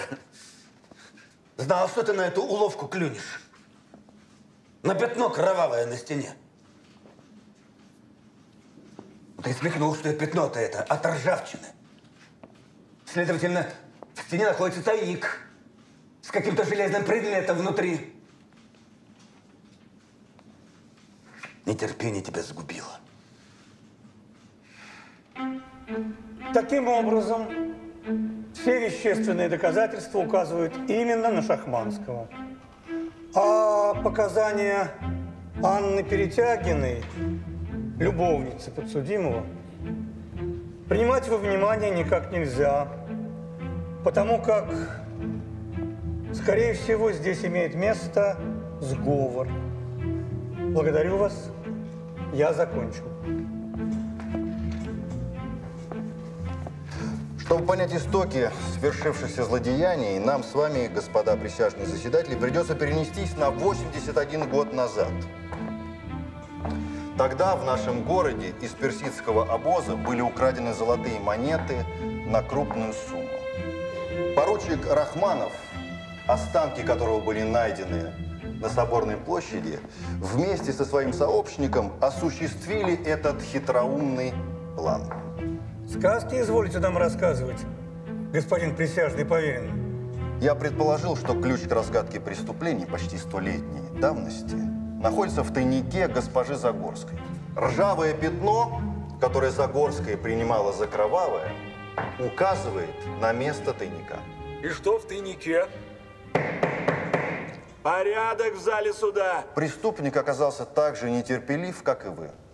Он решил проверить тайник, не дожидаясь окончания суда, или побоялся, что его опередит полиция, и был пойман с поличным.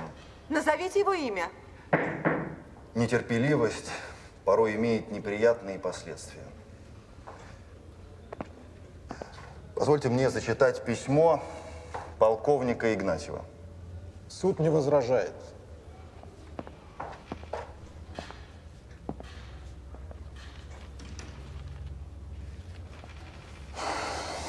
Я, полковник Родион Игнатьев, оставляю это подробное покаяние своим потомкам в надежде, что они смогут меня простить. Два года тому назад я обвенчался своей супругой Агриппиной. Мы ждали первенца. Впереди была моя отставка и тихая семейная жизнь. Но имение мое давно было продано, а для партикулярной жизни нужен капитал, коего, к сожалению, я не имел. И как раз в этом году, после разгрома войск Фет Алишаха, через Ставрополь прошел первый обоз из Персии с ценностями, полученными по контрибуции. Я понял, что это мой шанс. В это самое время из лазарета выносили трупы холерных солдат, и вся обозная охрана разбежалась. Мне удалось незаметно вытащить скобу с телеги, на кое был восьмой сундук. И ось ее тут же переломилась пополам. Затем я подменил восьмой ключ на связке начальника другим ключом и настоящий передал Рахманову. Поручик сразу же спустился в яму, прикрыв ее мешками с солью. Поручик, зная время смены караула и снабженный моим бригетом, должен был освободить от золота восьмой сундук, положить в него камни и, опечатав сургучом, схорониться, дожидаясь, когда освободят склад и обоз тронется в путь. И лишь после всего этого я должен был его незаметно открыть. Но утром, когда выносили сундуки, я воспользовался суматохой и ломом задвинул плиту на место, заперев Корнеев в каменном мешке. Это получилось само собой, и видит Бог. Я этого не хотел. Через 10 дней, когда Фурштадт был уже далеко, я отодвинул тяжелый гранитный камень, надеясь забрать золото и свои часы. Но мертвеца в яме не оказалось, и впереди чернел обрушившийся завал. Пытаясь выбраться наружу, он, скорее всего, стал копать землю, от чего сдвинулась порода и завалила его вместе с золотом. Погребенный заживо поручик – мое самое большое злодеяние, но оно повлекло за собой и другие преступления. Слава Создателю, отвратившему пулю от следователя Самоварова и избавившего меня от еще одного греха. Расплата за мои преступления пришла слишком быстро. И Всевышний забрал к себе ни в чем не повинную Агриппину. А неприкаянная душа Корнея будет бродить по окрестностям, доколь не найдут его останки и не отслужат по нему молебен. Я теперь прошу Господа, чтобы моя скорая смерть искупила злодейства мои и не обрекла мой род на вечные муки и страдания. А что с золотом? Объявляется перерыв на 10 минут.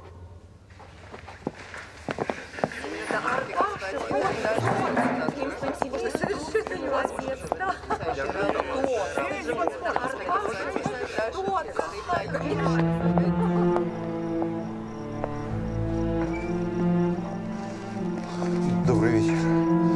Прошу покорнейше простить меня за столь поздний визит. Мне срочно нужно переговорить с Агриппиной Федоровной. Агриппина Федоровна отбыла в мир иной, при родах. Царствие небесное. Вот как? В таком случае могу я видеть полковника Игнатьева? Родион Спиридонович отбыл на Кавказ, и от него давно нет никаких вестей. Прогнозы самые неутешительные. Выходит, никого не осталось? Никого. Тихо, господа. Я требую тишины в зале.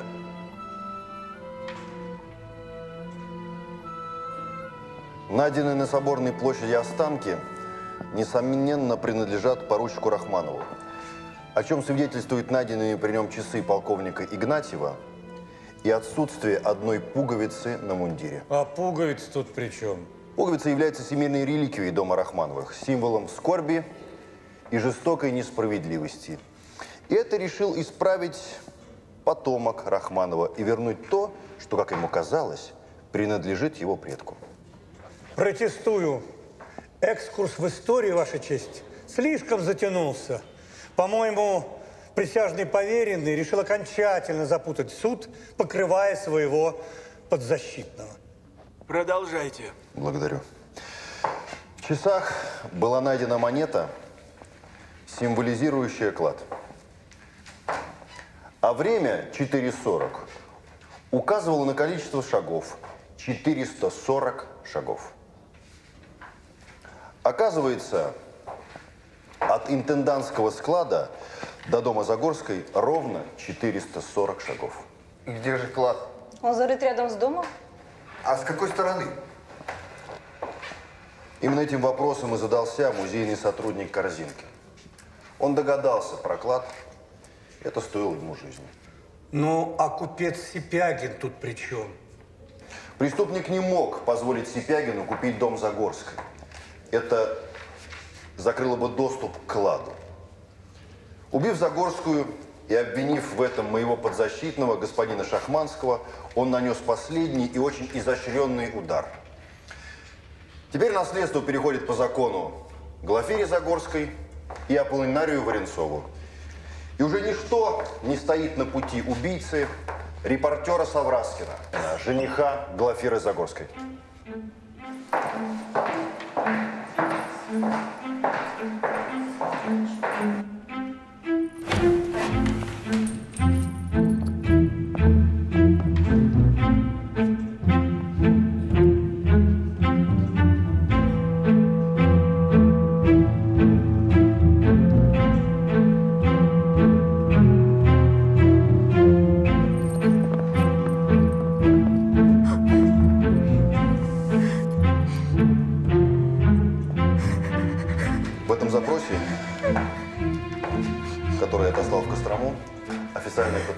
что этот человек является правнуком Рахманова.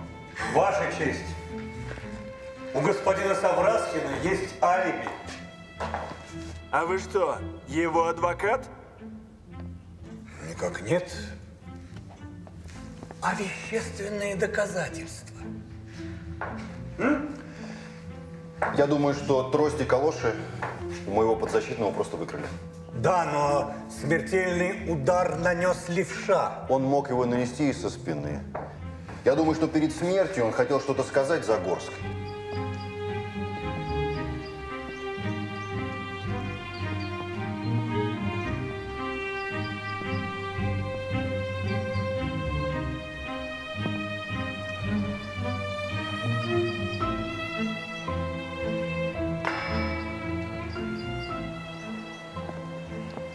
Что вам угодно, Георгий Поликарпович? Я долго ждал этого момента. Ваш отец, Елизавета Родионовна, не только убил моего прадеда, поручика Рахманова, О чем вы, голубчик? он уничтожил все мое будущее. Он обрек нас на нищету. Что вы, что вы такое несете? Как вы смеете? А, э, Юра! А, Юра! Юра! Собраскин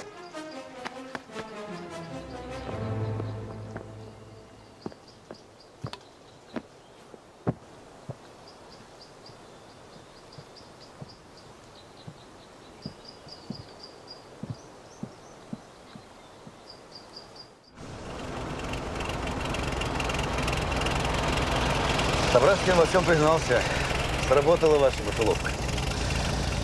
Однако какая история-то заковыристая оказалась. И шлейф ее теряется в далеком прошлом. Да, и шлейф этот соткан из тысячи семейных тайн. Мне почему-то кажется, Клим Пантелеич, что вы догадываетесь, где зарыто золото. Нет, вы ошибаетесь. Это записи полковника Игнатьева. Тетрадь мне передала Загорская. А я, в свою очередь, передаю ее полицейскому управлению. Ох, благодарю вас, благодарю. А тут есть какие-то намети, где может быть спрятано золото? Нет, но в пропавшем дневнике генерала Эртеля была схема. Он тоже интересовался золотом и был ближе всего к разгадке. А вы, случайно, не запомнили эту схему? Нет, память уже не та.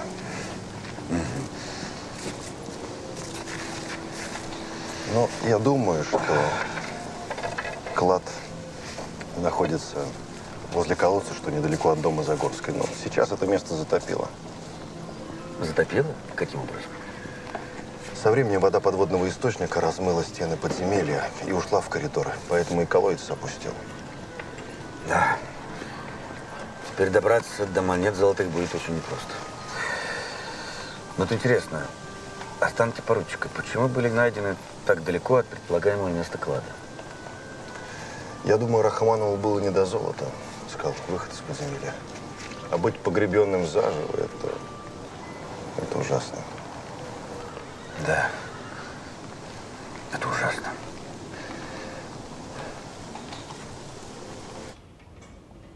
Господа присяжные заседатели, ваш вердикт.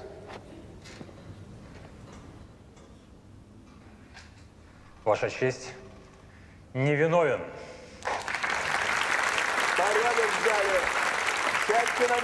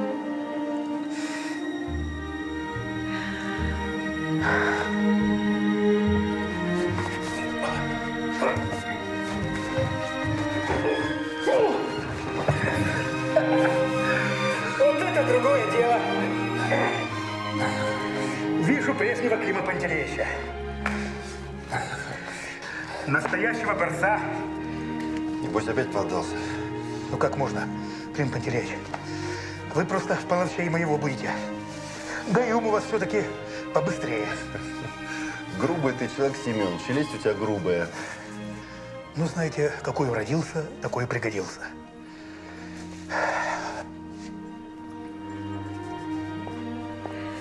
Ну, рассказывай. Мне Аркадий предложение сделал. Мой-то заортачился было. А Аркадий предложил ему солидные отступные за развод. И то согласился. Счастливая ты. Вот такая история про человеческую алчность и семейные ценности. Почему вас не было в суде? Не было ни малейшего желания видеть вас. Даже издалека.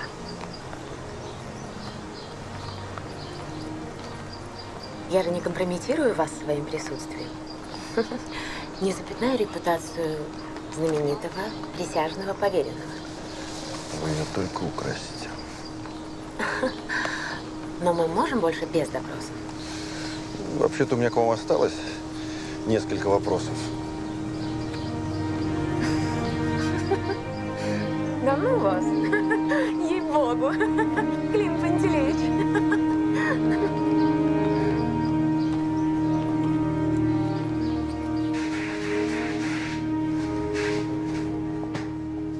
Да. Однако ни карты, ни дневника барона Эртеля мы так и не обнаружили. Видать, спрятал змееныш. Небось, думает, что может когда-нибудь на свободу выйдет. Он говорит, что у него их нет. Мол, Корзинкины где-то сохранил.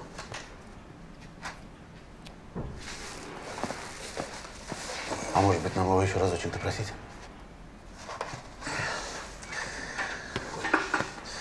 Антон Флоридович, ничего он им не скажет. Тереть ему все равно нечего. Это мы еще посмотрим. У нас свои методы дознания имеются.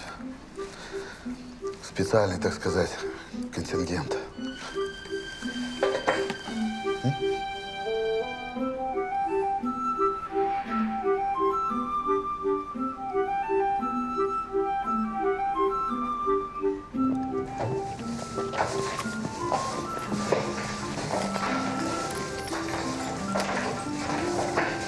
Собраскин, принимай соседа. Не боись, он смирный. Вы позволите?